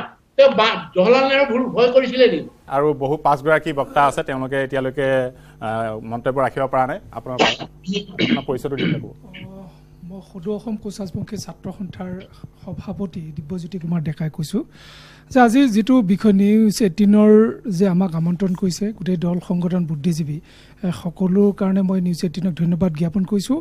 আৰু সংযুক্ত মুক্তিবাহিনী অসম যে যি সংগ্ৰাম অব্যাহত ৰাখিছে কেইবা দশক জুৰি আমি অসমৰ প্ৰতিটো দল সংগঠন অসমৰ সকলো জাতি জনগোষ্ঠী আমি গভীৰ আগ্ৰহেৰে ৰৈ আছোঁ তেওঁলোকে কিবা এটা নিশ্চয় কৰিব। যে আমি এই কথাখিনিয়ে বিচাৰিছোঁ যে আলোচনাৰ নামত আলোচনা কেতিয়াও হ'ব নোৱাৰে। ভাৰত চৰকাৰৰ লগত অসমৰ মুখ্যমন্ত্ৰী ডাঙৰীয়াই যি ঘোষণা কৰিছে যে সাৰ্বভৌম অসমৰ নামত কোনো আলোচনা কথাখিনি তেওঁ সমৰ্থন কৰিব নোৱাৰে কিন্তু আমি ক'ব বিচাৰিছোঁ এজন অসমৰ সন্তান হিচাপে অসমৰ মুখ্যমন্ত্ৰী হিচাপে যে এটা জ্বলন্ত বিষয় য'ত অসমৰ হাজাৰ হাজাৰ শ্বহীদৰ ইয়াতৰ কেঁচা তেজ প্ৰতিটো জাতি জনগোষ্ঠীৰ ইয়াত তেজৰ টোপালৰ ইয়াত মূল্যৰ কথা আছে। এই বিষয়বস্তুবিলাক চিন্তা কৰি তেওঁ দিল্লীত গোটেই কথাবিলাক আগবঢ়োৱাই নিশ্চয় তেওঁৰ দায়িত্ব আৰু কৰ্তব্য নিশ্চয় আছে। আৰু সাৰ্বভৌম যি সংযুক্ত মুক্তি বাহিনী অসমৰ যি দাবী সেই কথাখিনিৰ ওপৰত ইয়াত কোনো দ্বিধাবোধ নাই। যে অসমৰ প্ৰতিটো খিলঞ্জীয়া জাতি জনগোষ্ঠীৰ সেই কথাবিলাক আলোচনা কৰাৰ ক্ষেত্ৰত আলোচনা কোনো হেঙাৰ হ'ব নোৱাৰে। কিন্তু আচল আলোচনা আচলতে তেওঁলোকৰ আন্তৰিকতা কিমান সেই কথাখিনিৰ ওপৰত প্ৰশ্ন হ'ব। যদি ভাৰত চৰকাৰ অসম চৰকাৰৰ এই আলোচনা তেওঁলোকে আন্তৰিকতাৰে বিচাৰিছে তেতিয়াহ'লে নিশ্চয় আলোচনাত যিকোনো বিষয় উত্থাপন হ'ব পাৰে তেওঁলোক প্ৰস্তুত থাকিত থকা থাকিব লাগিব। আজি অসমৰ বুকুত আমি এখন অসমৰ ভূমিপুত্ৰ হিচাপে আজি কোচাছ বংশীসকলৰে আমাৰ অসমতে কিন্তু আমাৰ বহু জেগাত। আজি ভূমিৰ অধিকাৰ নাই আমাৰ ৰাজনৈতিক অধিকাৰ নাই অৰ্থনৈতিক সামাজিক কোনো ধৰণৰ অধিকাৰ সুৰক্ষিত নহয়। আমি দ্বিতীয় শ্ৰেণীৰ নাগৰিক হিচাপে আজিও বসবাস কৰিব লগা হৈছে।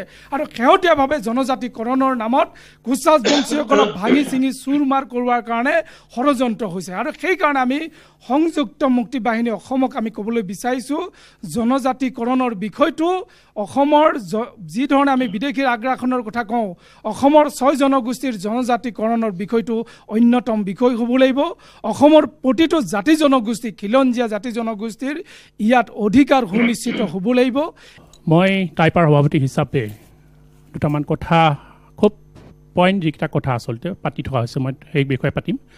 যে আচলতে এই আচলতে অসমৰ যি ইতিহাস যদি আমি চাওঁ ইতিমধ্যে কোৱা হৈছে চৌবিছ ফেব্ৰুৱাৰী বাৰশ ছাব্বিছ বা ওঠৰশ ছাব্বিছ খ্ৰীষ্টাব্দত যিখন আচলতে ইয়াণ্ডাবু চুক্তি হৈছিল।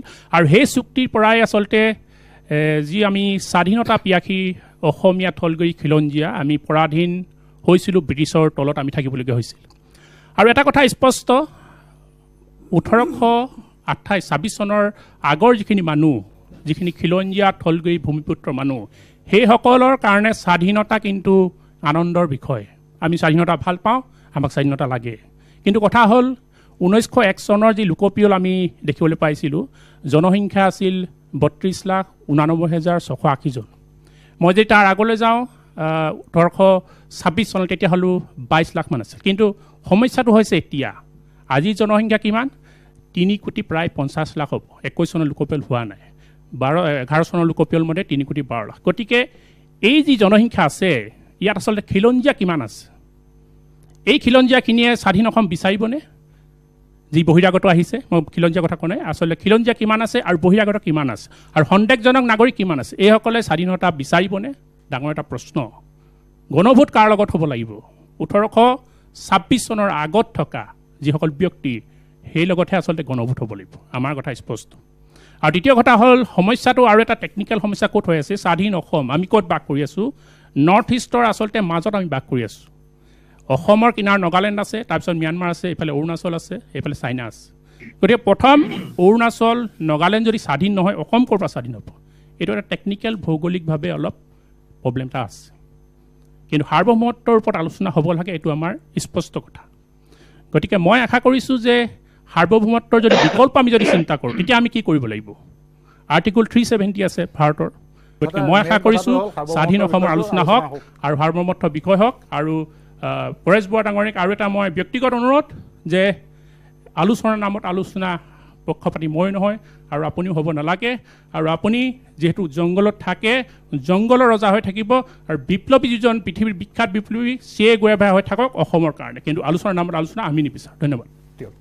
মই সদৌতীয়া ছাত্ৰ সন্থাৰ সাধাৰণ সম্পাদক প্ৰশান্ত মচঙে সংযুক্ত মুক্তি বাহিনীৰ সেনাধ্যক্ষ পৰেশ বৰা ডাঙৰীয়ালৈ ববলি অভিনন্দন জ্ঞাপন কৰিছোঁ। ইতিমধ্যে বিভিন্নজনে বক্তব্য আগবঢ়াইছে। যিহেতুকে সাৰ্বভৌমত্ব বিষয়টো আছে। আৰু অসম স্বাধীন অসমেও কৈছে যে সাৰ্বভৌমত্ব বাদ দি কোনো আলোচনা নহয়। মই আহ্বান জনাম অসম চৰকাৰৰ মাননীয় মুখ্যমন্ত্ৰী ডাঙৰীয়া আৰু কেন্দ্ৰীয় চৰকাৰ চৰকাৰলৈ যে যি আজি বিয়াল্লিছটা বছৰ ধৰি স্বাধীন অসমে আন্দোলন কৰি আহিলে সশস্ত্ৰ সংগঠন হিচাপে আৰু বহু হাজাৰ আমাৰ যুৱক যুৱতী তেজ দিলে মৃত্যুবৰণ কৰিলে আৰু যাতে তেনেকুৱা আৰু ভৱিষ্যতে নহওক তাৰ স্বাৰ্থতে এই আলোচনা হ'ব লাগে আৰু যাতে কোনেও তেজ দিবলগীয়া নহয় গুলী বাৰুদ খাবলগীয়া নহয়। গতিকে তাৰ স্বা- স্বাৰ্থতেই আজি এই যি আলোচনা হৈছে আমাৰ সাৰ্বভৌমত্ব বিষয়টোৱে আৰু অসমৰ মাননীয় মুখ্যমন্ত্ৰী ডাঙৰীয়াক কিছু এৰা ধৰা কৰি কেন্দ্ৰীয় চৰকাৰৰ লগত আলোচনা কৰি সাৰ্বভৌমত্বৰ এই বিষয়টোক লৈ পেলাই আলোচনা হ'ব লাগে। এইখিনি মুহূৰ্তত আমাৰ সৈতে আজি ষ্টুডিঅ'ত উপস্থিত নাই নিখিল বড়ো ছাত্ৰ সন্থাৰ নিখিল বড়ো ছাত্ৰ সন্থাৰ সভাপতি। নিখিল বড়ো ছাত্ৰ সন্থাৰ সভাপতি দীপেন বড়োৰ এটা বাইট আমি সংগ্ৰহ কৰিছোঁ। বাইটটো প্ৰথমে বজাই ল'ব বিচাৰিছোঁ। তাৰ পাছত আমি আৰু দুগৰাকী আছে তেওঁলোকৰ সৈতে কথা পাতিম। পৰেশ বড়ো ডাঙৰীয়াক আমাৰ এটাই আহ্বান থাকিব। তেওঁলোকে যি উদ্দেশ্যলৈ যি সিদ্ধান্তলৈ সশস্ত্ৰ সংগ্ৰামৰ পাতনি মেলিছিল বা তেওঁলোকে আগবাঢ়ি গৈছিল সেই গোটেই কথা নজৰ ৰাখি পেলাই তেওঁলোকে আলোচনাত বহিলেহে এটা মীমাংসা আহিব। কাৰণ এটা সময়ত সংগ্ৰাম চলিব ইয়াৰ পিছত দাবী হ'ব ইয়াৰ পিছত কিছুমান ঘাত প্ৰতিঘাত সংগ্ৰাম হৈ গ'ল বহুতো মানুহ শ্বহীদ হৈ গ'ল। তো এটা এটা সংগ্ৰামৰ ইতিহাসত এইবিলাক থাকে কিন্তু বাস্তৱত এটা সমাধানৰ যদি সূত্ৰ ওলাব লাগে চৰকাৰ আৰু বিদ্ৰোহী সংগঠন চৰকাৰ আৰু সশস্ত্ৰ সংগ্ৰামী গোটৰ মাজত এটা আলোচনা বিলোচনা এইটো অত্যন্ত জৰুৰী। আৰু আলোচনাৰ মাজতহে এটা বুজাবুজিত আহিব এটা চুক্তিত আহিব বা এটা মীমাংসাত আহিব। আৰু আলোচনা নকৰাকৈ কোনো কথা বা কোনো সমস্যা মীমাংসাত নাহে। সেই কথাটো নজৰ ৰাখি পেলাই আমাৰ এটাই আহ্বান যে তেখেত চৰকাৰৰ লগত আলোচনাত বহক আৰু তেওঁ দূৰে দূৰে থাকি আলোচনা কৰে না টেবলত আহি আলোচনা কৰে এইটোতো তেওঁলোকৰ টেকনিকেল আৰু ষ্ট্ৰেটেজিক কথা এইটো আমি ক'বলৈ নাযাওঁ। কিন্তু আমি বিচাৰোঁ যে শান্তিৰ স্বাৰ্থত আৰু তেখেতসকলে যি উদ্দেশ্যলৈ আগবাঢ়িছিল সেই উদ্দেশ্যটো আগত ৰাখিয়ে আলোচনাটো কৰক। এয়া আচলতে দীপেন দীপেন বড়ো নিখিল বড়ো ছাত্ৰ সন্থাৰ সভাপতি নৱমৰাণ আছে নৱমৰাণ। মৰাণ জাতি এটা ইতিহাস আছে এটা সংগ্ৰামী জাতি আৰু সংগ্ৰামী সত্তা আছে। আৰু ৰজাঘৰীয়াৰ পৰা আৰু আজিৰ তাৰিখলৈকে শোষক শ্ৰেণীলৈকে আমি আন্দোলন কৰি থাকিবলগীয়া হৈছে। কেৱল যে আমি চৰকাৰৰ বিৰুদ্ধে আন্দোলন হৈছে এনেকুৱা কথা নহয়। মৰাণ জাতিক প্ৰতিষ্ঠা কৰিবৰ কাৰণে একাংশ সাহিত্যিক বুদ্ধিজীৱীৰ লগতো আমাৰ আমাৰ আমি সংগ্ৰাম কৰিবলগীয়া হৈছে আমাৰ জাতিক প্ৰতিষ্ঠা কৰিবৰ কাৰণে। গতিকে এটা সংগ্ৰামী জাতিৰ প্ৰতিনিধিত্ব প্ৰতিনিধিত্ব কৰি আজি এই মঞ্চৰ পৰা এটা কথা আমি ক'ব খোজোঁ যে আলফা আৰু চৰকাৰৰ যি ৰাজনৈতিক সংঘাত এই সংঘাত ৰাজনৈতিকভাৱেই সমাধান হ'ব লাগিব। আৰু ইয়াত কেৱল মাতে ৰাজনৈতিকভাৱে আলোচনা কৰিলে সাৰ্বভৌমত্ব কথাখিনি নিশ্চিতভাৱে ইয়াত উপস্থাপন হ'ব। আৰু আলোচনাৰ মজিয়াত কেনেকুৱা ধৰণে আলোচনা কৰে তেওঁক এই কথাবিলাক অভিজ্ঞ পৰেশ বৰুৱা ডাঙৰীয়া তেখেতক আমি কিবা পৰামৰ্শ দিব লাগে বুলি মই নাভাবোঁ। কিন্তু আলোচনা যে সাৰ্বভৌমত্বৰ ওপৰত আলোচনা হ'লে নিশ্চিতভাৱে অসমৰ থলগিৰি ৰাইজৰ খিলঞ্জীয়া মানুহৰ সুৰক্ষিত হোৱা এটা আলোচনা হ'ব এইটো কিন্তু আমি ধাৰণা কৰিব পাৰোঁ। এশ ছাব্বিছটা সমষ্টি খিলঞ্জীয়া মানুহৰ কাৰণে সুৰক্ষিত হোৱাটো বিচাৰোঁ। থলগিৰি মানুহৰ ভূমি অধিকাৰ হোৱাটো আমি বিচাৰোঁ। স্থলগিৰি মানুহৰ ৰাজনৈতিক অধিকাৰ অৰ্থনৈতিক অধিকাৰ সকলো অধিকাৰ এই আমাৰ স্থলগিৰি খিলঞ্জীয়া মানুহৰ হাতত যাতে আহে তেনেকুৱা এটা আলোচনা আমি পোষকতা কৰোঁ। আৰু সময় যিহেতু বিশেষ নাই গতিকে আমাৰ এটা আহ্বান যে চৰকাৰে অভিভাৱকত্বৰ দায়িত্ব পালন কৰিব লাগে। চৰকাৰে যিহেতু অসমৰ প্ৰত্যেকগৰাকী মানুহৰ তেওঁ অভিভাৱক সেই অভিভাৱক হিচাপে তেওঁ অভিভাৱকৰ দায়িত্ব পালন কৰি অসমৰ সুৰক্ষিত হোৱা হোৱাটো তেওঁ ব্যৱস্থা কৰিব লাগে বুলি মই মই ভাবোঁ। অসমীয়া মহাজাতিৰ ঐতিহ্য আৰু স্বকীয়তা অক্ষুণ্ণ ৰাখিবলৈ নিজৰ যৌৱন সমৰ্পিত কৰা পৰেশ বৰুৱা ককাইদেউলৈ বীৰ লাচিত থানা অসমৰ তৰফৰ পৰা আন্তৰিক শ্ৰদ্ধা আমি জ্ঞাপন কৰিছোঁ। এতিয়া কথাটো হৈছে বেলেগ অসমৰ বিভিন্ন বেলেগ বেলেগ জাতীয় দল সংগঠন উত্থাপন উত্থাপন কৰা দাবী আৰু আলফাই উত্থাপন কৰা দাবীৰ মাজত কিছু পাৰ্থক্য আছে। এটা ঐতিহাসিক সত্যতা আছে। এতিয়া কথাটো হ'ল আলফাই কোনবিলাক কথা কৈছে? আলফাই কৈছে যে পূৰ্ণ জাতীয় আত্মনিয়ন্ত্ৰণৰ কথা কৈছে। আলফাই কৈছে যে সম্পূৰ্ণ ৰাজনৈতিক অৰ্থনৈতিক সামাজিক আৰু সাংস্কৃতিক অধিকাৰৰ কথা কৈছে। আৰু আমি ভাবোঁ যে এখন গণতান্ত্ৰিক দেশত সাৰ্বভৌমত্বৰ ওপৰত আলোচনা হ'ব পাৰে। আৰু বীৰ লাচিতানে আমি এইটো ক্ষেত্ৰত পোষকতা কৰোঁ। এতিয়া কথাটো হৈছে যে এই যে সংগ্ৰাম কিয় আৰম্ভ হৈছে যে আমি দেখিছোঁ দীৰ্ঘ সময় ৰাজনৈতিকভাৱে আমি প্ৰতাৰিত হৈছোঁ আমি অৱহেলিত হৈছোঁ। অৰ্থনৈতিকভাৱে সামাজিকভাৱে আমি প্ৰতাৰণাৰ বলি হৈছোঁ। তাৰ লগে লগে সাংস্কৃতিকভাৱে আমি বিপদাপন্ন হৈছোঁ। আমাৰ কোনোবাখিনিত ভয় আৰু শংকা আছে যে অদূৰ ভৱিষ্যতে আমি ইয়াৰ পৰা নিশেষ হৈ গুচি যাম নেকি? আমি অস্তিত্বৰ সংকটত ভুগিম নেকি? গতিকে কাইলৈ এই গোটেই বিষয়টো মই ভাবোঁ এটা সংবেদনশীল বিষয়। কাইলৈ পৰহিলৈ আলফাই গুচি গ'লেও আহিবলগীয়া প্ৰজন্মই এই সংগ্ৰামখন কাৰণ নিজৰ য'ত অস্তিত্বৰ বিষয়টো জড়িত হৈ থাকে এই বিষয়টোক আকৌ ভণ্ডালনিৰ ৰূপত লৈ যাব। বাকী একেই নহওক যে দক্ষিণ পূব এছিয়া আমি জানোৱেই যে এটা খুব চেঞ্চিটিভ ৱাৰ জোন হিচাপে আমাক ইয়াত চায়। গতিকে সেইকাৰণে আমি ভাবোঁ যে এইটো সমস্যা কেৱল আন্তঃদেশীয় নহয়? ই বহিদেশীয় এটা সমস্যা।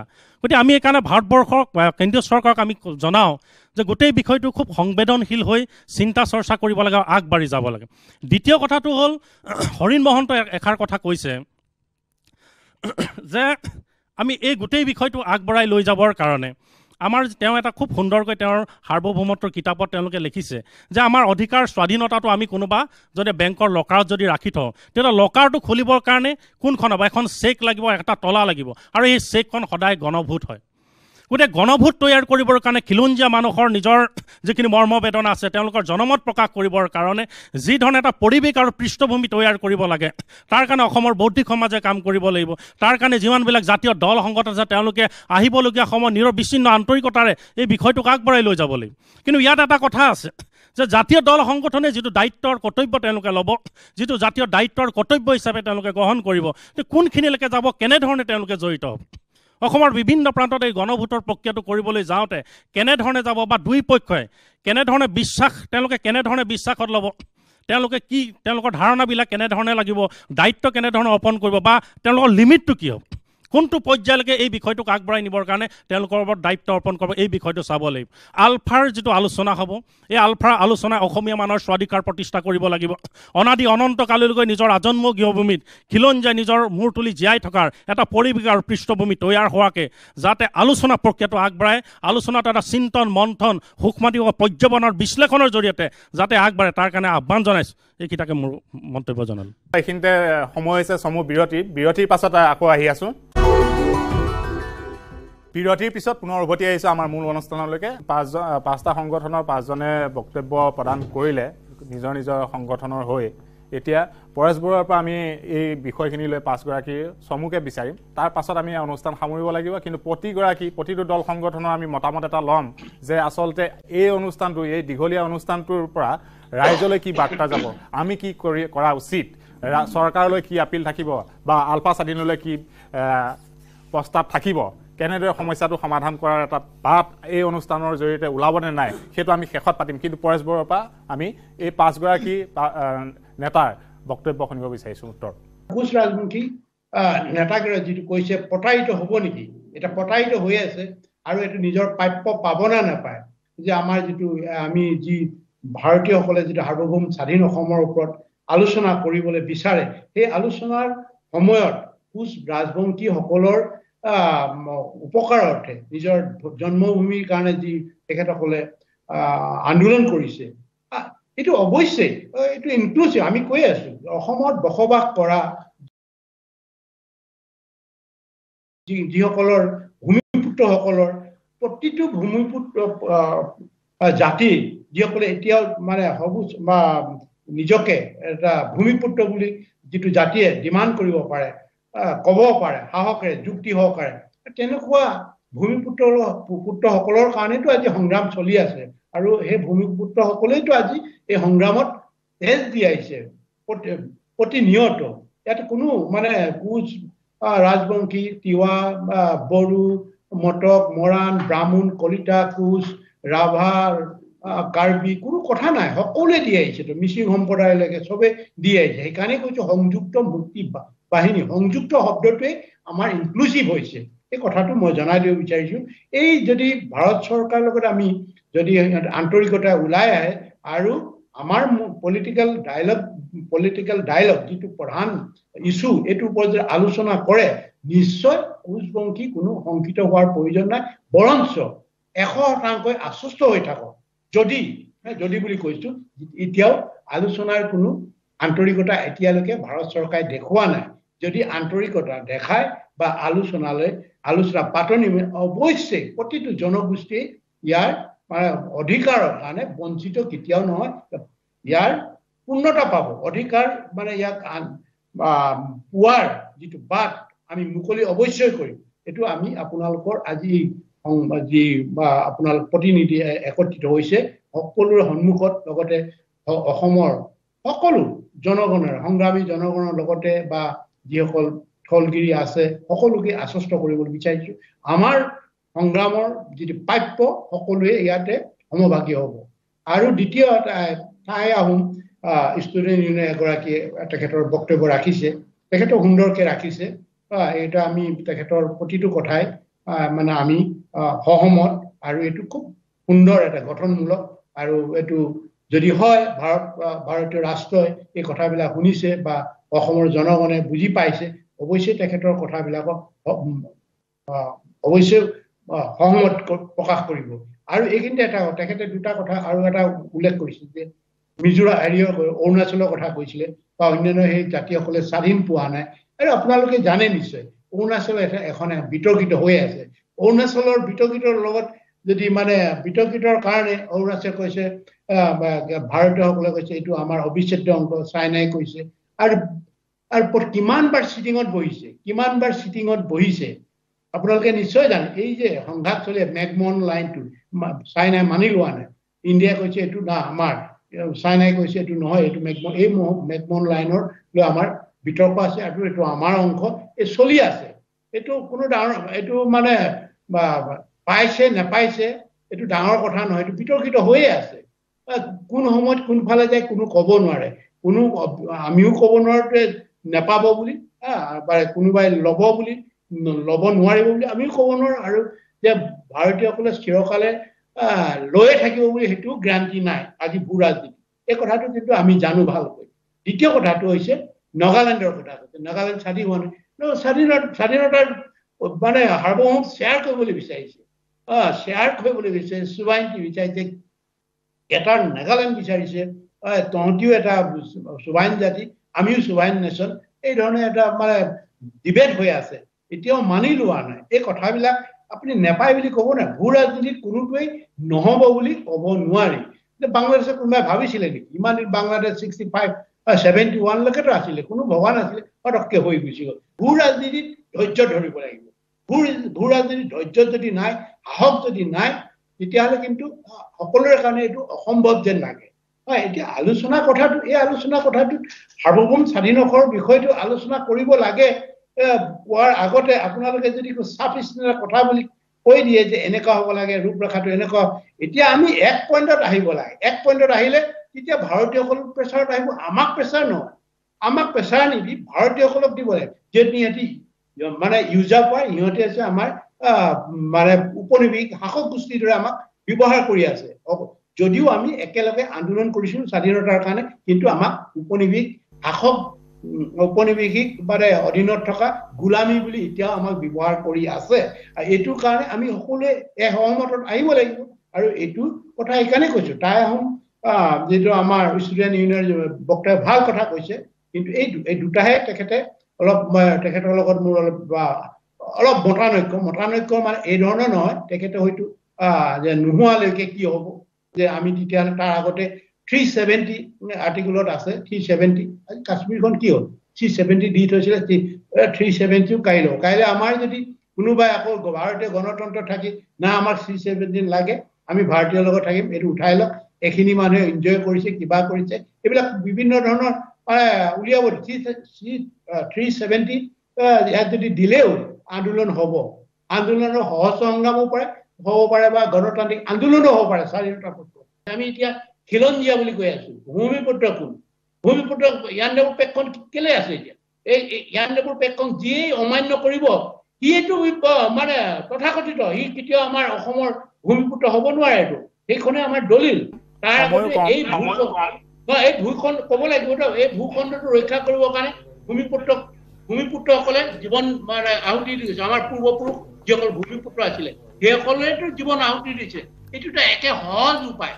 এইটো সহজ উপায় এইখনকে আমাৰ বুদ্ধিজীৱীসকলে অন্যান্য এইটোকে এতিয়া আমাৰ যিসকল অসমৰ মানে সামাজিক সংগঠন বিভিন্ন জনগোষ্ঠী সেইসকলে ক'ব লাগিব যে আমাৰ জ্ঞানদাবুৰ পেকখনে হৈছে আমাৰ সীমা।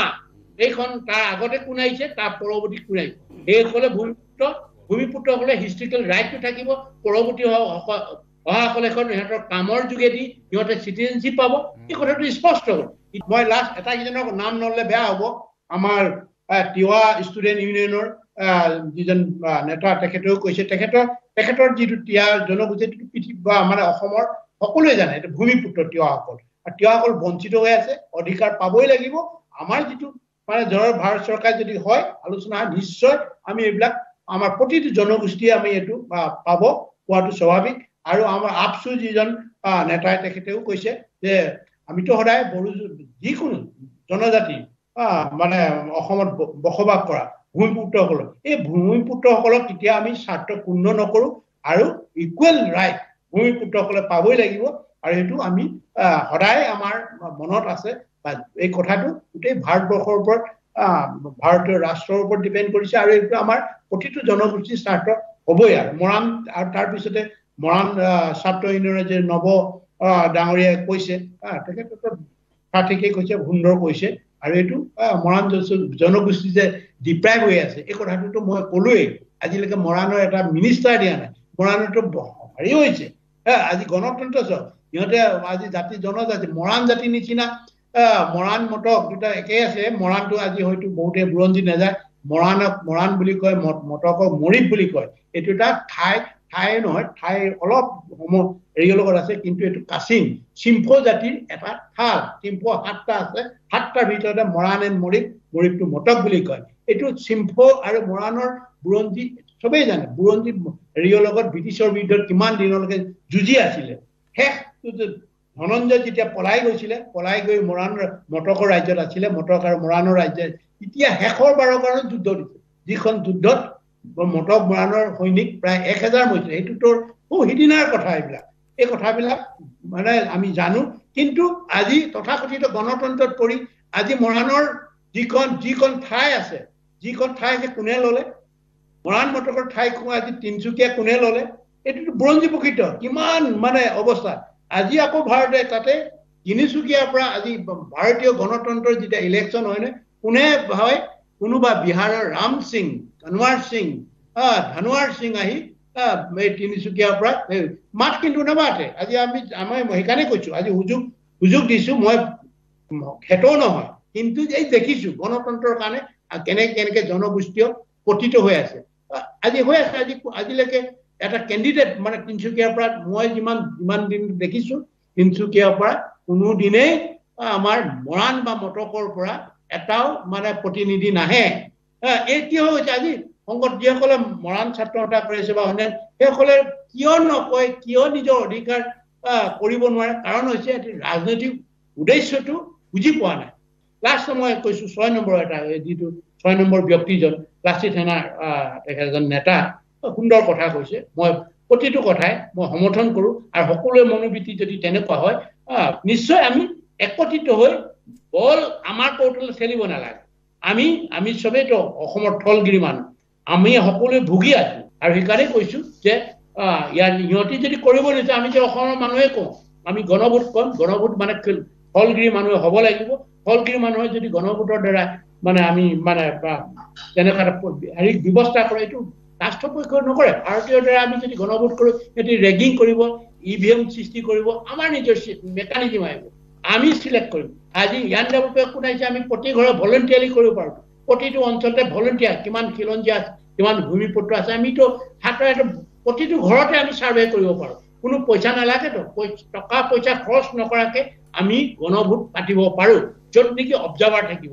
আৰু যিটো বিষয় নেকি গণভোট পাতিলে ভাৰতীয় যে, বা শোষণী ৰাষ্ট্ৰই ক'ব লাগিব এইটো মানি ল'ম ভাৰত অসমত যি গণভোট হৈছে এই গণভোটৰ ওপৰত ভিত্তি কৰি মানে যিটো ৰায় আহিছে সেই ৰায়টো আমিও মানি ল'ম। কিন্তু ভাৰত পক্ষক ক'ব লাগিব যে এইটো আমি মানি ল'ম এইটো এইটো সাৰ্বভৌম স্বাধীন অসমৰ ওপৰত কথা পাতিব লাগে বুলি ৰাইজে অসমৰ স্থলগিৰ ৰাইজে আহ, এইটো মুঠতে বা- মানি বিষয়টো লৈছে। হ'ল সাৰ্বভৌমত্বৰ আৰু বিষয়টো লৈ পেলাই গণভোট গণভোট। আমাৰ আহ, গোটেইখিনি দল সংগঠনৰ আছে মেক্সিমাম অসমৰ। এটা বিৰতি লৈ লৈছো এটা বিৰতিৰ সময় হৈ আহিছে এটা চমু বিৰতি। ধন্যবাদ। বিৰতিৰ পিছত পুনৰ উভতি আহিছোঁ মূল অনুষ্ঠানলৈকে। সকলোৰে পৰা মই শেষত এটাই বিচাৰিম এটা এটা বাক্য যে আচলতে বাৰ্তাটো কি যাব লাগে ৰাইজৰ ওচৰলৈকে কেনেদৰে সমস্যাটো সমাধান কৰিব পৰা যায় মই আছুৰ ফালৰ পৰা প্ৰথমে বিচাৰিম। যে বেছি দীঘলকৈ নহয় যে লাষ্ট এটা এটা চেণ্টেঞ্চ গোটেই কেইগৰাকীয়ে ক'ব যে সমস্যাৰ সমাধানটো কেনেকুৱাকৈ হ'ব লাগে গণভোটৰ টাইপটো কেনেকুৱা হ'বগৈ ছিষ্টেমটো কেনেকৈ যাব সেইখিনি। প্ৰথম কথাটো হৈছে সদৌ অসম ছাত্ৰ সন্থাই যিটো কথা কৈ আহিছোঁ যে আমি গোটেই কথাটোৰ নিঃচৰ্ত আলোচনাৰ মাজেৰে সমাধান হোৱাটো বিচাৰোঁ আলোচনাৰ মজিয়াত সকলো বিষয়ৰ আলোচনা হ'ব লাগিব ছাত্ৰ সন্থাই এই কথাটো কৈছোঁ। কাৰণ কিয়নো ইমান দিনে এটা জাতীয় সংগ্ৰাম কৰি আছিলে কিয়নো ইমান হাজাৰ হাজাৰ অসমীয়া ডেকা গাভৰুৱে প্ৰাণ আহুতি দিছিলে সেই কিয়টোৰ ওপৰত আলোচনা হ'ব নোৱাৰাৰ কোনো থল নাথাকে। গতিকে আলোচনা সকলো বিষয়ে আলোচনা হ'ব লাগিব। আমি অসম চুক্তিৰ সময়ত দেখিছোঁ বি টি আৰ চুক্তিৰ সময়তো দেখিছোঁ যে আলোচনা যিসমূহ দাবী লৈ হৈছে আলোচনাৰ মজিয়াত গৈ পেলাই আলাপ আলোচনাত ইফাল সিফাল হৈছে। কিন্তু বিষয়টো। কিয় আলোচনা হ'ব লাগিব সেই কথাবোৰ সকলোবোৰে আলোচনা হ'ব লাগিব বুলি ছাত্ৰ সন্থাই ক'ব বিচাৰিছোঁ। চমুকে ক'ব সময় কম। আমি আমি টাইমৰ তৰফৰ পৰা এটা কথা ক'ব বিচাৰিছোঁ যে আলোচনা হ'ব লাগিবই। আলোচনা অবিহনে কেতিয়াও এটা মানে মীমাংসা সংহত ওলাব নোৱাৰে। গতিকে আলো আলোচনাৰ ভিত্তিত অসমৰ যিটো থলুৱা যিটো খিলঞ্জীয়া আছে খিলঞ্জীয়াসকলৰ গণভোট হওক আৰু গণভোটৰ ভিত্তিতেই আলোচনা হওক আৰু আলোচনাত সাৰ্বভৌমত্বত মানে এক নম্বৰ স্থান পাব লাগিব। তাৰ তাৰোপৰি মানে আপুনি সাৰ্বভৌমত্ব ছাবজেক্টটোৰ ওপৰত গণভোটৰ কথা হয় হয় সেইটো কথা কৈছোঁ। সাৰ্বভৌমত্বৰ আধাৰত আলোচনা হওক আৰু যদি সাৰ্বভৌমত্ব সংবিধানে কিবা তাৰ সাংবিধানিক কিবা বাধা নিষেধ আছে সেইটো দৰকাৰ হ'লে সংশোধন কৰি কাৰণ যিহেতুকে ভাৰতৰ সংবিধানখন ইতিমধ্যে কেইবাবাৰো সংশোধন হৈছে যে অসমৰ স্বাৰ্থত এবাৰ সংশোধন কৰি দৰকাৰ হ'লে এই সাৰ্বভৌমত্বৰ আধাৰত আলোচনা হওক কিন্তু আলোচনাৰ নামত আলোচনাটো আমি বিচৰা নাই, নিশ্চিতভাৱে আমি আলোচনা বিচাৰোঁ কিন্তু এই আলোচনা সদিচ্ছা প্ৰকাশ কৰিব লাগিব কেন্দ্ৰীয় চৰকাৰে। কেন্দ্ৰীয় চৰকাৰে যেতিয়ালৈকে আলোচনাত নিবিচাৰিব ভাৰত চৰকাৰে যেতিয়া আলোচনা বহিবৰ কাৰণে সদিচ্ছা প্ৰকাশ নকৰিব আমি ইয়াতে যিমানেই দল সংগঠনবিলাকে কৈ নাথাকোঁ কিয় সেই আলোচনা ফলপ্ৰসূ এক আলোচনাত উপনীত নহ'ব। গতিকে মই ভাবোঁ যে কেন্দ্ৰীয় চৰকাৰে গোটেই বিষয়টো সদিচ্ছা প্ৰকাশ কৰি আলফা আৰু ভাৰত চৰকাৰৰ মাজত আলোচনা কৰি এই গোটেই বিষয়টো এক ৰাজনৈতিক সফল পৰিসমাপ্তি ঘটাবৰ কাৰণে কেন্দ্ৰীয় চৰকাৰে উদ্যোগ গ্ৰহণ কৰিব লাগে। আমি আক্ৰাছো এই কথাখিনিয়ে যে সাৰ্বভৌমত্বৰ ওপৰত আলোচনা হওক আমাৰ ইয়াত কোনো দ্বিমত নাই। কিন্তু এই আলোচনাৰ পৰিসমাপ্তি ইয়াত জাতি জনগোষ্ঠীৰ অসমত বসবাস কৰা জাতি জনগোষ্ঠীসমূহৰ অধিকাৰ সুৰক্ষিত হ'ব লাগিব। কোচাজ বংশী আগতেই কৈছোঁ কোচাজ বংশীসকল বহু য'ত নিজৰ শাসন ব্যৱস্থা য'ত নিজৰ ভূমিতে আজি নিথৰুৱা হৈছোঁ। আমাৰ আজিৰ অধিকাৰৰ পৰা আমি বিচ্ছিন্ন হৈছোঁ সেইকাৰণে কৈছোঁ যে আলফাৰ সংগ্ৰামৰ এটা পৰিসমাপ্তি গঠনমূলক অসমৰ ৰাইজে অসমৰ প্ৰতিটো জাতি জনগোষ্ঠীয়ে পাব লাগিব ছটা জনগোষ্ঠীয়ে ন্যায় পাব লাগিব এইখিনি হয় সকলোৰে এটাই কথা আলোচনাৰ নামত আলোচনা প্ৰতাৰণা যাতে নহয়। আচলতে আমি টাইহোম যুৱ পৰিষদ টাইপাৰ কেন্দ্ৰীয় সমিতিৰ পৰা এটা কথাই কওঁ যে আলোচনাৰ এটা সময় থাকিব লাগিব আচলতে নিৰ্ধাৰণ এটা সময় পাঁচ বছৰ এটা সময়। আৰু গণভোট যদি হয় খিলঞ্জীয়া থলগিৰি যিসকল মানুহ মই আগতে কৈছোঁ এইটিন টুৱেণ্টি ছিক্সৰ আগত যিসকল বসবাস কৰিছে তেওঁলোকৰ গণভোট হওক। আৰু দ্বিতীয় কথা হ'ল এনেধৰণে আচলতে কেন্দ্ৰীয় চৰকাৰ সদিচ্ছা কিমান আমি ইতিমধ্যে গম পাইছোঁ আৰু কেইবাটাও আলোচনা ইতিমধ্যে প্ৰক্ৰিয়া মানে আধাত শেষ হৈছে। গতিকে এইবাৰ যদি আলোচনা হয় ইয়াৰ এটা নিৰ্ণায়ক আচলতে ভূমিকা। আৰু অসমবাসীয়েও এই ৰক্তক্ষয় যিটো সংগ্ৰাম চাৰি দশক যোৱা এইটো সমাধান বিচাৰিছে। গতিকে আলোচনা এটা ফলপ্ৰসূ সিদ্ধান্ত হওক ধন্যবাদ আগতেও কৈছোঁৱেই সদৰীয়া ছাত্ৰ সন্থাৰ তৰফৰ পৰা যে আলোচনা নামৰ আলোচনা হ'ব নালাগে। ইতিমধ্যে আমাৰ পলাশ চাংমাই ডাঙৰীয়াই কৈছে যিহেতুকে আলোচনা কেন্দ্ৰীয় চৰকাৰৰ লগত হ'ব গতিকে কেন্দ্ৰীয় চৰকাৰে সদিচ্ছা প্ৰ- প্ৰকাশ কৰিব লাগিব।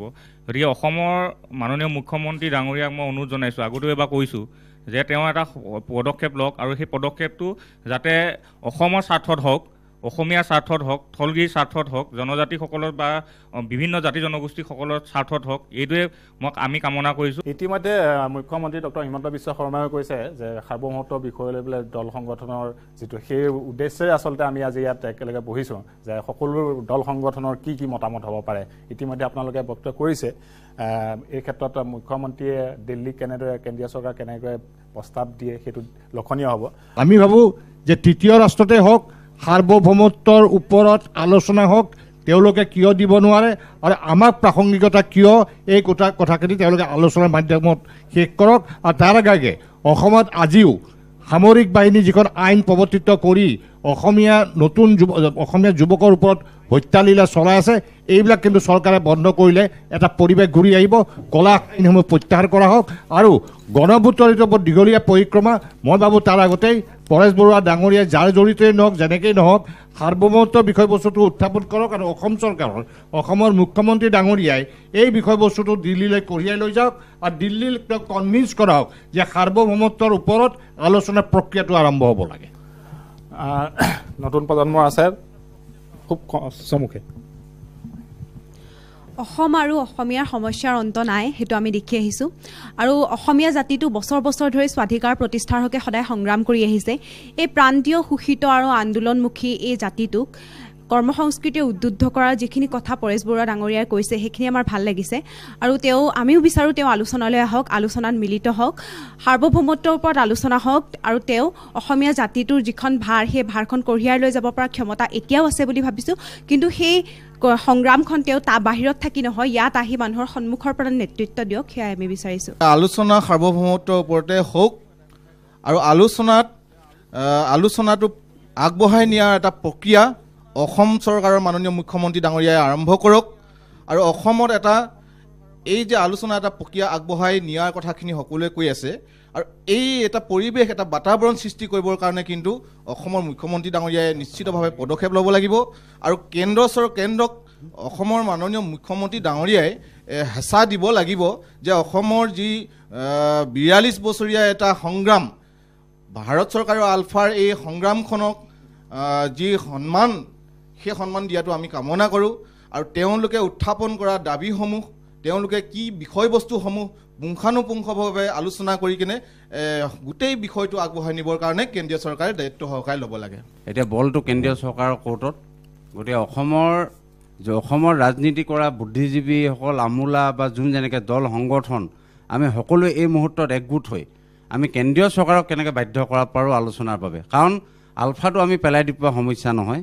এটা এৰাই চলা সমস্যা নহয়। কাৰণ তিয়াল্লিছ বছৰ চাৰিটা ডোখৰ সংগ্ৰাম চলা চৈধ্য হাজাৰ যুৱক যুৱতীয়ে প্ৰাণ আহুতি দিছে।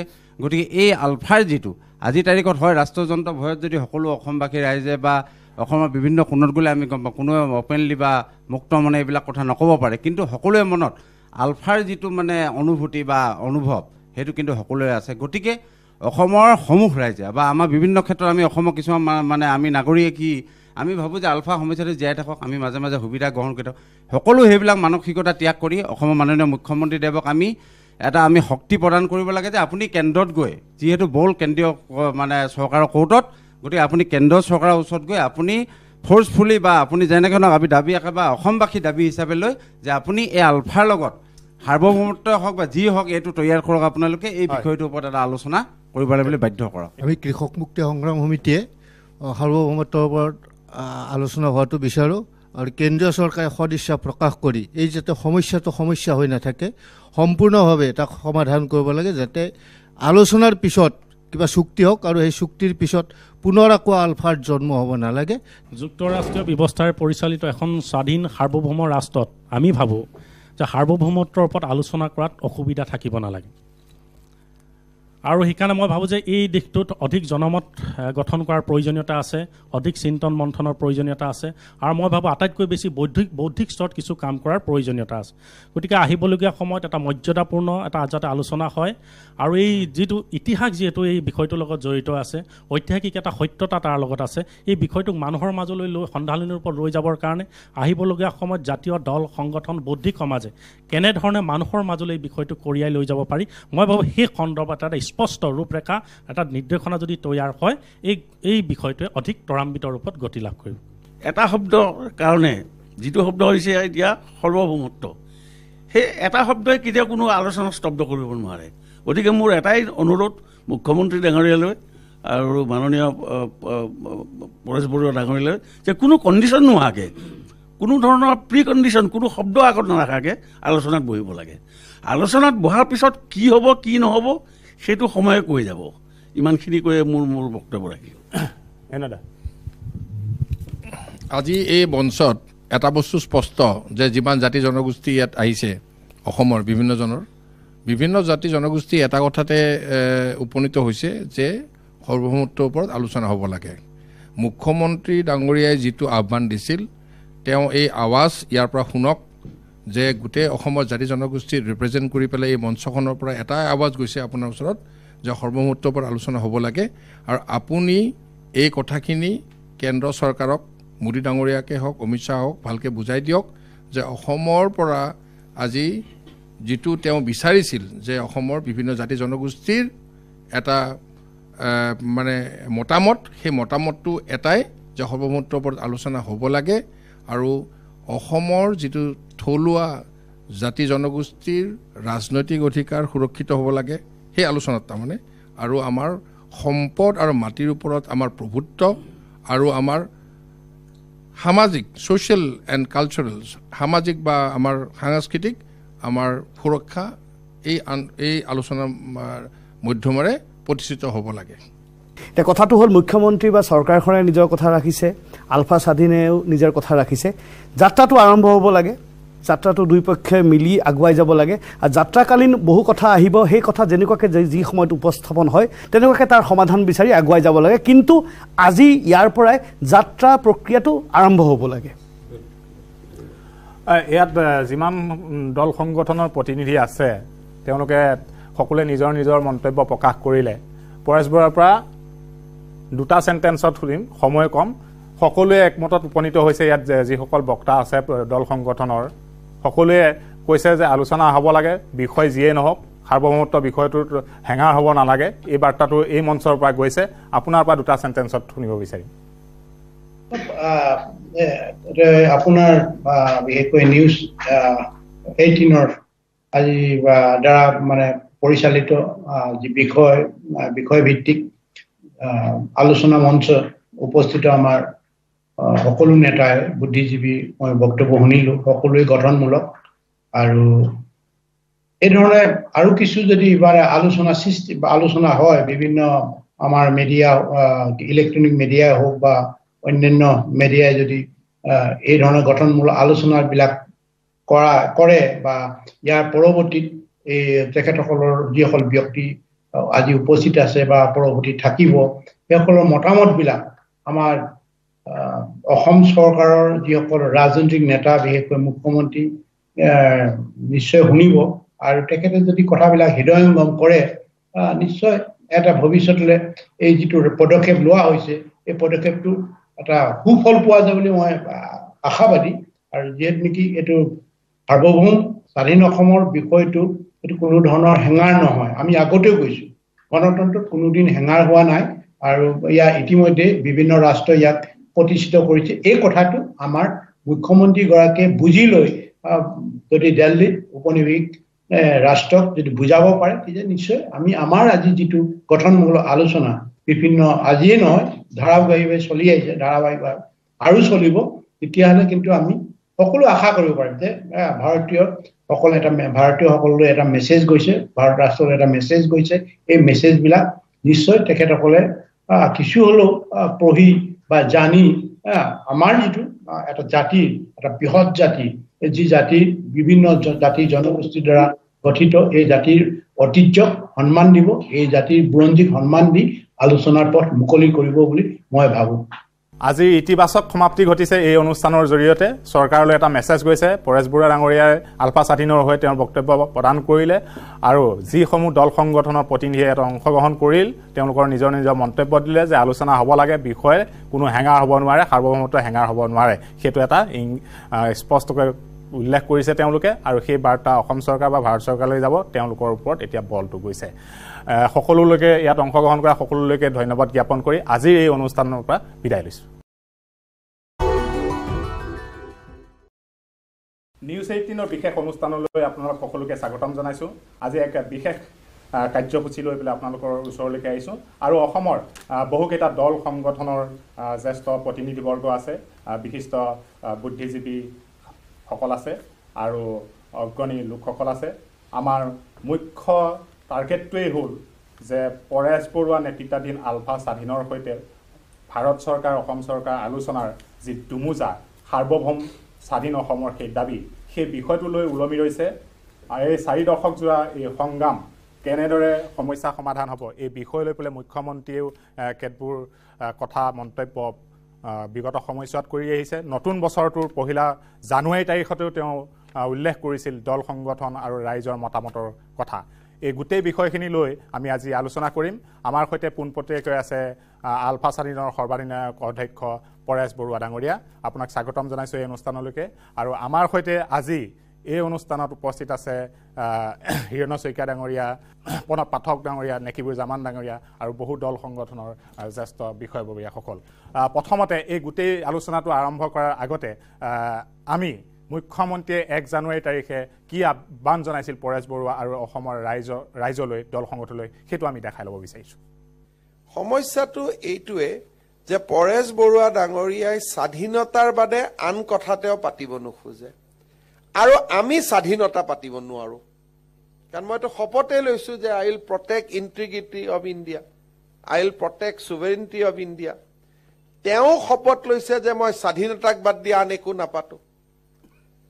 সেইকাৰণে সৌহাৰ্দ্য হ'ব পাৰে আলাপ আলোচনাৰ দুৱাৰো খোলা থাকে কিন্তু সমাধান কৰাৰ বাবে কোনোবা এটা পক্ষ পিছুৱাই আহিব লাগিব। এতিয়া আমিতো পিছুৱাই আহিব নোৱাৰো কাৰণ পিছুৱাই অহাৰ দিনাখনেই মোৰ অ'থটোৱে ভাঙি গ'ল। I cannot remain as a C M আৰু তেওঁ কয় যে মইতো নোৱাৰো। দহ হাজাৰ ল'ৰা মোৰ কাৰণে মৰি গ'ল মই এতিয়া কেনেকে এইটোত কনচিলেশ্যন কৰিম? কথা পতা যায়। তেওঁ কয় যে মই কি কৰিম? ইমান মানুহ মোৰ কাৰণে মৰি গ'ল আজি এই বয়সত মই এতিয়া কেনেকে ইয়াৰ পৰা আঁতৰি আহিব পাৰিম? ময়ো কওঁ যে মইতো শপতে লৈছো ভাৰতৰ সাৰ্বভৌমত্ব অক্ষুণ্ণ ৰাখিম। গতিকে সেইটো লৈ মই কেনেকে কথা পাতিম? গতিকে these two are irreconcilable difference এইটো এটা মীমাংসা নোহোৱা এটা বিষয়। এতিয়া ইয়াত ডিপেণ্ড কৰিব যে অসমৰ জনসাধাৰণৰ মৰেল প্ৰেচাৰ যে আমাক স্বাধীনতা নালাগে। সেই ধৰণৰ যদি পৰেশ বৰুৱা ডাঙৰীয়া কোনোবা এটা বিশ্বাস দিব পাৰে যে স্বাধীনতাৰ দাবীটো আপুনি এৰিলেও অসমৰ মানুহে আপোনাক বিশ্বাসঘাতক বুলি নকয় কাৰণ আমি নিজেই নিবিচাৰো স্বাধীনতা। ডেফিনেটলি তেওঁৰ মাইণ্ডটোত পৰিৱৰ্তন হ'ব পাৰে। কাৰণ তেওঁ য'ত আছে তাৰ পৰা সদায় তেওঁ তেনেকেই ভাবে যে মই যদি ইণ্ডিপেণ্ডেঞ্চ ডিমাণ্ডটো এৰি দিওঁ history will consider me as a betrayer পহিলা জানুৱাৰী তাৰিখে মুখ্যমন্ত্ৰীয়ে কইনাধৰাত এনেদৰে দাবী কৰিছিল এনেদৰে আহ্বান কৰিছিল। তাৰ দুদিন পাছত অৰ্থাৎ তিনি জানুৱাৰী তাৰিখে আন এটা মন্তব্য কৰিছিল একে বিষয় লৈ পেলাই আমি শুনাই ল'ব বিচাৰিছোঁ। পৰেশ বৰুৱা ডাঙৰীয়াক কোনো চৰ্ত এৰিব অনুৰোধ মই নকৰোঁ কাৰণ সেইটো তেওঁলোকৰ সংগঠনৰ বিষয়বস্তু। মই খালি মোৰ কথাটো বুজাই দিছোঁ যে সাৰ্বভৌমত্ব থাকিলে মই আলোচনা কৰিব নোৱাৰোঁ। তেওঁলোকক মই চৰ্ত এৰিব কোৱা নাই। ইয়াৰ মাজৰ ৰাস্তা কি হ'ব? এইটো অসমবাসী ৰাইজে নিশ্চয় ইয়াৰ বিষয়ে চৰকাৰকো গাইডেঞ্চ দিব লাগিব আলফাকো গাইডেঞ্চ দিব লাগিব। যাতে দুইটা যি আমি ডেডলকত আছোঁ সেই ডেডলকৰ পৰা যাতে ওলাই যাব পাৰোঁ। কাৰণ সকলোৰে উদ্দেশ্য অসমৰ সামগ্ৰিক উন্নয়ন আৰু বিকাশ।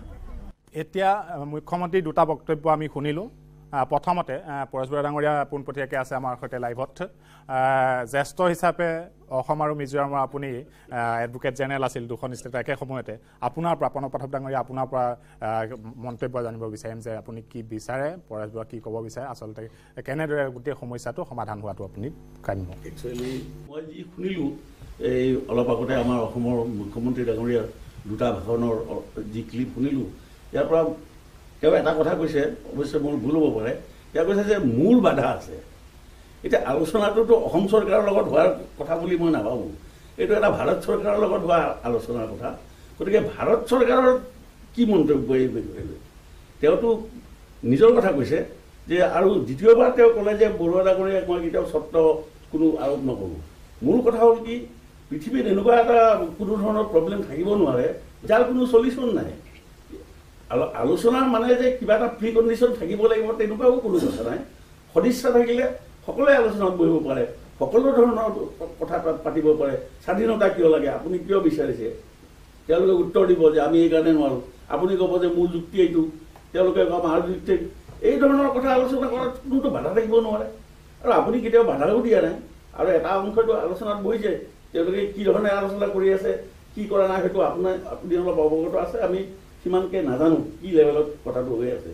কিন্তু আৰু অন্য কথাটো বাদেই সি এন এছ চিনৰ লগত আলোচনা কৰা প্ৰায় পঞ্চাছ বছৰৰ ওপৰে হ'ব যেন পাইছোঁ। এতিয়ালৈকেতো কোনো সমাধান ভাৰত চৰকাৰে কৰিব বিচৰা নাই। কিন্তু মুখ্যমন্ত্ৰী ডাঙৰীয়াই যিখিনি কথা ক'লে তাৰ পৰা বুজা যায় তেওঁ তেওঁ নিজৰ কথাটোহে কৈছে যে মই আগবাঢ়িব নোৱাৰোঁ এইটো। ভাৰত চৰকাৰে কৈছে নাই যে আমি আগবাঢ়িব পাৰিম নে নোৱাৰিম?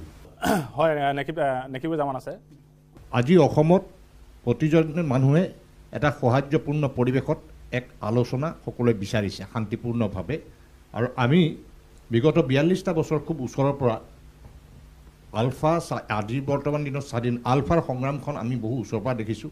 প্ৰায় পোন্ধৰ হাজাৰ ডেকা পাহুৱাল ডেকাৰ নিজৰ মানে জীৱন ত্যাগ কৰিছে গাঁও ভূঁই নিশেষ কৰি পেলোৱা হৈছে। আৰু তাৰপিছত পৰেশ বৰুৱাই যে আলোচনাৰ পক্ষপাতি আমি যেতিয়া পি চি জি গঠন কৰিলে সেই পি চি জি গঠন কৰাৰ পিছত আমি ভাবিছিলোঁ যে পৰেশ বৰুৱা যিহেতু আলোচনাৰ পক্ষপাতি গতিকে আমি বিশ্বাস এটা কৰিছিলোঁ অসমত এটা শান্তিপূৰ্ণ পৰিৱেশ গঢ়ি উঠিব। কিন্তু তেওঁ যেতিয়া পি চি জি টীম দিল্লীলৈ যায় সেই মুহূৰ্তত পাঁচজন ছয়জনকৈ মানুহ মাৰি পেলায়। এই মুহূৰ্তে পাঁচজন ছয়জন সামৰিক বাহিনীৰ হাততে হওক পুলিচ বাহিনীৰ হাততে হওক প্ৰতিটো আলোচনাৰ সময়ত আমি দেখিছোঁ যে প্ৰকৃততে যিবিলাক ব্যুৰোক্ৰেট যিবিলাক বিষয়া পৰ্যায়ত এই আলোচনা কোনেও নিবিচাৰে। আৰু যাৰ কাৰণে এনেধৰণৰ হত্যাবিলাক কৰি থকা আমি দেখিবলৈ পাইছোঁ। আৰু তাৰপিছত যেতিয়া দিল্লীত প্ৰধানমন্ত্ৰী যেতিয়া মনমোহন সিং আছিল তেওঁৱে কৈছিল সকলো বিষয়বস্তুৰ ওপৰত আলোচনা হ'ব পাৰে প্ৰয়োজন হ'লে তৃতীয় ৰাষ্ট্ৰতো এই আলোচনা হ'ব পাৰে। আজিৰ দিনত অসমৰ মুখ্যমন্ত্ৰীৰ এখতিয়াৰৰ কথা আহিছে হয় আমাৰ শ্ৰদ্ধা প্ৰণৱ পাঠক দাই কথাখিনি স্পষ্টভাৱে কৈছে। যদি সেই এখতিয়াৰটো কেন্দ্ৰীয় চৰকাৰৰ পৰা অসমত মুখ্যমন্ত্ৰী হাতলৈ আহিছে আৰু তেওঁৰ এটা দায়িত্ব আছে প্ৰপ'জেল দিয়াৰ যে তেওঁৰ বক্তব্যটো যে তেওঁ সাৰ্বভৌমত্বৰ ওপৰত তেওঁ বক্তব্য ৰাখিব আলোচনা কৰিব নোৱাৰে ব্যক্তিগত লেভেলত। কিন্তু আমি বিচাৰিছোঁ যে আলোচনাৰ প্ৰক্ৰিয়াটো আৰম্ভ হওক। সেই আলোচনাই যে কালিয়ে এটা স্বাধীন হৈ যাব অসম বা উত্তৰ পূৰ্বাঞ্চল সেই প্ৰশ্নটোৰ সলনি। আমাৰ সাৰ্বভৌমত্ব যদি অৰ্থনৈতিক সাৰ্বভৌমত্ব ৰাজনৈতিক সাৰ্বভৌমত্ব সাংবিধানিক আমাৰ ৰক্ষা কৱচ যদি হয় অসমীয়া জাতিটো দৈনন্দিনভাৱে ই নিশেষ হৈ গৈ আছে অসমীয়া ভাষা সংস্কৃতি সাহিত্য নিশেষ হৈ গৈ আছে আৰু আমাৰ পোন্ধৰ হাজাৰ যি বাহুৱাল ডেকাৰ ইতিমধ্যে মৃত্যু ঘটিছে আমাৰ ভৱিষ্যতৰ পোন্ধৰ লাখ পোন্ধৰ হাজাৰ পোন্ধৰ লাখ মানুহ কমি গৈছে আৰু অসমীয়া জাতি লাহে লাহে সংখ্যালঘুলৈ ই নিম্নগামী হৈছে গতিকে আজিৰ দিনত আমি আশা কৰিম মানুহৰ খুব অত্যন্ত বিশ্বাস আছে পৰাজ বৰুৱাৰ ওপৰত তেখেতে অন্ততঃ কোনটো দিশেৰে আলোচনা কৰিলে জাতিটো ৰক্ষা পৰে আমি সাংবিধানিক ৰক্ষা কৱচ পাওঁ আমি স্বাধীনতা বাক আমাৰ বাক স্বাধীনতাৰ লগে লগে আমাৰ যাতে অৰ্থনৈতিক সামাজিক ৰাজনৈতিক আমি স্বাধীনতা পাওঁ এই বিষয়বস্তুৰ ওপৰত আলোচনাৰ প্ৰক্ৰিয়াটো আৰম্ভ কৰিলে কেন্দ্ৰীয় চৰকাৰ আৰু আলফাৰ মাজত পোনপটীয়াভাৱে মই ভাবোঁ এটা সুফল হয়তো আগন্তুক দিনত আমি দেখিবলৈ পাম। হয় পৰেশ বৰা ডাঙৰীয়াৰ পৰা এটা প্ৰতিক্ৰিয়া প্ৰথম প্ৰতিক্ৰিয়াটো জানিব বিচাৰিম যি বা বিশেষকৈ অসম ভাৰত সংঘাত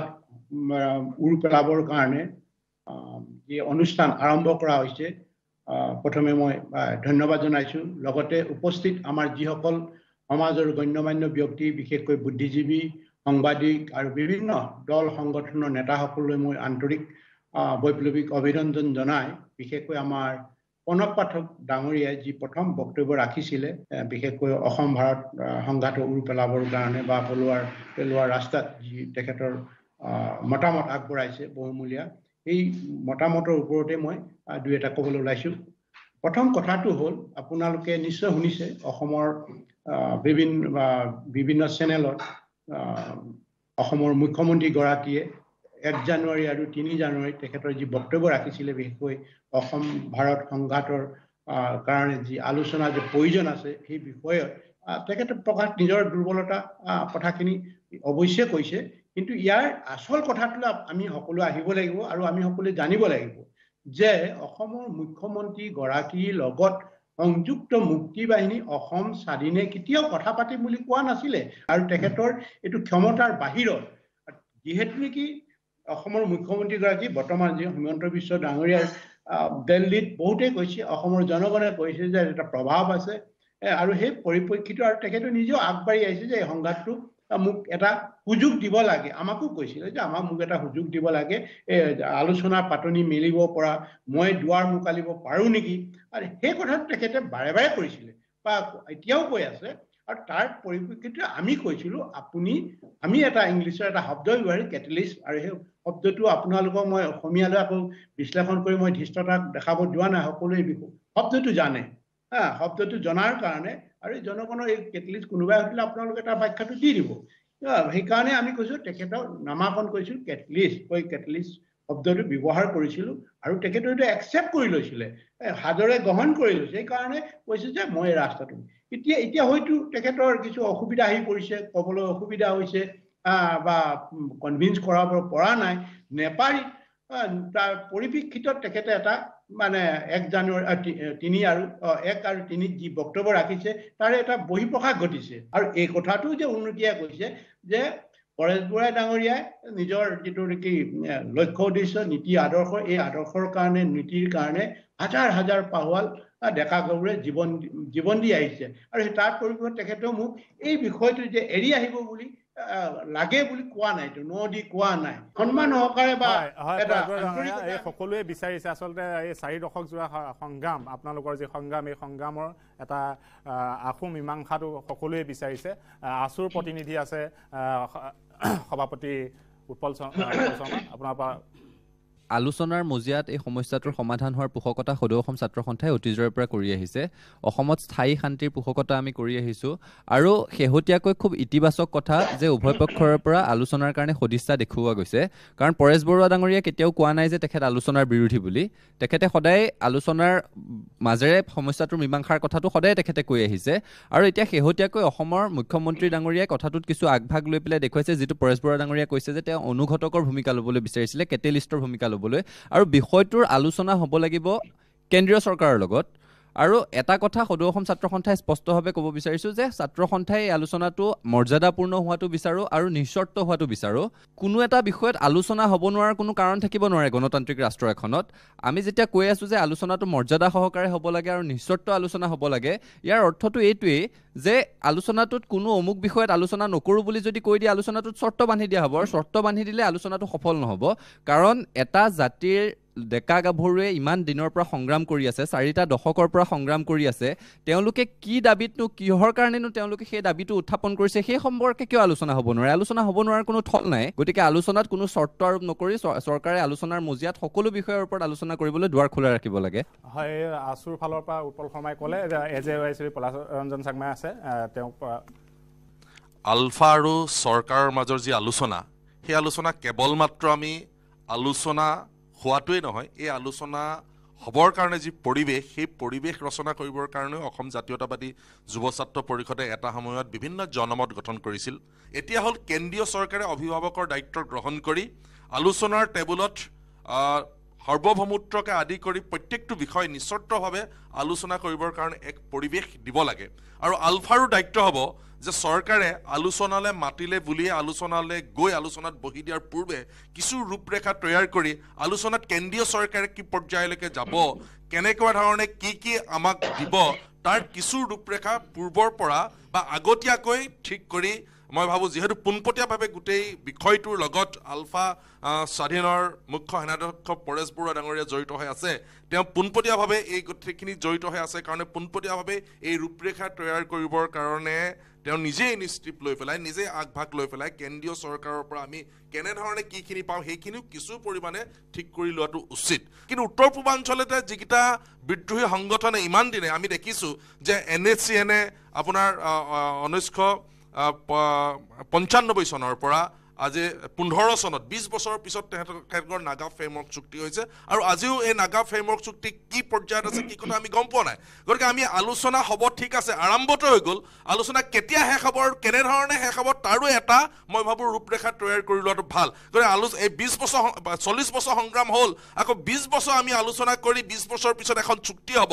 সেই চুক্তিয়ে আমাক কি কি দিব তেনেধৰণে আলোচনা আৰু মই ভাবোঁ আগবঢ়াটো উচিত নহয়। অসমৰ ৰাজ্যখনৰ জনগাঁথনি ইমান বেছি পৰিৱৰ্তন হ'ল যে আজি চল্লিছ বছৰৰ ভিতৰত বহিৰাগত আৰু প্ৰব্ৰজনকাৰী। এই প্ৰব্ৰজনকাৰী আৰু বহিৰাগতই আমাক একেবাৰে গ্ৰাস কৰি পেলালে। এতিয়া আমাৰ এটা বছৰ ৰ'বলৈ সময় নাই। যিহেতু মুখ্যমন্ত্ৰীগৰাকীয়ে কৈ আছে যে সাৰ্বভৌমত্বটো এটা অসাংবিধানিক বা সংবিধান প্ৰদত্ত নহয়। কিন্তু সংবিধান প্ৰদত্তও কেতবোৰ অধিকাৰ আছে যিবিলাক অধিকাৰে আমাৰ অনাদি অনন্তকালৰ কাৰণে আমাৰ জাতিটোক আমাৰ খিলঞ্জীয়া মানুহক আমাৰ জনজাতীয় জনগোষ্ঠীয় মানুহক সুৰক্ষিত কৰিব পাৰে। তেনেধৰণৰ যিবিলাক বিষয়ৰ জৰিয়তেও আমি এই যি আলফা চৰকাৰৰ আলোচনাৰ ৰাজনৈতিক পৰিসমাপ্তি ঘটাব পাৰোঁ নেকি তেনেধৰণেও ভাবিবৰ কাৰণেও মই আলফা সেনাধ্যক্ষ পৰেশ বৰুৱা ডাঙৰীয়াক আহ্বান জনাইছোঁ। ধন্যবাদ পলাশন চাংবাই নগৰীয়া এটা বিৰতি লৈ লৈছোঁ এটা বিৰতিৰ সময় হৈছে এটা চমু বিৰতি। ধন্যবাদ।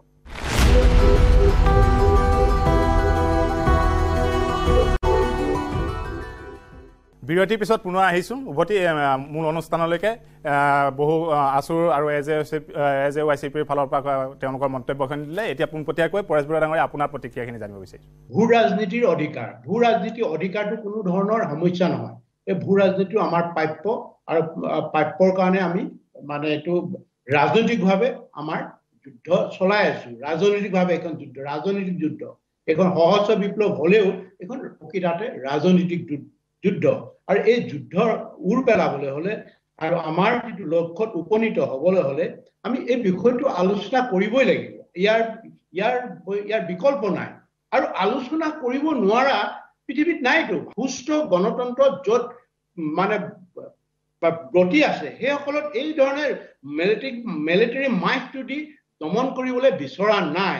আৰু এই কথাবিলাক আমি যদি জানো তেতিয়াহ'লে কিন্তু জানো মানে সকলোৱে জানো কিন্তু ক'বলৈ অলপ সাহস কৰিছে।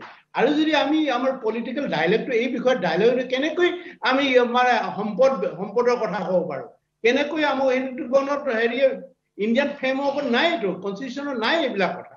যে এই এনেকৈ এখন ৰাজ্যক হেৰি দিব লাগে। কি কয়? বা সিহঁতৰ সম্পদৰ অধিকাৰ দিব লাগে আমুক অধিকাৰ দিব লাগে। এইটোতো এইটো লিখ- এনেকুৱা ধৰণৰ কনষ্টিটিউশ্যন বনাই থৈছে তাততো আমি কেনেকৈ কথা পাতিম তাত? মানে প্ৰথমে সেইকাৰণেতো এইটো আমাক মুখনি মাৰি দিল যে এইটো সাৰ্বভৌম স্বাধীন অসমৰ ওপৰত কথা পাতিব নোৱাৰো বুলি কয়। তেতিয়াহ'লে অন্য কি ক'ব? আমাৰ পেকেজিঙৰ ওপৰত আহিব ইকনমি পেকেজ কিবা পেকেজ এইটো চিৰকালৰ কাৰণে এইটো সমস্যা সমাধান নহয়তো। আৰু হিষ্টৰিকেল ৰাইটটো আমি কিয় এৰিম হিষ্টৰিকেল ৰাইটটো এৰাৰ কি মানে আমাৰ যুক্তি আছে কিয় এৰিম আমি? আমাৰ বুৰঞ্জীখন এতিয়া ইয়াণ্ডাবুৰ পেকখন শেষ হৈ যোৱা নাই। ইয়াণ্ডাবুৰ পেক হৈ যোৱা নাই অন্যান্য আমাৰ যিবিলাক মহাত্মা গান্ধীয়ে লিপিবদ্ধভাৱে এইটো ৰেকৰ্ডেড হৈ আছে বিভিন্ন কিতাপে আদি কৰি এতিয়াও record আছে জৱাহৰলাল নেহৰুৱে কি কৰিছে কি কৰি এই এই যে আমাৰ ভূখণ্ডটো এই ভূখণ্ডটো যে স্বাধীন আছিলো এই স্বাধীন যেতিয়া দেশখনক ভাৰতে ভাৰত বোলা নামটোৱে কেতিয়াও ভাৰত নামৰ এখন দেশ নাছিল। তাত সেই দেশে আমাক কেতিয়াও পৰাভূত কৰিব পৰা নাছিলে। আমি আজি ভূমিপুত্ৰ কোনোদিনে এনমাছ হোৱা নাই বিতাড়িত হোৱা নাছিলো। এইবিলাক আমি জানো। আৰু সিহঁতি অকল বিতাড়িত হোৱাবিলাকে ইমূৰৰ পৰা সিমূৰলৈ বিতাড়িত হৈ আছে। সেই বিতাড়িত সকল কিন্তু এইটো ভাৰত ভাৰত নামৰ সেইটো প্ৰতিষ্ঠা কৰিছে। আকৌ বিভাগ এতিয়া আপোনালোকে চাওক দুশ বছৰে হোৱা নাই। ইয়াণ্ডাবুৰখন এতিয়াও ইনভেলিড হোৱা নাই। এতিয়াও সেইটো স্বাধীন হিচাপে আছে। আমাক কিয় এইটো কৰা নাই? আমিতো সদায় কোনোদিন ভাৰতৰ হাতত পৰাজিত হোৱা নাছিলো মোগলেও পৰাজিত কৰিব পৰা নাছিলে। আমি কিয় ক'ব নোৱাৰো আমাৰ এইটো যে অধিকাৰ এইটোৰ ওপৰত আলোচনা কৰিবই লাগিব। আলোচনা নকৰিলে কেৱল মাত্ৰ আমাক চাব ষ্টেণ্ডাৰ্ড বহুৱাই কেৱল মাত্ৰ যিটো নেকি আছুৱে কৰিছিলে। আছুৰ যিটো মানে একে নিশাই চুক্তি কৰি তাৰ পৰৱৰ্তীত কি হ'ল? আৰে এইবিলাকৰ আমি কেনেকৈ যাম? প্ৰকৃত ৰাজনৈতিক অধিকাৰৰ ওপৰত আলোচনা হলে গোটেই গোটেই বিষয়টো এইটো নিৰাময় হ'ব। ইয়াত শান্তিৰ কথা নাই। ইয়াত শান্তি বুলি এটা সংঘাত সংঘাতটো মানে এটা সমাধানৰ পথ ওলাব। এটা সংঘাতটো মানে উৰ পেলাবৰ কাৰণে যিখিনি যি যিটো বিষয়ৰ ওপৰত আলোচনা কৰিব সেইটোৰে সেইটো চাপ মানে চাপ চাইড কৰি ৰাখি আমাৰ লগত এটা চাব ষ্টেণ্ডাৰ্ড এখন আলোচনা কৰিবলৈ বিচাৰিছে। আৰু সেইকাৰণে ভাৰতীয় সংবিধান ভাৰতীয় ইয়াৰ সমাধানটো ক'ত? ইয়াৰ সমাধানটো ক'ত? চৰকাৰৰ ফালৰ পৰা বিভিন্ন ধৰণৰ কথা কৈ আছে। আপুনিও আপোনাৰ স্থিতিত অটল হৈ আছে। আহ, হিৰণ্য শইকীয়া ডাঙৰীয়া আছে। হিৰণ্য শইকীয়া ডাঙৰীয়া আপোনাৰ পৰা আপোনাৰ মতামতখিনি জানো। আচলতে সমাধানৰ পথ ক'ত? ভাৰত চৰকাৰে ইতিমধ্যে যিবোৰ ধৰি লওক আলোচনা কৰিলে এতিয়া পলাক চামুৱেও কৈছে যে এন এছ চিৰ লগত আজি দীৰ্ঘদিন ধৰি আলোচনা কৰি পেলাই আজিলৈকে ফ্ৰেমৱৰ্ক কৰি দুহেজাৰ পোন্ধৰ চনত আজিলৈকে এইটো মীমাংসা হোৱা নাই। পৰেশ বৰা ডাঙৰীয়াক তেওঁ এটা আহ্বান জনাইছে যে আলোচনাটো যদি হয় তাৰ আগতে এটা মোটামুটি ফ্ৰেমৱৰ্ক কৰি ল'ব লাগিব। ময়ো বহু মঞ্চত বহুত কথা এই বক্তব্য মই ৰাখিছিলোঁ যে সৰ্বভৌমৰ ওপৰতো আলোচনাটো হ'ব লাগে বুলি তাৰমানে আমি প্ৰথম যেতিয়া পি চি জি হৈ পেলাই গৈছিলোঁ মনমোহন সিঙৰ ৰেচিডেঞ্চত আহ, মুখ আহ, প্ৰধানমন্ত্ৰী তেওঁৰ নিজৰ বাসগৃহত আমি যেতিয়া কথাখিনি উত্থাপন কৰিছিলোঁ আমি এই কথাটোৱে কৈছিলোঁ যে আলফাৰ জন্ম হৈছে সৰ্বভৌম অসম প্ৰতিষ্ঠা কৰাত। তাৰ ইভেন বাজপেয়ীও যেতিয়া এন এছ চিনত আলোচনা আৰম্ভ কৰিছিল পেৰিছত গৈ পেলাই তেওঁ কিন্তু এটা কথা কৈছিল যে সূৰ্যৰ তলত যিকোনো বিষয়ত আলোচনা হ'ব পাৰে। যেনেকৈ পৰিজীৱ ডাঙৰীয়াই কৈছে এইটো আমাৰ জন্মগত আৰু ঐতিহাসিক হিষ্টৰিকেল আৰু এইটো ৰাষ্ট্ৰসংঘত যিটো মানে খিলঞ্জীয়াৰ যিটো অধিকাৰ নিজক প্ৰতিষ্ঠা কৰাৰ কাৰণে। ৰাইট টু চেল্ফ ডিটাৰমিনেশ্যন সেই একে থিয়ৰিতে তাৰমানে আজি পৰেশ বৰা ডাঙৰীয়াই যিখিনি কথা কৈছে নহয় বা আজি ইমান বছৰ বছৰ আজি তিয়াল্লিছ বছৰ যে সংগ্ৰামত চলি আছে তাত দুটা পটভূমি এটা হ'ল হিষ্টৰিকেল আৰু এটা হ'ল পলিটিকেল যিটো নেকি ৰাষ্ট্ৰসংঘৰ মানে অনুমোদন দিয়া এটা পলিটিকেল পেকেজ বুলি ক'ব লাগিব য'ত খিলঞ্জীয়াখিনিৰ যেতিয়া বিপদ হয় তেতিয়াহ'লে খিলঞ্জীয়া মানুহখিনি সেইখিনি অধিকাৰ থাকে নিজক সাব্যস্ত কৰাৰ কাৰণে স্বাধীনতাৰ কথা কোৱাৰ কাৰণে। তো ইয়াণ্ডাবু চুক্তিৰে অলপ বেমানি কৰি অসমক গ্ৰাস কৰিছিল তেতিয়া ব্ৰিটিছখিনিয়ে কাৰণ চুক্তিখন চহী হৈছিল ব্ৰিটিছ আৰু বাৰ্মিজখিনিৰ মাজত তাকো ইয়াণ্ডাবুত। আৰু সেই হিচাপে অসম মণিপুৰ বা কাছাৰ এণ্ড জয়ন্তীয়া এই চাৰিখন দেশক একচুৱেলি কেপচাৰ কৰিলে তেতিয়া। তাৰপিছত আহিল শইকীয়া আপোনাৰ- ডাঙৰীয়া, অ। ইতিহাসটো একদম দীঘলীয়া দীঘলীয়া। সংঘাতপূৰ্ণ। এতিয়া সমাধানৰ পথটো কেনেধৰণে সমাধানৰ পথ আমি কৈছোঁ যে সৰ্বভৌমত্বৰ ওপৰত আলোচনা কৰা মানে অলপ আগতে কৈছোঁ যে সৰ্বভৌমত্ব দি দিয়ে নুবুজায়। আৰু আলোচনাৰ খাতিৰত আলোচনা হৈ দীঘলীয়া হ'ব নালাগে। তাৰ আগতে কিছু বস্তু নিৰ্ণয় কৰি ল'ব লাগিব। আমাক যিখিনি চিম্বল অফ ছভেনিটি ধৰি আমাৰ এখন সুকীয়া সংবিধান কাৰণ অসমৰ পৰিস্থিতি বেলেগ ৰাজ্যৰ নিচিনা নহয় ইয়াত বিদেশী গ্ৰাস কৰিছে অসমত খিলঞ্জীয়া মানুহখিনি লাহে লাহে লাহে লাহে সংখ্যালঘু হৈ পৰিছে তো লাহে লাহে আমাৰ ৰাজনৈতিক আমাৰ যিখিনি পাৱাৰ এইটো চিফ্ট হৈছে আমাৰ মাটি গ্ৰাস হৈছে তো আমাৰ সামাজিক সাংস্কৃতিক দিশত ভাবুকি আহিছে তো তেনে ক্ষেত্ৰত আমাৰ এখন যিখন আলো যিটো আলোচনা হ'ব আমাৰ এখন সুকীয়া সংবিধান আমাক লাগিবই আৰু এখন আমাক সুকীয়া পতাকা লাগিব। যিটো নাগাসকলে বিচাৰি আছে সেইটো। এইটো সাধাৰণ কথা কাৰণ আজি ইউ এছ এত পঞ্চাছখন ষ্টেটৰ তাতো ডেমক্ৰেচি চলি আছে তাত পঞ্চাছখন ষ্টেটৰ নিজৰ সুকীয়া সংবিধান আছে নিজৰ ফ্লেগ আছে আৰু ফেডাৰেল ল তাতে ইম্প'জ হয়। য'ত আমাৰ আপোনাৰ ওচৰলৈকে আকৌ আহিম। আহ, মটক যুৱ ছাত্ৰ সন্মিলনী মিণ্টু বৰপাত্ৰ আছে। সমস্যাৰ সমাধানটোৰ পথটো কেনেকুৱা হোৱাটো বিচাৰে আমি সকলোৱে অসমবাসী সকলোৱে বিচাৰি থাকোঁ বিভিন্ন সময় আমি কৈ থাকোঁ যে এইটো এটা মানে উৰ্পৰক কাৰণ আলফাৰ সংগ্ৰামখনক আমি ওলাই কৰিব পৰা বিধৰ সংগ্ৰাম নহয়। আলফা এটা অসমবাসী সত্তা। আৰু অসমৰ প্ৰতিজন ব্যক্তি হৃদয়ত আজিৰ তাৰিখত আলফা আছে। গতিকে অসমবাসীও দায়িত্ব পালন কৰিব লাগিব। আৰু অসমৰ সকলো ৰাজনৈতিক দলক আমি কওঁ যে কংগ্ৰেছ হওক এ ইউ ডি এফ এই ৰাজ্যৰ দল অখিল গগৈ সকলোৱে কিন্তু এই আলফা সমস্যাটোৰ ক্ষেত্ৰত কিন্তু কেতিয়াও মানে বোকা চুতীয়া ৰাজনীতি কিবা মানে নিজৰ ব্যক্তিগত ৰাজনীতি পৰিহাৰ কৰি এই সমস্যাটোৰ ক্ষেত্ৰত কিন্তু অসমৰ মুখ্যমন্ত্ৰী মহোদয় সহযোগ আগবঢ়াওক। সহযোগ আগবঢ়াওক যাতে মুখ্যমন্ত্ৰী মহোদয় এটা পদক্ষেপ লৈ দিল্লীক জনাব পাৰে। গতিকে এইটো আমাৰ স্পষ্ট কথা। আমি বিচাৰোঁ যে আলফা আৰু চৰকাৰৰ যিটো সংঘাত অসম ভাৰতৰ যিটো সংঘাত এইটো উৰ পৰিব লাগে আৰু এটা সফল পৰিসমাপ্তি ঘটি যাতে অসমবাসী চৰকাৰ- চৰকাৰৰ ফালৰ পৰাও সেইখিনিয়ে কৈ আছে কিন্তু সমস্যাৰ পথটো এতিয়ালৈকে ওলোৱা নাই। কে এম এছ এছৰ দেৱান শৰ্মা ডাঙৰীয়া আছে আপোনাৰ কেনেধৰণে বিচাৰিব আপুনি? বিয়াল্লিছ বছৰ হ'ল আলফাৰ জন্ম হোৱা আৰু এই এই সময়ছোৱাত প্ৰায় পোন্ধৰ হাজাৰতকৈ অধিক আমি যুৱকক যুৱতীক হেৰুৱাইছোঁ। আজি আলোচনা আলোচনা বুলি কেইবাবাৰো হৈছে। কিন্তু গণতান্ত্ৰিকভাৱে সকলো সমস্যা সমাধান কৰিব পাৰি। হয় আমি প্ৰত্যেকটো কথাই চালি জাৰি চাব লাগিব। যোৱা বিয়াল্লিছ বছৰত কি হ'ল? আমি অসমে কি পাব লাগিছিলে? গণতান্ত্ৰিকভাৱে যিবিলাক বস্তু পাব লাগে আমি বিশেষ এই যি আজি বিশেষ অধিকাৰৰ যি ব্যৱস্থা আছিল সেইটো নাইকিয়া হৈ গ'ল। আমাৰ ছয় জনগোষ্ঠীক জনজাতিকৰণৰ ব্যৱস্থা কৰিব লাগে। আমাৰ সম্পদৰ অধিকাৰখিনি আমাৰ অসমীয়া জাতিৰ হাতত থাকিব লাগে। তাৰ জাতি মাতৃ ভাষা সংস্কৃতি যদি ৰক্ষা কৰিব নোৱাৰে তেতিয়াহ'লে আলোচনা কৰি একো লাভ নাই। মই সেইকাৰণে আজি ইয়াৰ পৰাই পৰেশ বৰুৱা ডাঙৰীয়া আৰু ভাৰতৰ প্ৰধানমন্ত্ৰী তথা অসমৰ মুখ্যমন্ত্ৰীক আহ্বান জনাওঁ যে আলোচনা কৰক যি আলোচনাই গণতান্ত্ৰিকভাৱে অসমীয়া জাতিক ৰক্ষা কৰিব পাৰে অসমীয়া জাতিৰ সংস্কৃতি ভাষা সম্পদৰ অধিকাৰ অসমীয়া জাতিৰ হাতত থাকে তেনেকুৱা এটা আলোচনা হোৱাটো আমি বিচাৰোঁ। ধন্যবাদ পৰেশ বৰুৱাৰ পৰা পোনপটীয়াকৈ আমি প্ৰতিক্ৰিয়া জানিম কিন্তু এটা চমু বিৰতি লৈছোঁ। বিৰতিৰ পাছত পৰেশ বৰুৱাৰ পৰা আমি প্ৰতিক্ৰিয়াটো লৈছোঁ।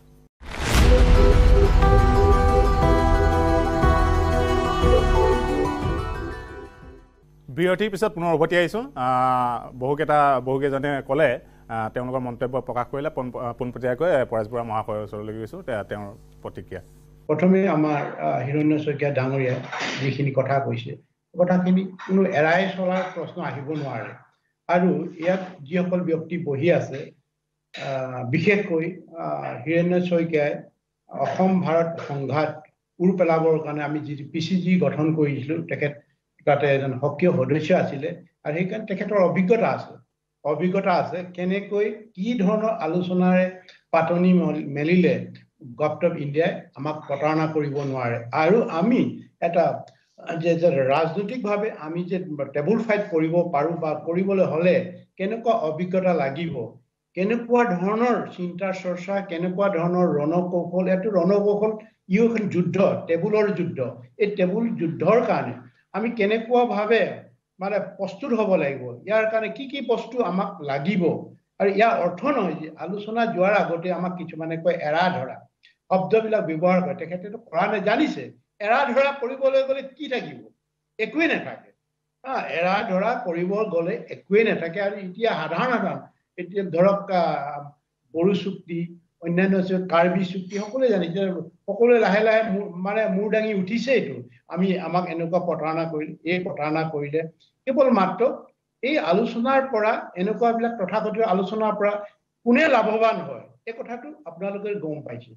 আমি যেতিয়া ঊনৈছশ পঁচাশী চনত যিটো আছুৰ লগত চুক্তি হ'ল এটা মাছ নিশা কৰিলে একেবাৰে টোপনিয়াই টোপনিয়াই টোপনি লালকাল দিয়া নিচিনা হৈছে। আমাৰ গণ্যমান্য ব্যক্তি বিশেষকৈ আমাৰ বা প্ৰয়াত নিৰ্বাণ বৰা তেখেতটো শুয়ে থাকিলে তেখেতটো এজন ডেলিগেশ্যন আছিলে তাত তেখেতটো শুয়ে থাকিলে গমেই নাপালে কেতিয়া চুক্তি হ'ল আৰু আৰু এনেকুৱা ধৰণৰ চুক্তি কৰিলে আমাৰ যিসকল নেতাই গৈছিলে চুক্তিৰ কেনে ক্ল'জ অফ গেৰেণ্টি বোলাটো ক'তো নাই ক্ল'জ অফ গেৰেণ্টি বোলা ক'তো নাই এই চুক্তি কেতিয়া ইমপ্লিমেশ্যন হ'ব আৰু কেনেকৈ ইয়াক ইমপ্লিমেশ্যন কৰিব তাত কোনো তেনেকৈ বিশদ ব্যাখ্যা নাথাকিলে আৰু যিসকল আছিলে তেখেতসকলেও সেইটো পূৰত নাছিলে কোনোদিনে তেনেকুৱাবিলাক সমস্যা বা বিষয় ইছ্যু এটা মানে নিজৰ পক্ষত আনিবৰ কাৰণে চুক্তি কৰা নাইতো। আজি আমাৰ যিসকল এতিয়া উদীয়মান আমাৰ নেতা আছে তেখেতসকলেতো আজিলৈকে কোনো এখন চুক্তি কৰি পৰা নাই। ভাৰত ভাৰতীয় যিবিলাক আমোলাৰ লগত আমোলাৰ যি কূট কৌশল ৰণকৌশল আৰু ইহঁতৰ আপোনালোকে চাওক আমোলাৰ যিবিলাক বহে best of the best talent থকা ইহঁতে কৌশলো হওক মেধাবৃত্তিতে হওক এনেকুৱা ধৰণৰ ইহঁতি লৈ আহিব আহ, কৌশল লৈ আহিব। তাত আমি যদি একেবাৰে পৰিপুষ্ট নহওঁ আৰু ইহঁতৰ আৰম্ভণিৰ পৰাই যদি ইহঁতৰ মুভমেণ্টবিলাক নেজানো কি পদক্ষেপ ল'ব কেনেকৈ বহুৱাবলৈ বিচাৰিছে তেতিয়া যদি নেজানো এইবিলাক আমি মানে গঁৰালত সোমাবই লাগিব আৰু উপায় নাই। তাতে গৈ আপুনি উলংগ হৈ আপুনি গুচি আহক। এইবিলাক হৈ আছেতো আৰু যিবিলাক আন্তঃৰাষ্ট্ৰীয় চুক্তিবিলাক হৈছে বিভিন্ন দেশত এই ধৰণৰ সংঘাত সহস্ৰ বিপ্লৱৰ যিবিলাক সংঘাত দুই পক্ষ ৰাষ্ট্ৰ আৰু আৰু বিপ্লৱী সংগঠনৰ মাজত যিবিলাক আলোচনা হয় চৌকল যি পিষ্টক বুলি কয় ৰাষ্ট্ৰপক্ষে মানে পিষ্টক ক'ব আমি ক'ম প্ৰকৃতাৰ্থ আমি সংঘাত সমাধানৰ আলোচনা টক্স হ'ব মানে কনফ্লিক্ট ৰিজলিউশ্যন টক্স হোৱাটো বা সেইটো আমি পোষকতা কৰোঁ। তাত আপুনি যে পিছত ৰাষ্ট্ৰপক্ষে বিভিন্ন ধৰণৰ লগাই আছে আলোচনা নামত আলোচনা এটা কিছুমানে আমাক দিহাপৰণ কৰিছে আমি দিহাপৰণৰ আন্তৰিকতাই। তাৰমানে আমাৰ ক্ষোভ নাই আন্তৰিকতাই লৈছো খুব মানে হৃদয়ৰ পৰা আমি কথাবিলাক শুনো আৰু সেইকাৰণে ৰিচিপিকেশ্যন কৰিবলৈ আমাৰ সহজ হয়। এটা জাতিৰ ইছ্যু এটা জাতিৰ জ্বলন্ত দলিল আছে। সকলো আমি এতিয়া মডাৰ্ণ হিষ্ট্ৰীত আমি পাব পাৰো। যেনেকৈ হংকং ঘূৰাই পাইছে মেকাও ঘূৰাই পাইছে এইবোৰ মডাৰ্ণ হিষ্ট্ৰীত থকা এইবিলাক চুক্তি যে আজি অসম উন্নতি হৈছে। কাৰ মুখত শুনো? অকল ৰাজনৈতিক নেতাবিলাকৰ। ৰাজনীতিক নেতাবিলাকৰ আৰু এই ৰাজনৈতিক নেতাবিলাকৰ হেণ্ডছমেন তেখেতসকলৰ হেণ্ডছমেন কিছুমান থাকে। এই হেণ্ডছমেন বিলাকে কিন্তু এইটো ছাপৰ্ট কৰে। আজি অসমৰ উন্নতি হৈছে। কি উন্নতি হৈছে? আহ কি উন্নতি হৈছে? আৰু অসমৰ প্ৰতিটো জনগোষ্ঠীয়ে সমান অধিকাৰ পাইছে? মই যি গোষ্ঠীৰ পৰা নাহক লাগে কিন্তু এটা জাষ্ট এটা জ্বলন্ত প্ৰমাণ দিব বিচাৰো। যে সকলো জনগোষ্ঠীয়ে যদি ইয়াত গণতন্ত্ৰ সম অধিকাৰ পাইছে তেতিয়াহ'লে আজিলৈকে মৰাণ মটকৰ মানে এটাও আজি দুটা তাৰ মৰাণ মটকৰ এটাও মিনিষ্টাৰ পাব নালাগে এনেকুৱা এইটো যোগ্যতা নাই নেকি? যিটো নেকি মৰাণ মটক এই জাতিটো এনেকুৱা এই দুটা জাতি একেটাই আছিলে ইয়াতে ব্ৰিটিছে দুভাগ কৰি পেলালে ধৰ্মগুৰুসকলে দুভাগ কৰি পেলালে। আমাৰ যিবিলাক গণতন্ত্ৰ ইয়াত চলি আছে ৰাজনৈতিক নেতাবিলাকৰ আজি যদি যিটো ইহঁতে মানে নমিনেশ্যন ছাবমিট কৰে যিটো সিহঁতৰ সম্পত্তি দেখায় শ্ব' কৰে যে আমাৰ ইমান ইমান আছে। এতিয়া এতিয়া যেতিয়া সিহঁতে পাঁচ বছৰ থাকে কোনোবা সোধেনে কিমান সম্পত্তি হৈছে কেৱল এই গণতন্ত্ৰৰ যোগেদি ৰাজনীতিৰ নেতাৰ ধন সম্পত্তি সিহঁতে ভোগ ৰাজভোগ কৰে। এই গণতন্ত্ৰৰ যোগেদি আৰু সেই নেতাসকলক বুদ্ধিজীৱীয়ে হওক আমাৰ মানে সামাজিক সংগঠন জাতীয় সংগঠনবিলাকৰ কিছু কিছু মই সকলোকে কোৱা নাই সেইবিলাকৰহে বেছি ধন সম্পত্তি বাঢ়ে। লগত ঠিকাদাৰসকলো বাঢ়িব। সাধাৰণ মানুহ সাধাৰণভাৱে কোনো ধৰণৰ উপকৃত হোৱা নাই। এই গণতন্ত্ৰৰ মানে যোগে আমি যদি ছাপৰ্ট কৰি আমি যদি আলোচনাত বহিব লগা হয় তেতিয়া কিন্তু আমি আকৌ পৰাজয় বৰণ কৰিম। এই যে গণতন্ত্ৰক ছাপৰ্ট দি আমি কৈছো ভাৰতীয় গণতন্ত্ৰক আমি ছাপৰ্ট কৰিব নোৱাৰো। আৰু সংবিধানৰ ছাপৰ্ট সংবিধানে আমাৰতো এ, এম, সংবিধানখনেইতো আমাক ছাপ্ৰেছ কৰি ৰাখিছে। সংবিধানখনেই ছাপৰ্ট কৰি ছাপ্ৰেছ কৰি আছে। ইয়াৰ পৰা আমি কি বিচাৰো? আমাৰ এটা পথ এটা লাগিব বিকল্প পথ লাগিব। এই বিকল্প পথটো আপোনালোকে চিন্তা কৰিবলৈ আমাৰ মাননীয় যিসকল পেনেলত আছে বিভিন্ন দল সংগঠন নেতা আছে বুদ্ধিজীৱী আছে এই সকলো আজি চিন্তা কৰাৰ দায়িত্ব আছে। নহলে জাতি যাব। জাতি জাতি কৰিলে আমি আহ, মানে জাতি আহ, জাতি গৌৰৱ কোনে ৰক্ষা কৰিব ওলাই আহক বুলি ক'লে মানে আমি সকলোৱে চিঞৰিব পাৰো। হাতে কামে কোনে লাগিব? হাতে কামে লগাৰ আমাৰ নেতা লাগে। আজি আলোচনাৰ কথা কৈছো। এই গোটেই বিষয়টো আমি যদি আলোচনাত ভাৰতীয়সকলক যুক্তি সহকাৰে পৰাভূত কৰিব পাৰো কিয় নোৱাৰো? আমি ভয় কৰো কেলে? টেবুললৈ যোৱাৰ আগতে আমি পেপুৰা লাগিবলৈ বিচাৰো। আমি মানে একেবাৰে নিম্নমানৰ কথাটো চিন্তা আমি সকলোকে কোৱা নাই। কিছুমানে ভাল চিন্তা কৰিছে। কিছুমান আমাৰ নেতা বুদ্ধিজীৱী সেইসকলে কিন্তু নিম্নগামী ফালে আগতেই যাবলৈ বিচাৰে। আগতেই যোৱাটো কামনা কৰে। এইটো কিন্তু আমাৰ মানে আমি কেতিয়াও মানি ল'ব নোৱাৰো। বিশেষকৈ আমাৰ কৃষক মুক্তি সংগ্ৰামৰ নেতাগৰাকী ঠিক কথা কৈছে তেখেতে। ঠিক কথাই আলোচনা মানে আলোচনা। আমাৰ যিটো যি আলোচনাত আমি আমি গোটেই জাতিটোক সুৰক্ষিত কৰিব পাৰো। সুৰক্ষিত কৰে ভৱিষ্যতলৈ এই জাতিক ফলগিৰিক কোনো যাতে আকৌ দ্বিতীয়বাৰ প্ৰতাৰণা কৰিব নোৱাৰে। কোনো যাতে এই মানে জাতিক সদায় মানে এনেকুৱা অৱদব দমনিত কৰি ৰাখিবলৈ বিচাৰে। ইয়াত আজি আজি অসমত আহি বাহিৰৰ আমোলাবিলাক কি দপদপায় কিহৰ কাৰণে দপদপাই পাইছে? অকল ভাৰতীয় সংবিধানখনৰ কাৰণে। যিহেতু ভাৰতীয় সংবিধানৰ অধীনত সিহঁতৰ সংখ্যাগৰিষ্ঠ M P M P U P M P মানে বিশেষকৈ যি পাৰ্লিয়ামেণ্ট মেম্বাৰ উত্তৰ প্ৰদেশৰ কিমান মেম্বাৰ আছে বিহাৰৰ কিমান মেম্বাৰ আছে ৰাজস্থানৰ কিমান মেম্বাৰ গুজৰাটৰ কিমান মেম্বাৰ আছে আমাৰ কেইটি মেম্বাৰ আছে এই পাৰ্লিয়ামেণ্টৰ যোগেদি? কেইটি মেম্বাৰ আছে? দিল্লী কি কৰিব আপুনি? আমাৰ কেইজন আই এছ অফিচাৰ আছে কেইজন মানে আই চি এছ অফিচাৰ আছে এইবিলাক চবটো আপোনালোকে জনা প্ৰয়োজন। আমি কেতিয়াও এই গণতন্ত্ৰ এনেকুৱা ধৰণৰ আমাক হৈছে বান্ধি পিনি। সংবিধান এনেকুৱা ধৰণৰ ভাই আমাক পেপুৰালে আমি ক'তো মাত মাতিব নোৱাৰো।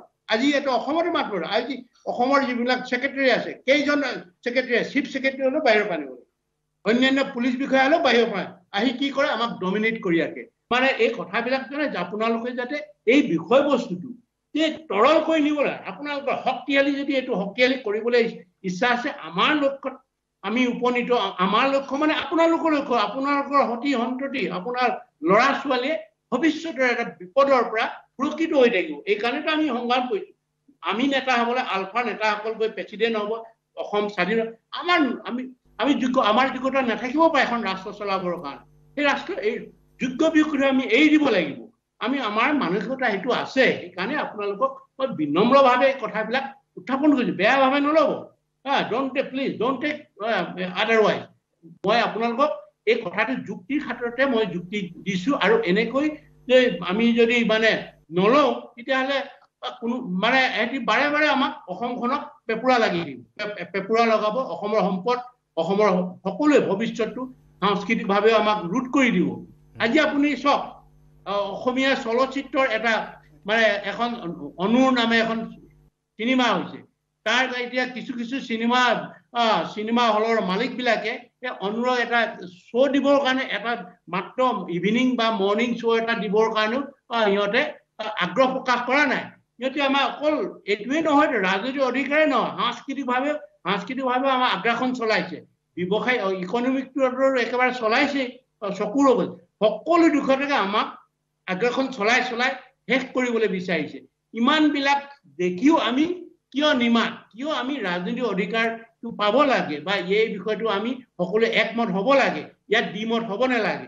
সকলোৱেতো উপ উপ- উপকাৰ হ'ব যিটো বাঘে অকল আলফাকে নাখায় সমগ্ৰ অসমৰ থলগিৰি জাতিক শেষ কৰি আহিছে। এফালৰ পৰা একেবাৰে নিবলিং এ কৰিছে ভৰিৰ পৰা একেবাৰে মূৰলৈকে খাবৰ কাৰণে এটি চেষ্টা চলাই আহিছে খাই আহিছে। এতিয়া অকল ডিঙিটো ওলাই আছো আমি। অকল ডিঙি ওলাই আহিছে আমাৰ। ডিঙিটো গিলিবলৈ বাকী আছে। ইয়াৰ ইমান জানিও আমি কিয়? এইবাৰ আমি ষ্টুডিঅ'ত উপস্থিত থকা অংশগ্ৰহণ কৰা দল সংগঠন বাকীসকলৰ সৈতে কথা পাতিম। আৰু দাদা আপুনি আপোনাৰ পৰা যি কি নহওক মই পৰেশ বৰুৱা ডাঙৰীয়াক ধন্যবাদ জ্ঞাপন কৰিছোঁ আৰু শুভেচ্ছাও জনাইছোঁ।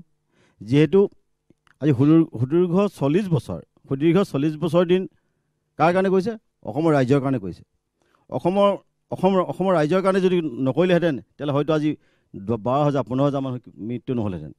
আৰু প্ৰতিজনী আই মাতৃৰ বুকু সুধা কৰি আৰু যিজন মানুহ ইতিমধ্যে যি পোন্ধৰ হাজাৰ বা বাৰ হাজাৰ যিমান মানুহ মৰিছে তাত অসমীয়া মানুহৰ এটোপাল এটোপাল তেজ আছে। আৰু আমি কেতিয়াও বিচৰা নাই যে এনেকুৱা এটা বেবেৰ বাং আলোচনা কৰিব সেনেকুৱাটো আমি কেতিয়াও বিচৰা নাই। আৰু পৰেশ বৰুৱা ডাঙৰীয়াক আমি সন্মান সহকাৰে বিচাৰোঁ যে এটা আলোচনা কৰাটো আমাৰ দৰকাৰ। আৰু আলোচনা কৰিব লাগিবই। যদি আলোচনা কৰা নাযায় তেতিয়াহ'লে কিমান দিন জংঘলত থাকিব? কিমান দিন আন্দোলন কৰিব? আৰু এটা এনেকুৱা এটা আলোচনা যদি কৰা যায় যিটো আলোচনাৰ যদি কোনো সংহত নোলায় তেতিয়াহ'লে আজি অসম কি হৈছে? স্বাধীন অসম। স্বাধীন অসমৰ যিটো আলফা যিটো জন্ম হৈছিল অন্য এটা আকৌ আলফা জন্ম হ'ব। তে প্ৰতিবাদ হ'বই। যেতিয়ালৈকে প্ৰতিবাদ মানুহৰ উত্তৰ নাপায় সু আচল উত্তৰটো নাপায় তেতিয়াহ'লে প্ৰতিবাদ আকৌ প্ৰতিবাদৰ প্ৰতি প্ৰতিবাদ হ'ব। আৰু কেতিয়াও অসমৰ ৰাইজে বা আলফা স্বাধীনে এইটো বিচৰা নাই যে নিজৰ স্বাৰ্থৰ কাৰণে কাৰো বিচৰা নাই অসমৰ ৰাইজৰ কাৰণে বিচাৰিছে। আৰু যেতিয়া ভাল কথা ভাল প্ৰতিবাদ কৰে ভাল ধৰণে যেতিয়া কথা কয় সেই কথা যদি মানুহে শুনি নাপায় তেতিয়াহ'লে প্ৰতিবাদ মুখৰ সা- সা- সহস্ত সংগ্ৰামলৈ আগবাঢ়ি যায়। কেতিয়া যায়? খঙৰ ভমকত যায়। গতিকে আমাৰ আলোচনা কৰিব নোৱাৰা কোনো এটা দিশ হ'ব নোৱাৰে যে আমাৰ অসম চৰকাৰে ইয়াৰ আগভাগ ল'ব লাগে আৰু অসম চৰকাৰে আগভাগ লৈ অসমৰ মাননীয় মুখ্যমন্ত্ৰীয়ে আগভাগ ল'ব লাগে আৰু তাত ত্ৰিপাক্ষিক আলোচনা হ'ব লাগে চেণ্ট্ৰেল গভৰ্ণমেণ্টৰ লগত আৰু এইটো চেণ্ট্ৰেল গভৰ্ণমেণ্টৰ লগত আলোচনা নোহোৱালৈকে কেতিয়াও ইয়াৰ ৰিজাল্ট ওলাব নোৱাৰিব। আৰু এইটো এটা কথা নাই যে পৃথিৱীত এনেকুৱা এটা কথা নাই যিটো কথা আলোচনা কৰিলে ইয়াৰ সংহতত নোলাব। নোলোৱা কোনো অৰ্থই হ'ব নোৱাৰে। আমি এইটোও কোৱা নাই পৰেশ বৰুৱা ডাঙৰীয়াক যে আপুনি এৰা ধেৰা মাজেৰে আলোচনা কৰক। আমি কৈছোঁ সাৰ্বভৌমত্ব বিষয়টো থাকিব লাগিবই। সাৰ্বভৌমত্ব দিয়ক নিদিয়ক এইটো পিছৰ কথা। কিন্তু সাৰ- সাৰ্বভৌমত্ব অৰ্থটোৱে হৈছে তেওঁ সেই সেইটো কাৰণেইতো আন্দোলনটো আৰম্ভ হৈছে। গতিকে সেই সেইকাৰণে আমি কৈছোঁ যে সাৰ্বভৌমত্ব থাকিব লাগিব বিষয়টো। সাৰ্বভৌম বিষয়ৰ ওপৰতে আলোচনা কৰক আৰু পৰৱৰ্তী পৰ্যায়ত তেওঁলোকে আমি সাৰ্বভৌমত্ব পাওঁ নাপাওঁ এই ছেকেণ্ডাৰী ছেকেণ্ড পৰ্যায়ত ইয়াৰ বিষয়ে আলোচনা হ'ব। ধন্যবাদ। পৰেশ বৰুৱা ডাঙৰীয়া আৰু নিউজ এইটিনক মই মানৱ অধিকাৰ সংগ্ৰাম সমিতিৰ তৰফৰ পৰা মই আদিত্য লখৰে ধন্যবাদ জনাইছোঁ। আমি আলোচনা সদায় বিচাৰি আহিছোঁ কিন্তু আলোচনাৰ নামত আলোচনা নহয় যে এক মৰ্যাদাপূৰ্ণ আৰু ৰাজনৈতিকভাৱে এই সমস্যাটোৰ সমাধান হ'ব লাগিব। কেৱল আলোচনা বুলি কৈ মানুহক মাতি আনি তাৰপিছত পিঞ্জৰাত আবদ্ধ কৰি ৰখা এই নীতিৰ পক্ষপাতি আমি নহয়। কাৰণ আজি ভাৰত চৰকাৰে হওক বা আজি অসম চৰকাৰৰ মুখ্যমন্ত্ৰী ডাঙৰীয়াই যি কথা কৈ আছে সাৰ্বভৌমত্বৰ ক্ষেত্ৰত তেওঁলোকে শপত গ্ৰহণ কৰিছে শপত লৈছে ভাৰতৰ অখণ্ডতাৰ ক্ষেত্ৰত। কিন্তু সাৰ্বভৌমত্বৰ ওপৰত আলোচনা হ'ব নোৱাৰে বুলি তেওঁলোকে শপত লোৱা নাই। এই ক্ষেত্ৰত আমি যদি চাওঁ যে বাংলাদেশৰ লগত তেওঁলোকে ভাৰতৰ সাৰ্বভৌমত্বৰ ক্ষেত্ৰত আলোচনা কৰিছে চীনৰ লগত আলোচনা কৰিছে। গতিকে ভাৰতবৰ্ষৰ এটা ভূখণ্ডৰ লোক মানুহৰ লগত কিয় তেখেতসকলে আলোচনা কৰিব নোৱাৰে? তেওঁলোকে প্ৰয়োজন হ'লে এটা কাম কৰক ৰাষ্ট্ৰসংঘৰ যিটো আত্মনিয়ন্ত্ৰণৰ যিটো সংজ্ঞা I C C P R যিখন দু- যি দুখন দলিল সেই দলিলৰ আধাৰতে তেওঁলোকে আৰম্ভ কৰক আত্মনিয়ন্ত্ৰণৰ বিষয়ত বা সাৰ্বভৌমত্বৰ বিষয়ত হওক গতিকে আমি সেইটো বিচাৰোঁ। কিন্তু আলোচনাৰ নামত আলোচনা নহয় শান্তি আজি তেওঁলোকে বহুতে কৈ থাকে যে আমাক শান্তি লাগে শান্তি লাগে। কিন্তু শান্তিটো কি শান্তি বিচাৰিছে? এছামে বিচাৰিছে যে লুটি পুতি খাই যিবিলাক ধন সাধাৰণ মানুহৰ পৰা নি তেওঁলোকে ৰাজভঁৰাল বা তেওঁলোকৰ বেংক বেলেঞ্চ বৃদ্ধি কৰিছে তেওঁলোকক শান্তি লাগে। কিন্তু আমি বিচাৰোঁ কি শান্তি? যে দেশৰ বা আমাৰ অসমখনৰ যি সাধাৰণ মানুহ খিলঞ্জীয়া মানুহে যাতে মানে হাঁহিৰে এষাৰ এসাঁজ ভাত খাব পাৰে যে তেওঁলোকৰ অন্ন বস্ত্ৰ বাসস্থান এইখিনিৰ যাতে সুযোগ পায় তেওঁলোকৰ যিটো সংস্কৃতি তেওঁলোকে ৰক্ষা কৰিব পাৰে তেনেকুৱা এটা আলোচনা আমাক লাগে। কিন্তু আলোচনাৰ নামত আলোচনা আমি বিচৰা নাই।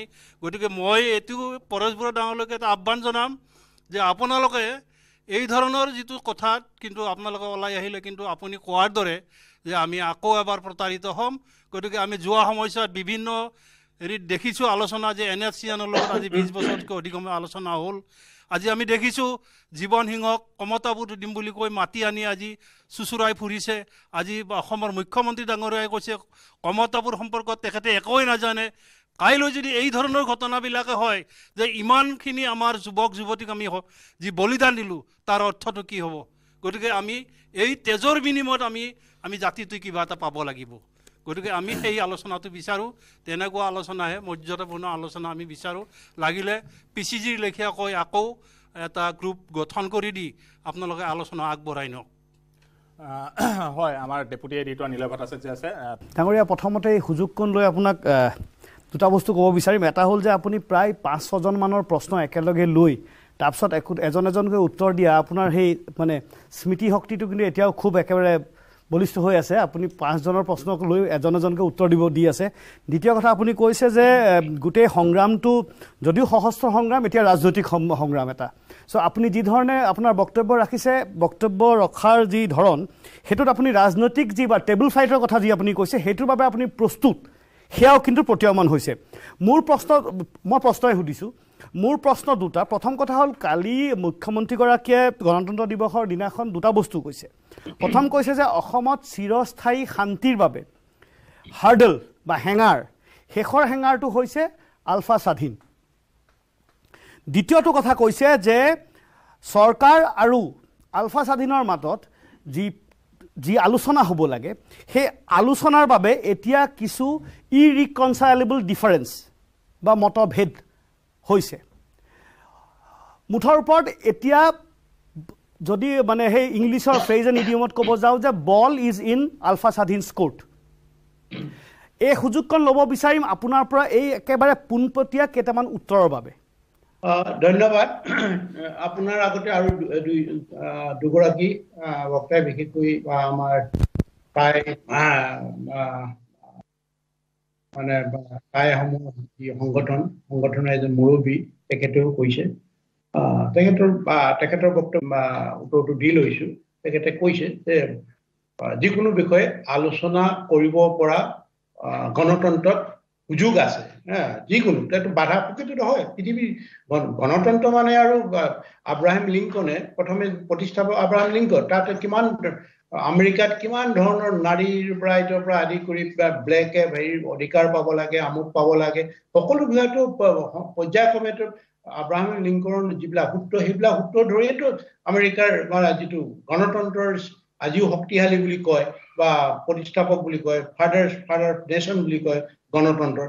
সেই এটা উদাহৰণ দাঙি ধৰি আহিছেতো আৰু কিন্তু আজি ভাৰতবৰ্ষত যি ধৰণে যে পৃথিৱীৰ বৃহত্তৰ গণতন্ত্ৰ বুলি আজিও পৃথিৱীৰ বিভিন্ন কোণাত জয়ঢোল পিটি আছে কিন্তু কৰিছে কি?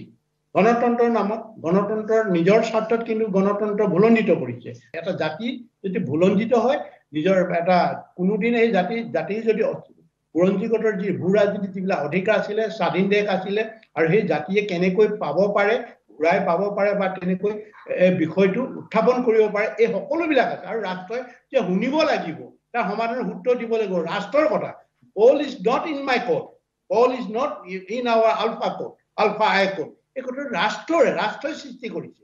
এই গোটেই বিষয়টো আমি কৰা নাইতো অসমৰ থলগিৰ মানুহে এই সমস্যাটো বা আমি সৃষ্টি কৰা নাই। সমস্যাটো এই ইছ্যুটোক জটিলতা কৰিছে সমস্যাৰ ফালে ঠেলি দিছে ৰাষ্ট্ৰপক্ষই ঠেলি দিছে। ৰাষ্ট্ৰপক্ষৰ উদ্দেশ্য হৈছে যে এটা জাতিৰ যিটো জাতিৰ মানে হেৰি, এটা বুজা পৰাৰ মাজত সংগ্ৰাম কৰিছিলে স্বাধীনতা সংগ্ৰাম কৰিছিলে এই জাতিটোৱে। এই জাতিটোৱে যে প্ৰথম এই ভাৰতীয়সকলক আজি কেলৈ এইটো মানি ল'ব নোৱাৰে। ভাৰতীয়সকলৰ ব্ৰিটিছৰ বিৰুদ্ধে জোতা মানে স্বাধীনতা সংগ্ৰাম কৰাৰ পাতনিটো অসমে মেলিছিলে। এই কথাটোতো বিজ্ঞজনে জানে বুৰঞ্জীবদ্ধ লিপিবদ্ধ আছে। আমি এইটো কেনেকে মানি ল'ম? সংগ্ৰাম আমি আগতে কৈছিলো অসমৰ মানুহে আমাৰ পূৰ্বপুৰুষে ব্ৰিটিছৰ বিৰুদ্ধত সহস্ৰ হওক নিৰস্ব হওক অসহযোগ যোগেদি অসমৰ মানুহে প্ৰথম পাতনি মেলিছিলে। এই কথাবিলাকো যে সিহঁতে আমাক পাহৰাবলৈ বিচাৰিছে নিজেও আৰু আমাৰ যিসকল হেন্সমেন আছে যিসকল ভাৰতীয়সকল ৰাজনীতিৰ সোৱাদ লৈ আকৌ ভাৰতীয় হৈ থাকিবলৈ যি ইচ্ছা আছে নিজৰ জাতি অৰ্ধপত্নে যাওক ভাষা অৰ্ধ- অৰ্ধপত্নে যাওক মানে যিটো জাতি গোষ্ঠীৰ মাজত অনৈক্য সৃষ্টি কৰি নিজৰ স্বাৰ্থ সিদ্ধি কৰা যিবিলাক ৰাজনৈতিক নেতা আছে এইবিলাকে এইবিলাক কথা কৈ আছে কিয় নোৱাৰিব গণতন্ত্ৰত? কিয় নোৱাৰিব? প্ৰকৃত গণতন্ত্ৰত এই সমস্যাটো সমাধান কৰা বা এই সমস্যাটো বিশেষকৈ এই ইছ্যুটো লৈ সংগ্ৰাম কৰা এই সংগ্ৰামখন উৰ পেলাবৰ কাৰণে যথেষ্ট উপাদান আছে কিন্তু উপনিৱেশিক সদায় উপনিৱেশিক মনোবৃত্তি লৈ আছে অসমৰ জনগণৰ যিসকল মানে সামাজিক যিবিলাক জাতি জনগোষ্ঠীক লৈ প্ৰতিনিধিত্ব কৰিছে সবল স্থিতি ৰাখিব লাগিব সবল আপোনাৰ প্ৰাপ্যৰ কাৰণে কৈছেতো আজি জনগোষ্ঠীয়েও ইমান আন্দোলন কৰি আছে জনগোষ্ঠীটো এনেই পাব লাগে আন্দোলন নকৰিলেও পাব লাগে কিয় দিয়া নাই আমাৰ দুৰ্বলতাবিলাক জানে আমাক সহজে মেনেজ কৰিব পাৰে সহজে উপঢাকোন দি আমাক কিবা কিবি এই যে হয়তো বি কোনোবাই বিজেপিলে কোনোবা কোনোবাক বিজেপিৰ কাৰণে টিকেট দিব নমিনেশ্যন দিব সেইটোতে আমি সন্তুষ্ট হৈ আৰু আমাৰ চিন্তাধাৰাক বিপথে লৈ যায়। সেইকাৰণে আমাৰ এই অৱস্থা হৈ আছেতো একেটা বাঘেই আমাক খাই খাই মাৰিছে। এই বাঘটোৰ লগত আমি কেনেকৈ যুঁজিব লাগিব? কেনেকৈ সাহসে থিয় দিব লাগিব? আমাৰ যুক্তিবিলাক ক'ত হ'ব? কেনেকৈ কি হ'ব? যিটো নেকি আমি যিখন যুঁজলৈ যাম বা যদি মানে ভাৰতীয়সকলে এই আমাৰ যিটো সাৰ্বভৌম স্বাধীন অসমৰ ওপৰত আলোচনা কৰিম বুলি তেতিয়াহ'লে অৱশ্যে তাৰপিছত আহিব আপোনাৰ। এতিয়ালৈকে সিহঁতে আলোচনা এই বহাম কেনেকৈ সিহঁতক? এই কৌশলটো আমি ল'ব লাগিব। আলোচনাত কেনেকৈ বহাম? সাৰ্বভৌম স্বাধীন অসমত কেনেকৈ এতিয়া আলোচনাত বহি এই এইটোৱে যে প্ৰথম মূল দাবী হ'ব মূল দাবী নহয় এইটো আমাৰ এই ইছ্যুটো পলিটিকেল ইছ্যুটোৰ ওপৰত কথা পাতিব লাগিব। এই এচুৰেঞ্চটো আমি পাব লাগিব। এচুৰেঞ্চ নোপোৱালৈকে আমি যাব নোৱাৰো এইটো প্ৰকাশ্য হ'ব লাগিব হাইড এণ্ড চিক হ'ব নালাগে অকল মই জানি মূলত কি কথা ক'লে আমাৰ সংযুক্ত মুক্তি বাহিনী কেইজনমান বিষয়ববীয়া জানিলে আৰু বাদ বাকী গোটেইটো লুকাই ৰাখিলো আৰু পিছত গৈ বুমেৰাং এইটো নহয়। সকলোৱে জানিব এইটো বিষয়ৰ লগত আলোচনা হ'ব সাৰ্বভৌমৰ ওপৰত আলোচনা। তেতিয়া আপোনালোকে আৰু সবল যুক্তি দিয়ক। আমাৰ সাৰ্বভৌম স্বাধীন অসমৰ ক্ষেত্ৰত আমি কি কি আমি যুক্তি দাঙি ধৰিব পাৰো এইটোৱে হ'ব। আমি যদি আলোচনা যোৱাৰ আগতে আমাক নিম্ন ধৰণৰ কথাবিলাক য'ত নেকি আমি যুঁজিবই নোৱাৰো। যুঁজিবলৈ ক'ত কম্পজিট ডাইলগত বহাই দিব না? কম্পজিট ডাইলগত বহাই কম্পজিট বুলি ক'লে মানে একেবাৰে আপোনালোকে গম পাইছে। এই যে ইকনমিক পেকেজটো পিছত আনিব প্ৰথম আনিব চিজ ফায়াৰ কেনেকে হ'ব সৈন্য কিমান আছে অস্ত্ৰ কিমান আছে আৰু ক'ত ক'ত থাকিলে সুবিধা হ'ব কেম্পবিলাক ডিব্ৰুগড়ত পাতিব না নলবাৰীত পাতিব না এনেকৈ এই ধৰণে বনাই বনাই এই কম্পজিট ডাইলগতে কি কৰিব এই যে সাধাৰণটো চিজ ফায়াৰ লগতে দুবছৰ পঠাব। দুবছৰ তিনি বছৰ তাতেই যাব। তাৰপিছতে আহিব আকৌ ল'ৰাবিলাকে দৰমহা কিমান হ'ব মান্থলি কিমান দিব কিমান দিব এইবিলাকত কৰি আছে। হা এইবিলাক আৰু এটা আপোনালোকে সকলোৱে আৰু সন্মানিত সন্মানিত ব্যক্তিসকলে জনা প্ৰয়োজন। সিহঁতৰ প্ৰথম চৰ্ত হয় পৰেশ বৰুৱা আহিব নাই পৰেশ অসম আহিব নে নাহে? এইটোৱে এটা প্ৰথম। যেনেকে পি চি জি আলোচনা হৈ আছিলে মামণি বাইদেউক কৈছে এজন আনিবই লাগিব। মামণি বাইদেউক দায়িত্ব দিয়া হৈছিলে। লাষ্টতো দুটা চিটিঙৰ তিনি নম্বৰটো সেইটোতো লাগিছে ঝেমেলা। যে কৈছে যে পৰেশ বৰুৱা আহিব নাই পৰেশ অসম আহিব নাই। পৰেশ অসম যদি নাহে তেতিয়াহ'লে আমি কোনো আলোচনা নকৰো। তেতিয়াহ'লে সিহঁতৰ উদ্দেশ্যটো কি? পৰেশ অসমক কিয় লাগে? পৰেশ অসমক কিয় লাগে? সিহঁতি ভাবিছে অকল এটা দুৰ্বলতা ওলাই পৰিছে যে পৰেশ অসমে অকল সংগঠন চলোৱা নাই। এই কথাটো সিহঁতৰ দূৰদৰ্শী মানে দূৰদৰ্শিতাৰ অভাৱ হ'ব পাৰে। সেইকাৰণে যে পৰেশ বৰুৱা থকালৈকে যে পৰেশ অসম থকালৈকে আলফা আই থাকিব তাৰপিছত সেইটো কথা নহয়। নল মৰি গজালি ওলায়ে থাকিব।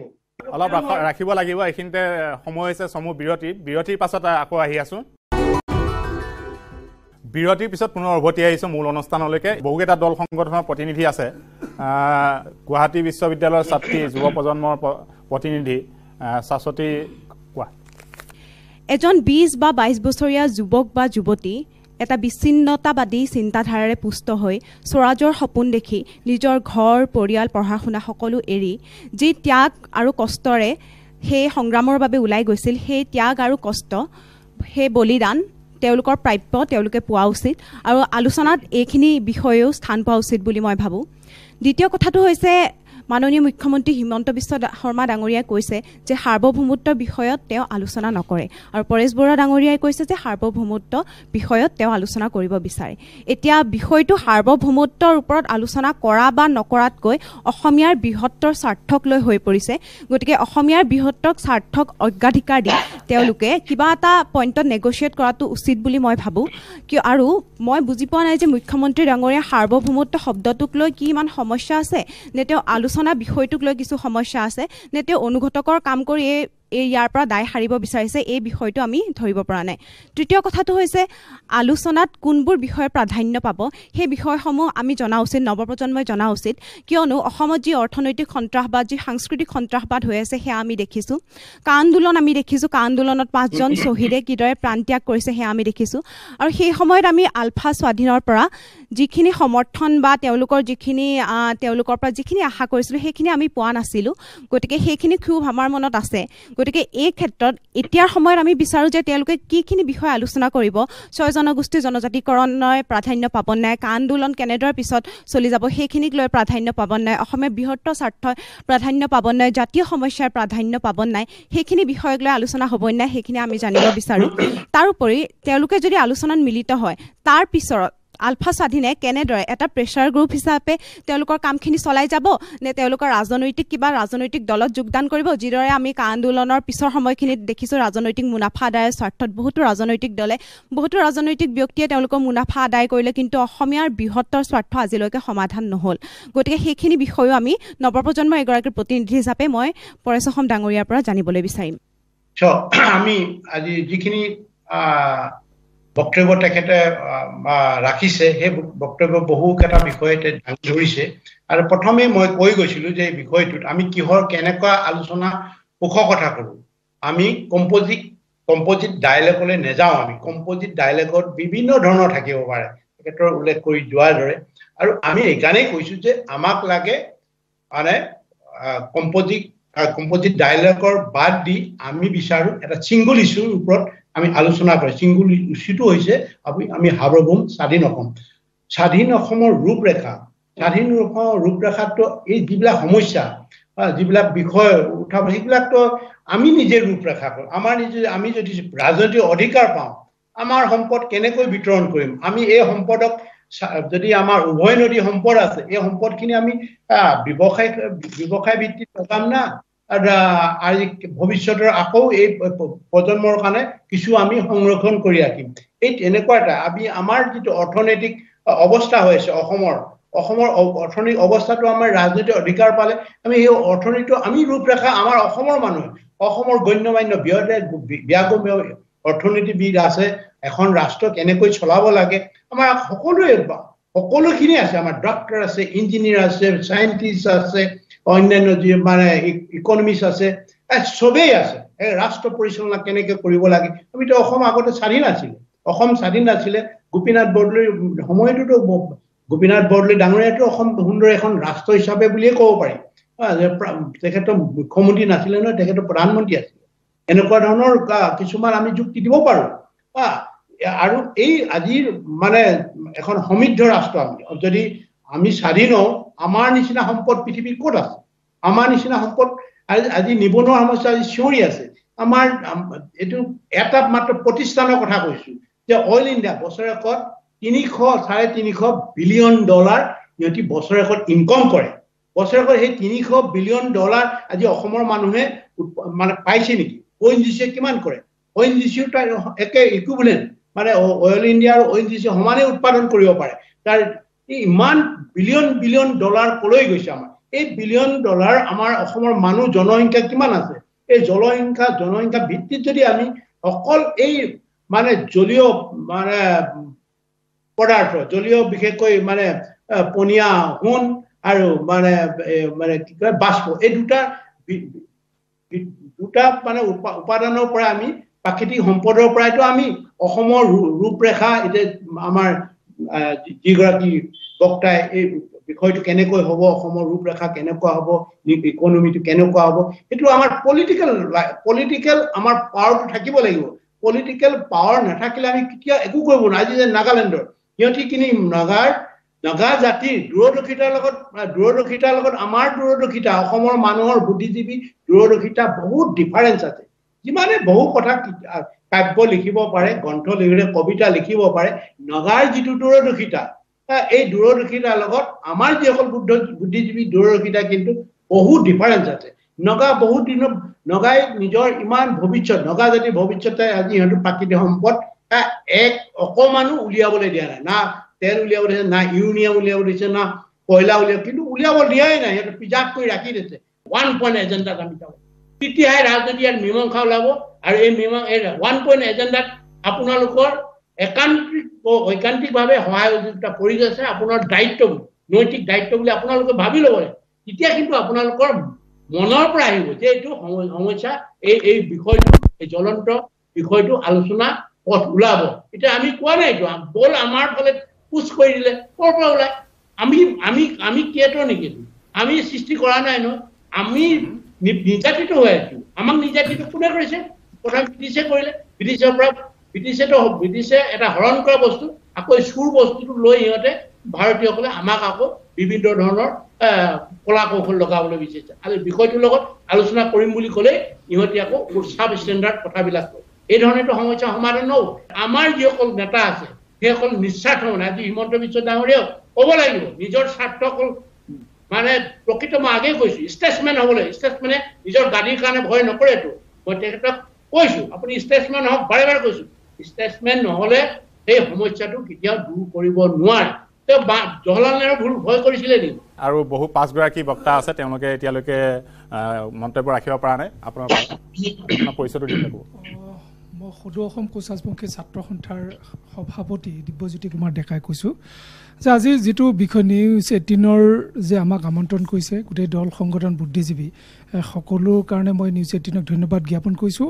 আৰু সংযুক্ত মুক্তিবাহিনী অসম যে যি সংগ্ৰাম অব্যাহত ৰাখিছে কেইবা দশক জুৰি আমি অসমৰ প্ৰতিটো দল সংগঠন অসমৰ সকলো জাতি জনগোষ্ঠী আমি গভীৰ আগ্ৰহেৰে ৰৈ আছোঁ। তেওঁলোকে কিবা এটা নিশ্চয় কৰিব। যে আমি এই কথাখিনিয়ে বিচাৰিছোঁ যে আলোচনাৰ নামত আলোচনা কেতিয়াও হ'ব নোৱাৰে। ভাৰত চৰকাৰৰ লগত অসমৰ মুখ্যমন্ত্ৰী ডাঙৰীয়াই যি ঘোষণা কৰিছে যে সাৰ্বভৌম অসমৰ নামত কোনো আলোচনা কথাখিনি তেওঁ সমৰ্থন কৰিব নোৱাৰে। কিন্তু আমি ক'ব বিচাৰিছোঁ এজন অসমৰ সন্তান হিচাপে অসমৰ মুখ্যমন্ত্ৰী হিচাপে যে এটা জ্বলন্ত বিষয় য'ত অসমৰ হাজাৰ হাজাৰ শ্বহীদৰ ইয়াতৰ কেঁচা তেজ প্ৰতিটো জাতি জনগোষ্ঠীৰ ইয়াত তেজৰ টোপালৰ ইয়াত মূল্যৰ কথা আছে। এই বিষয়বস্তুবিলাক চিন্তা কৰি তেওঁ দিল্লীত গোটেই কথাবিলাক আগবঢ়োৱাই নিশ্চয় তেওঁৰ দায়িত্ব আৰু কৰ্তব্য নিশ্চয় আছে। আৰু সাৰ্বভৌম যি সংযুক্ত মুক্তি বাহিনী অসমৰ যি দাবী সেই কথাখিনিৰ ওপৰত ইয়াত কোনো দ্বিধাবোধ নাই। যে অসমৰ প্ৰতিটো খিলঞ্জীয়া জাতি জনগোষ্ঠীৰ সেই কথাবিলাক আলোচনা কৰাৰ ক্ষেত্ৰত আলোচনা কোনো হেঙাৰ হ'ব নোৱাৰে। কিন্তু আচল আলোচনা আচলতে তেওঁলোকৰ আন্তৰিকতা কিমান সেই কথাখিনিৰ ওপৰত প্ৰশ্ন হ'ব। যদি ভাৰত চৰকাৰ অসম চৰকাৰৰ এই আলোচনা তেওঁলোকে আন্তৰিকতাৰে বিচাৰিছে তেতিয়াহ'লে নিশ্চয় আলোচনাত যিকোনো বিষয় উত্থাপন হ'ব পাৰে তেওঁলোক প্ৰস্তুত থাকিত থকা থাকিব লাগিব।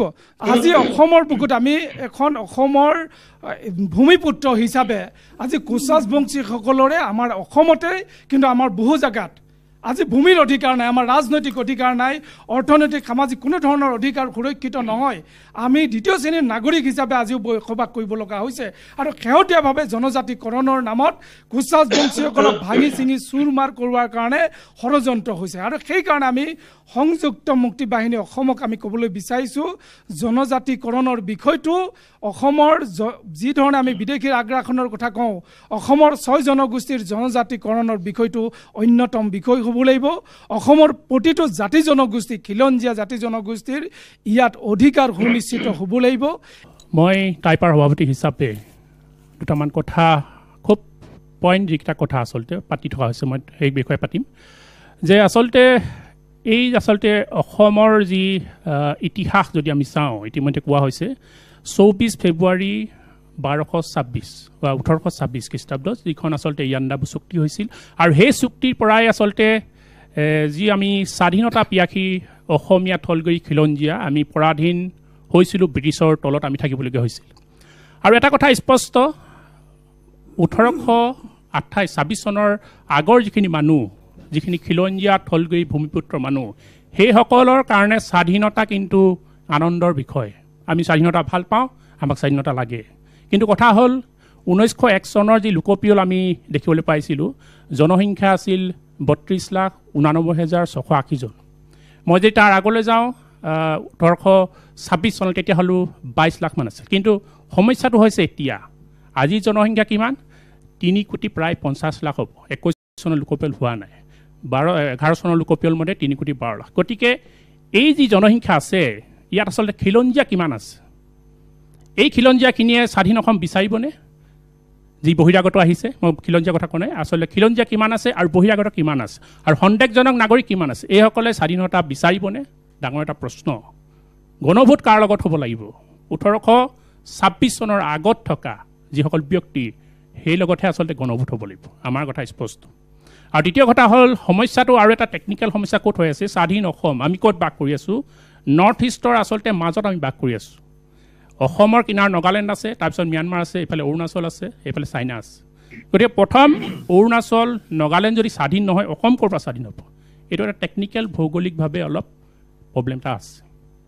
কিন্তু সাৰ্বভৌমত্বৰ ওপৰত আলোচনা হ'ব লাগে এইটো আমাৰ স্পষ্ট কথা। গতিকে মই আশা কৰিছোঁ যে সাৰ্বভৌমত্বৰ যদি বিকল্প আমি যদি চিন্তা কৰোঁ তেতিয়া আমি কি কৰিব লাগিব? আৰ্টিকুল থ্ৰী ছেভেণ্টি আছে ভাৰতৰ।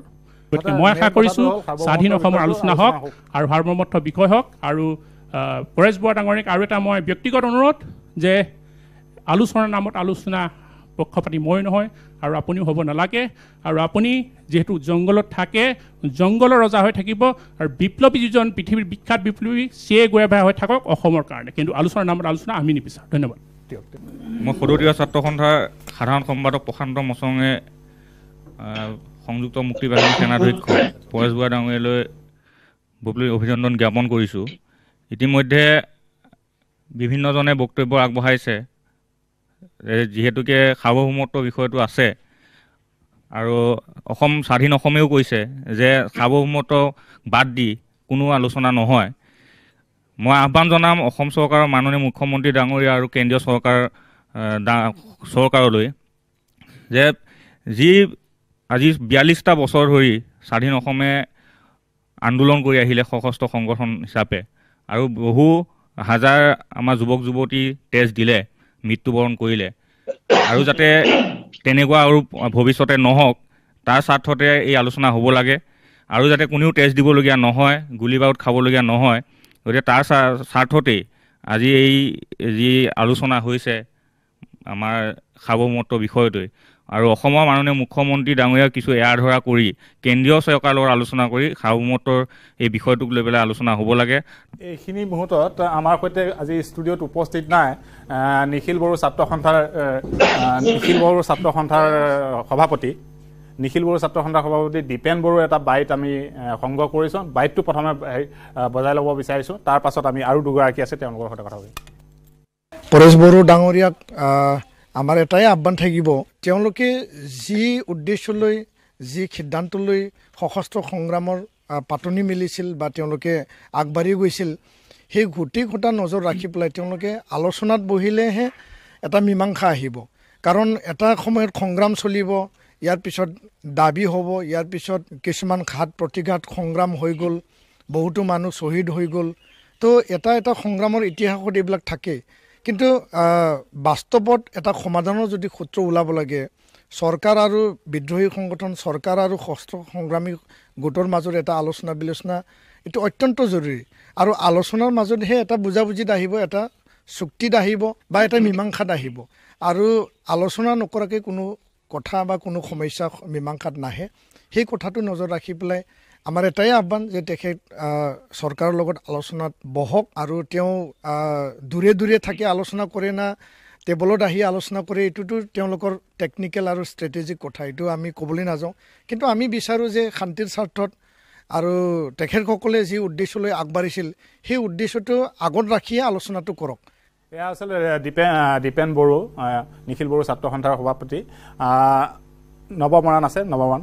মৰাণ জাতি এটা ইতিহাস আছে এটা সংগ্ৰামী জাতি আৰু সংগ্ৰামী সত্তা আছে। আৰু ৰজাঘৰীয়াৰ পৰা আৰু আজিৰ তাৰিখলৈকে শোষক শ্ৰেণীলৈকে আমি আন্দোলন কৰি থাকিবলগীয়া হৈছে। কেৱল যে আমি চৰকাৰৰ বিৰুদ্ধে আন্দোলন হৈছে এনেকুৱা কথা নহয়। মৰাণ জাতিক প্ৰতিষ্ঠা কৰিবৰ কাৰণে একাংশ সাহিত্যিক বুদ্ধিজীৱীৰ লগতো আমাৰ আমাৰ আমি সংগ্ৰাম কৰিবলগীয়া হৈছে আমাৰ জাতিক প্ৰতিষ্ঠা কৰিবৰ কাৰণে। গতিকে এটা সংগ্ৰামী জাতিৰ প্ৰতিনিধিত্ব প্ৰতিনিধিত্ব কৰি আজি এই মঞ্চৰ পৰা এটা কথা আমি ক'ব খোজোঁ যে আলফা আৰু চৰকাৰৰ যি ৰাজনৈতিক সংঘাত এই সংঘাত ৰাজনৈতিকভাৱেই সমাধান হ'ব লাগিব আৰু ইয়াত কেৱল মাতে ৰাজনৈতিকভাৱে আলোচনা কৰিলে সাৰ্বভৌমত্ব কথাখিনি নিশ্চিতভাৱে ইয়াত উপস্থাপন হ'ব আৰু আলোচনাৰ মজিয়াত কেনেকুৱা ধৰণে আলোচনা কৰে তেওঁক এই কথাবিলাক অভিজ্ঞ পৰেশ বৰুৱা ডাঙৰীয়া তেখেতক আমি কিবা পৰামৰ্শ দিব লাগে বুলি মই নাভাবোঁ। কিন্তু আলোচনা যে সাৰ্বভৌমত্বৰ ওপৰত আলোচনা হ'লে নিশ্চিতভাৱে অসমৰ থলগিৰি ৰাজ্যৰ খিলঞ্জীয়া মানুহৰ সুৰক্ষিত হোৱা এটা আলোচনা হ'ব এইটো কিন্তু আমি ধাৰণা কৰিব পাৰোঁ। এশ ছাব্বিছটা সমষ্টি খিলঞ্জীয়া মানুহৰ কাৰণে সুৰক্ষিত হোৱাটো বিচাৰোঁ। থলগিৰি মানুহৰ ভূমি অধিকাৰ হোৱাটো আমি বিচাৰোঁ। থলগিৰি মানুহৰ ৰাজনৈতিক অধিকাৰ অৰ্থনৈতিক অধিকাৰ সকলো অধিকাৰ এই আমাৰ থলগিৰি খিলঞ্জীয়া মানুহৰ হাতত যাতে আহে তেনেকুৱা এটা আলোচনা আমি পোষকতা কৰোঁ। আৰু সময় যিহেতু বিশেষ নাই গতিকে আমাৰ এটা আহ্বান যে চৰকাৰে অভিভাৱকত্বৰ দায়িত্ব পালন কৰিব লাগে। চৰকাৰে যিহেতু অসমৰ প্ৰত্যেকগৰাকী মানুহৰ তেওঁ অভিভাৱক সেই অভিভাৱক হিচাপে তেওঁ অভিভাৱকৰ দায়িত্ব পালন কৰি অসমৰ সুৰক্ষিত হোৱা হোৱাটো তেওঁ ব্যৱস্থা কৰিব লাগে বুলি মই মই ভাবোঁ। অসমীয়া মহাজাতিৰ ঐতিহ্য আৰু স্বকীয়তা অক্ষুণ্ণ ৰাখিবলৈ নিজৰ যৌৱন সমৰ্পিত কৰা পৰেশ বৰুৱা ককাইদেউলৈ বীৰ লাচিতানা অসমৰ তৰফৰ পৰা আন্তৰিক শ্ৰদ্ধা আমি জ্ঞাপন কৰিছোঁ। এতিয়া কথাটো হৈছে বেলেগ অসমৰ বিভিন্ন বেলেগ বেলেগ জাতীয় দল সংগঠন উত্থাপন উত্থাপন কৰা দাবী আৰু আলফাই উত্থাপন কৰা দাবীৰ মাজত কিছু পাৰ্থক্য আছে। এটা ঐতিহাসিক সত্যতা আছে। এতিয়া কথাটো হ'ল আলফাই কোনবিলাক কথা কৈছে? আলফাই কৈছে যে পূৰ্ণ জাতীয় আত্মনিয়ন্ত্ৰণৰ কথা কৈছে। আলফাই কৈছে যে সম্পূৰ্ণ ৰাজনৈতিক অৰ্থনৈতিক সামাজিক আৰু সাংস্কৃতিক অধিকাৰৰ কথা কৈছে। আৰু আমি ভাবোঁ যে এখন গণতান্ত্ৰিক দেশত সাৰ্বভৌমত্বৰ ওপৰত আলোচনা হ'ব পাৰে। আৰু বীৰ লাচিতানা আমি এইটো ক্ষেত্ৰত পোষকতা কৰোঁ। এতিয়া কথাটো হৈছে যে এই যে সংগ্ৰাম কিয় আৰম্ভ হৈছে যে আমি দেখিছোঁ দীৰ্ঘ সময় ৰাজনৈতিকভাৱে আমি প্ৰতাৰিত হৈছোঁ। আমি অৱহেলিত হৈছোঁ। অৰ্থনৈতিকভাৱে সামাজিকভাৱে আমি প্ৰতাৰণাৰ বলি হৈছোঁ। তাৰ লগে লগে সাংস্কৃতিকভাৱে আমি বিপদাপন্ন হৈছোঁ। আমাৰ কোনোবাখিনিত ভয় আৰু শংকা আছে যে অদূৰ ভৱিষ্যতে আমি ইয়াৰ পৰা নিশেষ হৈ গুচি যাম নেকি? আমি অস্তিত্বৰ সংকটত ভুগিম নেকি? গতিকে কাইলৈ এই গোটেই বিষয়টো মই ভাবোঁ এটা সংবেদনশীল বিষয়। কাইলৈ পৰহিলৈ আলফাই গুচি গ'লেও আহিবলগীয়া প্ৰজন্মই এই সংগ্ৰামখন কাৰণ নিজৰ য'ত অস্তিত্বৰ বিষয়টো জড়িত হৈ থাকে এই বিষয়টোক আকৌ ভণ্ডালনিৰ ৰূপত লৈ যাব। বাকী একেই নহওক যে দক্ষিণ পূব এছিয়া আমি জানোৱেই যে এটা খুব চেঞ্চিটিভ ৱাৰ জোন হিচাপে আমাক ইয়াত চায়। গতিকে সেইকাৰণে আমি ভাবোঁ যে এইটো সমস্যা কেৱল আন্তঃদেশীয় নহয় ই বহিদেশীয় এটা সমস্যা। গতিকে আমি সেইকাৰণে ভাৰতবৰ্ষক কেন্দ্ৰীয় চৰকাৰক আমি জনাওঁ যে গোটেই বিষয়টো খুব সংবেদনশীল হৈ চিন্তা চৰ্চা কৰিব লাগে আৰু আগবাঢ়ি যাব লাগে। দ্বিতীয় কথাটো হ'ল হৰিণ মহন্ত এষাৰ কথা কৈছে যে আমি এই গোটেই বিষয়টো আগবঢ়াই লৈ যাবৰ কাৰণে আমাৰ তেওঁ এটা খুব সুন্দৰকৈ তেওঁৰ সাৰ্বভৌমত্বৰ কিতাপত তেওঁলোকে লিখিছে যে আমাৰ অধিকাৰ স্বাধীনতাটো আমি কোনোবা যদি বেংকৰ লকাৰত যদি ৰাখি থওঁ তেতিয়া লকাৰটো খুলিবৰ কাৰণে কোনখন হ'ব এখন চেক লাগিব এটা তলা লাগিব। আৰু এই চেকখন সদায় গণভোট হয়। গতিকে গণভোট তৈয়াৰ কৰিবৰ কাৰণে খিলঞ্জীয়া মানুহৰ নিজৰ যিখিনি মৰ্মবেদনা আছে তেওঁলোকৰ জনমত প্ৰকাশ কৰিবৰ কাৰণে যি ধৰণে এটা পৰিৱেশ আৰু পৃষ্ঠভূমি তৈয়াৰ কৰিব লাগে তাৰ কাৰণে অসমৰ বৌদ্ধিক সমাজে কাম কৰিব লাগিব। তাৰ কাৰণে যিমানবিলাক জাতীয় দল সংগঠন আছে তেওঁলোকে আহিবলগীয়া সময়ত নিৰবিচ্ছিন্ন আন্তৰিকতাৰে এই বিষয়টোক আগবঢ়াই লৈ যাব লাগিব। কিন্তু ইয়াত এটা কথা আছে যে জাতীয় দল সংগঠনে যিটো দায়িত্বৰ কৰ্তব্য তেওঁলোকে ল'ব যিটো জাতীয় দায়িত্বৰ কৰ্তব্য হিচাপে তেওঁলোকে গ্ৰহণ কৰিব কোনখিনিলৈকে যাব কেনেধৰণে তেওঁলোকে জড়িত হ'ব? অসমৰ বিভিন্ন প্ৰান্তত এই গণভোটৰ প্ৰক্ৰিয়াটো কৰিবলৈ যাওঁতে কেনেধৰণে যাব বা দুই পক্ষই কেনেধৰণে বিশ্বাস তেওঁলোকে কেনেধৰণে বিশ্বাসত ল'ব তেওঁলোকে কি তেওঁলোকৰ ধাৰণাবিলাক কেনেধৰণে লাগিব দায়িত্ব কেনেধৰণে অৰ্পণ কৰিব বা তেওঁলোকৰ লিমিটটো কি হ'ব? কোনটো পৰ্যায়লৈকে এই বিষয়টোক আগবঢ়াই নিবৰ কাৰণে তেওঁলোকৰ ওপৰত দায়িত্ব অৰ্পণ কৰিব এই বিষয়টো চাব লাগিব। আলফাৰ যিটো আলোচনা হ'ব এই আলফাৰ আলোচনাই অসমীয়া মানুহৰ স্বাধিকাৰ প্ৰতিষ্ঠা কৰিব লাগিব। অনাদি অনন্তকাললৈকে নিজৰ আজন্ম গৃহভূমিত খিলঞ্জাই নিজৰ মূৰ তুলি জীয়াই থকাৰ এটা পৰিৱেশ আৰু পৃষ্ঠভূমি তৈয়াৰ হোৱাকৈ যাতে আলোচনা প্ৰক্ৰিয়াটো আগবঢ়ায় আলোচনাত এটা চিন্তন মন্থন সূক্ষ্মাদি পৰ্যবেক্ষণৰ বিশ্লেষণৰ জৰিয়তে যাতে আগবাঢ়ে তাৰ কাৰণে আহ্বান জনাইছোঁ। এইকেইটাকে মোৰ মন্তব্য জনালোঁ। এইখিনিতে সময় হৈছে চমু বিৰতি। বিৰতিৰ পাছত আকৌ আহি আছোঁ। বিৰতিৰ পিছত পুনৰ উভতি আহিছোঁ আমাৰ মূল অনুষ্ঠানলৈকে। পাঁচজন পাঁচটা সংগঠনৰ পাঁচজনে বক্তব্য প্ৰদান কৰিলে নিজৰ নিজৰ সংগঠনৰ হৈ। এতিয়া পৰেশ বৰুৱাৰ পৰা আমি এই বিষয়খিনি লৈ পাঁচগৰাকী চমুকে বিচাৰিম। তাৰ পাছত আমি অনুষ্ঠান সামৰিব লাগিব কিন্তু প্ৰতিগৰাকী প্ৰতিটো দল সংগঠনৰ আমি মতামত এটা ল'ম যে আচলতে এই অনুষ্ঠানটো এই দীঘলীয়া অনুষ্ঠানটোৰ পৰা ৰাইজলৈ কি বাৰ্তা যাব? আমি কি কৰি কৰা উচিত? চৰকাৰলৈ কি আপিল থাকিব? বা আলফা স্বাধীনলৈ কি প্ৰস্তাৱ থাকিব? কেনেদৰে সমস্যাটো সমাধান কৰাৰ এটা বাট এই অনুষ্ঠানৰ জৰিয়তে ওলাবনে নাই সেইটো আমি শেষত পাতিম। কিন্তু পৰেশ বৰুৱাৰ পৰা আমি এই পাঁচগৰাকী নেতাৰ বক্তব্য শুনিব বিচাৰিছোঁ উত্তৰ। কোচ ৰাজমুখী নেতাগৰাকী যিটো কৈছে প্ৰতাৰিত হ'ব নেকি? এতিয়া প্ৰতাৰিত হৈ আছে আৰু এইটো নিজৰ প্ৰাপ্য পাবনে নাপায়। যে আমাৰ যিটো আমি যি ভাৰতীয়সকলে যিটো সাৰ্বভৌম স্বাধীন অসমৰ ওপৰত আলোচনা কৰিবলৈ বিচাৰে সেই আলোচনাৰ সময়ত কোচ ৰাজবংশীসকলৰ উপকাৰ অৰ্থে নিজৰ জন্মভূমিৰ কাৰণে যি তেখেতসকলে আন্দোলন কৰিছে। এইটো অৱশ্যেই এইটো ইনক্লুচিভ আমি কৈ আছো অসমত বসবাস কৰা যি যিসকলৰ ভূমিপুত্ৰসকলৰ প্ৰতিটো ভূমিপুত্ৰ জাতি যিসকলে এতিয়াও মানে সবুজ বা নিজকে এটা ভূমিপুত্ৰ বুলি যিটো জাতিয়ে ডিমাণ্ড কৰিব পাৰে ক'ব পাৰে সাহসেৰে যুক্তি সহকাৰে তেনেকুৱা ভূমিপুত্ৰ পুত্ৰসকলৰ কাৰণেতো আজি সংগ্ৰাম চলি আছে। আৰু সেই ভূমিপুত্ৰসকলেইতো আজি এই সংগ্ৰামত তেজ দি আহিছে প্ৰতিনিয়ত।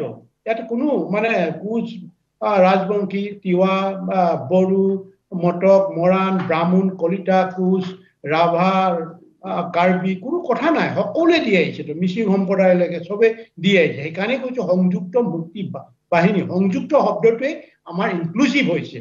এই কথাটো মই জনাই দিব বিচাৰিছোঁ। এই যদি ভাৰত চৰকাৰৰ লগত আমি যদি আন্তৰিকতা ওলাই আহে আৰু আমাৰ পলিটিকেল ডাইলগ পলিটিকেল ডাইলগ যিটো প্ৰধান ইছ্যু এইটোৰ ওপৰত যদি আলোচনা কৰে নিশ্চয় কোচবংশী কোনো শংকিত হোৱাৰ প্ৰয়োজন নাই বৰঞ্চ এশ শতাংশই আশ্বস্ত হৈ থাকক। যদি যদি বুলি কৈছো এতিয়াও আলোচনাৰ কোনো আন্তৰিকতা এতিয়ালৈকে ভাৰত চৰকাৰে দেখুওৱা নাই।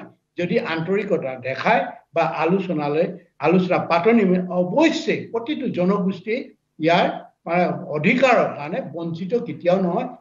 ইয়াৰ পূৰ্ণতা পাব। অধিকাৰ মানে ইয়াক পোৱাৰ যিটো বাট আমি মুকলি অৱশ্যই কৰিম এইটো আমি আপোনালোকৰ আজি যি বা আপোনালোক প্ৰতিনিধি একত্ৰিত হৈছে সকলোৰে সন্মুখত লগতে অসমৰ সকলো জনগণৰ সংগ্ৰামী জনগণৰ লগতে বা যিসকল থলগিৰি আছে সকলোকে আশ্বস্ত কৰিবলৈ বিচাৰিছো।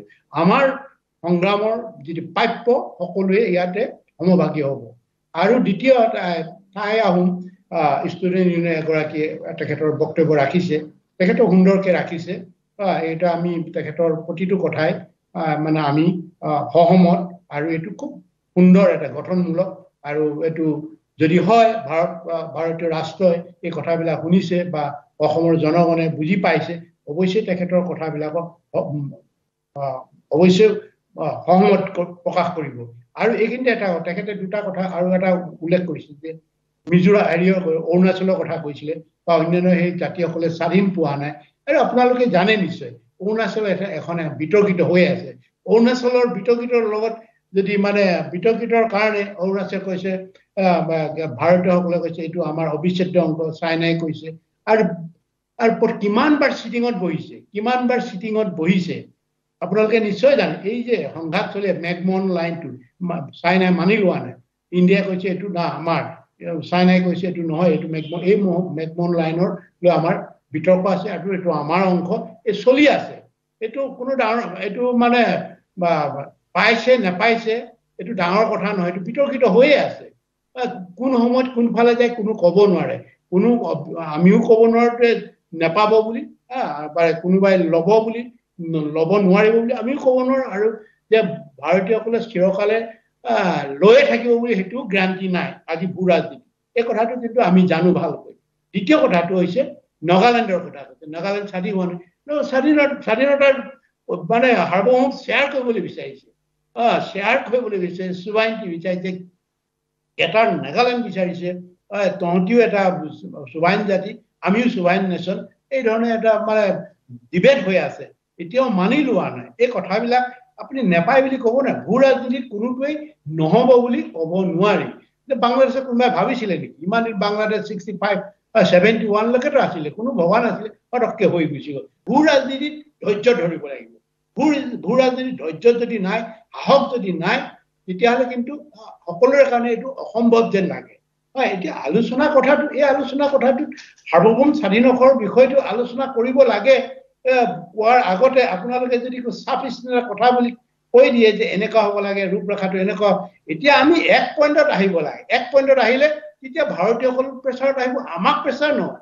আমাক প্ৰেচাৰ নিদি ভাৰতীয়সকলক দিব লাগে। যিহেতু ইহঁতি মানে ইউজাৰ পায় ইহঁতে আছে আমাৰ মানে উপনিৱেশিক শাসক গোষ্ঠীৰ দৰে আমাক ব্যৱহাৰ কৰি আছে। যদিও আমি একেলগে আন্দোলন কৰিছিলো স্বাধীনতাৰ কাৰণে কিন্তু আমাক উপনিৱেশিক শাসক উম, ঔপনিৱেশিক মানে অধীনত থকা গোলামী বুলি এতিয়াও আমাক ব্যৱহাৰ কৰি আছে। আৰু এইটোৰ কাৰণে আমি সকলোৱে এক সহমতত আহিব লাগিব। আৰু এইটো কথা সেইকাৰণে কৈছো। তাই আহোম আহ, যিটো আমাৰ ষ্টুডেণ্ট ইউনিয়নৰ বক্তাই ভাল কথা কৈছে কিন্তু এই এই দুটাহে তেখেতে অলপ তেখেতৰ লগত মোৰ অলপ অলপ মতানৈক্য। মতানৈক্য মানে এই ধৰণৰ নহয়। তেখেতে হয়তো আহ, যে নোহোৱালৈকে কি হ'ব? যে আমি তেতিয়াহ'লে তাৰ আগতে থ্ৰী ছেভেণ্টি আৰ্টিকুলত আছে থ্ৰী ছেভেণ্টি কাশ্মীৰখন কি হ'ল?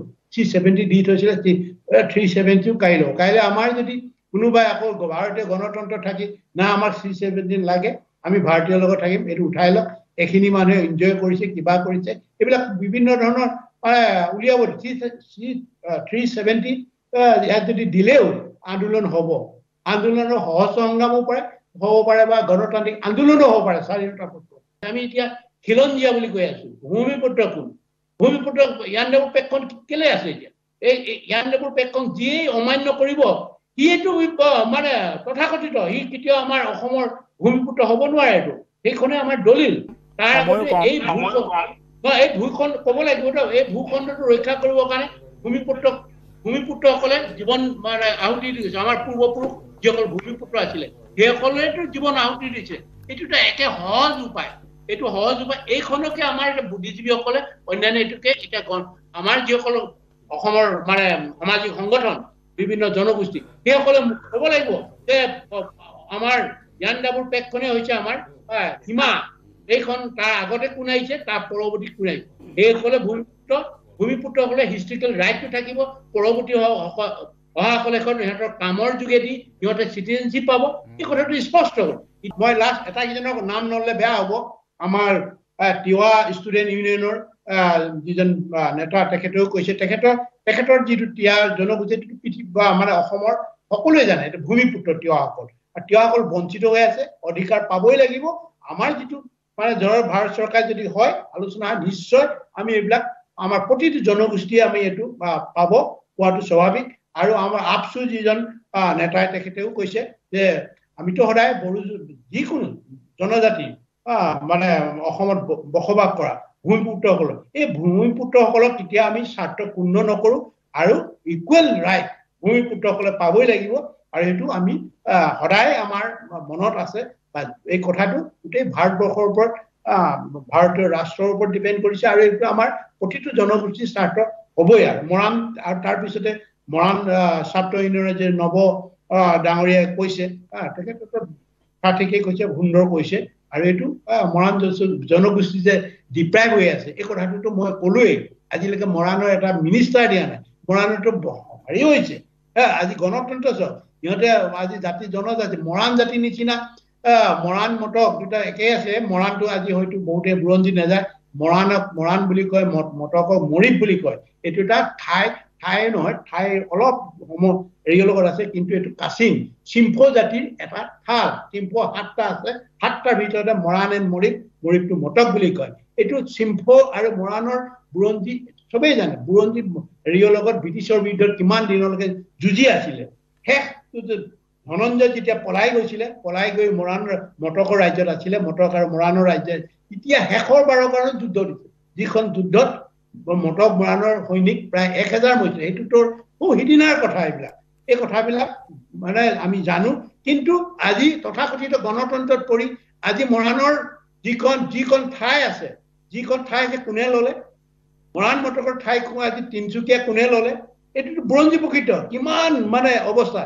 আজি আকৌ ভাৰতে তাতে তিনিচুকীয়াৰ পৰা আজি ভাৰতীয় গণতন্ত্ৰৰ যেতিয়া ইলেকশ্যন হয় নে কোনে হয় কোনোবা বিহাৰৰ ৰাম সিং কনৱাৰ সিং আহ ধনোৱাৰ সিং আহি এই তিনিচুকীয়াৰ পৰা মাত কিন্তু নামাতে আজি আমি আমি সেইকাৰণে কৈছো আজি সুযোগ সুযোগ দিছো মই খেতও নহয় কিন্তু এই দেখিছো গণতন্ত্ৰৰ কাৰণে কেনেকে কেনেকে জনগোষ্ঠীয় পতিত হৈ আছে আজি হৈ আছে আজি আজিলৈকে এটা কেণ্ডিডেট মানে তিনিচুকীয়াৰ পৰা মই যিমান যিমান দিন দেখিছো তিনিচুকীয়াৰ পৰা কোনো দিনেই আমাৰ মৰাণ বা মটকৰ পৰা এটাও মানে প্ৰতিনিধি নাহে কিয় হৈছে? আজি সংগত যিসকলে মৰাণ ছাত্ৰ সন্থা কৰিছে বা অন্যান্য সেইসকলে কিয় নকয় কিয় নিজৰ অধিকাৰ কৰিব নোৱাৰে? কাৰণ হৈছে ৰাজনৈতিক উদ্দেশ্যটো বুজি পোৱা নাই।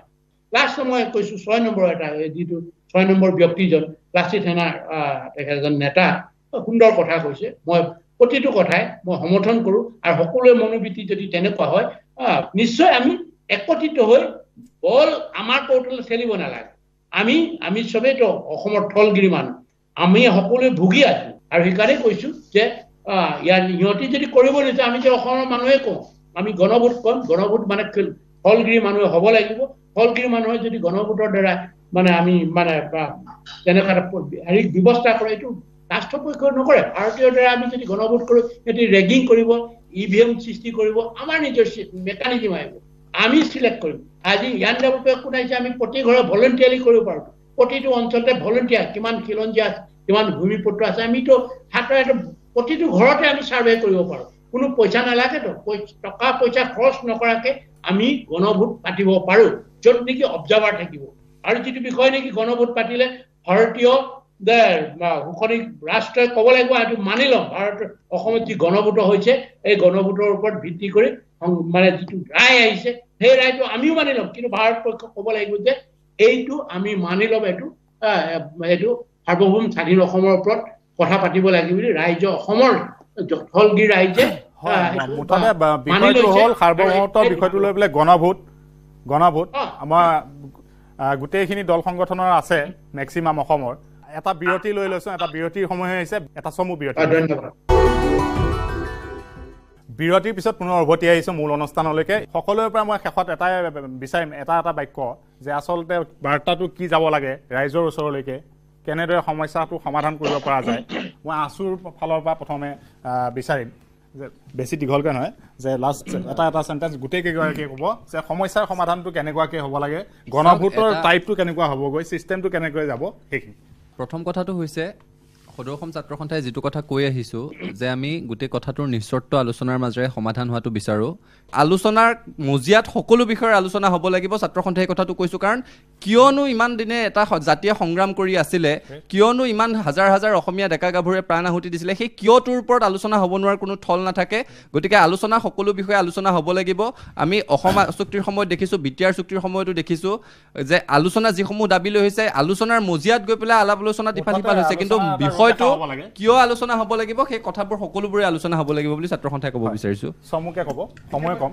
আমি আমি টাইমৰ তৰফৰ পৰা এটা কথা ক'ব বিচাৰিছোঁ যে আলোচনা হ'ব লাগিবই। আলোচনা অবিহনে কেতিয়াও এটা মানে মীমাংসা সংহত ওলাব নোৱাৰে।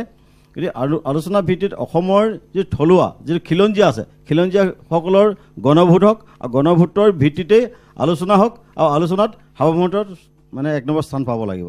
তাৰ তাৰোপৰি আপুনি সাৰ্বভৌমত্ব ছাবজেক্টটোৰ ওপৰত গণভোটৰ কথা হয় হয় সেইটো কথা কৈছে।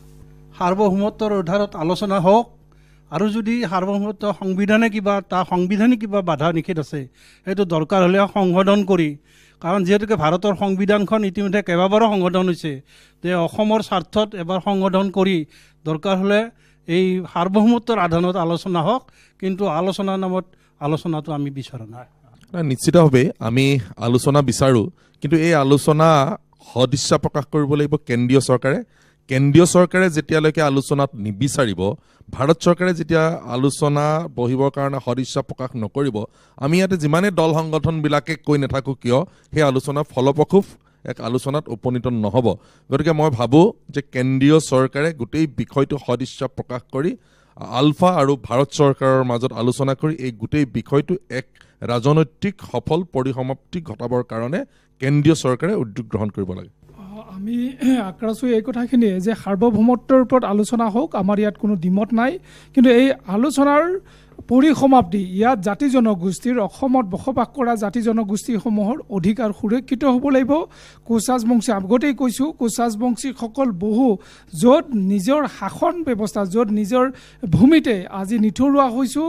আমাৰ আজিৰ অধিকাৰৰ পৰা আমি বিচ্ছিন্ন হৈছোঁ সেইকাৰণে কৈছোঁ যে আলফাৰ সংগ্ৰামৰ এটা পৰিসমাপ্তি গঠনমূলক অসমৰ ৰাইজে অসমৰ প্ৰতিটো জাতি জনগোষ্ঠীয়ে পাব লাগিব ছটা জনগোষ্ঠীয়ে ন্যায় পাব লাগিব এইখিনি। হয় সকলোৰে এটাই কথা আলোচনাৰ নামত আলোচনা প্ৰতাৰণা যাতে নহয়। আচলতে আমি টাই হোম যুৱ পৰিষদ টাইপাৰ কেন্দ্ৰীয় সমিতিৰ পৰা এটা কথাই কওঁ যে আলোচনাৰ এটা সময় থাকিব লাগিব আচলতে নিৰ্ধাৰণ এটা সময় পাঁচ বছৰ এটা সময়। আৰু গণভোট যদি হয় খিলঞ্জীয়া থলগিৰি যিসকল মানুহ মই আগতে কৈছোঁ এইটিন টুৱেণ্টি ছিক্সৰ আগত যিসকল বসবাস কৰিছে তেওঁলোকৰ গণভোট হওক। আৰু দ্বিতীয় কথা হ'ল এনেধৰণে আচলতে কেন্দ্ৰীয় চৰকাৰ সদিচ্ছা কিমান আমি ইতিমধ্যে গম পাইছোঁ আৰু কেইবাটাও আলোচনা ইতিমধ্যে প্ৰক্ৰিয়া মানে আধাত শেষ হৈছে। গতিকে এইবাৰ যদি আলোচনা হয় ইয়াৰ এটা নিৰ্ণায়ক আচলতে ভূমিকা আৰু অসমবাসীয়েও এই ৰক্তক্ষয় যিটো সংগ্ৰাম চাৰি দশক যোৱা এইটো সমাধান বিচাৰিছে। গতিকে আলোচনা এটা ফলপ্ৰসূ সিদ্ধান্ত হওক। ধন্যবাদ। আগতেও কৈছোঁৱেই সৰুদীয়া ছাত্ৰ সন্থাৰ তৰফৰ পৰা যে আলোচনা নামত আলোচনা হ'ব নালাগে। ইতিমধ্যে আমাৰ পলাশ চাংমাই ডাঙৰীয়াই কৈছে যিহেতুকে আলোচনা কেন্দ্ৰীয় চৰকাৰৰ লগত হ'ব গতিকে কেন্দ্ৰীয় চৰকাৰে সদিচ্ছা প্ৰকাশ কৰিব লাগিব। গতিকে অসমৰ মাননীয় মুখ্যমন্ত্ৰী ডাঙৰীয়াক মই অনুৰোধ জনাইছোঁ আগতেও এবাৰ কৈছোঁ যে তেওঁ এটা পদক্ষেপ লওক আৰু সেই পদক্ষেপটো যাতে অসমৰ স্বাৰ্থত হওক অসমীয়াৰ স্বাৰ্থত হওক থলগিৰিৰ স্বাৰ্থত হওক জনজাতিসকলৰ বা বিভিন্ন জাতি জনগোষ্ঠীসকলৰ স্বাৰ্থত হওক এইটোৱে মই আমি কামনা কৰিছোঁ। ইতিমধ্যে মুখ্যমন্ত্ৰী ডক্টৰ হিমন্ত বিশ্ব শৰ্মাই কৈছে যে সাৰ্বভৌমত্ব বিষয় লৈ পেলাই দল সংগঠনৰ যিটো সেই উদ্দেশ্যেৰে আচলতে আমি আজি ইয়াত একেলগে বহিছোঁ যে সকলো দল সংগঠনৰ কি কি মতামত হ'ব পাৰে। ইতিমধ্যে আপোনালোকে বক্তব্য কৰিছে। এই ক্ষেত্ৰত মুখ্যমন্ত্ৰীয়ে দিল্লীক কেনেদৰে কেন্দ্ৰীয় চৰকাৰ কেনেদৰে প্ৰস্তাৱ দিয়ে সেইটো লক্ষণীয় হ'ব। আমি ভাবোঁ যে তৃতীয় ৰাষ্ট্ৰতে হওক সাৰ্বভৌমত্বৰ ওপৰত আলোচনা হওক তেওঁলোকে কিয় দিব নোৱাৰে আৰু আমাক প্ৰাসংগিকতা কিয় এই কথা কথাখিনি তেওঁলোকে আলোচনাৰ মাধ্যমত শেষ কৰক। আৰু তাৰ আগে অসমত আজিও সামৰিক বাহিনী যিখন আইন প্ৰৱৰ্তিত কৰি অসমীয়া নতুন যুৱ অসমীয়া যুৱকৰ ওপৰত হত্যালীলা চলাই আছে এইবিলাক কিন্তু চৰকাৰে বন্ধ কৰিলে এটা পৰিৱেশ ঘূৰি আহিব কলা আইনসমূহ প্ৰত্যাহাৰ কৰা হওক আৰু গণভোটৰ ওপৰত দীঘলীয়া পৰিক্ৰমা মই ভাবোঁ তাৰ আগতেই পৰেশ বৰুৱা ডাঙৰীয়াই যাৰ জড়িতই নহওক যেনেকেই নহওক সাৰ্বভৌমত্ব বিষয়বস্তুটো উত্থাপন কৰক আৰু অসম চৰকাৰৰ অসমৰ মুখ্যমন্ত্ৰী ডাঙৰীয়াই এই বিষয়বস্তুটো দিল্লীলৈ কঢ়িয়াই লৈ যাওক আৰু দিল্লীক তেওঁক কনভিন্স কৰাওক যে সাৰ্বভৌমত্বৰ ওপৰত আলোচনাৰ প্ৰক্ৰিয়াটো আৰম্ভ হ'ব লাগে। নতুন প্ৰজন্মৰ আছে খুব চমুকে। অসম আৰু অসমীয়াৰ সমস্যাৰ অন্ত নাই সেইটো আমি দেখি আহিছোঁ।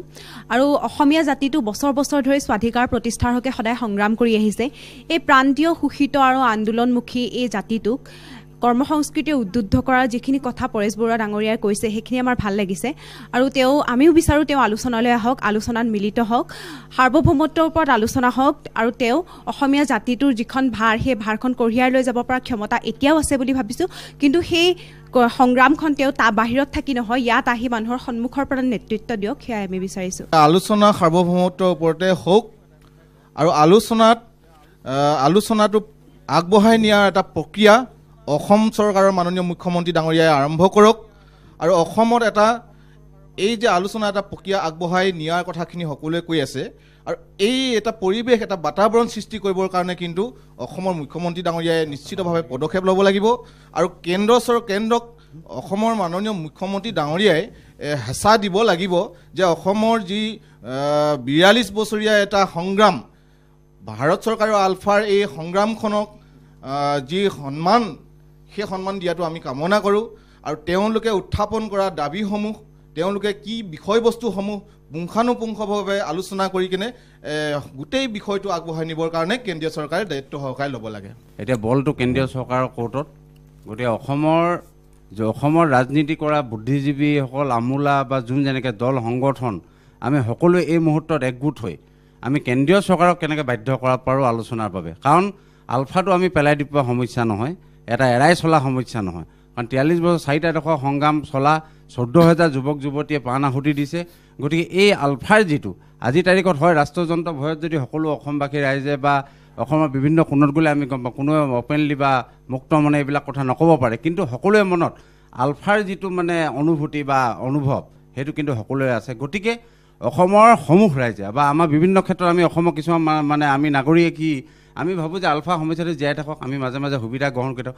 সকলো সেইবিলাক মানসিকতা ত্যাগ কৰি অসমৰ মাননীয় মুখ্যমন্ত্ৰীদেৱক আমি এটা আমি শক্তি প্ৰদান কৰিব লাগে যে আপুনি কেন্দ্ৰত গৈ যিহেতু বল কেন্দ্ৰীয় মানে চৰকাৰৰ কোৰ্টত গতিকে আপুনি কেন্দ্ৰীয় চৰকাৰৰ ওচৰত গৈ আপুনি ফ'ৰ্চফুলি বা আপুনি যেনেকৈ নহওক আমি দাবী একেবাৰে অসমবাসী দাবী হিচাপে লৈ যে আপুনি এই আলফাৰ লগত সাৰ্বভৌমত্ব হওক বা যি হওক এইটো তৈয়াৰ কৰক আপোনালোকে এই বিষয়টোৰ ওপৰত এটা আলোচনা কৰিব লাগে বুলি বাধ্য কৰক। আমি কৃষক মুক্তি সংগ্ৰাম সমিতিয়ে সাৰ্বভৌমত্বৰ ওপৰত আলোচনা হোৱাটো বিচাৰোঁ আৰু কেন্দ্ৰীয় চৰকাৰে সদিচ্ছা প্ৰকাশ কৰি এই যাতে সমস্যাটো সমস্যা হৈ নাথাকে সম্পূৰ্ণভাৱে তাক সমাধান কৰিব লাগে যাতে আলোচনাৰ পিছত কিবা চুক্তি হওক আৰু সেই চুক্তিৰ পিছত পুনৰ আকৌ আলফাৰ জন্ম হ'ব নালাগে। যুক্তৰাষ্ট্ৰীয় ব্যৱস্থাৰে পৰিচালিত এখন স্বাধীন সাৰ্বভৌম ৰাষ্ট্ৰত আমি ভাবোঁ যে সাৰ্বভৌমত্বৰ ওপৰত আলোচনা কৰাত অসুবিধা থাকিব নালাগে। আৰু সেইকাৰণে মই ভাবোঁ যে এই দিশটোত অধিক জনমত গঠন কৰাৰ প্ৰয়োজনীয়তা আছে অধিক চিন্তন মন্থনৰ প্ৰয়োজনীয়তা আছে আৰু মই ভাবোঁ আটাইতকৈ বেছি বৌদ্ধিক বৌদ্ধিক স্তৰত কিছু কাম কৰাৰ প্ৰয়োজনীয়তা আছে। গতিকে আহিবলগীয়া সময়ত এটা মৰ্যাদাপূৰ্ণ এটা যাতে আলোচনা হয় আৰু এই যিটো ইতিহাস যিহেতু এই বিষয়টোৰ লগত জড়িত আছে ঐতিহাসিক এটা সত্যতা তাৰ লগত আছে এই বিষয়টোক মানুহৰ মাজলৈ লৈ সন্ধানলিৰ ওপৰত লৈ যাবৰ কাৰণে আহিবলগীয়া সময়ত জাতীয় দল সংগঠন বৌদ্ধিক সমাজে কেনেধৰণে মানুহৰ মাজলৈ এই বিষয়টো কঢ়িয়াই লৈ যাব পাৰি মই ভাবোঁ সেই সন্দৰ্ভত এটা স্পষ্ট ৰূপৰেখা এটা নিৰ্দেশনা যদি তৈয়াৰ হয় এই এই বিষয়টোৱে অধিক ত্বৰান্বিত ৰূপত গতি লাভ কৰিব। এটা শব্দৰ কাৰণে যিটো শব্দ হৈছে এতিয়া সৰ্বভৌমত্ব সেই এটা শব্দই কেতিয়াও কোনো আলোচনা স্তব্ধ কৰিব নোৱাৰে।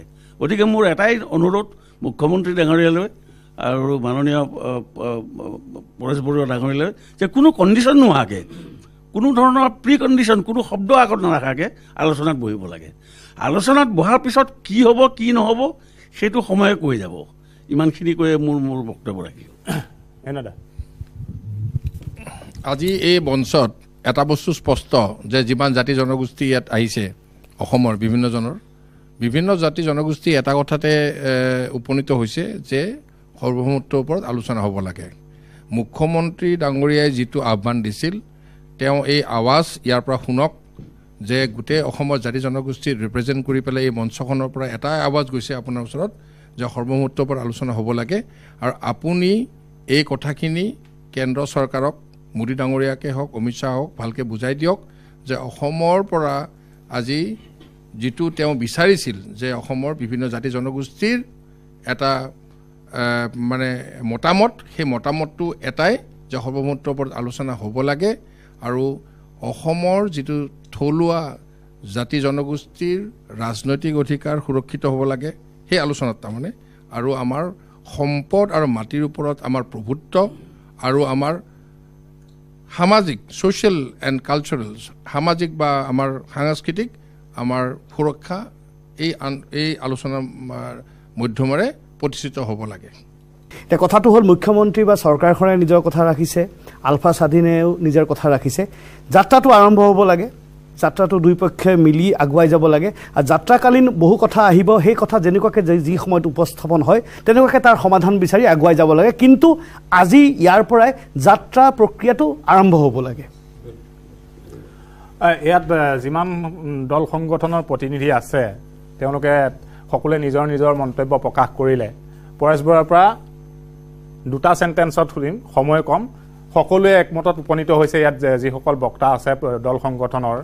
সকলোৱে কৈছে যে আলোচনা হ'ব লাগে বিষয় যিয়েই নহওক সাৰ্বভৌমত্ব বিষয়টোত হেঙাৰ হ'ব নালাগে। এই বাৰ্তাটো এই মঞ্চৰ পৰা গৈছে। আপোনাৰ পৰা দুটা চেণ্টেন্সত শুনিব বিচাৰিম। আপোনাৰ বিশেষকৈ নিউজ এইটিনৰ আজি দ্বাৰা মানে পৰিচালিত যি বিষয় বিষয়ভিত্তিক আলোচনা মঞ্চত উপস্থিত আমাৰ সকলো নেতাই বুদ্ধিজীৱী মই বক্তব্য শুনিলো সকলোৱে গঠনমূলক আৰু এই ধৰণে আৰু কিছু যদি মানে আলোচনা সৃষ্টি বা আলোচনা হয় বিভিন্ন আমাৰ মিডিয়া ইলেক্ট্ৰনিক মিডিয়াই হওক বা অন্যান্য মিডিয়াই যদি এই ধৰণৰ গঠনমূলক আলোচনাবিলাক কৰা কৰে বা ইয়াৰ পৰৱৰ্তীত এই তেখেতসকলৰ যিসকল ব্যক্তি আজি উপস্থিত আছে বা পৰৱৰ্তী থাকিব সেইসকলৰ মতামতবিলাক আমাৰ অসম চৰকাৰৰ যিসকল ৰাজনৈতিক নেতা বিশেষকৈ মুখ্যমন্ত্ৰী নিশ্চয় শুনিব। আৰু তেখেতে যদি কথাবিলাক হৃদয়ংগম কৰে নিশ্চয় এটা ভৱিষ্যতলৈ এই যিটো পদক্ষেপ লোৱা হৈছে এই পদক্ষেপটো এটা সুফল পোৱা যায় বুলি মই আশাবাদী। আৰু যিহেতু নেকি এইটো সাৰ্বভৌম স্বাধীন অসমৰ বিষয়টো এইটো কোনো ধৰণৰ হেঙাৰ নহয়। আমি আগতেও কৈছো গণতন্ত্ৰত কোনোদিন হেঙাৰ হোৱা নাই। আৰু ইয়াৰ ইতিমধ্যে বিভিন্ন ৰাষ্ট্ৰই ইয়াক প্ৰতিষ্ঠিত কৰিছে। এই কথাটো আমাৰ মুখ্যমন্ত্ৰীগৰাকীয়ে বুজি লৈ যদি দিল্লীত উপনিবেশিক এ, ৰাষ্ট্ৰক যদি বুজাব পাৰে তেতিয়া নিশ্চয় আমি আমাৰ আজি যিটো গঠনমূলক আলোচনা বিভিন্ন আজিয়ে নহয় ধাৰাবাহিকভাৱে চলি আহিছে ধাৰাবাহিকভাৱে আৰু চলিব তেতিয়াহ'লে কিন্তু আমি সকলো আশা কৰিব পাৰিম যে ভাৰতীয় সকলো এটা ভাৰতীয়সকললৈ এটা মেছেজ গৈছে ভাৰত ৰাষ্ট্ৰলৈ এটা মেছেজ গৈছে। এই মেছেজবিলাক নিশ্চয় তেখেতসকলে কিছু হ'লেও পঢ়ি বা জানি আমাৰ যিটো এটা জাতি এটা বৃহৎ জাতি যি জাতিৰ বিভিন্ন জাতি জনগোষ্ঠীৰ দ্বাৰা গঠিত এই জাতিৰ ঐতিহ্যক সন্মান দিব এই জাতিৰ বুৰঞ্জীক সন্মান দি আলোচনাৰ পথ মুকলি কৰিব বুলি মই ভাবোঁ। আজি ইতিবাচক সমাপ্তি ঘটিছে এই অনুষ্ঠানৰ জৰিয়তে। চৰকাৰলৈ এটা মেছেজ গৈছে। পৰেশ বৰুৱা ডাঙৰীয়াই আলফা স্বাধীনৰ হৈ তেওঁৰ বক্তব্য প্ৰদান কৰিলে আৰু যিসমূহ দল সংগঠনৰ প্ৰতিনিধিয়ে ইয়াত অংশগ্ৰহণ কৰিল তেওঁলোকৰ নিজৰ নিজৰ মন্তব্য দিলে যে আলোচনা হ'ব লাগে বিষয়ে কোনো হেঙাৰ হ'ব নোৱাৰে সাৰ্বভৌমত্ব হেঙাৰ হ'ব নোৱাৰে। সেইটো এটা ইং- স্পষ্টকৈ উল্লেখ কৰিছে তেওঁলোকে আৰু সেই বাৰ্তা অসম চৰকাৰ বা ভাৰত চৰকাৰলৈ যাব তেওঁলোকৰ ওপৰত এতিয়া বলটো গৈছে। সকলোলৈকে ইয়াত অংশগ্ৰহণ কৰা সকলোলৈকে ধন্যবাদ জ্ঞাপন কৰি আজিৰ এই অনুষ্ঠানৰ পৰা বিদায় লৈছোঁ। নিউজ এইটিনৰ বিশেষ অনুষ্ঠানলৈ আপোনালোক সকলোকে স্বাগতম জনাইছোঁ। আজি এক বিশেষ কাৰ্যসূচী লৈ পেলাই আপোনালোকৰ ওচৰলৈকে আহিছোঁ। আৰু অসমৰ বহুকেইটা দল সংগঠনৰ জ্যেষ্ঠ প্ৰতিনিধিবৰ্গ আছে। বিশিষ্ট বুদ্ধিজীৱীসকল আছে আৰু অগ্ৰণী লোকসকল আছে। আমাৰ মুখ্য টাৰ্গেটটোৱেই হ'ল যে পৰেশ বৰুৱা নেতৃত্বাধীন আলফা স্বাধীনৰ সৈতে ভাৰত চৰকাৰ অসম চৰকাৰ আলোচনাৰ যি দুমোজা সাৰ্বভৌম স্বাধীন অসমৰ সেই দাবী সেই বিষয়টোলৈ ওলমি ৰৈছে। আৰু এই চাৰি দশকজোৰা এই সংগ্ৰাম কেনেদৰে সমস্যা সমাধান হ'ব এই বিষয় লৈ পেলাই মুখ্যমন্ত্ৰীয়েও কেতবোৰ কথা মন্তব্য বিগত সময়ছোৱাত কৰি আহিছে। নতুন বছৰটোৰ পহিলা জানুৱাৰী তাৰিখতেও তেওঁ উল্লেখ কৰিছিল দল সংগঠন আৰু ৰাইজৰ মতামতৰ কথা। এই গোটেই বিষয়খিনি লৈ আমি আজি আলোচনা কৰিম। আমাৰ সৈতে পোনপটীয়াকৈ আছে আলফা স্বাধীনৰ সৰ্বাধিনায়ক অধ্যক্ষ পৰেশ বৰুৱা ডাঙৰীয়া। আপোনাক স্বাগতম জনাইছোঁ এই অনুষ্ঠানলৈকে। আৰু আমাৰ সৈতে আজি এই অনুষ্ঠানত উপস্থিত আছে আহ, হিৰণ্য শইকীয়া ডাঙৰীয়া প্ৰণৱ পাঠক ডাঙৰীয়া নেকিবুৰ জামান ডাঙৰীয়া আৰু বহু দল সংগঠনৰ জ্যেষ্ঠ বিষয়ববীয়াসকল। প্ৰথমতে এই গোটেই আলোচনাটো আৰম্ভ কৰাৰ আগতে আমি মুখ্যমন্ত্ৰীয়ে এক জানুৱাৰী তাৰিখে কি আহ্বান জনাইছিল পৰেশ বৰুৱা আৰু অসমৰ ৰাইজ ৰাইজলৈ দল সংগঠনলৈ সেইটো আমি দেখাই ল'ব বিচাৰিছোঁ। সমস্যাটো এইটোৱে যে পৰেশ বৰুৱা ডাঙৰীয়াই স্বাধীনতাৰ বাদে আন কথা তেওঁ পাতিব নোখোজে। আৰু আমি স্বাধীনতা পাতিব নোৱাৰো। কাৰণ মই এইটো শপতে লৈছো যে I will protect integrity of India I will protect sovereignty of India. তেওঁ শপত লৈছে যে মই স্বাধীনতাক বাদ দি আন একো নাপাতো। সেইকাৰণে সৌহাৰ্দ্য হ'ব পাৰে আলাপ আলোচনাৰ দুৱাৰো খোলা থাকে কিন্তু সমাধান কৰাৰ বাবে কোনোবা এটা পক্ষ পিছুৱাই আহিব লাগিব। এতিয়া আমিতো পিছুৱাই আহিব নোৱাৰো কাৰণ পিছুৱাই অহাৰ দিনাখনেই মোৰ ওঠটোৱে ভাঙি গ'ল। I cannot remain as a C M আৰু তেওঁ কয় যে মইতো নোৱাৰো দহ হাজাৰ ল'ৰা মোৰ কাৰণে মৰি গ'ল মই এতিয়া কেনেকে এইটোত কনচিলেশ্যন কৰিম? কথা পতা যায়। তেওঁ কয় যে মই কি কৰিম? ইমান মানুহ মোৰ কাৰণে মৰি গ'ল। আজি এই বয়সত মই এতিয়া কেনেকে ইয়াৰ পৰা আঁতৰি আহিব পাৰিম? এতিয়া ময়ো কওঁ যে মইতো শপতে লৈছো ভাৰতৰ সাৰ্বভৌমত্ব অক্ষুণ্ণ ৰাখিম। গতিকে সেইটোলৈ মই কেনেকে কথা পাতিম? গতিকে these two are irreconcilable difference এইটো এটা মীমাংসা নোহোৱা এটা বিষয়। এতিয়া ইয়াত ডিপেণ্ড কৰিব যে অসমৰ জনসাধাৰণৰ মৰেল প্ৰেচাৰ যে আমাক স্বাধীনতা নালাগে। সেই ধৰণৰ যদি পৰেশ বৰুৱা ডাঙৰীয়া কোনোবা এটা বিশ্বাস দিব পাৰে যে স্বাধীনতাৰ দাবীটো আপুনি এৰিলেও অসমৰ মানুহে আপোনাক বিশ্বাসঘাতক বুলি নকয় কাৰণ আমি নিজেই নিবিচাৰোঁ স্বাধীনতা। ডেফিনেটলি তেওঁৰ মাইণ্ডটোত পৰিৱৰ্তন হ'ব পাৰে কাৰণ তেওঁ য'ত আছে তাৰ পৰা সদায় তেওঁ তেনেকেই ভাবে যে মই যদি ইণ্ডিপেণ্ডেঞ্চ ডিমাণ্ডটো এৰি দিওঁ history will consider me as a betrayer পহিলা জানুৱাৰী তাৰিখে মুখ্যমন্ত্ৰীয়ে কইনাধৰাত এনেদৰে দাবী কৰিছিল এনেদৰে আহ্বান কৰিছিল। তাৰ দুদিন পাছত অৰ্থাৎ তিনি জানুৱাৰী তাৰিখে আন এটা মন্তব্য কৰিছিল একে বিষয় লৈ পেলাই আমি শুনাই ল'ব বিচাৰিছোঁ। পৰেশ বৰুৱা ডাঙৰীয়াক কোনো চৰ্ত এৰিব অনুৰোধ মই নকৰোঁ কাৰণ সেইটো তেওঁলোকৰ সংগঠনৰ বিষয়বস্তু। মই খালি মোৰ কথাটো বুজাই দিছোঁ যে সাৰ্বভৌমত্ব থাকিলে মই আলোচনা কৰিব নোৱাৰোঁ তেওঁলোকক মই চৰ্ত এৰিব কোৱা নাই। ইয়াৰ মাজৰ ৰাস্তা কি হ'ব? এইটো অসমবাসী ৰাইজে নিশ্চয় ইয়াৰ বিষয়ে চৰকাৰকো গাইডেঞ্চ দিব লাগিব আলফাকো গাইডেঞ্চ দিব লাগিব। যাতে দুইটা যি আমি ডেডলকত আছোঁ সেই ডেডলকৰ পৰা যাতে ওলাই যাব পাৰোঁ। কাৰণ সকলোৰে উদ্দেশ্য অসমৰ সামগ্ৰিক উন্নয়ন আৰু বিকাশ। এতিয়া মুখ্যমন্ত্ৰীৰ দুটা বক্তব্য আমি শুনিলোঁ। প্ৰথমতে পৰেশ বৰুৱা ডাঙৰীয়া পোনপটীয়াকৈ আছে আমাৰ সৈতে লাইভত। জ্যেষ্ঠ হিচাপে অসম আৰু মিজোৰামৰ আপুনি এডভোকেট জেনেৰেল আছিল দুখন ষ্টেট একে সময়তে। আপোনাৰ পৰা প্ৰণৱ পাঠক ডাঙৰীয়া আপোনাৰ পৰা মন্তব্য জানিব বিচাৰিম যে আপুনি কি বিচাৰে পৰেশ বৰুৱা কি ক'ব বিচাৰে আচলতে কেনেদৰে গোটেই সমস্যাটো সমাধান হোৱাটো আপুনি কাম্য মই যি শুনিলোঁ এই অলপ আগতে আমাৰ অসমৰ মুখ্যমন্ত্ৰী ডাঙৰীয়াৰ দুটা ভাষণৰ যি ক্লিপ শুনিলোঁ ইয়াৰ পৰা তেওঁ এটা কথা কৈছে অৱশ্যে মোৰ ভুল হ'ব পাৰে। তেওঁ কৈছে যে মূল বাধা আছে। এতিয়া আলোচনাটোতো অসম চৰকাৰৰ লগত হোৱাৰ কথা বুলি মই নাভাবোঁ। এইটো এটা ভাৰত চৰকাৰৰ লগত হোৱা আলোচনাৰ কথা। গতিকে ভাৰত চৰকাৰৰ কি মন্তব্য এই বিষয়ে? লৈ? তেওঁতো নিজৰ কথা কৈছে যে আৰু দ্বিতীয়বাৰ তেওঁ ক'লে যে বৰুৱা ডাঙৰীয়াক মই কেতিয়াও স্বত্ব কোনো আৰোপ নকৰোঁ। মূল কথা হ'ল কি পৃথিৱীত এনেকুৱা এটা কোনো ধৰণৰ প্ৰব্লেম থাকিব নোৱাৰে যাৰ কোনো চলিউশ্যন নাই। আলো- আলোচনাৰ মানে যে কিবা এটা প্ৰি কণ্ডিশ্যন থাকিব লাগিব তেনেকুৱাও কোনো কথা নাই। সদিচ্ছা থাকিলে সকলোৱে আলোচনাত বহিব পাৰে সকলো ধৰণৰ কথা পাতিব পাৰে। স্বাধীনতা কিয় লাগে? আপুনি কিয় বিচাৰিছে? তেওঁলোকে উত্তৰ দিব যে আমি এইকাৰণে নোৱাৰোঁ। আপুনি ক'ব যে মোৰ যুক্তি এইটো। তেওঁলোকে ক'ব আমাৰ যুক্তি। এই ধৰণৰ কথা আলোচনা কৰাত কোনোতো বাধা থাকিব নোৱাৰে। আৰু আপুনি কেতিয়াও বাধাও দিয়া নাই। আৰু এটা অংশটো আলোচনাত বহিছে তেওঁলোকে কি ধৰণে আলোচনা কৰি আছে কি কৰা নাই সেইটো আপোনাৰ আপুনি অলপ অৱগত আছে আমি সিমানকৈ নাজানো কি লেভেলত কথাটো হৈ আছে। কিন্তু আৰু অন্য কথাটো বাদেই যি এন এছ চিনৰ লগত আলোচনা কৰা প্ৰায় পঞ্চাছ বছৰৰ ওপৰে হ'ব যেন পাইছোঁ। এতিয়ালৈকেতো কোনো সমাধান ভাৰত চৰকাৰে কৰিব বিচৰা নাই।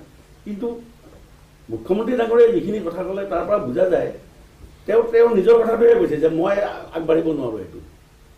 ভাৰত চৰকাৰে কৈছে নাই যে আমি আগবাঢ়িব পাৰিম নে নোৱাৰিম? হয় নেকিব নেকিবুজামান আছে। আজি অসমত প্ৰতিজন মানুহে এটা সৌহাৰ্যপূৰ্ণ পৰিৱেশত এক আলোচনা সকলোৱে বিচাৰিছে শান্তিপূৰ্ণভাৱে। আৰু আমি বিগত বিয়াল্লিছটা বছৰ খুব ওচৰৰ পৰা আলফা আজিৰ বৰ্তমান দিনত স্বাধীন আলফাৰ সংগ্ৰামখন আমি বহু ওচৰৰ পৰা দেখিছোঁ। প্ৰায় পোন্ধৰ হাজাৰ ডেকা পাহুৱাল ডেকাৰ নিজৰ মানে জীৱন ত্যাগ কৰিছে গাঁও ভূঁই নিশেষ কৰি পেলোৱা হৈছে। আৰু তাৰপিছত পৰেশ বৰুৱাই যে আলোচনাৰ পক্ষপাতি আমি যেতিয়া পি চি জি গঠন কৰিলে সেই পি চি জি গঠন কৰাৰ পিছত আমি ভাবিছিলোঁ যে পৰেশ বৰুৱা যিহেতু আলোচনাৰ পক্ষপাতি গতিকে আমি বিশ্বাস এটা কৰিছিলোঁ অসমত এটা শান্তিপূৰ্ণ পৰিৱেশ গঢ়ি উঠিব। কিন্তু তেওঁ যেতিয়া পি চি জি টীম দিল্লীলৈ যায় সেই মুহূৰ্তত পাঁচজন ছয়জনকৈ মানুহ মাৰি পেলায়। এই মুহূৰ্তে পাঁচজন ছয়জন সামৰিক বাহিনীৰ হাততে হওক পুলিচ বাহিনীৰ হাততে হওক প্ৰতিটো আলোচনাৰ সময়ত আমি দেখিছোঁ যে প্ৰকৃততে যিবিলাক ব্যুৰোক্ৰেট যিবিলাক বিষয়া পৰ্যায়ত এই আলোচনা কোনেও নিবিচাৰে। আৰু যাৰ কাৰণে এনেধৰণৰ হত্যাবিলাক কৰি থকা আমি দেখিবলৈ পাইছোঁ। আৰু তাৰপিছত যেতিয়া দিল্লীত প্ৰধানমন্ত্ৰী যেতিয়া মনমোহন সিং আছিল তেওঁৱে কৈছিল সকলো বিষয়বস্তুৰ ওপৰত আলোচনা হ'ব পাৰে প্ৰয়োজন হ'লে তৃতীয় ৰাষ্ট্ৰতো এই আলোচনা হ'ব পাৰে। আজিৰ দিনত অসমৰ মুখ্যমন্ত্ৰীৰ এক্টিয়াৰৰ কথা আহিছে হয় আমাৰ শ্ৰদ্ধা প্ৰণৱ পাঠক দাই কথাখিনি স্পষ্টভাৱে কৈছে। যদি সেই এক্টিয়াৰটো কেন্দ্ৰীয় চৰকাৰৰ পৰা অসমত মুখ্যমন্ত্ৰী হাতলৈ আহিছে আৰু তেওঁৰো এটা দায়িত্ব আছে প্ৰপ'জেল দিয়াৰ যে তেওঁৰ বক্তব্যটো যে তেওঁ সাৰ্বভৌমত্বৰ ওপৰত তেওঁ বক্তব্য ৰাখিব আলোচনা কৰিব নোৱাৰে ব্যক্তিগত লেভেলত। কিন্তু আমি বিচাৰিছোঁ যে আলোচনাৰ প্ৰক্ৰিয়াটো আৰম্ভ হওক। সেই আলোচনাই যে কালিয়ে একটা স্বাধীন হৈ যাব অসম বা উত্তৰ পূৰ্বাঞ্চল সেই প্ৰশ্নটোৰ সলনি আমাৰ সাৰ্বভৌমত্ব যদি অৰ্থনৈতিক সাৰ্বভৌমত্ব ৰাজনৈতিক সাৰ্বভৌমত্ব সাংবিধানিক আমাৰ ৰক্ষা কৱচ যদি হয় অসমীয়া জাতিটো দৈনন্দিনভাৱে ই নিশেষ হৈ গৈ আছে অসমীয়া ভাষা সংস্কৃতি সাহিত্য নিশেষ হৈ গৈ আছে আৰু আমাৰ পোন্ধৰ হাজাৰ যি বাহুৱাল ডেকাৰ ইতিমধ্যে মৃত্যু ঘটিছে আমাৰ ভৱিষ্যতৰ পোন্ধৰ লাখ পোন্ধৰ হাজাৰ পোন্ধৰ লাখ মানুহ কমি গৈছে আৰু অসমীয়া জাতি লাহে লাহে সংখ্যালঘুলৈ ই নিম্নগামী হৈছে। গতিকে আজিৰ দিনত আমি আশা কৰিম মানুহৰ খুব অত্যন্ত বিশ্বাস আছে পৰাজ বৰুৱাৰ ওপৰত। তেখেতে অন্ততঃ কোনটো দিশেৰে আলোচনা কৰিলে জাতিটো ৰক্ষা পৰে আমি সাংবিধানিক ৰক্ষা কৱচ পাওঁ আমি স্বাধীনতা বাক আমাৰ বাক স্বাধীনতাৰ লগে লগে আমাৰ যাতে অৰ্থনৈতিক সামাজিক ৰাজনৈতিক আমি স্বাধীনতা পাওঁ এই বিষয়বস্তুৰ ওপৰত আলোচনাৰ প্ৰক্ৰিয়াটো আৰম্ভ কৰিলে কেন্দ্ৰীয় চৰকাৰ আৰু আলফাৰ মাজত পোনপটীয়াভাৱে মই ভাবোঁ এটা সুফল হয়তো আগন্তুক আমি দেখিবলৈ পাম। হয় পৰেশ বৰুৱা ডাঙৰীয়াৰ পৰা এটা প্ৰতিক্ৰিয়া প্ৰথম প্ৰতিক্ৰিয়াটো জানিব বিচাৰিম। যি বা বিশেষকৈ অসম ভাৰত সংঘাত উৰ পেলাবৰ কাৰণে যি অনুষ্ঠান আৰম্ভ কৰা হৈছে প্ৰথমে মই ধন্যবাদ জনাইছোঁ। লগতে উপস্থিত আমাৰ যিসকল সমাজৰ গণ্যমান্য ব্যক্তি বিশেষকৈ বুদ্ধিজীৱী সাংবাদিক আৰু বিভিন্ন দল সংগঠনৰ নেতাসকললৈ মই আন্তৰিক বৈপ্লৱিক অভিনন্দন জনাই বিশেষকৈ আমাৰ প্ৰণৱ পাঠক ডাঙৰীয়াই যি প্ৰথম বক্তব্য ৰাখিছিলে বিশেষকৈ অসম ভাৰত সংঘাতৰ উৰ পেলাবৰ কাৰণে বা পেলোৱাৰ পেলোৱাৰ ৰাস্তাত যি তেখেতৰ মতামত আগবঢ়াইছে বহুমূলীয়া সেই মতামতৰ ওপৰতে মই দুই এটা ক'বলৈ ওলাইছোঁ। প্ৰথম কথাটো হ'ল আপোনালোকে নিশ্চয় শুনিছে অসমৰ বিভিন্ন বিভিন্ন চেনেলত অসমৰ মুখ্যমন্ত্ৰীগৰাকীয়ে এক জানুৱাৰী আৰু তিনি জানুৱাৰী তেখেতৰ যি বক্তব্য ৰাখিছিলে বিশেষকৈ অসম ভাৰত সংঘাতৰ কাৰণে যি আলোচনা যে প্ৰয়োজন আছে সেই বিষয়ত তেখেতে প্ৰকাশ নিজৰ দুৰ্বলতা কথাখিনি অৱশ্যে কৈছে।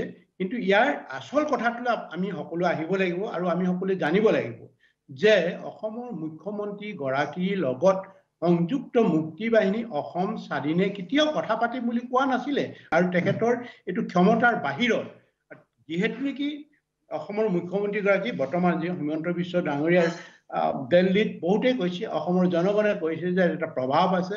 আৰু সেই পৰিপ্ৰেক্ষিত আৰু তেখেতে নিজেও আগবাঢ়ি আহিছে যে এই সংঘাতটো মোক এটা সুযোগ দিব লাগে। আমাকো কৈছিলে যে আমাক মোক এটা সুযোগ দিব লাগে। এ, আলোচনাৰ পাতনি মেলিব পৰা মই দুৱাৰ মোকালিব পাৰোঁ নেকি? আৰু সেই কথাটো তেখেতে বাৰে বাৰে কৰিছিলে বা এতিয়াও কৈ আছে আৰু তাৰ পৰিপ্ৰেক্ষিতত আমি কৈছিলোঁ আপুনি আমি এটা ইংলিছৰ এটা শব্দ ব্যৱহাৰ কেটেলিষ্ট আৰু সেই শব্দটো আপোনালোকক মই অসমীয়ালৈ আকৌ বিশ্লেষণ কৰি মই ধৃষ্টতা দেখাব যোৱা নাই সকলোৱে শব্দটো জানে। হা শব্দটো জনাৰ কাৰণে আৰু এই জনগণৰ এই কেটলিষ্ট কোনোবাই সুধিলে আপোনালোকে তাৰ ব্যাখ্যাটো দি দিব? সেইকাৰণে আমি কৈছোঁ তেখেতক নামাকৰণ কৰিছোঁ কেটলিষ্ট কৈ কেটলিষ্ট শব্দটো ব্যৱহাৰ কৰিছিলোঁ আৰু তেখেতে এইটো একচেপ্ট কৰি লৈছিলে।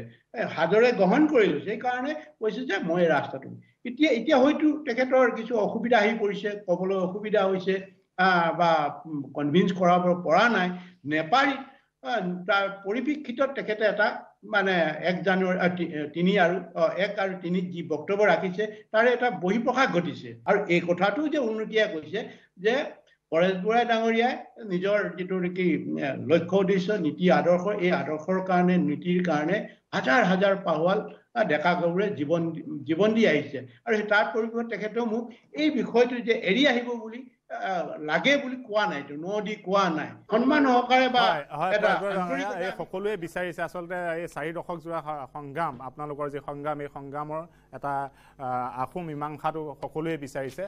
আছুৰ প্ৰতিনিধি আছে সভাপতি উৎপল শৰ্মা। আপোনাৰ পৰা আলোচনাৰ মজিয়াত এই সমস্যাটোৰ সমাধান হোৱাৰ পোষকতা সদৌ অসম ছাত্ৰ সন্থাই অতীজৰে পৰা কৰি আহিছে। অসমত স্থায়ী শান্তিৰ পোষকতা আমি কৰি আহিছোঁ। আৰু শেহতীয়াকৈ খুব ইতিবাচক কথা যে উভয় পক্ষৰ পৰা আলোচনাৰ কাৰণে সদিচ্ছা দেখুওৱা গৈছে।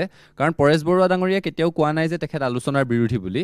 তেখেতে সদায় আলোচনাৰ মাজেৰে সমস্যাটোৰ মীমাংসাৰ কথাটো সদায় তেখেতে কৈ আহিছে।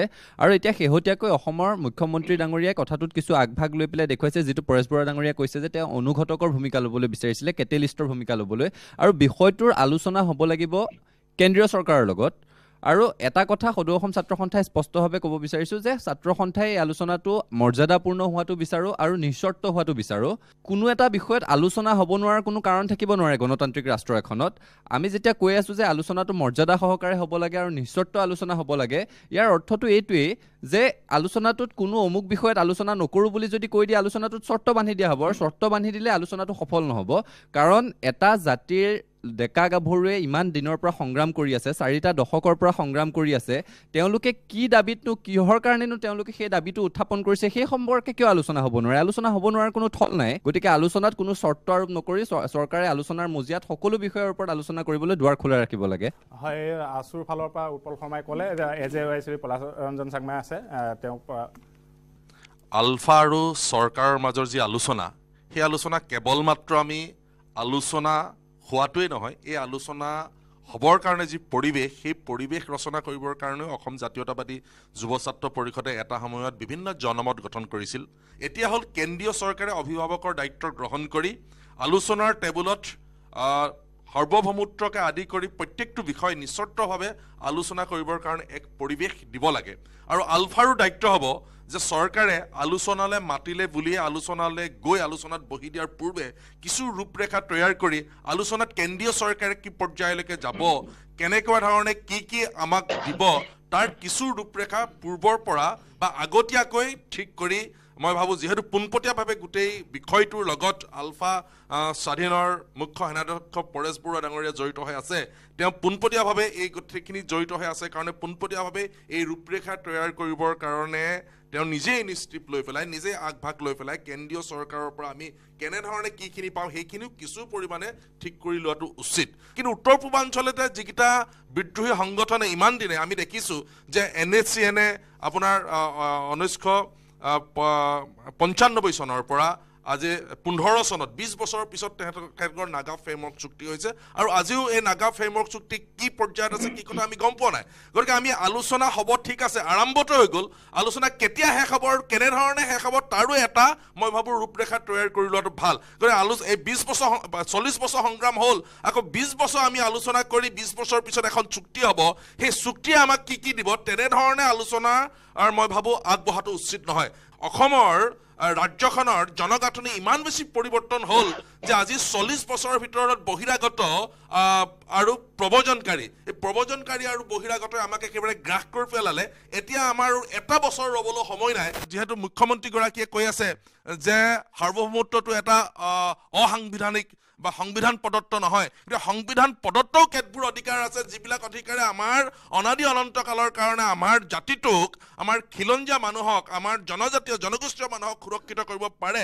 তেনেধৰণৰ যিবিলাক বিষয়ৰ জৰিয়তেও আমি এই যি আলফা চৰকাৰৰ আলোচনাৰ ৰাজনৈতিক পৰিসমাপ্তি ঘটাব পাৰোঁ নেকি তেনেধৰণেও ভাবিবৰ কাৰণেও মই আলফা সেনাধ্যক্ষ পৰেশ বৰুৱা ডাঙৰীয়াক আহ্বান জনাইছোঁ।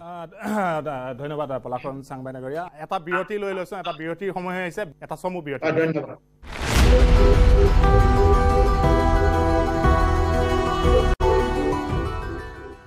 বিৰতিৰ পিছত পুনৰ আহিছোঁ উভতি মূল অনুষ্ঠানলৈকে। বহু আছুৰ আৰু as a as a Y C পিৰ ফালৰ পৰা তেওঁলোকৰ মন্তব্যখিনি দিলে। এতিয়া পোনপটীয়াকৈ পৰেশ বৰুৱা ডাঙৰীয়া আপোনাৰ প্ৰতিক্ৰিয়াখিনি জানিব বিচাৰিছোঁ। ভূ ৰাজনীতিৰ অধিকাৰ। ভূ ৰাজনীতিৰ অধিকাৰটো কোনো ধৰণৰ সমস্যা নহয়। এই ভূ ৰাজনীতিটো আমাৰ প্ৰাপ্য আৰু প্ৰাপ্যৰ কাৰণে আমি মানে এইটো ৰাজনৈতিকভাৱে আমাৰ যুদ্ধ চলাই আছো। ৰাজনৈতিকভাৱে এখন যুদ্ধ ৰাজনৈতিক যুদ্ধ। এইখন সহস্ৰ বিপ্লৱ হলেও এইখন প্ৰকৃততে ৰাজনৈতিক যুদ্ধ। আৰু এই যুদ্ধৰ উৰ পেলাবলৈ হলে আৰু আমাৰ যিটো লক্ষ্যত উপনীত হবলৈ হলে আমি এই বিষয়টো আলোচনা কৰিবই লাগিব। ইয়াৰ ইয়াৰ ইয়াৰ বিকল্প নাই। আৰু আলোচনা কৰিব নোৱাৰা পৃথিৱীত নাইতো সুস্থ গণতন্ত্ৰ য'ত মানে ব্ৰতি আছে সেইসকলক এই ধৰণে মিলিটাৰী মিলিটাৰী মাইকটো দি দমন কৰিবলৈ বিচৰা নাই। আৰু এই কথাবিলাক আমি যদি জানো তেতিয়াহ'লে কিন্তু জানো মানে সকলোৱে জানো কিন্তু ক'বলৈ অলপ সাহস কৰিছে। আৰু যদি আমি আমাৰ পলিটিকেল ডাইলেক্টটো এই বিষয়ত ডাইলেক্ট কেনেকৈ আমি মানে সম্পদ সম্পদৰ কথা ক'ব পাৰোঁ? কেনেকৈ আমাৰ হেৰি ইণ্ডিয়ান ফ্ৰেমৱৰ্কত নাই এইটো কনষ্টিটিউশ্যনত নাই এইবিলাক কথা। যে এই এনেকৈ এখন ৰাজ্যক হেৰি দিব লাগে। কি কয়? বা সিহঁতৰ সম্পদৰ অধিকাৰ দিব লাগে আমুক অধিকাৰ দিব লাগে। এইটোতো এইটো লিখ- এনেকুৱা ধৰণৰ কনষ্টিটিউশ্যন বনাই থৈছে তাততো আমি কেনেকৈ কথা পাতিম তাত? মানে প্ৰথমে সেইকাৰণেতো এইটো আমাক মুখনি মাৰি দিল যে এইটো সাৰ্বভৌম স্বাধীন অসমৰ ওপৰত কথা পাতিব নোৱাৰো বুলি কয়। তেতিয়াহ'লে অইনটো কি ক'ব? আমাৰ পেকেজিঙৰ ওপৰত আহিব ইকনমি পেকেজ কিবা পেকেজ এইটো চিৰকালৰ কাৰণে এইটো সমস্যা সমাধান নহয়তো। আৰু হিষ্টৰিকেল ৰাইটটো আমি কিয় এৰিম হিষ্টৰিকেল ৰাইটটো এৰাৰ কি মানে আমাৰ যুক্তি আছে কিয় এৰিম আমি? আমাৰ বুৰঞ্জীখন এতিয়া ইয়াণ্ডাবুৰ পেকখন শেষ হৈ যোৱা নাই। ইয়াণ্ডাবুৰ পেক হৈ যোৱা নাই অন্যান্য আমাৰ যিবিলাক মহাত্মা গান্ধীয়ে লিপিবদ্ধভাৱে এইটো ৰেকৰ্ডেড হৈ আছে বিভিন্ন কিতাপে আদি কৰি এতিয়াও আছে জৱাহৰলাল নেহৰুৱে কি কৰিছে কি কৰি এই এই যে আমাৰ ভূখণ্ডটো এই ভূখণ্ডটো যে স্বাধীন আছিলো এই স্বাধীন যেতিয়া দেশখনক ভাৰতে ভাৰত বোলা নামটোৱে কেতিয়াও ভাৰত নামৰ এখন দেশ নাছিল তাত সেই দেশে আমাক কেতিয়াও পৰাভূত কৰিব পৰা নাছিলে। আমি আজি ভূমিপুত্ৰ কোনোদিনে এনমাছ হোৱা নাই বিতাড়িত হোৱা নাছিলো। এইবিলাক আমি জানো। আৰু সিহঁতি অকল বিতাড়িত হোৱাবিলাকে ইমূৰৰ পৰা সিমূৰলৈ বিতাড়িত হৈ আছে। সেই বিতাড়িত সকল সকলে কিন্তু এইটো ভাৰত ভাৰত নামৰ সেইটো প্ৰতিষ্ঠা কৰিছে। আকৌ বিভাগ এতিয়া আপোনালোকে চাওক দুশ বছৰে হোৱা নাই। ইয়াণ্ডাবুৰখন এতিয়াও ইনভেলিড হোৱা নাই। এতিয়াও সেইটো স্বাধীন হিচাপে আছে। আমি কিয় এইটো কৰা নাই? আমিতো সদায় কোনোদিন ভাৰতৰ হাতত পৰাজিত হোৱা নাছিলো মোগলেও পৰাজিত কৰিব পৰা নাছিলে। আমি কিয় ক'ব নোৱাৰো আমাৰ এইটো যে অধিকাৰ এইটোৰ ওপৰত আলোচনা কৰিবই লাগিব। আলোচনা নকৰিলে কেৱল মাত্ৰ আমাৰ চাব ষ্টেণ্ডাৰ্ড বহুৱাই কেৱল মাত্ৰ যিটো নেকি আছুৱে কৰিছিলে আছুৰ যিটো মানে একে নিশাই চুক্তি কৰি তাৰ পৰৱৰ্তীত কি হ'ল? এইবিলাকৰ আমি কেনেকৈ যাম? প্ৰকৃত ৰাজনৈতিক অধিকাৰৰ ওপৰত আলোচনা হলে গোটেই গোটেই বিষয়টো এইটো নিৰাময় হ'ব। ইয়াত শান্তিৰ কথা নাই। ইয়াত শান্তি বুলি এটা সংঘাত সংঘাতটো মানে এটা সমাধানৰ পথ ওলাব। এটা সংঘাতটো মানে উৰ পেলাবৰ কাৰণে যিখিনি যি যিটো বিষয়ৰ ওপৰত আলোচনা কৰিব সেইটোৰে সেইটো চাপ মানে চাপ চাইড কৰি ৰাখি আমাৰ লগত এটা চাব ষ্টেণ্ডাৰ্ড এখন আলোচনা কৰিবলৈ বিচাৰিছে। আৰু সেইকাৰণে ভাৰতীয় সংবিধান ভাৰতীয় ইয়াৰ সমাধানটো ক'ত? ইয়াৰ সমাধানটো ক'ত? চৰকাৰৰ ফালৰ পৰা বিভিন্ন ধৰণৰ কথা কৈ আছে। আপুনিও আপোনাৰ স্থিতিত অটল হৈ আছে। আহ, হিৰণ্য শইকীয়া ডাঙৰীয়া আছে। হিৰণ্য শইকীয়া ডাঙৰীয়া আপোনাৰ পৰা আপোনাৰ মতামতখিনি। আচলতে সমাধানৰ পথ ক'ত? ভাৰত চৰকাৰে ইতিমধ্যে যিবোৰ ধৰি লওক আলোচনা কৰিলে এতিয়া পলাক চামুও কৈছে যে এন এছ চিৰ লগত আজি দীৰ্ঘদিন ধৰি আলোচনা কৰি পেলাই আজিলৈকে ফ্ৰেমৱৰ্ক কৰি দুহেজাৰ পোন্ধৰ চনত আজিলৈকে এইটো মীমাংসা হোৱা নাই। পৰেশ বৰা ডাঙৰীয়াক তেওঁ এটা আহ্বান জনাইছে যে আলোচনাটো যদি হয় তাৰ আগতে এটা মোটামুটি ফ্ৰেমৱৰ্ক কৰি ল'ব লাগিব। ময়ো বহু মঞ্চত বহুত কথা এই বক্তব্য মই ৰাখিছিলোঁ যে সৰ্বভৌমৰ ওপৰতো আলোচনাটো হ'ব লাগে বুলি তাৰমানে আমি প্ৰথম যেতিয়া পি চি জি হৈ পেলাই গৈছিলোঁ মনমোহন সিঙৰ ৰেচিডেঞ্চত আহ, মুখ আহ, প্ৰধানমন্ত্ৰী তেওঁৰ নিজৰ বাসগৃহত আমি যেতিয়া কথাখিনি উত্থাপন কৰিছিলোঁ আমি এই কথাটোৱে কৈছিলোঁ যে আলফাৰ জন্ম হৈছে সৰ্বভৌম অসম প্ৰতিষ্ঠা কৰাত। তাৰ ইভেন বাজপেয়ীও যেতিয়া এন এছ চিনত আলোচনা আৰম্ভ কৰিছিল পেৰিছত গৈ পেলাই তেওঁ কিন্তু এটা কথা কৈছিল যে সূৰ্যৰ তলত যিকোনো বিষয়ত আলোচনা হ'ব পাৰে। যেনেকৈ পৰিব ডাঙৰীয়া কৈছে এইটো আমাৰ জন্মগত আৰু ঐতিহাসিক হিষ্টৰিকেল আৰু এইটো ৰাষ্ট্ৰসংঘত যিটো মানে খিলঞ্জীয়াৰ যিটো অধিকাৰ নিজক প্ৰতিষ্ঠা কৰাৰ কাৰণে। ৰাইট টু চেল্ফ ডিটাৰমিনেশ্যন সেই একে থিয়ৰিতে তাৰমানে আজি পৰেশ বৰা ডাঙৰীয়াই যিখিনি কথা কৈছে নহয় বা আজি ইমান বছৰ বছৰ আজি তিয়াল্লিছ বছৰ যে সংগ্ৰামত চলি আছে তাত দুটা পটভূমি এটা হ'ল হিষ্টৰিকেল আৰু এটা হ'ল পলিটিকেল যিটো নেকি ৰাষ্ট্ৰসংঘৰ মানে অনুমোদন দিয়া এটা পলিটিকেল পেকেজ বুলি ক'ব লাগিব য'ত খিলঞ্জীয়াখিনিৰ যেতিয়া বিপদ হয় তেতিয়াহ'লে খিলঞ্জীয়া মানুহখিনি সেইখিনি অধিকাৰ থাকে নিজক সাব্যস্ত কৰাৰ কাৰণে স্বাধীনতাৰ কথা কোৱাৰ কাৰণে। তো ইয়াণ্ডাবু চুক্তিৰে অলপ বেমানি কৰি অসমক গ্ৰাস কৰিছিল তেতিয়া ব্ৰিটিছখিনিয়ে কাৰণ চুক্তিখন চহী হৈছিল ব্ৰিটিছ আৰু বাৰ্মিজখিনিৰ মাজত তাকো ইয়াণ্ডাবুত। আৰু সেই হিচাপে অসম মণিপুৰ বা কাছাৰ এণ্ড জয়ন্তীয়া এই চাৰিখন দেশক একচুৱেলি কেপচাৰ কৰিলে তেতিয়া।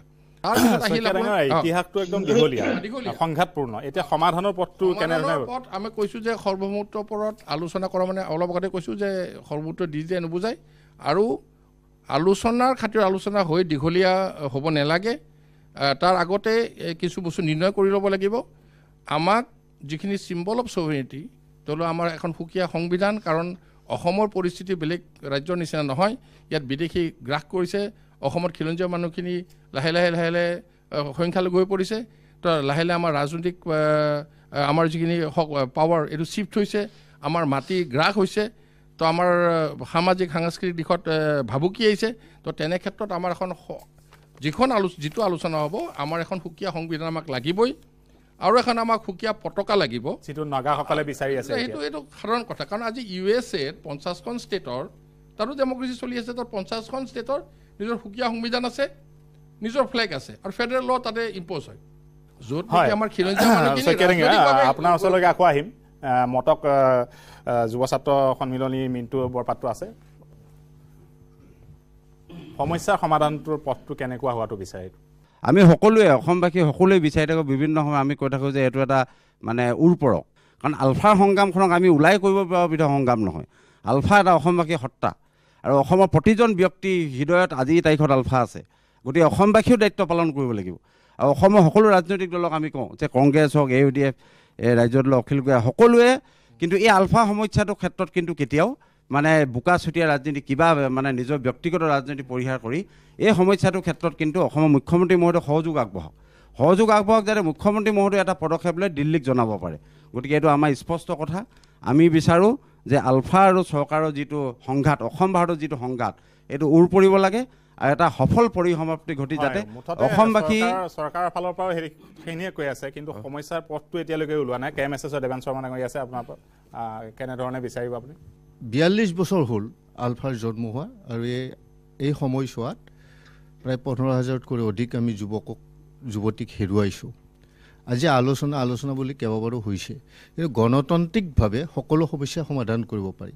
হয় আমি প্ৰত্যেকটো কথায়ে চালি জাৰি চাব লাগিব। যোৱা বিয়াল্লিছ বছৰত কি হ'ল? আমি অসমে কি পাব লাগিছিলে? গণতান্ত্ৰিকভাৱে যিবিলাক বস্তু পাব লাগে আমি বিশেষ এই যি আজি বিশেষ অধিকাৰৰ যি ব্যৱস্থা আছিল সেইটো নাইকিয়া হৈ গ'ল। আমাৰ ছয় জনগোষ্ঠীক জনজাতিকৰণৰ ব্যৱস্থা কৰিব লাগে।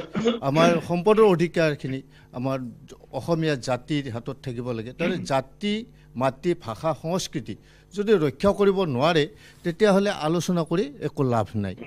মই সেইকাৰণে আজি ইয়াৰ পৰাই পৰেশ বৰুৱা ডাঙৰীয়া আৰু ভাৰতৰ প্ৰধানমন্ত্ৰী তথা অসমৰ মুখ্যমন্ত্ৰীক আহ্বান জনাওঁ যে আলোচনা কৰক যি আলোচনাই গণতান্ত্ৰিকভাৱে অসমীয়া জাতিক ৰক্ষা কৰিব পাৰে অসমীয়া জাতিৰ সংস্কৃতি ভাষা সম্পদৰ অধিকাৰ অসমীয়া জাতিৰ হাতত থাকে তেনেকুৱা এটা আলোচনা হোৱাটো আমি বিচাৰোঁ। ধন্যবাদ পৰেশ বৰাৰ পৰা পোনপটীয়াকৈ আমি প্ৰতিক্ৰিয়া জানিম কিন্তু এটা চমু বিৰতি লৈছোঁ। বিৰতিৰ পাছত পৰেশ বৰাৰ পৰা আমি প্ৰতিক্ৰিয়াটো লৈছোঁ।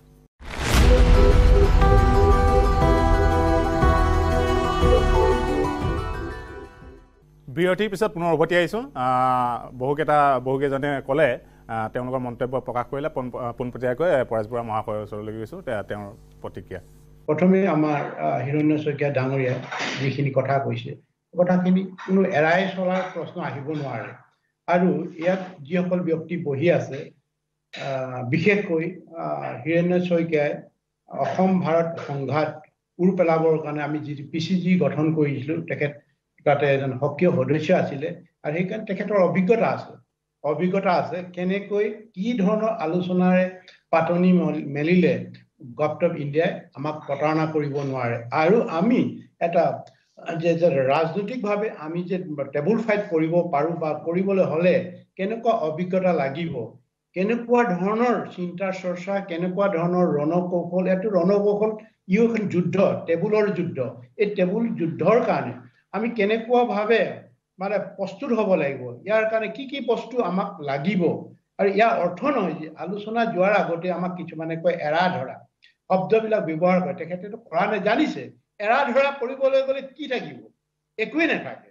হা এৰা ধৰা কৰিব গ'লে একোৱেই নাথাকে। আৰু এতিয়া সাধাৰণ সাধাৰণ এতিয়া ধৰক বড়ো চুক্তি অন্যান্য কাৰ্বি চুক্তি সকলোৱে জানিছে। সকলোৱে লাহে লাহে মানে মূৰ দাঙি উঠিছে এইটো। আমি আমাক এনেকুৱা প্ৰতাৰণা কৰিলে এই প্ৰতাৰণা কৰিলে। কেৱল মাত্ৰ এই আলোচনাৰ পৰা এনেকুৱাবিলাক তথাকথিত আলোচনাৰ পৰা কোনে লাভৱান হয় এই কথাটো আপোনালোকে গম পাইছে। আমি যেতিয়া ঊনৈছশ পঁচাশী চনত যিটো আছুৰ লগত চুক্তি হ'ল এটা মাছ নিশা কৰিলে একেবাৰে টোপনিয়াই টোপনিয়াই টোপনি লাল কাল দিয়া নিচিনা হৈছে। আমাৰ গণ্যমান্য ব্যক্তি বিশেষকৈ আমাৰ বা প্ৰয়াত নিৰ্বাণ বৰা তেখেতটো শুয়ে থাকিলে তেখেতটো এজন ডেলিগেশ্যন আছিলে তাত তেখেতটো শুয়ে থাকিলে গমেই নাপালে কেতিয়া চুক্তি হ'ল আৰু আৰু এনেকুৱা ধৰণৰ চুক্তি কৰিলে আমাৰ যিসকল নেতাই গৈছিলে চুক্তিৰ কেনে ক্ল'জ অফ গেৰেণ্টি বোলাটো ক'তো নাই ক্ল'জ অফ গেৰেণ্টিবিলাক ক'তো নাই এই চুক্তি কেতিয়া ইমপ্লিমেশ্যন হ'ব আৰু কেনেকৈ ইয়াক ইমপ্লিমেশ্যন কৰিব তাত কোনো তেনেকৈ বিশদ ব্যাখ্যা নাথাকিলে আৰু যিসকল আছিলে তেখেতসকলেও সেইটো পূৰত নাছিলে কোনোদিনে তেনেকুৱাবিলাক সমস্যা বা বিষয় ইছ্যু এটা মানে নিজৰ পক্ষত আনিবৰ কাৰণে চুক্তি কৰা নাইতো। আজি আমাৰ যিসকল এতিয়া উদীয়মান আমাৰ নেতা আছে তেখেতসকলেতো আজিলৈকে কোনো এখন চুক্তি কৰি পৰা নাই। ভাৰত বা ভাৰতীয় যিবিলাক আমোলাৰ লগত আমোলাৰ যি কৌট কূট কৌশল ৰণকৌশল আৰু ইহঁতৰ আপোনালোকে চাওক আমোলাৰ যিবিলাক বহে best of the best talent থকা ইহঁতে কৌশলো হওক মেধাবৃত্তিতে হওক এনেকুৱা ধৰণৰ ইহঁতি লৈ আহিব আহ, কৌশল লৈ আহিব। তাত আমি যদি একেবাৰে পৰিপুষ্ট নহওঁ আৰু সিহঁতৰ আৰম্ভণিৰ পৰাই যদি সিহঁতৰ মুভমেণ্টবিলাক নেজানো কি পদক্ষেপ ল'ব কেনেকৈ বহুৱাবলৈ বিচাৰিছে তেতিয়া যদি নেজানো এইবিলাক আমি মানে গঁৰালত সোমাবই লাগিব আৰু উপায় নাই। তাতে গৈ আপুনি উলংগ হৈ আপুনি গুচি আহক। এইবিলাক হৈ আছেতো আৰু যিবিলাক আন্তঃৰাষ্ট্ৰীয় চুক্তিবিলাক হৈছে বিভিন্ন দেশত এই ধৰণৰ সংঘাত সহস্ৰ বিপ্লৱৰ যিবিলাক সংঘাত আহ, দুই পক্ষৰ ৰাষ্ট্ৰ আৰু বিপ্লৱী সংগঠনৰ যিবিলাক আহ, আলোচনা হয় চৌকল যি পিষ্টক বুলি কয় চু- মানে পিষ্টক ক'ব আমি ক'ম প্ৰকৃতাৰ্থ আমি সংঘাত সমাধানৰ আলোচনা টক্স হ'ব মানে কনফ্লিক্ট ৰিজলিউশ্যন টক্স হোৱাটো বা সেইটো আমি পোষকতা কৰোঁ। তাত আপুনি যে পিছত ৰাষ্ট্ৰপক্ষে বিভিন্ন ধৰণৰ লগাই আছে আলোচনা নামত আলোচনা এটা কিছুমানে আমাক দিহাপৰণ কৰিছে আমি দিহাপৰণৰ আন্তৰিকতাই। আমাৰ ক্ষোভ নাই আন্তৰিকতাই লৈছো খুব মানে হৃদয়ৰ পৰা আমি কথাবিলাক শুনো আৰু সেইকাৰণে ৰিচিপিকেশ্যন কৰিবলৈ আমাৰ সহজ হয়। এটা জাতিৰ ইছ্যু এটা জাতিৰ জ্বলন্ত দলিল আছে সকলো আমি এতিয়া মডাৰ্ণ হিষ্ট্ৰীত আমি পাব পাৰো যেনেকৈ হংকং ঘূৰাই পাইছে মেকাও ঘূৰাই পাইছে এইবোৰ মডাৰ্ণ হিষ্ট্ৰীত থকা এইবিলাক চুক্তি যে আজি অসম উন্নতি হৈছে কাৰ মুখত শুনো অকল ৰাজনৈতিক নেতাবিলাকৰ। ৰাজনীতিক নেতাবিলাকৰ আৰু এই ৰাজনৈতিক নেতাবিলাকৰ হেণ্ডছমেন তেখেতসকলৰ হেণ্ডছমেন কিছুমান থাকে। এই হেণ্ডছমেন বিলাকে কিন্তু এইটো ছাপৰ্ট কৰে। আজি অসমৰ উন্নতি হৈছে। কি উন্নতি হৈছে? আহ কি উন্নতি হৈছে? আৰু অসমৰ প্ৰতিটো জনগোষ্ঠীয়ে সমান অধিকাৰ পাইছে। মই যি গোষ্ঠীৰ পৰা নাহক লাগে কিন্তু এটা জাষ্ট এটা জ্বলন্ত প্ৰমাণ দিব বিচাৰো। যে সকলো জনগোষ্ঠীয়ে যদি ইয়াত গণতন্ত্ৰ সম অধিকাৰ পাইছে তেতিয়াহ'লে আজিলৈকে মৰাণ মটকৰ মানে এটাও আজি দুটা কাম মৰাণ মটকৰ এটাও মিনিষ্টাৰ পাব নালাগে এনেকুৱা এইটো যোগ্যতা নাই নেকি? যিটো নেকি মৰাণ মটক এই জাতিটো এনেকুৱা এই দুটা জাতি একেটাই আছিলে ইয়াতে ব্ৰিটিছে দুভাগ কৰি পেলালে ধৰ্মগুৰুসকলে দুভাগ কৰি পেলালে। আমাৰ যিবিলাক গণতন্ত্ৰ ইয়াত চলি আছে ৰাজনৈতিক নেতাবিলাকৰ আজি যদি যিটো ইহঁতৰ মানে নমিনেশ্যন ছাবমিট কৰে যিটো সিহঁতৰ সম্পত্তি দেখায় শ্ব' কৰে যে আমাৰ ইমান ইমান আছে। এতিয়া এতিয়া যেতিয়া সিহঁতে পাঁচ বছৰ থাকে কোনোবা সোধেনে কিমান সম্পত্তি হৈছে কেৱল এই গণতন্ত্ৰৰ যোগেদি ৰাজনীতিৰ নেতাৰ ধন সম্পত্তি সিহঁতে ভোগ ৰাজভোগ কৰে। এই গণতন্ত্ৰৰ যোগেদি আৰু সেই নেতাসকলক বুদ্ধিজীৱীয়ে হওক আমাৰ মানে সামাজিক সংগঠন জাতীয় সংগঠনবিলাকৰ কিছু কিছু মই সকলোকে কোৱা নাই সেইবিলাকৰহে বেছি ধন সম্পত্তি বাঢ়ে। লগত ঠিকাদাৰসকলো বাঢ়িব। সাধাৰণ মানুহ সাধাৰণভাৱে কোনো ধৰণৰ উপকৃত হোৱা নাই। এই গণতন্ত্ৰৰ মানে যোগে আমি যদি ছাপৰ্ট কৰি আমি যদি আলোচনাত বহিব লগা হয় তেতিয়া কিন্তু আমি আকৌ পৰাজয় বৰণ কৰিম। এই যে গণতন্ত্ৰক ছাপৰ্ট দি আমি কৈছো ভাৰতীয় গণতন্ত্ৰক আমি ছাপৰ্ট কৰিব নোৱাৰো। আৰু সংবিধানৰ ছাপৰ্ট সংবিধানে আমাৰতো এ, সংবিধানখনেইতো আমাক ছাপ্ৰেছ কৰি ৰাখিছে। সংবিধানখনেই ছাপৰ্ট কৰি ছাপ্ৰেছ কৰি আছে। ইয়াৰ পৰা আমি কি বিচাৰো? আমাৰ এটা পথ এটা লাগিব বিকল্প পথ লাগিব। এই বিকল্প পথটো আপোনালোকে চিন্তা কৰিবলৈ আমাৰ মাননীয় যিসকল পেনেলত আছে বিভিন্ন দল সংগঠন নেতা আছে বুদ্ধিজীৱী আছে এইসকলো আজি চিন্তা কৰাৰ দায়িত্ব আছে। নহলে জাতি যাব। জাতি জাতি কৰিলে আমি আহ, মানে জাতি আহ, জাতি গৌৰৱ কোনে ৰক্ষা কৰিব ওলাই আহক বুলি ক'লে মানে আমি সকলোৱে চিঞৰিব পাৰো। হাতে কামে কোনে লাগিব? হাতে কামে লগাৰ আমাৰ নেতা লাগে। আজি আলোচনাৰ কথা কৈছো। এই গোটেই বিষয়টো আমি যদি আলোচনাত ভাৰতীয়সকলক যুক্তি সহকাৰে পৰাভূত কৰিব পাৰো কিয় নোৱাৰো? আমি ভয় কৰো কেলে? টেবুললৈ যোৱাৰ আগতে আমি পেপুৰা লাগিবলৈ বিচাৰো। আমি মানে একেবাৰে নিম্নমানৰ কথাটো চিন্তা আমি সকলোকে কোৱা নাই। কিছুমানে ভাল চিন্তা কৰিছে। কিছুমান আমাৰ নেতা বুদ্ধিজীৱী সেইসকলে কিন্তু নিম্নগামী ফালে আগতেই যাবলৈ বিচাৰে। আগতেই যোৱাটো কামনা কৰে।